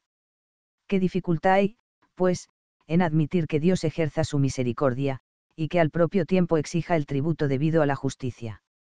He aquí, pues, otra razón en favor del purgatorio. Mueren muchos hombres que no han tenido voluntad o tiempo. Para satisfacer lo que debían de sus culpas ya perdonadas, algunos obtienen este perdón, momentos. Antes de exhalar el último suspiro. La divina misericordia los ha librado de las penas del infierno, pero, deberemos decir que se han trasladado desde luego a la felicidad eterna, sin sufrir ninguna pena por sus anteriores extravíos. No es razonable, no es equitativo, el que, si la misericordia templa a la justicia, ésta modere a su vez a la misericordia. La incesante comunicación de los vivos con los muertos, que tanto le desagrada a V, es la consecuencia natural de la unión de caridad que enlaza a los fieles de la vida presente con los que han pasado a la futura. Para condenar esta comunicación, es necesario condenar antes a la caridad misma, y negar el dogma sublime y consolador de la comunión de los santos. Extraño es que, cuando se habla tanto de filantropía y fraternidad, no sean dignamente admiradas la belleza y ternura que se encierran en el dogma de la Iglesia. Se pondera la necesidad de que todos los hombres vivan como hermanos, y se rechaza esa fraternidad que no se limita a los de la tierra, sino que abraza a la humanidad entera. En la tierra y en el cielo, en la felicidad y en el infortunio. Donde hay un bien que comunicar, allí está la caridad, que no lo deja aislar en un individuo, y lo extiende largamente sobre los demás hombres, donde hay una desgracia que socorrer, allí acude la caridad llevando el auxilio de los que pueden aliviarla. Que este infortunio sea en esta vida o en la otra, la caridad no le olvida. Ella, que manda dar de comer al hambriento, vestir al desnudo, amparar al desvalido, asistir al doliente, consolar al preso, ella misma es la que llama al corazón de los fieles para que socorran a sus hermanos difuntos implorando la divina misericordia, a fin de que abrevie la expiación a que están condenados. Si esto fuese invención humana, sería ciertamente una invención bella y sublime. Si la hubiesen escogitado los sacerdotes católicos, no podría negárseles la habilidad de haber armonizado su obra con los principios más esenciales de la religión cristiana. A propósito de invenciones, fácil me sería probarle a V que el dogma del purgatorio no es un engendro de los siglos de ignorancia. Hallamos su tradición constante, aun en medio de los desvaríos de las religiones falsas, lo que manifiesta que este dogma, como otros, fue comunicado primitivamente al humano linaje, y sobrenadó en el naufragio de la verdad provocado por el error y las pasiones de la extraviada prole de Adán. Platón y Virgilio no eran sacerdotes de la Edad Media, y, sin embargo, nos hablan de un lugar de expiación los judíos y los maometanos no se habrán convenido con los sacerdotes católicos para engañar a los pueblos, no obstante, reconocen también la existencia del purgatorio. En cuanto a los protestantes, no es exacto que todos lo hayan negado, pero, si se empeñan en apropiarse esta triste gloria, nosotros no se la queremos disputar, no admitan en buen hora más penas que las del infierno, quiten toda esperanza a quien no se halle bastante puro para entrar desde luego en la mansión de los justos, corten todos los lazos de amor que unen a los vivientes con los finados, y adornen con tan formidable timbre sus doctrinas de fatalismo y desesperación.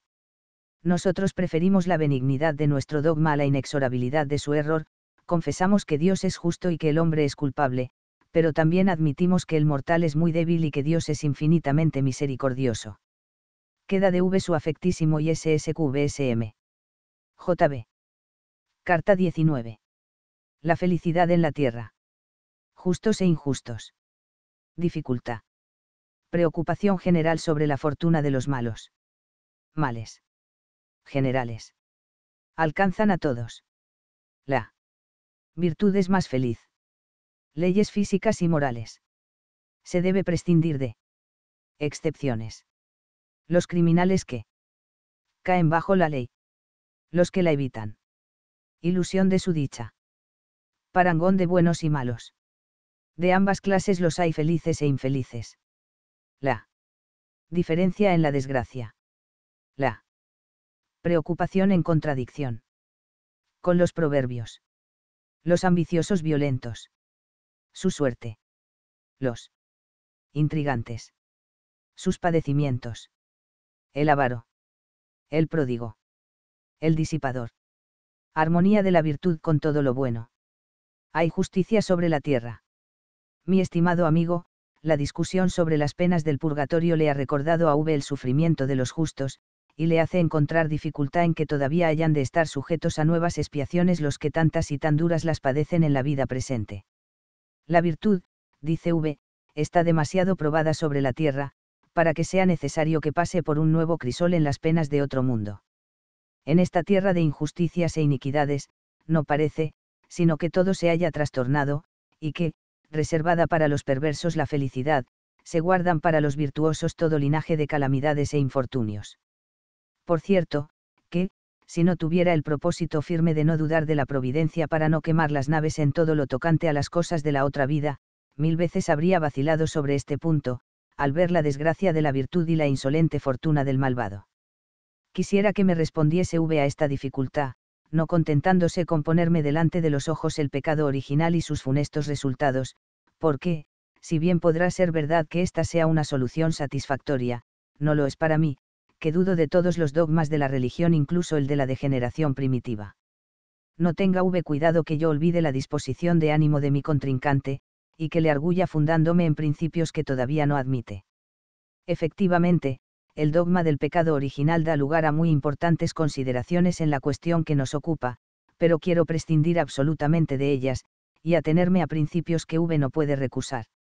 Desde luego me parece que en la presente cuestión supone V un hecho que, si no es falso, es cuando menos muy dudoso. Poco importa que la opinión de V se halle acorde con la vulgar, yo creo que en esto hay una preocupación infundada, que, por ser bastante general, no deja de ser contraria a la razón y a la experiencia. Supone V, como tantos otros, que la felicidad en esta vida se haya distribuida de tal suerte, que les cabe a los malos la mayor parte, llevándose los virtuosos la más pequeña, acibarada, además, con abundantes sinsabores e infortunios. Repito que considero esta creencia como una preocupación infundada, incapaz de resistir el examen de la sana razón. Ya se ha observado que los virtuosos no pueden eximirse de los males que afectan a la humanidad en general, si no se quiere que Dios esté haciendo milagros continuos. Si van muchas personas por un camino de hierro, y entre ellas se encuentra una o más de señalada virtud, claro es que, si sobreviene un accidente, Dios no ha de enviar un ángel para que ponga en salvo de una manera extraordinaria a los viajeros virtuosos. Si pasan dos hombres por la calle, uno bueno, otro malo, y se desploma una casa sobre sus cabezas, los dos quedarán aplastados, las paredes, vigas y techumbres, no formarán una bóveda sobre la cabeza del hombre virtuoso. Si un aguacero inunda los campos y destruye las mieses, entre las cuales se hallan las de un propietario virtuoso, nadie exigirá de la providencia que, al llegar las aguas a las tierras del hombre justo, formen un muro, como en otro tiempo las del Mar Rojo. Si una epidemia diezma la población de un país, la muerte no ha de respetar a las familias virtuosas. Si una ciudad sufre los horrores de un asalto, la soldadesca desenfrenada no dejará de atropellar la casa del hombre justo, como atropella la del perverso. El mundo está sometido a ciertas leyes generales que la providencia no suspende sino de vez en cuando, y que, por lo común, envuelven sin distinción a todos los que se hallan en las circunstancias a propósito para experimentar sus resultados. Sin duda que, a más de las exenciones abiertamente milagrosas, tiene la providencia en su mano medios especiales con que libra al justo de una calamidad general o atenúa su desgracia, pero quiero prescindir de estas consideraciones, que me llevarían al examen de hechos siempre difíciles de averiguar, y, sobre todo, de fijar con precisión, admito, pues, sin repugnancia, que todos los hombres justos e injustos están igualmente sometidos a los males generales de la humanidad, ora provengan de la naturaleza física, ora dimanen de infaustas circunstancias sociales, políticas o domésticas. No creo que pretenda V hacer por este motivo un cargo a la providencia, pues le considero demasiado razonable para exigir milagros continuos que perturben incesantemente el orden regular del universo. Aparte, pues, las desgracias generales que alcanzan a los malos como a los buenos, según las circunstancias en que unos y otros se encuentran, y de las que no puede decirse que afectan más a los buenos que a los malos, veamos ahora si es verdad que la dicha se halle repartida de tal modo, que su mejor parte sea patrimonio del vicio. Yo creo, por el contrario, que, aun prescindiendo de beneficios especiales de la providencia, las leyes físicas y morales del mundo son de tal naturaleza, que por sí solas, abandonadas a su acción natural y ordinaria, distribuyen de tal modo la dicha y la desdicha, que los hombres virtuosos son incomparablemente más felices, aun en la tierra, que los viciosos y malvados. Convendrá V conmigo en que el juicio sobre los grados de felicidad o desdicha no ha de fundarse en casos particulares, sino que debe estribar en el orden general, tal como resulta, y ha de resultar necesariamente, de la misma naturaleza de las cosas el mundo está ordenado tan sabiamente, que la pena, más o menos clara, más o menos sensible, va siempre tras el delito. Quien abusa de sus facultades buscando placer, encuentra el dolor, quien se desvía de los eternos principios de la sana moral para proporcionarse una felicidad calculada sobre el egoísmo, se labra por lo común su desventura y ruina. No necesito hablar de la suerte que cabe a los grandes delincuentes, entregados a crímenes que puede alcanzar la acción de la ley el encierro perpetuo, los trabajos forzados, la exposición a la vergüenza pública, un afrentoso patíbulo, he aquí lo que encuentran en el término de una carrera azarosa, llena de peligros, de sobresalto, de raptos de cólera y desesperación, de sufrimientos corporales, de calamidades y catástrofes sin cuento. Una vida y muerte semejantes nada tienen de feliz, en la embriaguez del desorden y del crimen esos desventurados quizás se imaginan que llegan a gozar, pero llamaremos verdadero goce al que resulta del trastorno de todas las leyes físicas y morales, y que se pierde como una gota imperceptible en la copa de angustias y de tormentos agotada hasta las heces. Supongo, pues, que, cuando habla V de la dicha de los malvados, no se refiere a los que caen bajo la acción de la justicia humana, sino que trata de aquellos que, mientras faltan a sus deberes atropellando los altos fueros de la justicia y de la moral, insultan a sus víctimas con la seguridad de que disfrutan, albergándose tal vez bajo doradas techumbres, en el esplendor de la opulencia y en los brazos del placer. No niego que, examinada la cosa superficialmente, hay algo que choca e irrita en la felicidad de esos hombres, no desconozco que, ateniéndose a las apariencias, no penetrando en el corazón de semejante dicha, y sobre todo limitándose a casos particulares, y no extendiendo la vista como debe extenderse en esta clase de investigaciones, se queda uno deslumbrado, y asaltan al espíritu los terribles pensamientos, ¿dónde está la providencia, dónde está la justicia de Dios? Pero tan pronto como se medita algún tanto, y se toma el verdadero punto de vista, la ilusión desaparece, y se descubren el orden y la armonía reinando en el mundo con admirable constancia. Aclaremos y fijemos las ideas. Me citará V un hombre vicioso, y quizás perverso, que al parecer disfruta de felicidad doméstica, y obtiene en la sociedad una consideración que está muy lejos de merecer, sea en buena hora, no quiero entrar en disputas sobre lo que esta felicidad doméstica encierra de real o de aparente, y sobre la dicha interior que producen consideraciones no merecidas, quiero suponer que la felicidad sea verdadera, y que el goce que resulta de la consideración sea íntimo, satisfactorio, pero tampoco podrá.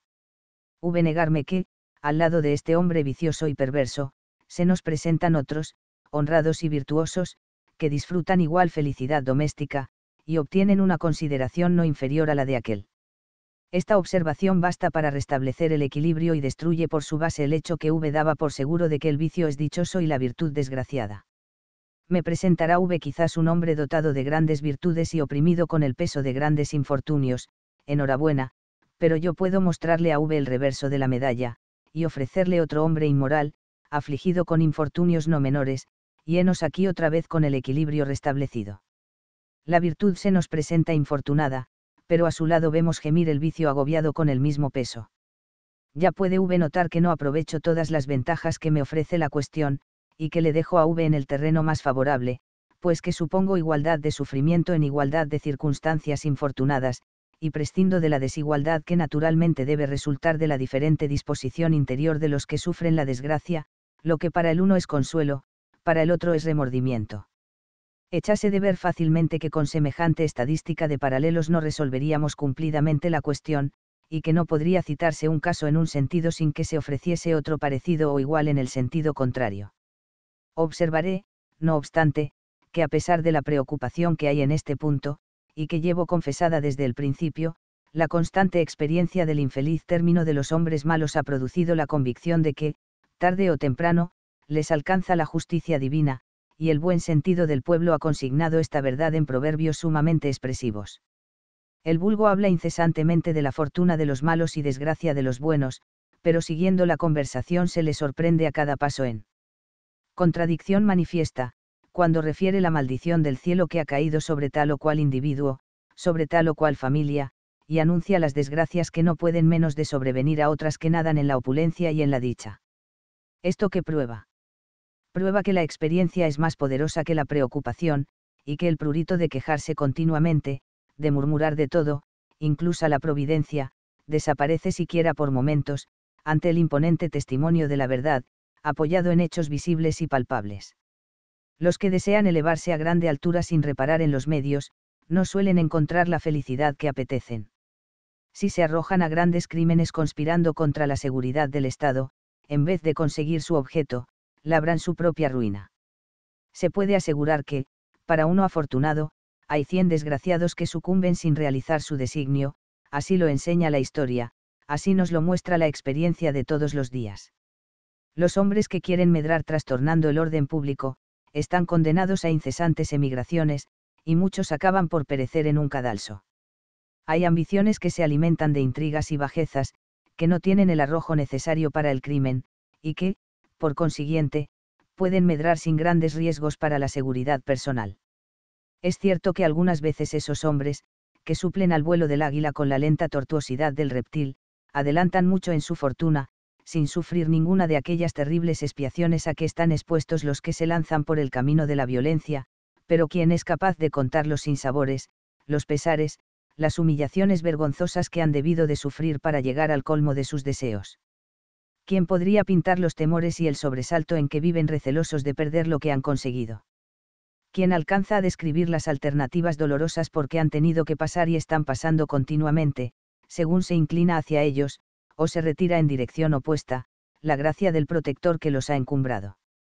¿Y qué idea debemos formarnos, en tal caso, de la felicidad de esos hombres, mayormente si consideramos cuánto ha de atormentarlos la memoria de sus villanías, y el remordimiento por los males que tal vez han causado a hombres beneméritos y a familias inocentes?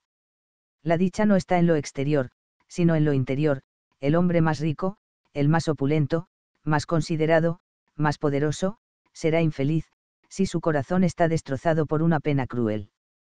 Quien ama con exceso las riquezas hasta el punto de olvidar sus deberes con tal que pueda adquirirlas, en vez de lograr la felicidad, se acarrea la desdicha.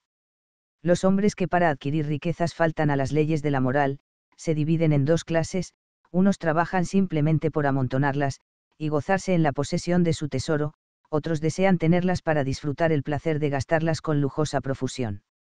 Aquellos son los avaros, estos son los pródigos. Veamos qué felicidad se encuentra por ambos caminos.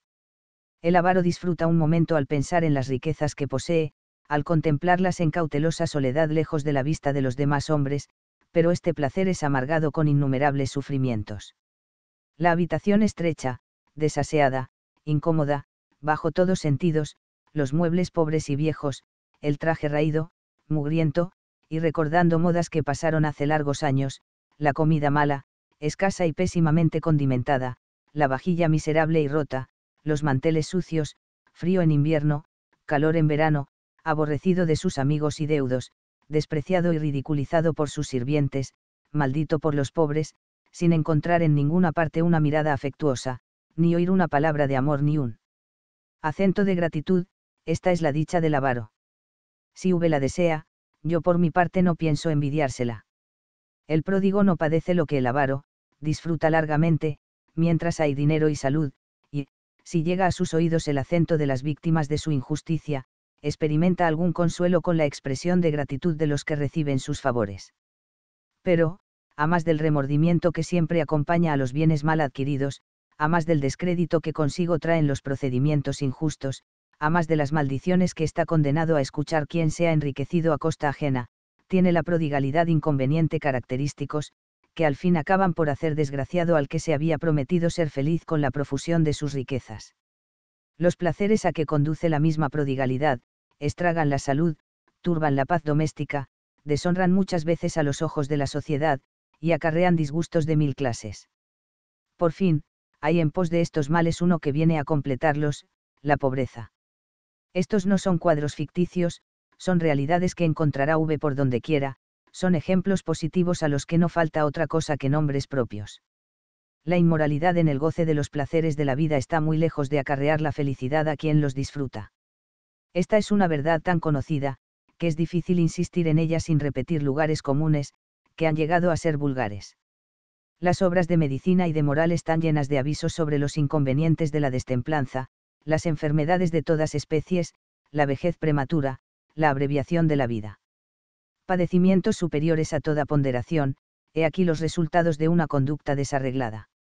Una mesa opípara, en magníficos salones, servida con lujo y esplendor, en brillante sociedad, en la algazara de los alegres convidados, seguida de los brindis, de festejos, de orquesta, de placeres de todos géneros, es ciertamente un espectáculo seductor, he aquí, mi estimado amigo, una felicidad incomparable, no es verdad.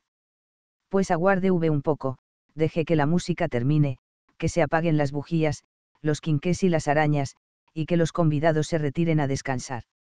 Mientras el hombre sobrio y arreglado duerme tranquilamente, los criados del hombre feliz corren azorados por la casa, unos preparan bebidas demulcentes, otros disponen el baño, estos salen precipitadamente en busca del facultativo, aquellos golpean sin piedad la puerta del farmacéutico, ¿qué ha sucedido? Nada, la felicidad de la mesa se ha trocado en dolores agudísimos. El hombre venturoso no encuentra descanso ni en la cama, ni en el sofá, ni en la butaca, ni en el suelo, un frío sudor baña sus miembros, su faz está cadavérica, sus ojos desencajados, sus dientes rechinan, y clama a grandes gritos que se muere. Estos son los percances de tamaña felicidad, para conocer cuán bien contrapesan semejantes padecimientos el placer de breves horas, sería bueno consultar al paciente y preguntarle si no renunciaría gustoso a todos los placeres y festines del mundo, con tal que pudiese aliviarse algún tanto en los dolores que sufre. Interminable sería si quisiese continuar el parangón entre los resultados del vicio y de la virtud, pero no intento repetir lo que se ha dicho ya mil veces, y que V sabe tan bien como yo. Baste observar que la felicidad no está en las apariencias, sino en lo más íntimo del alma, al hombre que experimenta agudos dolores, que vive agobiado de pesares, devorado por una tristeza profunda, o lentamente consumido por un tedio insoportable, ¿de qué sirve la magnificencia de un palacio, ni el brillo de los honores, ni el incienso de la lisonja, ni la fama de su nombre? La dicha, repito, está en el corazón, quien no tiene en el corazón la dicha, es infeliz, sean cuales fueren las apariencias de ventura de que se haya rodeado. Ahora bien, en el ejercicio de la virtud están armonizadas las facultades del hombre, en sus relaciones consigo mismo, con sus semejantes, con Dios, así con respecto a lo presente como a lo futuro, el vicio trastorna esta armonía, perturba al hombre interior haciendo que la razón y la voluntad sean esclavas de las pasiones, debilita la salud, acorta la vida con los placeres de los sentidos, altera la paz doméstica, destruye la amistad, sacrifica lo futuro a lo presente, así el hombre marcha. Por un camino de remordimiento y de agitación, hacia el umbral del sepulcro, donde no espera ni puede esperar ningún consuelo, y donde teme encontrar el castigo de sus desórdenes. La felicidad de un ser no puede consistir en la perturbación de las leyes a que se haya sometido por su propia naturaleza, las del orden natural se hallan acordes con las de la moral, quien las infringe, paga su merecido, en vez de felicidad, encuentra terribles desventuras. Ya ve V, mi querido amigo, que no es tan cierto como V creía que la felicidad de la tierra sea únicamente para los malos, y la desdicha para solos los buenos, tengo por indudable que, si se pudiesen pesar en una balanza los grados de felicidad que se reparten entre la virtud y el vicio, pesarían mucho más los de aquella que los de éste, y que le cabe al vicio una cantidad de sufrimientos incomparablemente mayor que los que experimenta la virtud.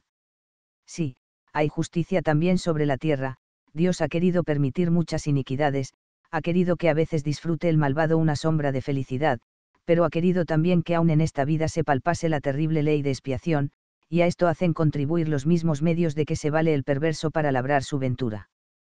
Queda de V afectísimo y seguro servidor QSMB. JB. Carta XX. Culto de los santos. Disposición de ánimo de los escépticos. Les falta lectura buena. No son imparciales como pretenden. Lo que deben.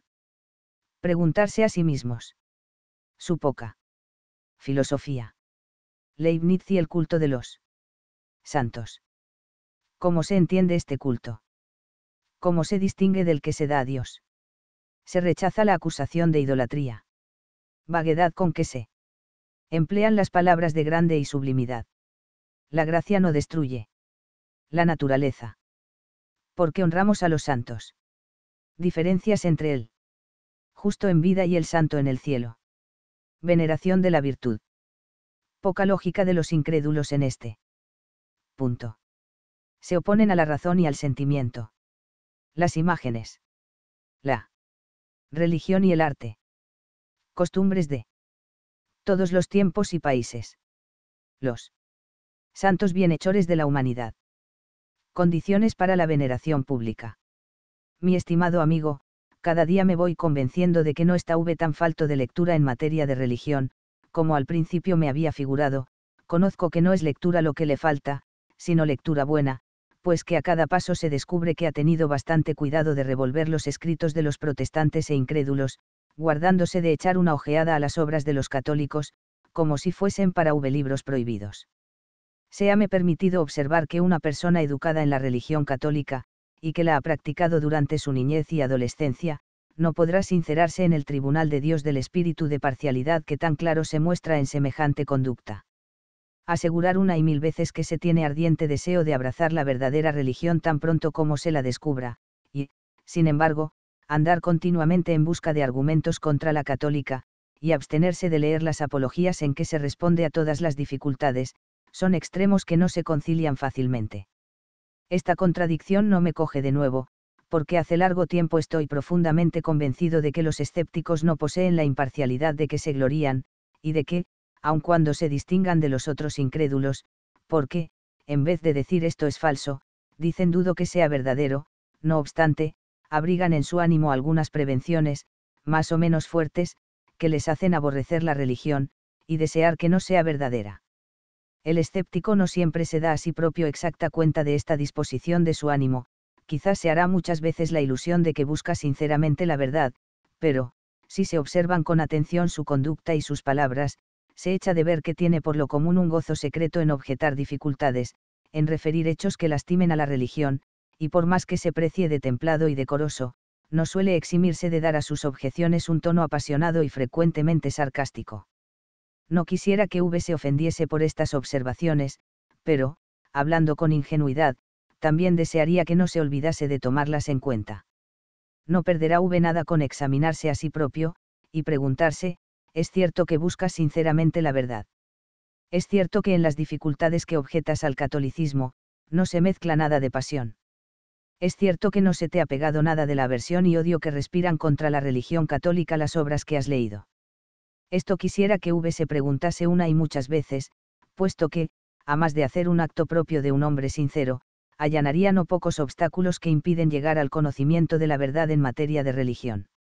Me dirá V que no puede menos de extrañar las observaciones que preceden, cuando en su polémica ha conservado mayor decoro de lo que suelen los que combaten la religión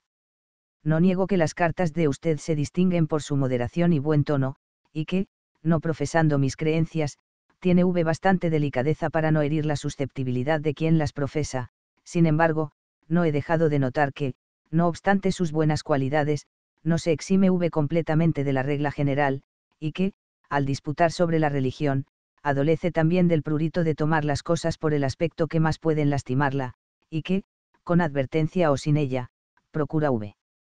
Eludir el contemplar los dogmas en su elevación, en su magnífico conjunto, en su admirable armonía con todo cuanto hay de bello, de tierno, de grande, de sublime. Repetidas veces he tenido ocasión de observar esto mismo, y por ahora no veo que lleve camino de enmendarse. Así, creo que me dispensará V si no le exceptúo de la regla general y le considero más preocupado y apasionado de lo que V se figura. Precisamente en la carta que acabo de recibir, esta triste verdad se me presenta de bulto, de una manera lastimosa. A pesar de las protestas, se está descubriendo en toda ella el dejo del fanatismo protestante y de la ligereza volteriana, y difícilmente podría creer que, antes de escribirla, no consultase V algunos de los oráculos de la mal llamada reforma o de la falsa filosofía. Por más que hable V con respeto de las creencias populares, y del encanto que experimenta al presenciar el fervor religioso de las gentes sencillas, se trasluce que V contempla todo eso con un benigno desdén, y que considera pagar bastante tributo a la sinceridad de los creyentes, con abstenerse de condenarlos y ridiculizarlos a cara descubierta. Agradecemos la bondad, pero tenga V entendido que las creencias y costumbres de esas gentes sencillas tienen mejor defensa de lo que V se imagina, y que, lejos de que el culto y la invocación de los santos y la veneración de las reliquias y de las imágenes, hayan de ser el pábulo religioso de solas las gentes sencillas, pueden prestar materia a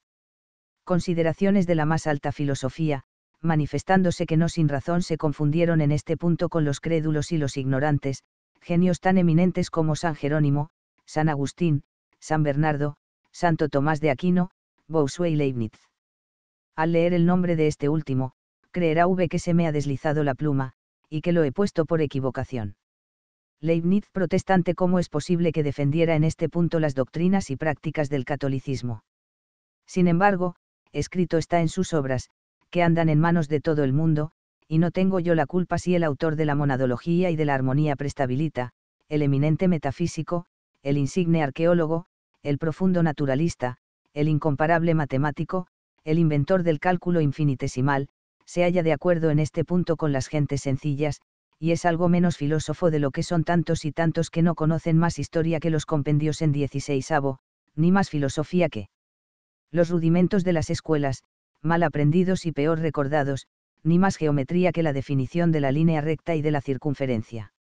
Insensiblemente me he ido extendiendo en consideraciones generales, y el preámbulo de la carta se ha hecho demasiado largo, aunque estoy muy lejos de creerle inoportuno.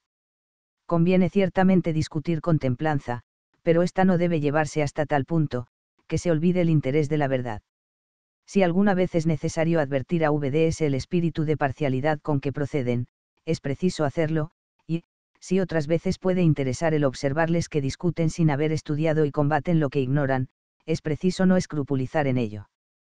El culto de los santos le parece a V poco razonable, y hasta lo juzga poco conforme a la sublimidad de la religión cristiana, que nos da tan grandes ideas de Dios y del hombre.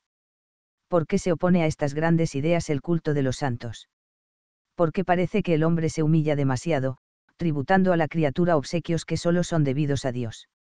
desde luego se echa de ver que se haya hube imbuido de las objeciones de los protestantes, mil veces soltadas, y mil veces repetidas. Aclaremos las ideas. El culto que se tributa a Dios, es en reconocimiento del supremo dominio que tiene sobre todas las cosas, como su Criador, ordenador y conservador, es en expresión de la gratitud que la criatura debe al Criador por los beneficios recibidos, y de la sumisión, acatamiento y obediencia a que le está obligada, en el ejercicio del entendimiento, de la voluntad y de todas sus facultades. El culto externo es la expresión del interno, es, además, un explícito reconocimiento de que lo debemos todo a Dios, no solo el espíritu, sino también el cuerpo, y que le ofrecemos no solo sus dones espirituales, sino también los corporales. Es evidente que el culto interno y externo de que acabo de hablar, es propio de Dios exclusivamente, a ninguna criatura se le pueden rendir los homenajes que son debidos únicamente a Dios, lo contrario, sería caer en la idolatría, vicio condenado por la razón natural de la Sagrada Escritura, mucho antes de que le condenase el celo filosófico. Pocas acusaciones habrá más injustas, y que se hayan hecho más de mala fe, que la que se dirige contra los católicos, culpándolos de idolatría por su dogma y prácticas en el culto de los santos. Basta abrir, no diré las obras de los teólogos, sino el más pequeño de los catecismos, para convencerse de que semejante acusación es altamente calumniosa. Jamás, en ningún escrito católico, se ha confundido el culto de los santos con el de Dios, quien cayese en tamaño error, sería desde luego condenado por la Iglesia. El culto que se tributa a los santos es un homenaje rendido a sus eminentes virtudes, pero, estas son reconocidas expresamente como dones de Dios, honrando a los santos, honramos al que los ha santificado. De esta manera, aunque el objeto inmediato sean los santos, el último fin de este culto es el mismo Dios. En la santidad que veneramos en el hombre, veneramos un reflejo de la santidad infinita. Estas no son explicaciones arbitrarias, ni escogitadas a propósito para deshacerme de la dificultad, habrá V por donde quiera las vidas de los santos, las colecciones de panegíricos, oiga V a nuestros oradores, a nuestros catequistas, en todas partes encontrará la misma doctrina que acabo de exponer. Otra observación. La Iglesia ora en las fiestas de los santos, y a quien dirige las oraciones. Al mismo Dios. No te el principio de la oración, Deius que igual a omnipotens empiterne Deius igual a praesta quae sumus, omnipotens Deius, etc., etc., lo mismo sucede en el final, el que siempre se refiere a una de las personas de la Santísima Trinidad, o a dos, o a las tres, como se está oyendo continuamente en nuestras iglesias. No concibo qué es lo que se puede contestar a razones tan decisivas, y así no debo temer que continúe usted culpándonos de idolatría, aclaradas de este modo las ideas, es imposible insistir en la acusación, si se procede de buena fe. Voy, pues, a considerar la cuestión bajo otros aspectos, y en particular con relación a la pretendida discordancia entre el culto de los santos y la sublimidad de las ideas cristianas sobre Dios y el hombre. La religión, al darnos ideas grandes sobre el hombre, no destruye la naturaleza humana, si esto hiciese, sus ideas no serían grandes, sino falsas. Es un dicho común entre los teólogos que la gracia no destruye a la naturaleza, sino que la eleva, la perfecciona la verdadera revelación no puede estar en contradicción con los principios constitutivos de la naturaleza humana. De ello resulta que la sublimidad de las ideas que la religión nos da sobre el hombre, no se opone a las condiciones naturales de nuestro ser, aunque éstas sean pequeñas. Nuestro grande consiste en la altura de nuestro origen, en la inmensidad de nuestro destino, en las perfecciones intelectuales y morales que debemos a la bondad del autor de la naturaleza y de la gracia, y en el conjunto de medios que nos proporciona para alcanzar el fin a que nos tiene destinados. Pero este grande no quita que nuestro espíritu esté unido a un cuerpo, que a más de ser inteligentes seamos también sensibles, que al lado de la voluntad intelectual se hallen los sentimientos y las pasiones, y que, por consiguiente, en nuestro pensar, en nuestro querer, en nuestro obrar, estemos sometidos a ciertas leyes de las que no puede prescindir nuestra naturaleza sería de desear que no perdiese usted de vista estas observaciones, que sirven mucho para no confundir las ideas y no emplear las palabras de sublimidad y grande en un sentido vago, que puede dar ocasión a graves equivocaciones, según el objeto a que se las aplica. Ya que la oportunidad se brinda, me permitido observar que las ideas de grande y de infinito se hacen servir para arruinar las relaciones del hombre con Dios. ¿Cómo es posible, se dice, que un ser infinito se ocupe en un ser tan pequeño como somos nosotros? y no se advierte que el mismo argumento podría servir a quien se empeñase en sostener que no hay creación, diciendo, ¿cómo es posible que un ser infinito se haya ocupado en crear seres tan pequeños?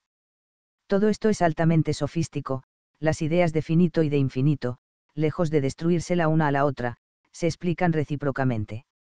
La existencia de lo finito prueba la existencia de lo infinito, y en la idea de lo infinito se encuentra la razón suficiente de la posibilidad de lo finito y la causa de su existencia. La relación de finito con lo infinito constituye la unidad de la armonía del universo, en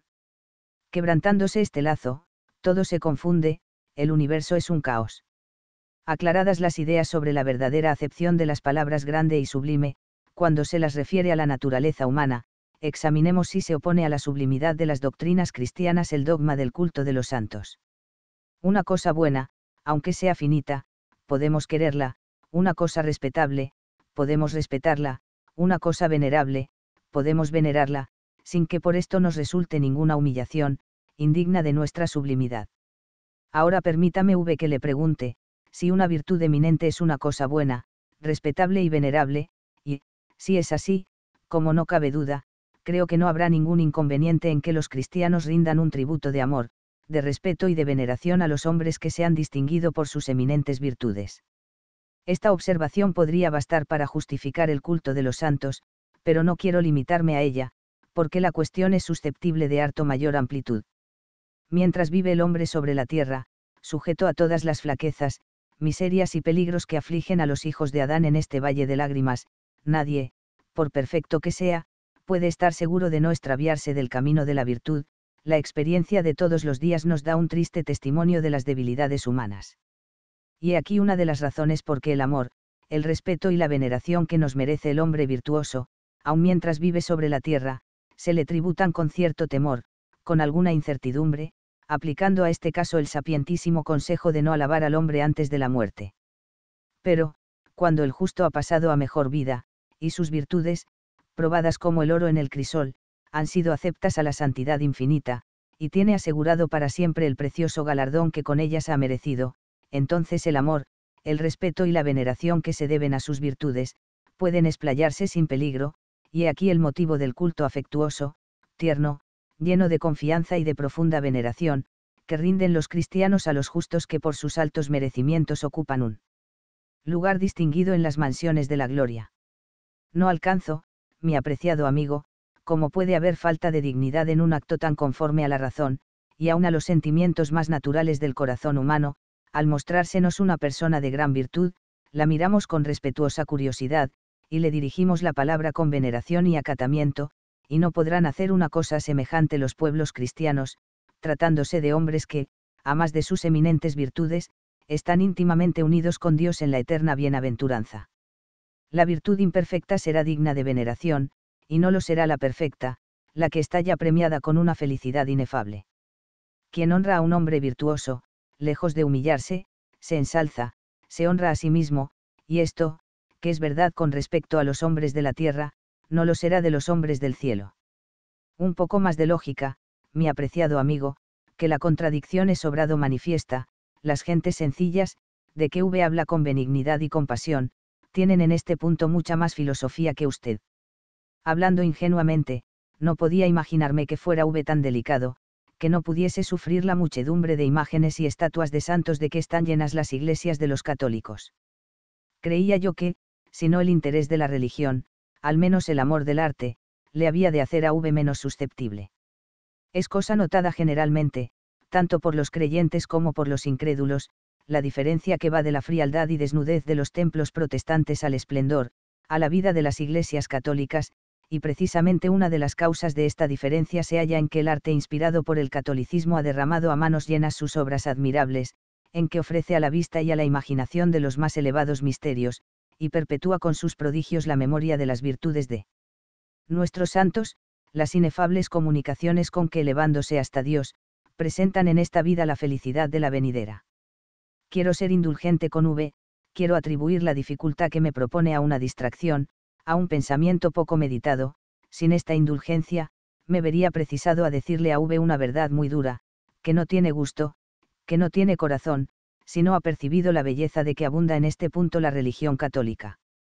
Extraño es que, al combatir las costumbres del catolicismo con respecto a las imágenes de los santos, no haya advertido V que se ponía en contradicción con uno de los sentimientos más naturales del corazón humano.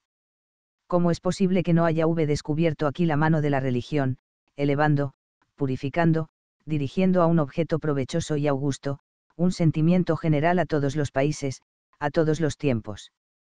¿Conoce V algún pueblo que no haya procurado perpetuar la memoria de sus hombres ilustres, con imágenes, estatuas y otra clase de monumentos? Y hay nada más ilustre que la virtud en grado eminente, cual la tuvieron los santos. Muchos de estos no fueron, por ventura, grandes bienhechores de la humanidad. Se atreverá V a sostener que sea más digna de perpetuarse la memoria de los conquistadores que han inundado la tierra de sangre, que la de los héroes que han sacrificado su fortuna, su reposo, su vida, en bien de sus semejantes, y nos han transmitido su espíritu en instituciones que son el alivio y el consuelo de toda clase de infortunios.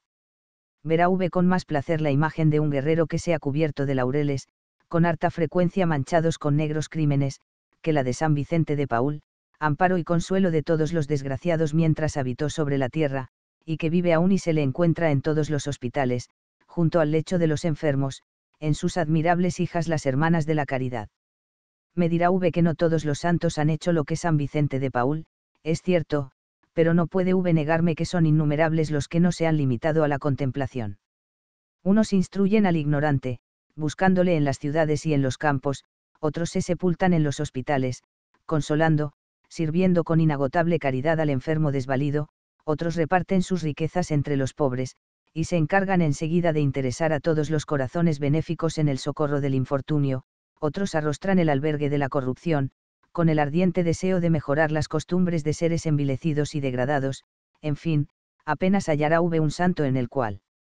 no se vea un manantial de luz, de virtud, de amor, que se derramaba en todas direcciones y a grandes distancias, en bien de sus semejantes. Que encuentra V de poco racional, de poco digno en perpetuar la memoria de acciones tan nobles, tan grandes y provechosas. No han hecho lo mismo, cada cual, a su manera, todos los pueblos de todos los tiempos y países. Le parece a V que en esta obra se hallen mal empleados los prodigios del arte. Quiero suponer que se trate de una vida deslizada suavemente en medio de la contemplación, en la soledad del desierto o en la práctica de modestas virtudes en la obscuridad del hogar doméstico, aun en este caso, no hay ningún inconveniente en que el arte se consagre a perpetuarlas en la memoria.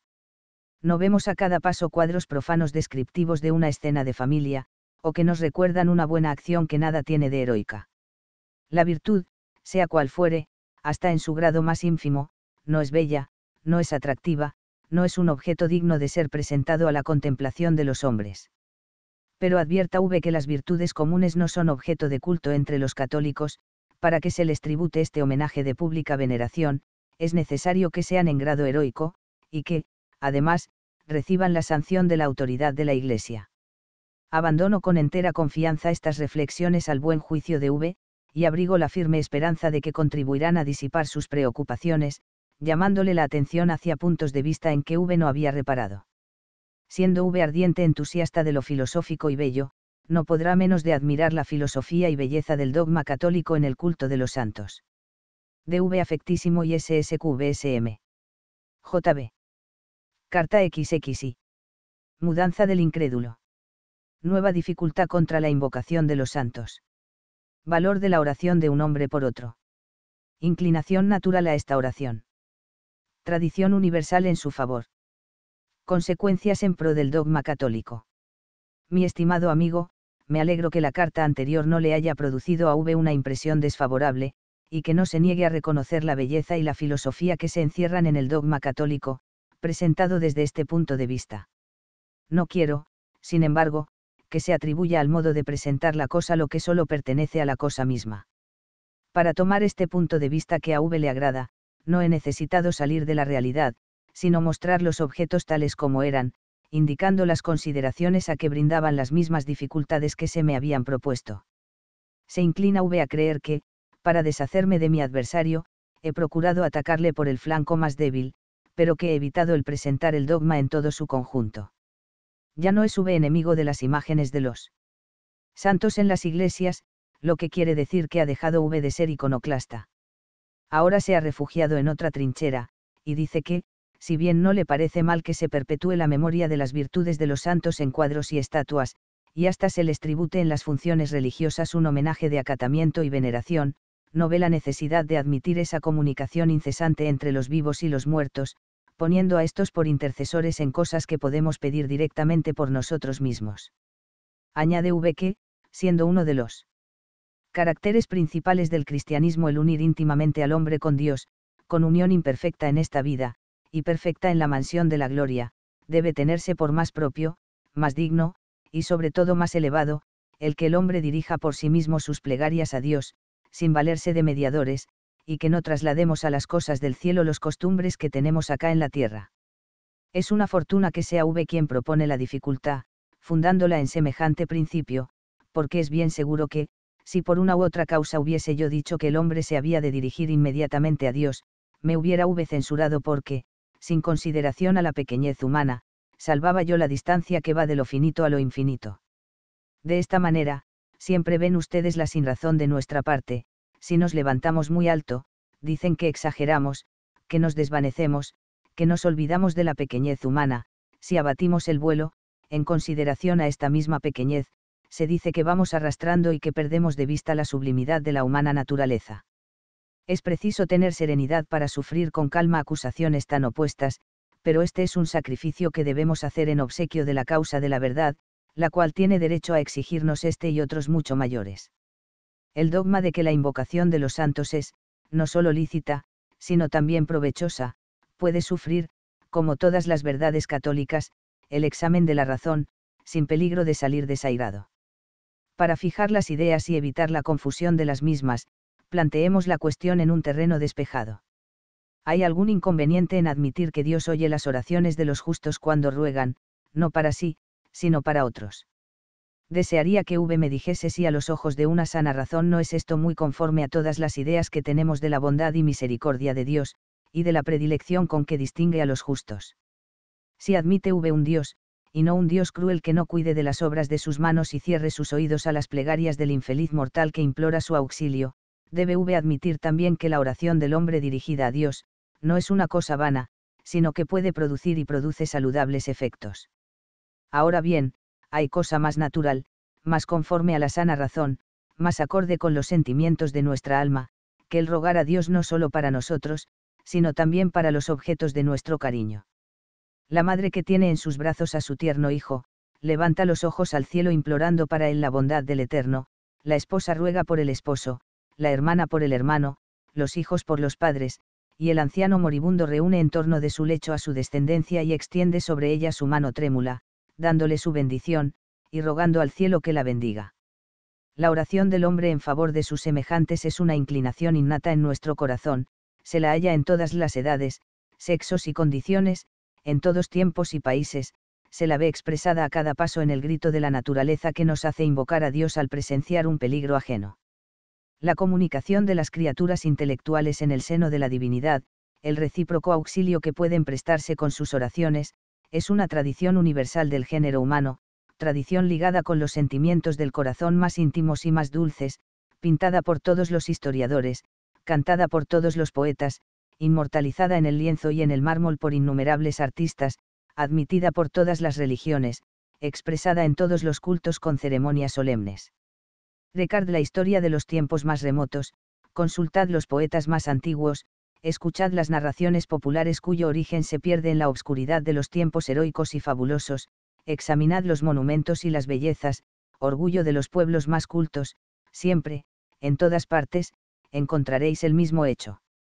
Hay una guerra, la juventud de un pueblo está corriendo peligros en el campo de batalla, las esposas, los hijos, los padres de los combatientes, imploran sobre estos el auxilio divino, ora en el retiro del hogar doméstico, ora en los templos públicos con solemnes sacrificios. Hay un viajero de quien hace largo tiempo no se han recibido noticias, su familia desolada teme que haya sido víctima de algún accidente funesto, pero abriga todavía alguna esperanza, quizás vaga solitario y perdido por tierras desconocidas, quizás juguete de las olas ha sido arrojado a playas inhospitalarias, ¿cuál es la inspiración de aquella familia? Levantar los ojos y las manos al cielo, orar, implorando la divina misericordia en favor de aquel desventurado. La historia, la poesía, las bellas artes, son un no interrumpido testimonio de la existencia de este sentimiento, de esa firmísima creencia de que a los ojos del Altísimo son aceptas las plegarias que el hombre le dirige en favor de otro hombre. Ahora bien, ¿hay algún inconveniente en que deseemos los unos las oraciones de los otros, aun de los que viven sobre la tierra? Claro es que no, de lo contrario, sería preciso desechar todas las religiones, y hasta ponernos en contradicción abierta con uno de los sentimientos más tiernos, más puros, que se abrigan en el corazón humano no creo que la filosofía de V llegue a un extremo tan deplorable, no, no puede V profesar una doctrina la cual ahoga el grito de la naturaleza, que resuena agudo y tierno al pie de la cuna, y se exhala apagado y fatídico en los umbrales del sepulcro. No, no puede V profesar una doctrina que responde con la sonrisa de la duda a la plegaria de la madre que ora por su hijo, de la esposa que ora por su esposo, del hijo que ora por su padre, del anciano que ora por su descendencia, del pobre socorrido que ora por su bienhechor, del amigo que ora por su amigo, de pueblos enteros que oran por los valientes que defienden la independencia de su país, o llevan a países remotos el nombre de su patria bajo un pabellón victorioso. Las consecuencias de lo dicho apenas necesito sacarlas, usted las habrá visto ya, y por cierto sin mucho trabajo. Según nuestra doctrina, los santos son hombres justos que disfrutan en la gloria el premio de sus virtudes, ellos no necesitan orar para sí, pues que están exentos de todos los males y peligros, y han conseguido cuanto cabe desear, pero pueden orar por nosotros, si esto podían hacerlo en la tierra, cuánto más podrán hacerlo en el cielo. Si los mortales oramos por otros mortales, no podrían o no querrían orar por nosotros los que han conseguido una felicidad inmortal. Sus oraciones son aceptas a Dios de una manera particular, son un incienso agradable que humea incesantemente ante el trono del Eterno. Ellos vivieron como nosotros en esta tierra de infortunio, y no se han olvidado de nosotros. La Iglesia nos dice, implorad la intercesión de los santos, rogadles que oren por vosotros, esto es lícito, esto es grato a los ojos de Dios, esto os será muy provechoso en vuestras necesidades. He aquí el dogma. Si la filosofía de V lo encuentra poco acorde con la razón natural y los sentimientos del corazón humano, me compadezco de V y de su filosofía, y no acierto a comprender los principios en que la funda. A decir verdad, espero que cederá usted gustoso a la luz de unas razones a las cuales no veo que se pueda contestar nada sólido, ni siquiera especioso. En cuyo caso, no puedo menos de recordarle a V la necesidad, tantas veces inculcada, de no proceder con ligereza en materias tan graves, y de reflexionar que, en los dogmas mirados por la incredulidad con indiferencia y desprecio, se ocultan tesoros de sabiduría, que se encuentran tanto más profundos, cuanto más se los examina a la luz de la filosofía y de la historia. DV su afectísimo y SSQVSM. JB. Carta XXI. Pasajes de Leibniz en favor del dogma católico. Cumplimiento de sus previsiones. Adoración de las reliquias. Natural extensión del sentimiento a los objetos accesorios.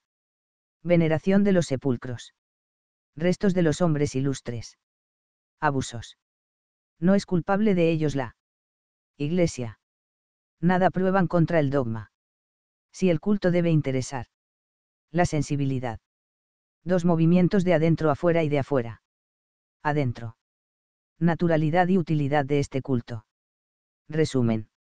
Mi apreciado amigo, varios extremos contiene la carta de V en contestación a mi anterior, y entre ellos noto una indicación en que, sin poner en duda la verdad de la cita, manifiesta desear que le traslade los pasajes de Leibniz donde habla en sentido favorable al dogma católico sobre el culto de los santos.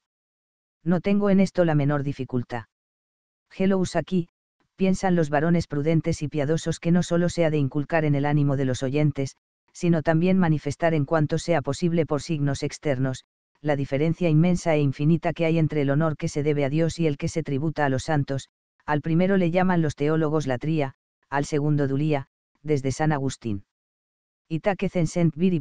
et prudentes, dandames y operam, ut omnibus modis discrimen infinitum atque immensum inter honorem, quideo debetur, et qui sanctis exibetur, quaura millum latriam, unc duliam post Augustinum theologi vocant, non tantum inculcetur audientium ace discentium animis, sedetiam esternis signis, quod licet, ostendatur, sistema teológico.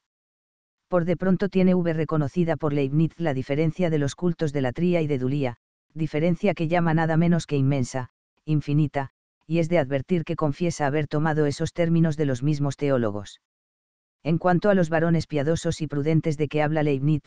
puede V ver cumplidos sus deseos en todos los escritos católicos, desde la obra más magistral hasta el más pequeño catecismo, desde la más solemne función de la Iglesia hasta la más leve ceremonia.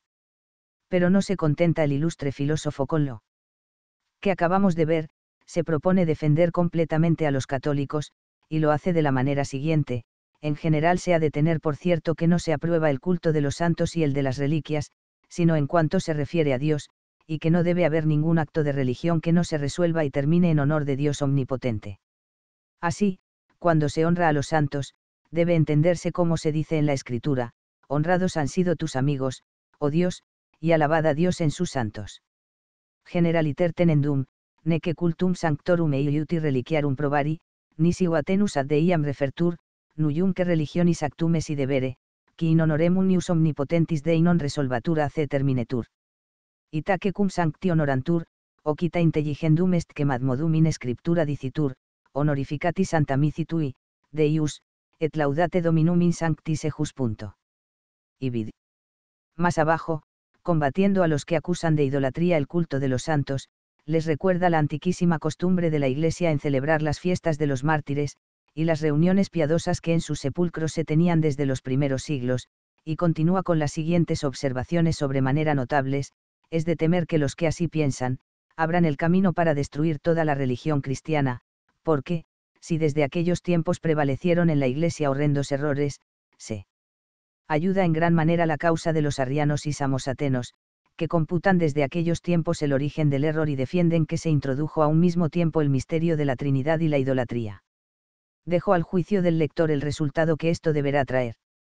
Los ingenios audaces llevarán más allá sus sospechas, pues se admirarán de que Jesucristo, que tanto prometió a su Iglesia, haya dejado campear hasta tal punto al enemigo del género humano, de que, destruida una idolatría, le haya sucedido otra, y de los 16 siglos apenas haya uno o dos en que se haya conservado bien entre los cristianos la verdadera fe, cuando vemos que la religión judaica y la maometana continuaron por muchos siglos bastante puras, conforme a la institución de sus fundadores. ¿En qué lugar quedará entonces el dictamen de Gamaliel, que decía deberse juzgar de la religión cristiana y de la voluntad de la providencia por el resultado? ¿Qué pensaríamos del cristianismo si no pudiese sufrir la prueba de esa piedra de toque? verendum autem estene equita sentiunt viam aperianta domnem rem christianam conveyendam, nam sia me abeilis temporibus horrendi errores in ecclesia praevaluerunt, arrianorum et samosatenorum causa mirifice iubatur, qui originem erroris abeilis ipsis temporibus computant, ad que obscur defendunt trinitatis mysterium et idololatriam simul invaluise. Iudicandum quique relinquo quo resite basura, quinimo procedet ulterius suspicio audacium ingeniorum, mirabuntur in Christum promisis tam largum erga suam ecclesiam, tantum osti generis humani indulsise, ut, una idololatria profligata, succederet alia, et exe decim saeculis via ei ex una mei utidu aus intincibus vera fides ut cum que inter Christiano sit conservata, cum iudaicam acem ometicam religionem videamus ta saeculis satis puram secundum fundatorum instituta perstitise.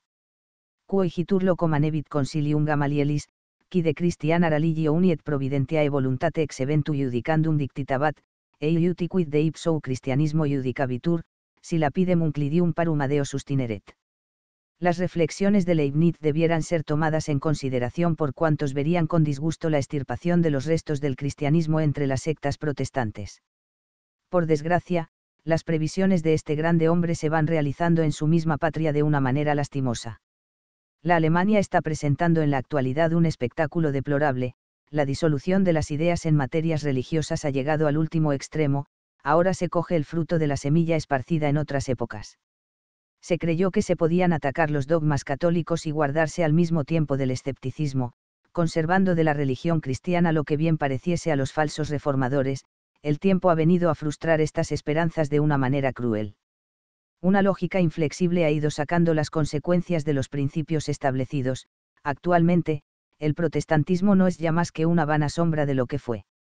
La anarquía religiosa ha llegado a su colmo, el escepticismo está haciendo estragos en todas las clases de la sociedad, y una filosofía nebulosa y seductora cuida de arraigarle más y más, difundiendo sus doctrinas panteístas, que en último resultado no son otra cosa que un nuevo disfraz con que se presenta el ateísmo para excitar menos repugnancia.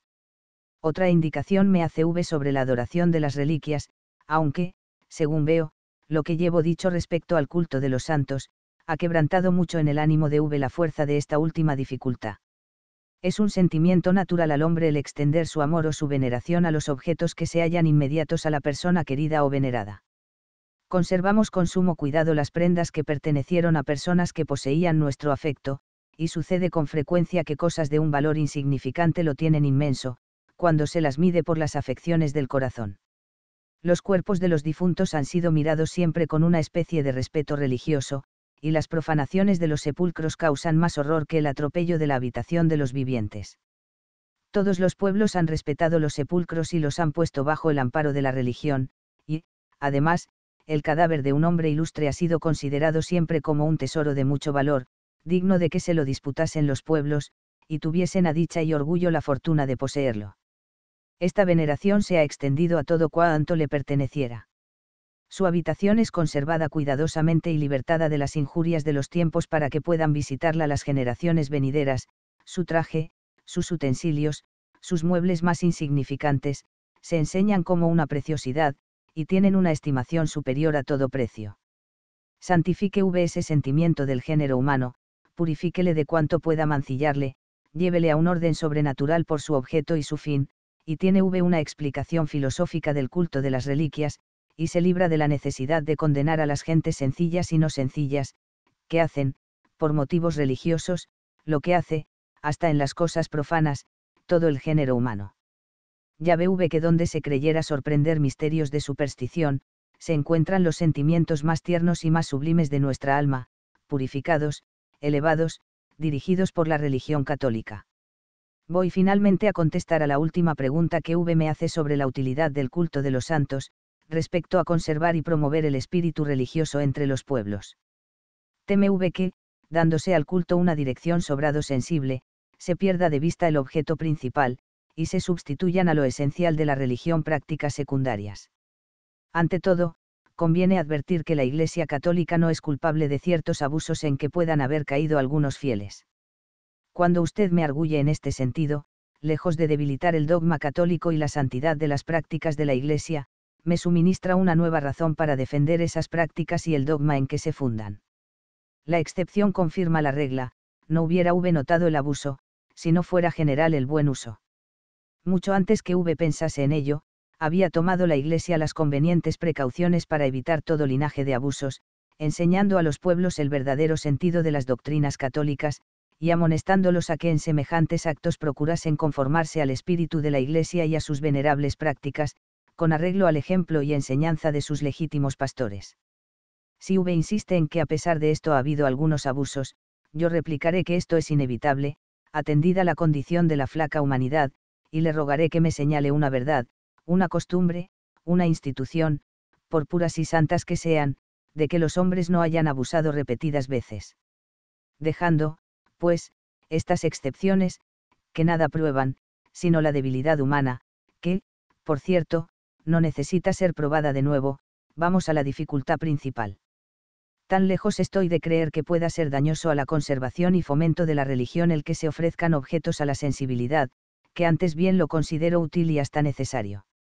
El argumento de V es de aquellos que, por probar demasiado, no prueban nada, pues que, sacando las últimas consecuencias del culto puramente espiritualista que V desea, llegaríamos a condenar todo culto externo. Si hay inconveniente en interesar la sensibilidad con el culto, será preciso desterrar de los templos toda insignia religiosa, la música y toda especie de canto, y no solo esto, sino arruinar los templos mismos, pues que están destinados a conmover al alma por medio de la sensibilidad, con sus formas magníficas e imponentes.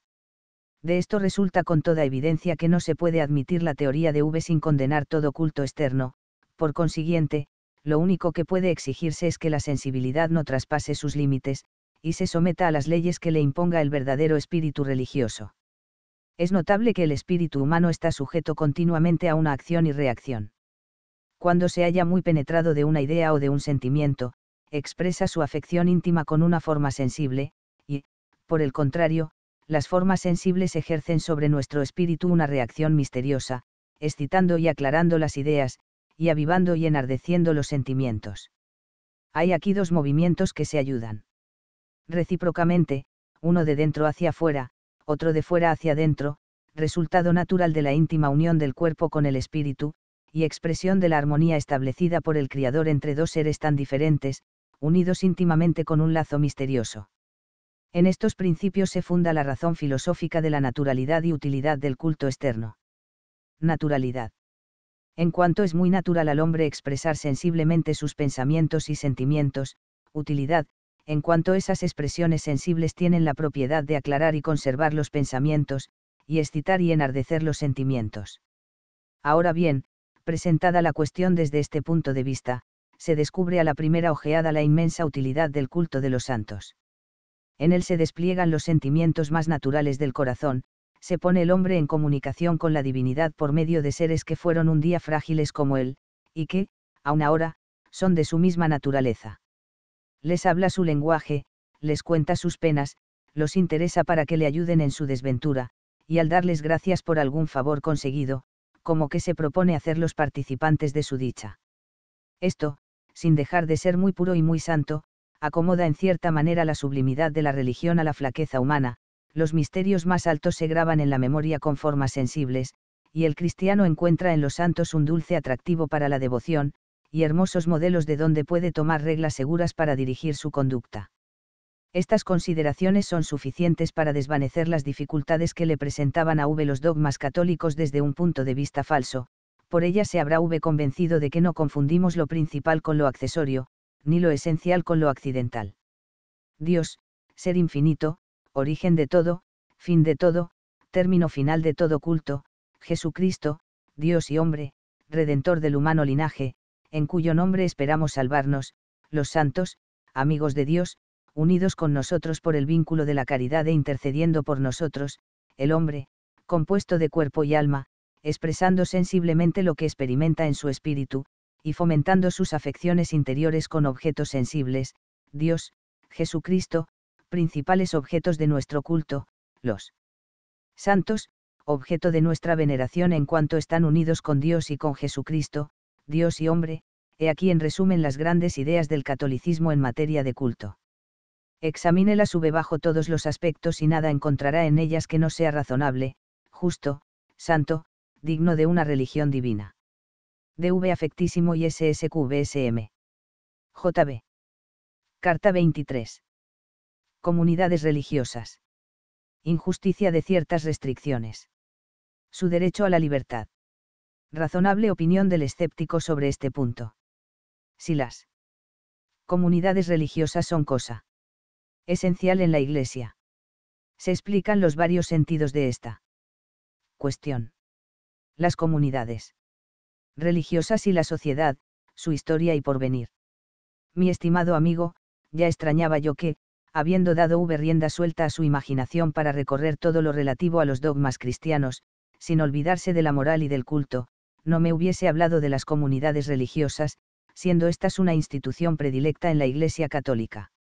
Los incrédulos apenas saben mentar el catolicismo, sin permitirse algunos ataques contra las comunidades religiosas, y, hablando ingenuamente, me ha sorprendido no poco el hallarle a V tan moderado en este punto. No dudaba yo de que V profesase principios de tolerancia y libertad, pero, como la experiencia me ha enseñado que a esos principios de libertad y tolerancia no siempre se les da una rigurosa aplicación, no estaba seguro de que no hiciese V una excepción en contra de las comunidades religiosas, poniéndolas, por decirlo así, fuera de la ley.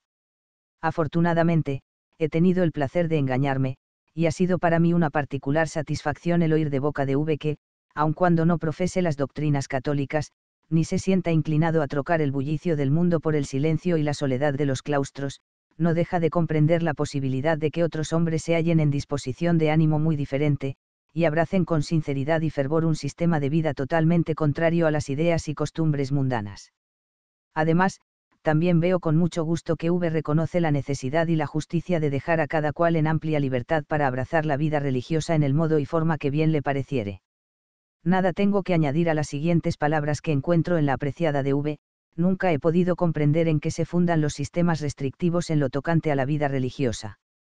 Los que tienen dinero disfrutan amplia libertad de gastarle como mejor les agrada, y nadie se mete con ellos, aunque lo hagan lo más alegremente del mundo, los aficionados a placeres los gozan sin más restricción que los límites de su bolsillo o sus previsiones higiénicas, los amigos de festines los celebran cuando quieren sin que nadie se lo impida, aunque la algazara de los brindis y el ruido de la orquesta atruen en la vecindad, los que gustan de habitar en espléndidas moradas, y lucir. Soberbios trenes, lo ejecutan sin más formalidades que la de consultar las existencias de la caja o la longanimidad de los acreedores, ni siquiera falta libertad para la corrupción de costumbres, y las autoridades toleran el libertinaje bajo distintas formas, con tal que no se insulte al decoro público con demasiada impudencia. El pródigo derrama, el codicioso amontona, el inquieto se agita, el curioso viaja, el erudito estudia, el filósofo medita, cada cual vive conforme a sus ideas, necesidades o caprichos. Hay completa libertad para todo el mundo, se forman compañías de comercio, sociedades de fabricantes o de operarios, asociaciones de fomento para este o aquel ramo, sociedades de beneficencia, de ciencias, de literatura, de bellas artes, y no dejaremos en libertad a algunos individuos que creen hacer una obra buena, servir a Dios, ser útiles a sus semejantes, obedecer a una vocación del cielo, reuniéndose bajo determinadas leyes, con tales o cuales obligaciones, con este o aquel objeto. Le repito a V que jamás he podido comprender esa peregrina jurisprudencia, que restringe una cosa que, si no es buena, es ciertamente inofensiva. Alcanzo sin dificultad que, cuando las comunidades religiosas contaban no solo con crecido número de individuos, sino también con mucha riqueza, violentásemos algún tanto en su contra los principios de tolerancia y libertad, pero ahora, cuando los peligros de la dominación monástica no son más, hablando entre nosotros, que armas de partido para gritar y revolver, me parece sumamente injusto y hasta impolítico el emplear una violencia opresiva que no conduce a nada. El espíritu de la época no es ciertamente favorable a los institutos monásticos, y me parece que el mundo está más bien amenazado de ser disuelto por el amor de los goces positivos, que esterilizado y helado por el cilicio y los ayunos. De esta manera me ha evitado V el trabajo de extenderme en reflexiones sobre este punto, expresando clara y brevemente lo mismo que sienten todos los hombres juiciosos, libres de un espíritu de rencorosa parcialidad. Voy, pues, a contestar rápidamente a las demás preguntas que se sirve V dirigirme sobre las relaciones de los institutos religiosos con la religión misma y con la sociedad en general.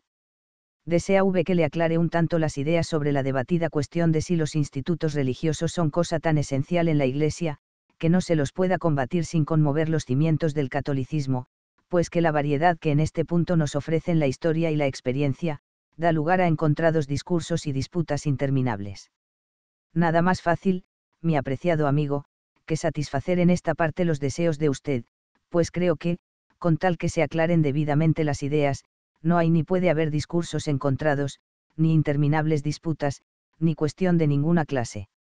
Son cosas esenciales en la Iglesia Católica la unidad en la fe, los sacramentos, la autoridad de los pastores legítimos, distribuidos en la conveniente jerarquía, todos bajo el primado de honor y de jurisdicción del sucesor de San Pedro y vicario de Jesucristo, el romano pontífice. Aquí no encuentra V las comunidades religiosas,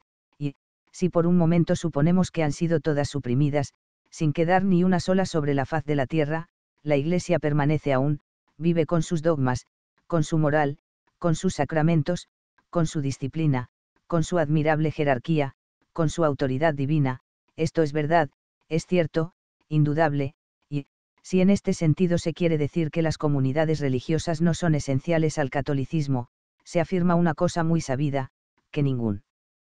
católico niega ni puede negar. En cuyo caso no hay disputa ni cuestión de ninguna especie. Prosigamos aclarando las ideas. En la Iglesia Católica hay la fe, que nos enseña sublimes verdades sobre los destinos del hombre, unas terribles, otras consoladoras, hay la esperanza, que nos levanta en sus alas divinas, y nos lleva hacia las regiones celestiales, inspirándonos fortaleza en las adversidades de un momento que sufrimos sobre la tierra, y comunicándonos una santa moderación en la deleznable fortuna que tal vez nos sonríe, haciendo que la veamos en toda su pequeñez, en toda su volubilidad, cuando la comparamos. Con el bien eterno e infinito a que debemos aspirar, hay la caridad, que nos hace amar a Dios sobre todas las cosas, incluso nosotros mismos, que nos hace amar a todos los hombres en Dios y que, por consiguiente, nos inspira el deseo de ser útiles a nuestros semejantes, hay el Evangelio, donde, a más de los preceptos cuyo cumplimiento es necesario para entrar en la vida eterna, se contienen los sublimes consejos de venderlo todo y darlo a los pobres, de llevar una vida casta como los ángeles en el cielo. De despojarse completamente de la propia voluntad, de abrazar la cruz y seguir a Jesucristo sin mirar hacia atrás, hay un espíritu vivificante que ilumina los entendimientos, domina las voluntades, ablanda los corazones, transforma al hombre entero, y le hace capaz de resoluciones heroicas, que ni siquiera podría concebir la humana flaqueza. Todo esto hay en la religión cristiana, ¿y cuál es, cuál debe ser el resultado? Hello aquí, algunos hombres no quieren limitarse al cumplimiento de los mandamientos divinos, y desean tomar por regla de su conducta no solo los preceptos, sino también los consejos del Evangelio. Recordando las palabras de Jesucristo en que recomienda la oración en común, y promete a los que así lo hagan, su asistencia de un modo particular, recordando las augastas costumbres de la primitiva Iglesia, en que los fieles vendían sus propiedades y llevaban su precio a los pies de los apóstoles, recordando lo muy agradable que es a Dios la virtud de la castidad, lo muy acepta que es a Jesucristo la obediencia, pues que Él se hizo obediente hasta la muerte, se reúnen para animarse y edificarse recíprocamente, prometen a Dios observar las virtudes de pobreza, castidad y obediencia, ofreciéndole de esta manera en holocausto lo que el hombre tiene de más caro, que es la libertad, y precaviéndose al mismo tiempo contra su propia inconstancia. Los unos se abandonan a las mayores austeridades, otros se entregan a incesante contemplación, otros se dedican a la educación de la niñez, otros a la instrucción de la juventud, otros se consagran al ministerio de la divina palabra, otros al rescate de los cautivos, otros al consuelo y cuidado de los enfermos, y aquí los institutos religiosos. Sin ellos se concibe la religión, pero ellos son un fruto natural de la religión misma, nacen espontáneamente en el campo de la fe y de la esperanza, bajo el soplo vivificante del amor de Dios. Donde se plantea la religión, allí aparecen, si se los arranca, vuelven a brotar, si se los destroza, sus miembros dispersos sirven de fecunda semilla para que resuciten bajo nuevas formas, igualmente bellas y lozanas. Ya ve, mi apreciado amigo, que, mirada la cosa desde esta altura, desaparecen las cuestiones arriba indicadas.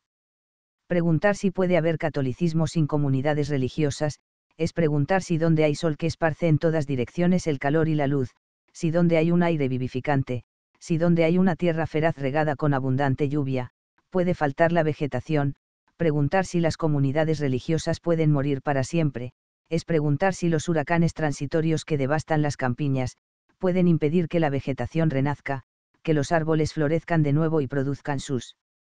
frutos, que los campos se cubran de mieses. Así nos lo enseña la historia, así nos lo atestigua la experiencia, querer un catolicismo que no inspire a algunos hombres privilegiados el deseo de abandonarlo todo por amor de Jesucristo, de consagrarse a la meditación de las verdades eternas y al bien de sus semejantes, es querer un catolicismo sin el calor de la vida, es imaginarse un árbol endeble, cuyas raíces no penetran en el corazón de la tierra, y que se seca a los primeros ardores del verano, o es arrancado fácilmente al soplo del aquilón. Me pregunta V lo que pienso sobre la utilidad social de las comunidades religiosas, y si creo que bajo este aspecto se les puede otorgar algún porvenir, atendido el espíritu y la marcha de la civilización moderna. Como una carta no permite la amplitud requerida por la inmensa cuestión suscitada con esta pregunta, me limitaré a dos puntos de vista, que espero serán aprovechados por el talento y la ilustración de V. Bajo el aspecto histórico, se puede establecer, por regla general, que la fundación de los diferentes institutos religiosos, a más de su objeto cristiano y místico, ha tenido otro eminentemente social, y exactamente acomodado a las necesidades de la época. Si se estudia la historia de las comunidades religiosas teniendo presente esta idea, se la encuentra realizada en todos tiempos y países, de una manera asombrosa. El Oriente y el Occidente, lo antiguo y lo moderno, la vida contemplativa y la activa, todo ofrece abundantes materiales históricos que comprueban la exactitud de la observación, en todas partes se la encuentra verificada con admirable regularidad. 3. Esto pienso sobre la historia de las comunidades religiosas, no me es posible reproducir en una carta las razones y los hechos en que fundo mi opinión, si tiene V ocio bastante para dedicarse a esta clase de estudios, abandono con entera seguridad la cuestión al buen juicio de V. Ahora voy a presentar en breves palabras el otro punto de vista, relativo al porvenir de dichos institutos. Como nosotros creemos que la Iglesia no perecerá, sino que durará hasta la consumación de los siglos, estamos seguros también de que el Divino Espíritu que la anima, no la dejará nunca estéril, y que la hará producir no solo los frutos necesarios para la vida eterna, sino también los que contribuyen a realzar su lozanía y hermosura. Las comunidades religiosas, pues, durarán bajo una u otra forma, ignoramos las modificaciones que ésta podrá sufrir, pero descansamos tranquilos a la sombra de la providencia. Tocante a la utilidad social de las comunidades religiosas en el porvenir, la cuestión es para mí muy sencilla. Pueden ser útiles a la civilización moderna grandes ejemplos de moralidad, el espectáculo de virtudes heroicas, de abnegación y desprendimiento sin límites. Tienen las sociedades modernas grandes necesidades que satisfacer. La educación de la infancia, y muy particularmente la de las clases pobres, la organización del trabajo, el espíritu de asociación para el fomento de los grandes intereses procomunales, las casas de expósitos, las penitenciarías, los establecimientos de corrección, y toda clase de instituciones de beneficencia, dejan de ofrecer problemas sumamente complicados, de presentar gravísimas dificultades, de necesitar el auxilio del desprendimiento, del amor de la humanidad desinteresado y ardiente. Ese desinterés, esa abnegación, ese ardiente amor de la humanidad, solo pueden nacer de. La caridad cristiana, esta puede obrar de infinitas maneras, pero el secreto para que su acción sea más bien dirigida, más enérgica, más eficaz, es hacer que se personifique en algunas de esas instituciones que se sobreponen a las afecciones particulares, que viven largos siglos como un grande individuo, en el cual no figuran las personas sino como en el cuerpo humano las moléculas que entran y salen incesantemente en el movimiento de la organización. Repito que tengo viva esperanza en la utilidad social de las comunidades religiosas. En el porvenir de la civilización moderna se me ofrecen como poderosos elementos de conservación en medio de la destrucción que nos amenaza, como un lenitivo a crueles sufrimientos, como un remedio a males terribles. El egoísmo lo invade todo, y yo no conozco medio más eficaz para neutralizarle, que la caridad cristiana. Los hombres se reúnen para ganar, y también para socorrerse por cálculo, yo deseo que se reúnan, además, para auxiliarse con absoluto desprendimiento del interés propio, ofreciéndose en holocausto por el bien de sus semejantes. Esto hacen las comunidades religiosas, y, por esta razón, me prometo mucho de su influencia en el porvenir del mundo no pueden ser inútiles mientras haya salvajes y bárbaros que civilizar, ignorantes que instruir, hombres corrompidos que corregir, enfermos que aliviar, infortunados que consolar. De usted afectísimo SSQBSM. JB. Cartaxib. La severidad de las comunidades religiosas. Sus razones. ¿Qué es el religioso? Sus peligros. Contraste. Actividad humana. Necesidad de un pábulo. Leyes e instituciones. Su necesidad de preservativos. Gradación de los tránsitos del bien al mal. Ejemplo. De la infracción de las leyes. Las formalidades. Las leyes más fuertes no son las más observadas. Sabiduría de los fundadores de los institutos religiosos. Abundancia. De ocupaciones y prácticas. Ley de la distribución de fuerzas entre las facultades del alma. Dicho de Siatoubria and sobre San Jerónimo, San Bernardo, Santa Teresa de Jesús. Mi apreciado amigo, ha podido v notar en mi carta anterior que exponía mis ideas con la mayor brevedad posible, y para esto tenía una razón especial, que consistía en el temor de que el asunto se le hiciese pesado, pues quedaba yo por cierto que las comunidades religiosas no habrían sido el objeto favorito de los estudios de V, y que, por consiguiente, solo podría soportar algunas indicaciones rápidas en las que la memoria de los claustros no le hiciese perder el recuerdo del mundo. Ahora veo que su espíritu de V va tomando una dirección algo más seria, y no cree ya que objetos cuya historia ocupa largos siglos, y que de tal modo se enlazan con el desarrollo social de las naciones modernas, puedan ser conocidos con un estudio superficial, ni deban ser condenados con ocurrencias agudas. Al fin va V penetrándose de la injusticia y frivolidad del método volteriano, que traduce sus dificultades en sarcasmos, y contesta a las razones más sólidas con una sonrisa burlona. El error es más tolerable cuando va acompañado de cierto amor a la razón y sentimientos de equidad. Mis observaciones sobre las comunidades religiosas le parecen a V dignas de atención, esto me basta, pues que mi objeto no era otro que excitar la curiosidad de V por si lograba que algún día estudiase a fondo estas materias con el detenimiento que su gravedad reclama. Mal podía lisonjearme de circunscribir esta cuestión a los reducidos límites de una carta, cuando estoy persuadido de que podría escribirse sobre este punto una interesante obra y de no escasas dimensiones. Como quiera, ya que V se empeña en continuar discutiendo, no tengo inconveniente en satisfacer sus deseos considera V los institutos religiosos bajo el aspecto de la severidad, pareciéndole esta un tanto excesiva, atendida la humana flaqueza, e innecesaria, además, para conseguir el objeto que los fundadores se proponían. Yo tengo sobre este particular convicciones muy diferentes, y para ello me fundo, no precisamente en el respeto debido a la sabiduría y santidad de aquellos ilustres varones, sino en razones nacidas de la naturaleza misma del corazón humano. Voy a exponerlas brevemente. La vida religiosa aísla en cierto modo de los demás hombres al individuo que la profesa. Con los votos se rompen los lazos que le unen al mundo, la amistad y la familia desaparecen, en cuanto se opongan al objeto del instituto. El religioso es un hombre que, aunque mora sobre la tierra, está enteramente consagrado a las cosas del cielo.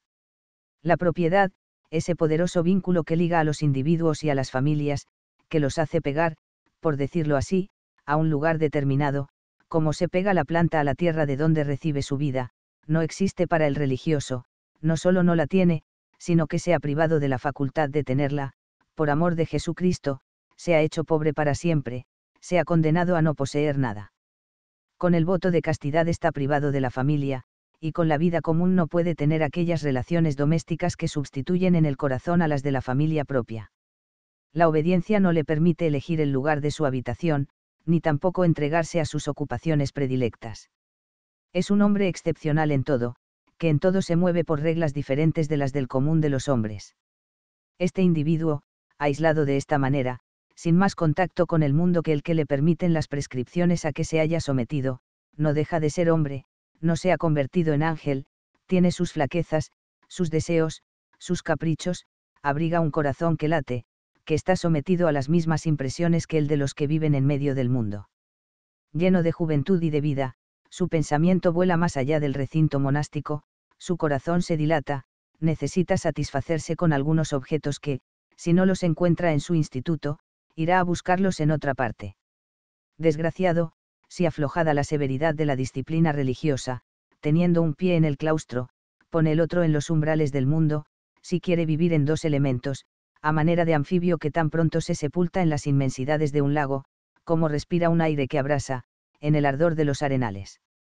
Los resultados no pueden menos de ser funestos, se establece una implacable lucha entre las influencias de elementos tan contrarios, el infortunado se haya sometido a la acción de dos fuerzas opuestas, su alma necesita dividirse en dos partes, por decirlo así, su corazón, sujeto a violentas alternativas de expansión y compresión, se rompe y destroza. Entonces, resulta por necesidad un chocante desacuerdo entre el instituto y la conducta, entre las palabras y las obras, siendo el desorden tanto más monstruoso, cuanto es más vivo el contraste. He aquí una razón profunda de la severidad de los fundadores, he aquí porque lo que a primera vista pudiera parecer exageradamente riguroso, es altamente cuerdo y previsor. Un hombre sin propiedad, sin familia, sin libertad en sus actos, consagrado por voto a la práctica de las virtudes evangélicas, y que, sin embargo, se olvidase de sus deberes y reuniese en torpe mezcolanza el traje de la austeridad con la relajación del mundo, sería un objeto repugnante. Ahora bien, en el fondo del alma humana hay un caudal de actividad que se despliega con el ejercicio de diferentes facultades, el entendimiento, la voluntad, la imaginación, el corazón, necesitan pábulos en que cebarse, mientras el hombre vive, sus facultades viven con él, vano empeño sería pretender ahogarlas, lo que conviene es moderarlas, dirigirlas, subordinar a las más nobles, las menos nobles, procurar que la expansión y energía de aquellas no permitan a éstas traspasar los límites señalados por la razón y la moral. La indulgencia con las malas pasiones, con los instintos peligrosos, lejos de producir el saludable desahogo que usted se promete, levantarían en el corazón movimientos tempestuosos, y acabarían pronto con toda disciplina. La historia de la Iglesia nos ofrece repetidos ejemplos que confirman esta verdad y justifican la previsión de los fundadores de los institutos religiosos. La naturaleza humana es tan débil, son tantos los pliegues de nuestro corazón, son tan varias e ingeniosas las ilusiones con que procuramos engañarnos, que la experiencia atestigua no estar de sobra ninguna precaución cuando se trata de evitar abusos, mayormente, si es preciso extender la vista más allá de la esfera individual y ocuparse en instituciones que han de vivir largos siglos. Esta consideración me lleva naturalmente al examen de lo que V llama pequeñeces que se pueden despreciar sin perjuicio de la disciplina. Todas las leyes, todas las instituciones aplicables a los hombres, necesitan, a más de su constitutivo esencial, fuertes preservativos contra la destructiva acción del tiempo y del contacto humano. El mundo moral, a semejanza del físico, está sujeto a un continuo flujo y reflujo de acción y reacción. A todo lo que debe durar mucho tiempo, no le basta abrigar un poderoso principio de vida que rechace la corrupción y la muerte de las regiones del corazón y de las vísceras indispensables a las principales funciones del organismo, es necesario que los preservativos se hallen a larga distancia del centro de la vida, en todos los puntos de la periferia, como centinelas avanzados que rechazan la corrupción y la muerte, mucho antes que lleguen a entablar su lucha destructora en los puntos más delicados de la organización. HV una ojeada sobre las leyes sin observancia, sobre las costumbres corrompidas, sobre las instituciones políticas o sociales que han perdido su fuerza, siga usted la historia de la decadencia de las cosas mejores, y notará que en el bien como en el mal hay en el mundo una ley por la cual se hacen los tránsitos de un extremo a otro, no repentinamente, sino por una gradación suave y muchas veces imperceptible. Porque ha caído en desuso una ley utilísima, hasta el punto de que nadie repara en infringirla abiertamente. Se comenzó por quebrantarla sin rebozo. De ninguna manera. Lo que se hizo fue principiar por el descuido de una formalidad, al parecer de poca importancia, la prescripción de la ley quedaba cumplida, lo que se dejaba sin observancia era una cosa insignificante, puramente reglamentaria, que ni se hallaba en la mente del legislador, ni siquiera formaba parte de la ley. La rendija estaba abierta, el tiempo debía encargarse de ensancharla. La ley, mientras estaba cubierta por la formalidad llamada insignificante, no se hallaba en contacto inmediato con las resistencias que encontraba en la ejecución. La formalidad era una especie de cuerpo tupido y elástico, que quebrantaba el ímpetu de los choques, y no dejaba que saliesen lastimados los artículos de la ley. La formalidad ha desaparecido, los artículos se hallan descubiertos, desnudos, encontrando una resistencia, ellos tendrán que sufrir el roce o el golpe, y será más fácil que los lastime. Y esa resistencia más o menos fuerte, la encuentra toda ley, porque la ley sería inútil, si no tuviese por objeto el restringir en algo la libertad, el oponerse a fuerzas que quieren extralimitarse. ¿Qué sucede en tal caso? Antes se luchaba con la formalidad, ahora se lucha con el mismo texto de la ley, su letra está terminante, pero su espíritu, cosa de suyo algo vaga, se presta a interpretaciones favorables. El legislador dijo esto, no cabe duda, pero su mente no podía ser tan rígida, las circunstancias han variado notablemente, además, el caso de que se trata Hicketnunk, es de tal naturaleza, que, si el legislador pudiera ser consultado, se pondría de parte de la interpretación benigna. También se ha de tener presente que el artículo a cuya letra se quiere faltar, es de los menos importantes, si se tratase de alguno fundamental, ya sería otra cosa, entonces se observarían con todo rigor la mente y la letra. La transacción se ha consumado, mi apreciado amigo, el artículo de la ley es quebrantado, la rendija se ha convertido en un anchuroso boquerón, bien pronto entrarán por el cuantos deseen marchar a su objeto por el camino más corto, con el tránsito continuo la abertura se hará más espaciosa, y la ley, sin ser derogada, quedará anulada completamente. La infracción había comenzado por la formalidad insignificante, y el resultado ha sido quedar reducida la pobre ley a una insignificante formalidad, porque tales somos los hombres, cuando hay algo que contraría nuestras pasiones o intereses, atropellamos por todo, rompiendo primero las formas, destruyendo después el fondo más íntimo de los objetos, pero cuando los intereses y las pasiones pueden ya obrar holgadamente, sin encontrar ninguna resistencia, entonces nos acordamos de alguna formalidad inofensiva, la ponemos en práctica, y con la mayor seriedad del mundo nos hacemos la ilusión de que observando la formalidad, observamos todavía la difunta ley. La historia de la infracción de las leyes es la historia de la corrupción de las costumbres, de la decadencia de las instituciones más robustas, de la degeneración de las cosas más santas. Nuestro corazón es profundamente sagaz, somos más hipócritas con nosotros mismos, que con los otros. Las arterías que empleamos para engañarlos a ellos, no tienen comparación, ni en número ni en calidad, con las que inventamos y practicamos para engañarnos a nosotros mismos. Toda ley, toda institución, deben estar rodeadas de fuertes preservativos. La habilidad del legislador, del fundador o del institute, se manifiesta en el modo con que ha sabido tomar las avenidas por donde su obra debía recibir los ataques de las pasiones y flaquezas humanas. Una ley puede ser muy severa, estar acompañada de una sanción terrible, y, sin embargo, no servir para su objeto, y estar segura de ser luego quebrantada, así como otra muy suave en el fondo, puede estar combinada tan sabiamente, rodeada de tan oportunos preservativos, que se estrellen en ellos los ataques más impetuosos, y posea fuerza bastante para triunfar de las mayores resistencias. A la luz de estas observaciones, comprenderá V sin dificultad la dilatada previsión encerrada en las minuciosidades que le escandalizan a V. En general, los fundadores de los institutos religiosos se distinguieron no solo por su santidad, sino por un profundo conocimiento del corazón humano. No pocos, entre ellos, habrían sido excelentes legisladores. Tan distante me hallo de tener por excesivas las precauciones que a V le parecen tales, que, por el contrario, creo no se los pudiera culpar, y antes bien alabar, si las hubiesen tomado mayores. La acción del tiempo y el fuego de las pasiones humanas ejercen de continuo un roce, destructor, que muchas veces no ha menester choques violentos para acabar con las cosas más robustas. Juzgue V lo que sucedería, si no se hubiesen tomado a tiempo las precauciones convenientes no comprende V la razón del cúmulo de obligaciones con que se hayan abrumados algunos institutos religiosos, siendo esta una objeción general, solo se le puede contestar con reflexiones generales. Una de estas, y que me parece decisiva, la tengo ya indicada anteriormente. La actividad, y sobre todo en individuos aislados, necesita un pábulo continuo. La llama de la vida ha de consumir algo, si la dejamos encerrada, ociosa en nuestro interior, nos devora a nosotros mismos. Sin mucha ocupación, sin multiplicadas prácticas, como se llena la vida de un solitario.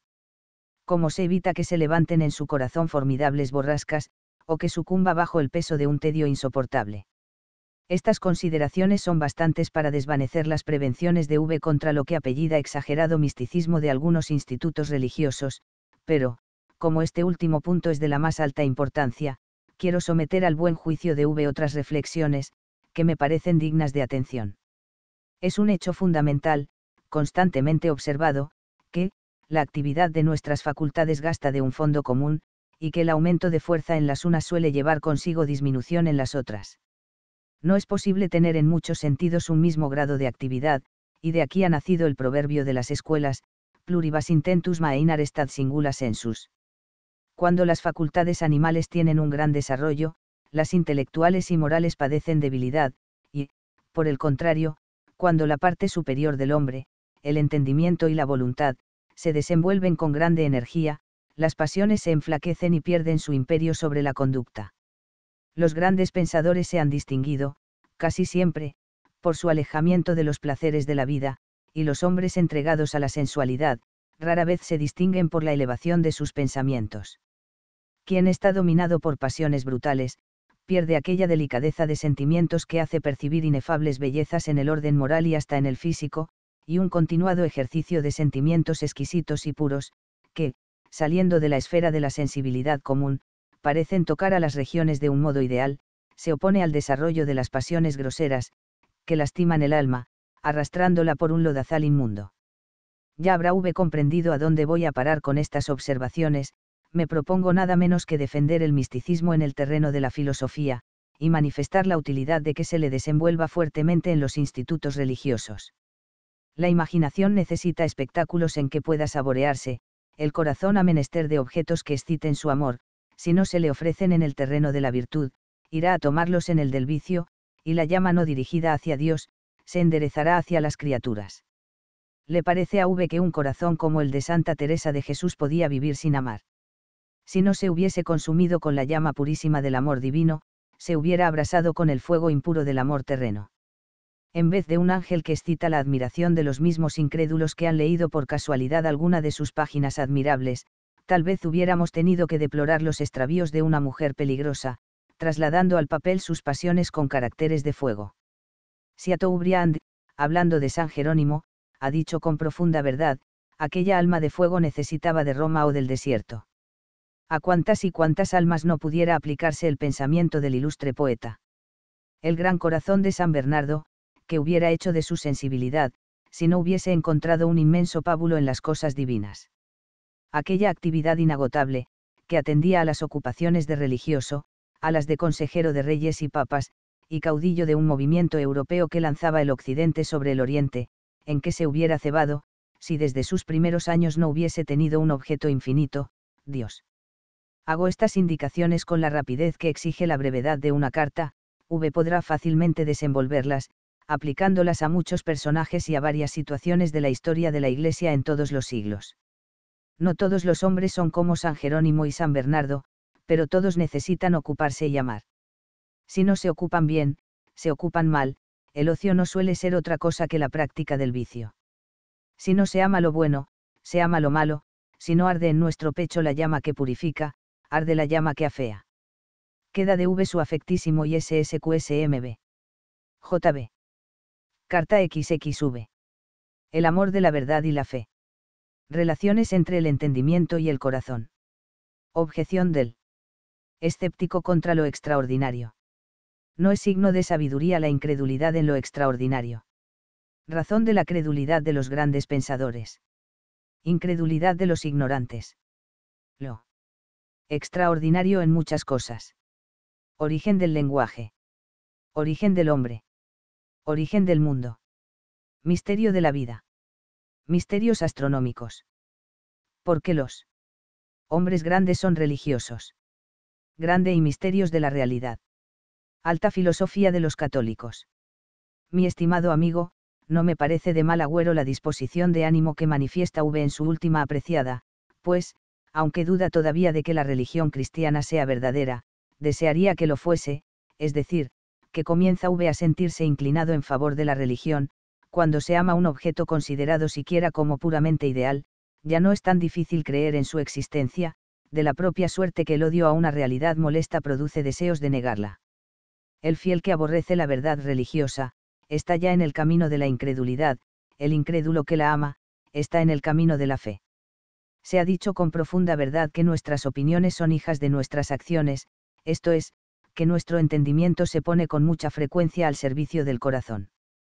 Conserve V, pues, mi estimado amigo, esas disposiciones benévolas hacia las verdades religiosas, déjese V llevar de esa inclinación suave que en medio del escepticismo le causa con frecuencia la ilusión de que es un verdadero creyente, ya que ha tenido la fortuna de no dudar de la providencia, viva V persuadido de que esta providencia es quien le conduce, en mano todopoderosa están los entendimientos y los corazones, V perdió la fe siguiendo las extraviadas inspiraciones de su corazón. Dios quiere volverle a la fe por inspiraciones del mismo corazón. Comience V por amar las verdades religiosas, y bien pronto acabará por creer en ellas. Solo piden ser vistas de cerca, no ser miradas con aversión, si llegan a ponerse en contacto con un alma sincera, están seguras de triunfar.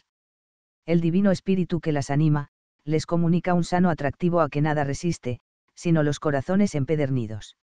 Al lado de esta disposición de ánimo que me llena de consuelo y esperanza, he visto con alguna extrañeza una de las razones que le impiden salir del escepticismo, y que hube con admirable serenidad apellida muy poderosa. La regularidad de las leyes que gobiernan al mundo, y que tan visible se nos ofrece en todos los fenómenos sometidos a nuestra experiencia, le inspira a V una especie de aversión a todo lo extraordinario, haciéndole temer que todo cuanto sea del orden común, aunque sea muy bello y muy sublime, deba limitarse a las regiones de la poesía. Recela V que haya desacuerdo entre la realidad y esas bellas creaciones de fantasías fecundas y sentimientos sublimes, por más que sea V amigo de la poesía, no puede resignarse a trocarla por la filosofía, siquiera se presente esta última con traje prosaico. Tampoco quiero yo cambiar la realidad por ninguna ilusión, aun cuando fuese la más bella que cabe en humana fantasía, también amo la verdad, siquiera se presente con traje prosaico, pero no comprendo que esta verdad haya de encontrarse siempre, como V indica, en lo ordinario, en lo común, en lo que no llama la atención con apariencias prodigiosas, ni excita admiración y entusiasmo, pero que en cambio es muy real, muy positivo, y sigue su camino con uniforme regularidad. No tengo inconveniente en que a los ruidos nocturnos que imaginaciones poéticas o asustadas se complacerían en atribuir a seres misteriosos, prefiera V encontrarles la causa en el viento, en la lluvia, en el chirrido de aves inocentes, que no esperaban verse trocadas en genios maléficos, pero cuando, animado con esa filosofía positiva, se iluve al encuentro de los creyentes, y exclama lo ordinario, lo ordinario, lo demás está poco de acuerdo con el espíritu filosófico, dudaba si la carta que estaba leyendo era de una persona tan ilustrada como V, sentía entonces un vivo deseo de vengarme, y espero que podré realizarlo a cumplida satisfacción. Ante todo, séame permitido observar que el no creer en cosas extraordinarias, no siempre es signo seguro de mucha filosofía. Esta incredulidad puede nacer de ignorancia, en cuyo caso, es dura, tenaz, poco menos que invencible. En la conversación con gentes poco instruidas y un tanto orgullosas, se nota este fenómeno de una manera chocante. Como los infelices han oído repetidas veces que en el mundo hay muchos engaños y que se cuentan grandes mentiras, toman esa vulgaridad por un excelente criterio, y le aplican desapiadadamente a cuanto se aparta del orden común. No tengo necesidad de protestar de que en el número de estos ignorantes no cuento a mi ilustrado adversario, pero, como V insiste tanto en hermanar la filosofía con lo ordinario y lo común, no he podido resistir a la tentación de recordar un hecho, que me ha llamado la atención repetidas veces.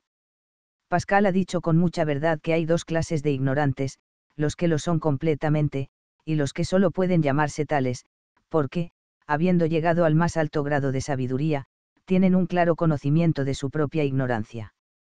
Este dicho es aplicable en algún modo a la incredulidad en cosas extraordinarias. Los verdaderos sabios tienen en este punto una incredulidad templada por la razón, y sometida siempre a las condiciones de posibilidad, que les ha enseñado la observación o la luz de la ciencia. En general, puede asegurarse que estos hombres son incrédulos con alguna timidez, y que no pocas veces propenden a creer lo extraordinario.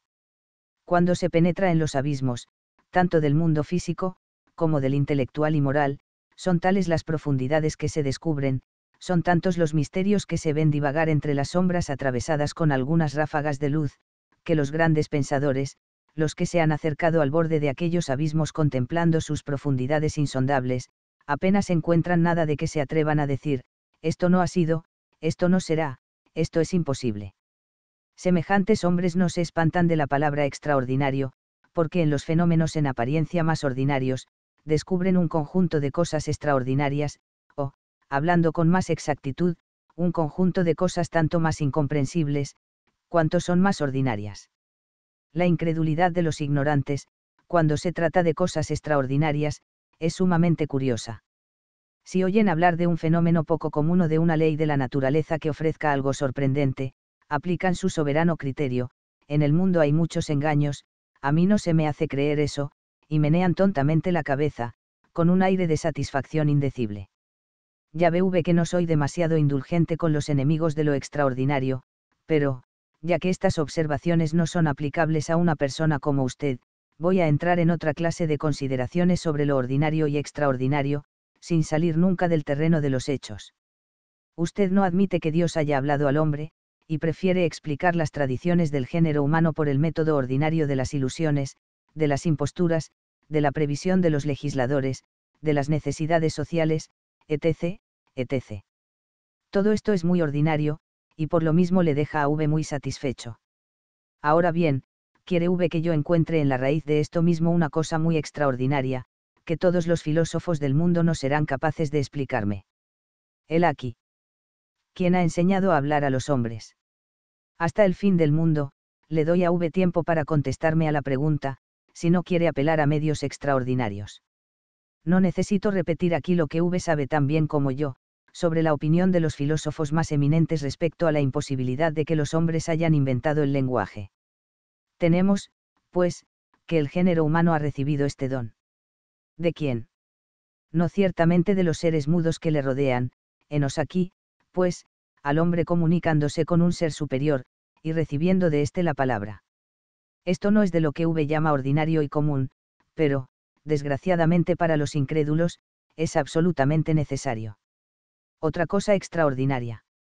¿De dónde ha salido el hombre? Admite V la narración de Moisés. Si la admite, ¿qué dificultad tiene V en que Dios, que cría al hombre, que le enseña,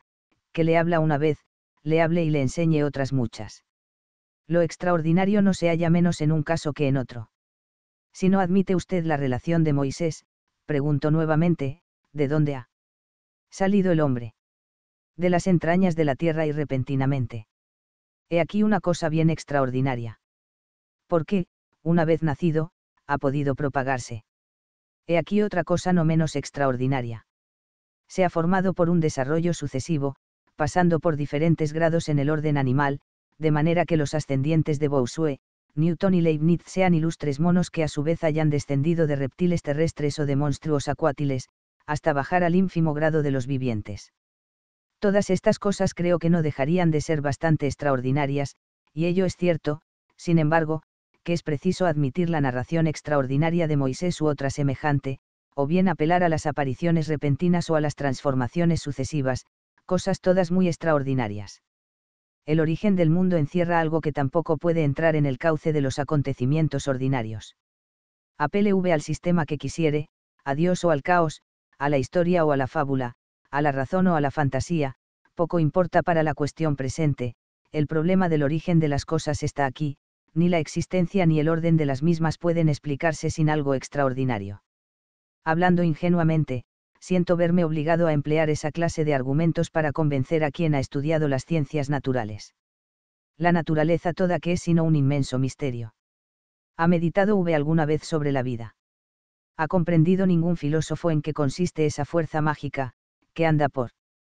Caminos desconocidos, que obra por medios incomprensibles, que mueve, que agita, que hermosea, que produce dulcísimos placeres y causa tormentos insoportables, que se encuentra en nosotros y fuera de nosotros, que no se halla cuando se la busca, que ocurre cuando no se piensa en ella, que se propaga al través de la corrupción, que se enciende y se apaga sin cesar en innumerables individuos, que revolotea como una llama imperceptible, en las regiones de la atmósfera, en la faz y en las entrañas. De la tierra, en la corriente de los ríos, en la superficie y profundidades del océano. No hay aquí un misterio, y un misterio incomprensible. No ve V aquí, no siente algo que no cabe en esa cosa ordinaria, que V quiere confundir con la filosofía. La electricidad, el galvanismo, el magnetismo, ofrecen ciertamente fenómenos extraordinarios. Los negaremos por no comprenderlos. Y nos haremos la ilusión de que los comprendemos, solo porque algunos de sus efectos se ofrecen a nuestros sentidos. Al fijar la consideración en esos arcanos de la naturaleza, no se haya V poseído de un profundo sentimiento de asombro. No se ha preguntado V alguna vez, qué hay tras de ese velo con que la naturaleza cubre sus secretos. No ha sentido V desaparecer esa pequeña filosofía que clama, lo ordinario, lo ordinario. No ha sentido V la necesidad de reemplazarla con el pensamiento sublime de que todo es extraordinario. En lugar de ese sentimiento pequeño, que confunde al filósofo con el vulgo, y que le comunica una miserable incredulidad por las cosas extraordinarias, no ha experimentado V una secreta inclinación a ver en todas partes el sello de lo extraordinario. En una noche serena, cuando el firmamento se despliega a nuestros ojos como un manto azul tachonado. De diamantes, fije V la vista en aquel sublime espectáculo. ¿Qué hay en aquellas profundidades, que son aquellos cuerpos luminosos que durante largos siglos brillan en la inmensidad del espacio, y siguen su majestuosa carrera con una regularidad inefable?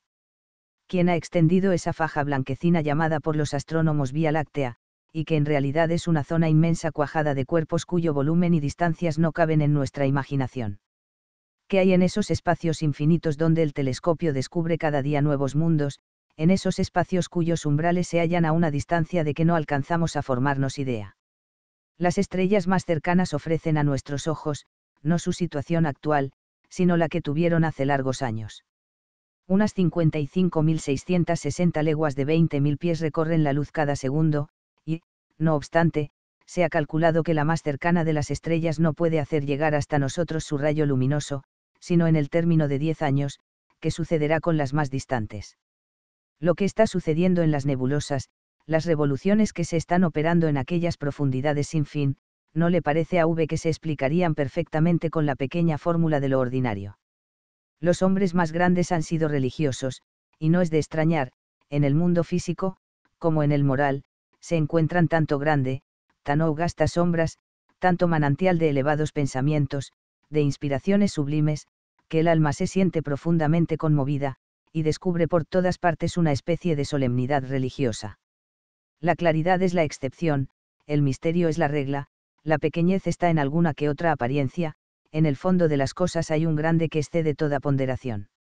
Ese grande, ese misterio, no lo sentimos porque no meditamos, pero, tan pronto como el hombre se concentra y reflexiona sobre ese conjunto de seres en cuya inmensidad se haya sumergido, y piensa en esa llama que siente arder dentro de sí propio, y que es en la escala de los seres como una ligera chispa en un océano de fuego, se siente sobrecogido por un sentimiento profundo, en que el orgullo se mezcla con el abatimiento, el placer con el espanto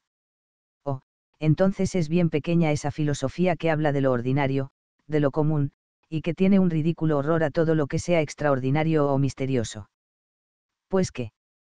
todo cuanto nos rodea, todo cuanto existe, todo cuanto vemos, todo cuanto somos, es, por ventura, otra cosa que un conjunto de asombrosos misterios. Dispénseme V, mi apreciado amigo, si se me ha ido la pluma, y me he olvidado algún tanto de que lo que escribía era una carta. Sin embargo, no me podrá usted acusar de que me haya lanzado a mundos imaginarios, no he salido de la realidad. V me ha provocado inculcándome la necesidad de atenernos a lo ordinario, a lo común, a lo llano, dejándonos de cosas extraordinarias y misteriosas, me he visto precisado a interrogar al universo, no al ideal, no al ficticio, sino al real, al que tenemos a nuestra vista, y no tengo yo la culpa si este universo, si esta realidad es tan grande, tan misteriosa, que no se la pueda contemplar sin un arrebato de entusiasmo. Déjenos sube creer en cosas extraordinarias, con esto no contradecimos la verdadera filosofía, sino que estamos de acuerdo con sus más altas inspiraciones. El que no crea, el que no esté satisfecho de los motivos de credibilidad que ofrece nuestra religión augusta, opónganos, si quiere, dificultades contra la verdad de nuestras doctrinas, pero guárdese de echarnos en cara la creencia en misterios incomprensibles, y de acusarnos por esto de poca filosofía, porque entonces mejora indudablemente nuestra causa, el incrédulo se confunde con el vulgo, y están de parte del católico los filósofos más eminentes. Queda de V su afectísimo y SSQVSM. JB. Audiolibro cortesía de la comunidad de audio lectores Filosofía y Letras. Búscanos en el canal de YouTube El Mundo de Arturo Garcés.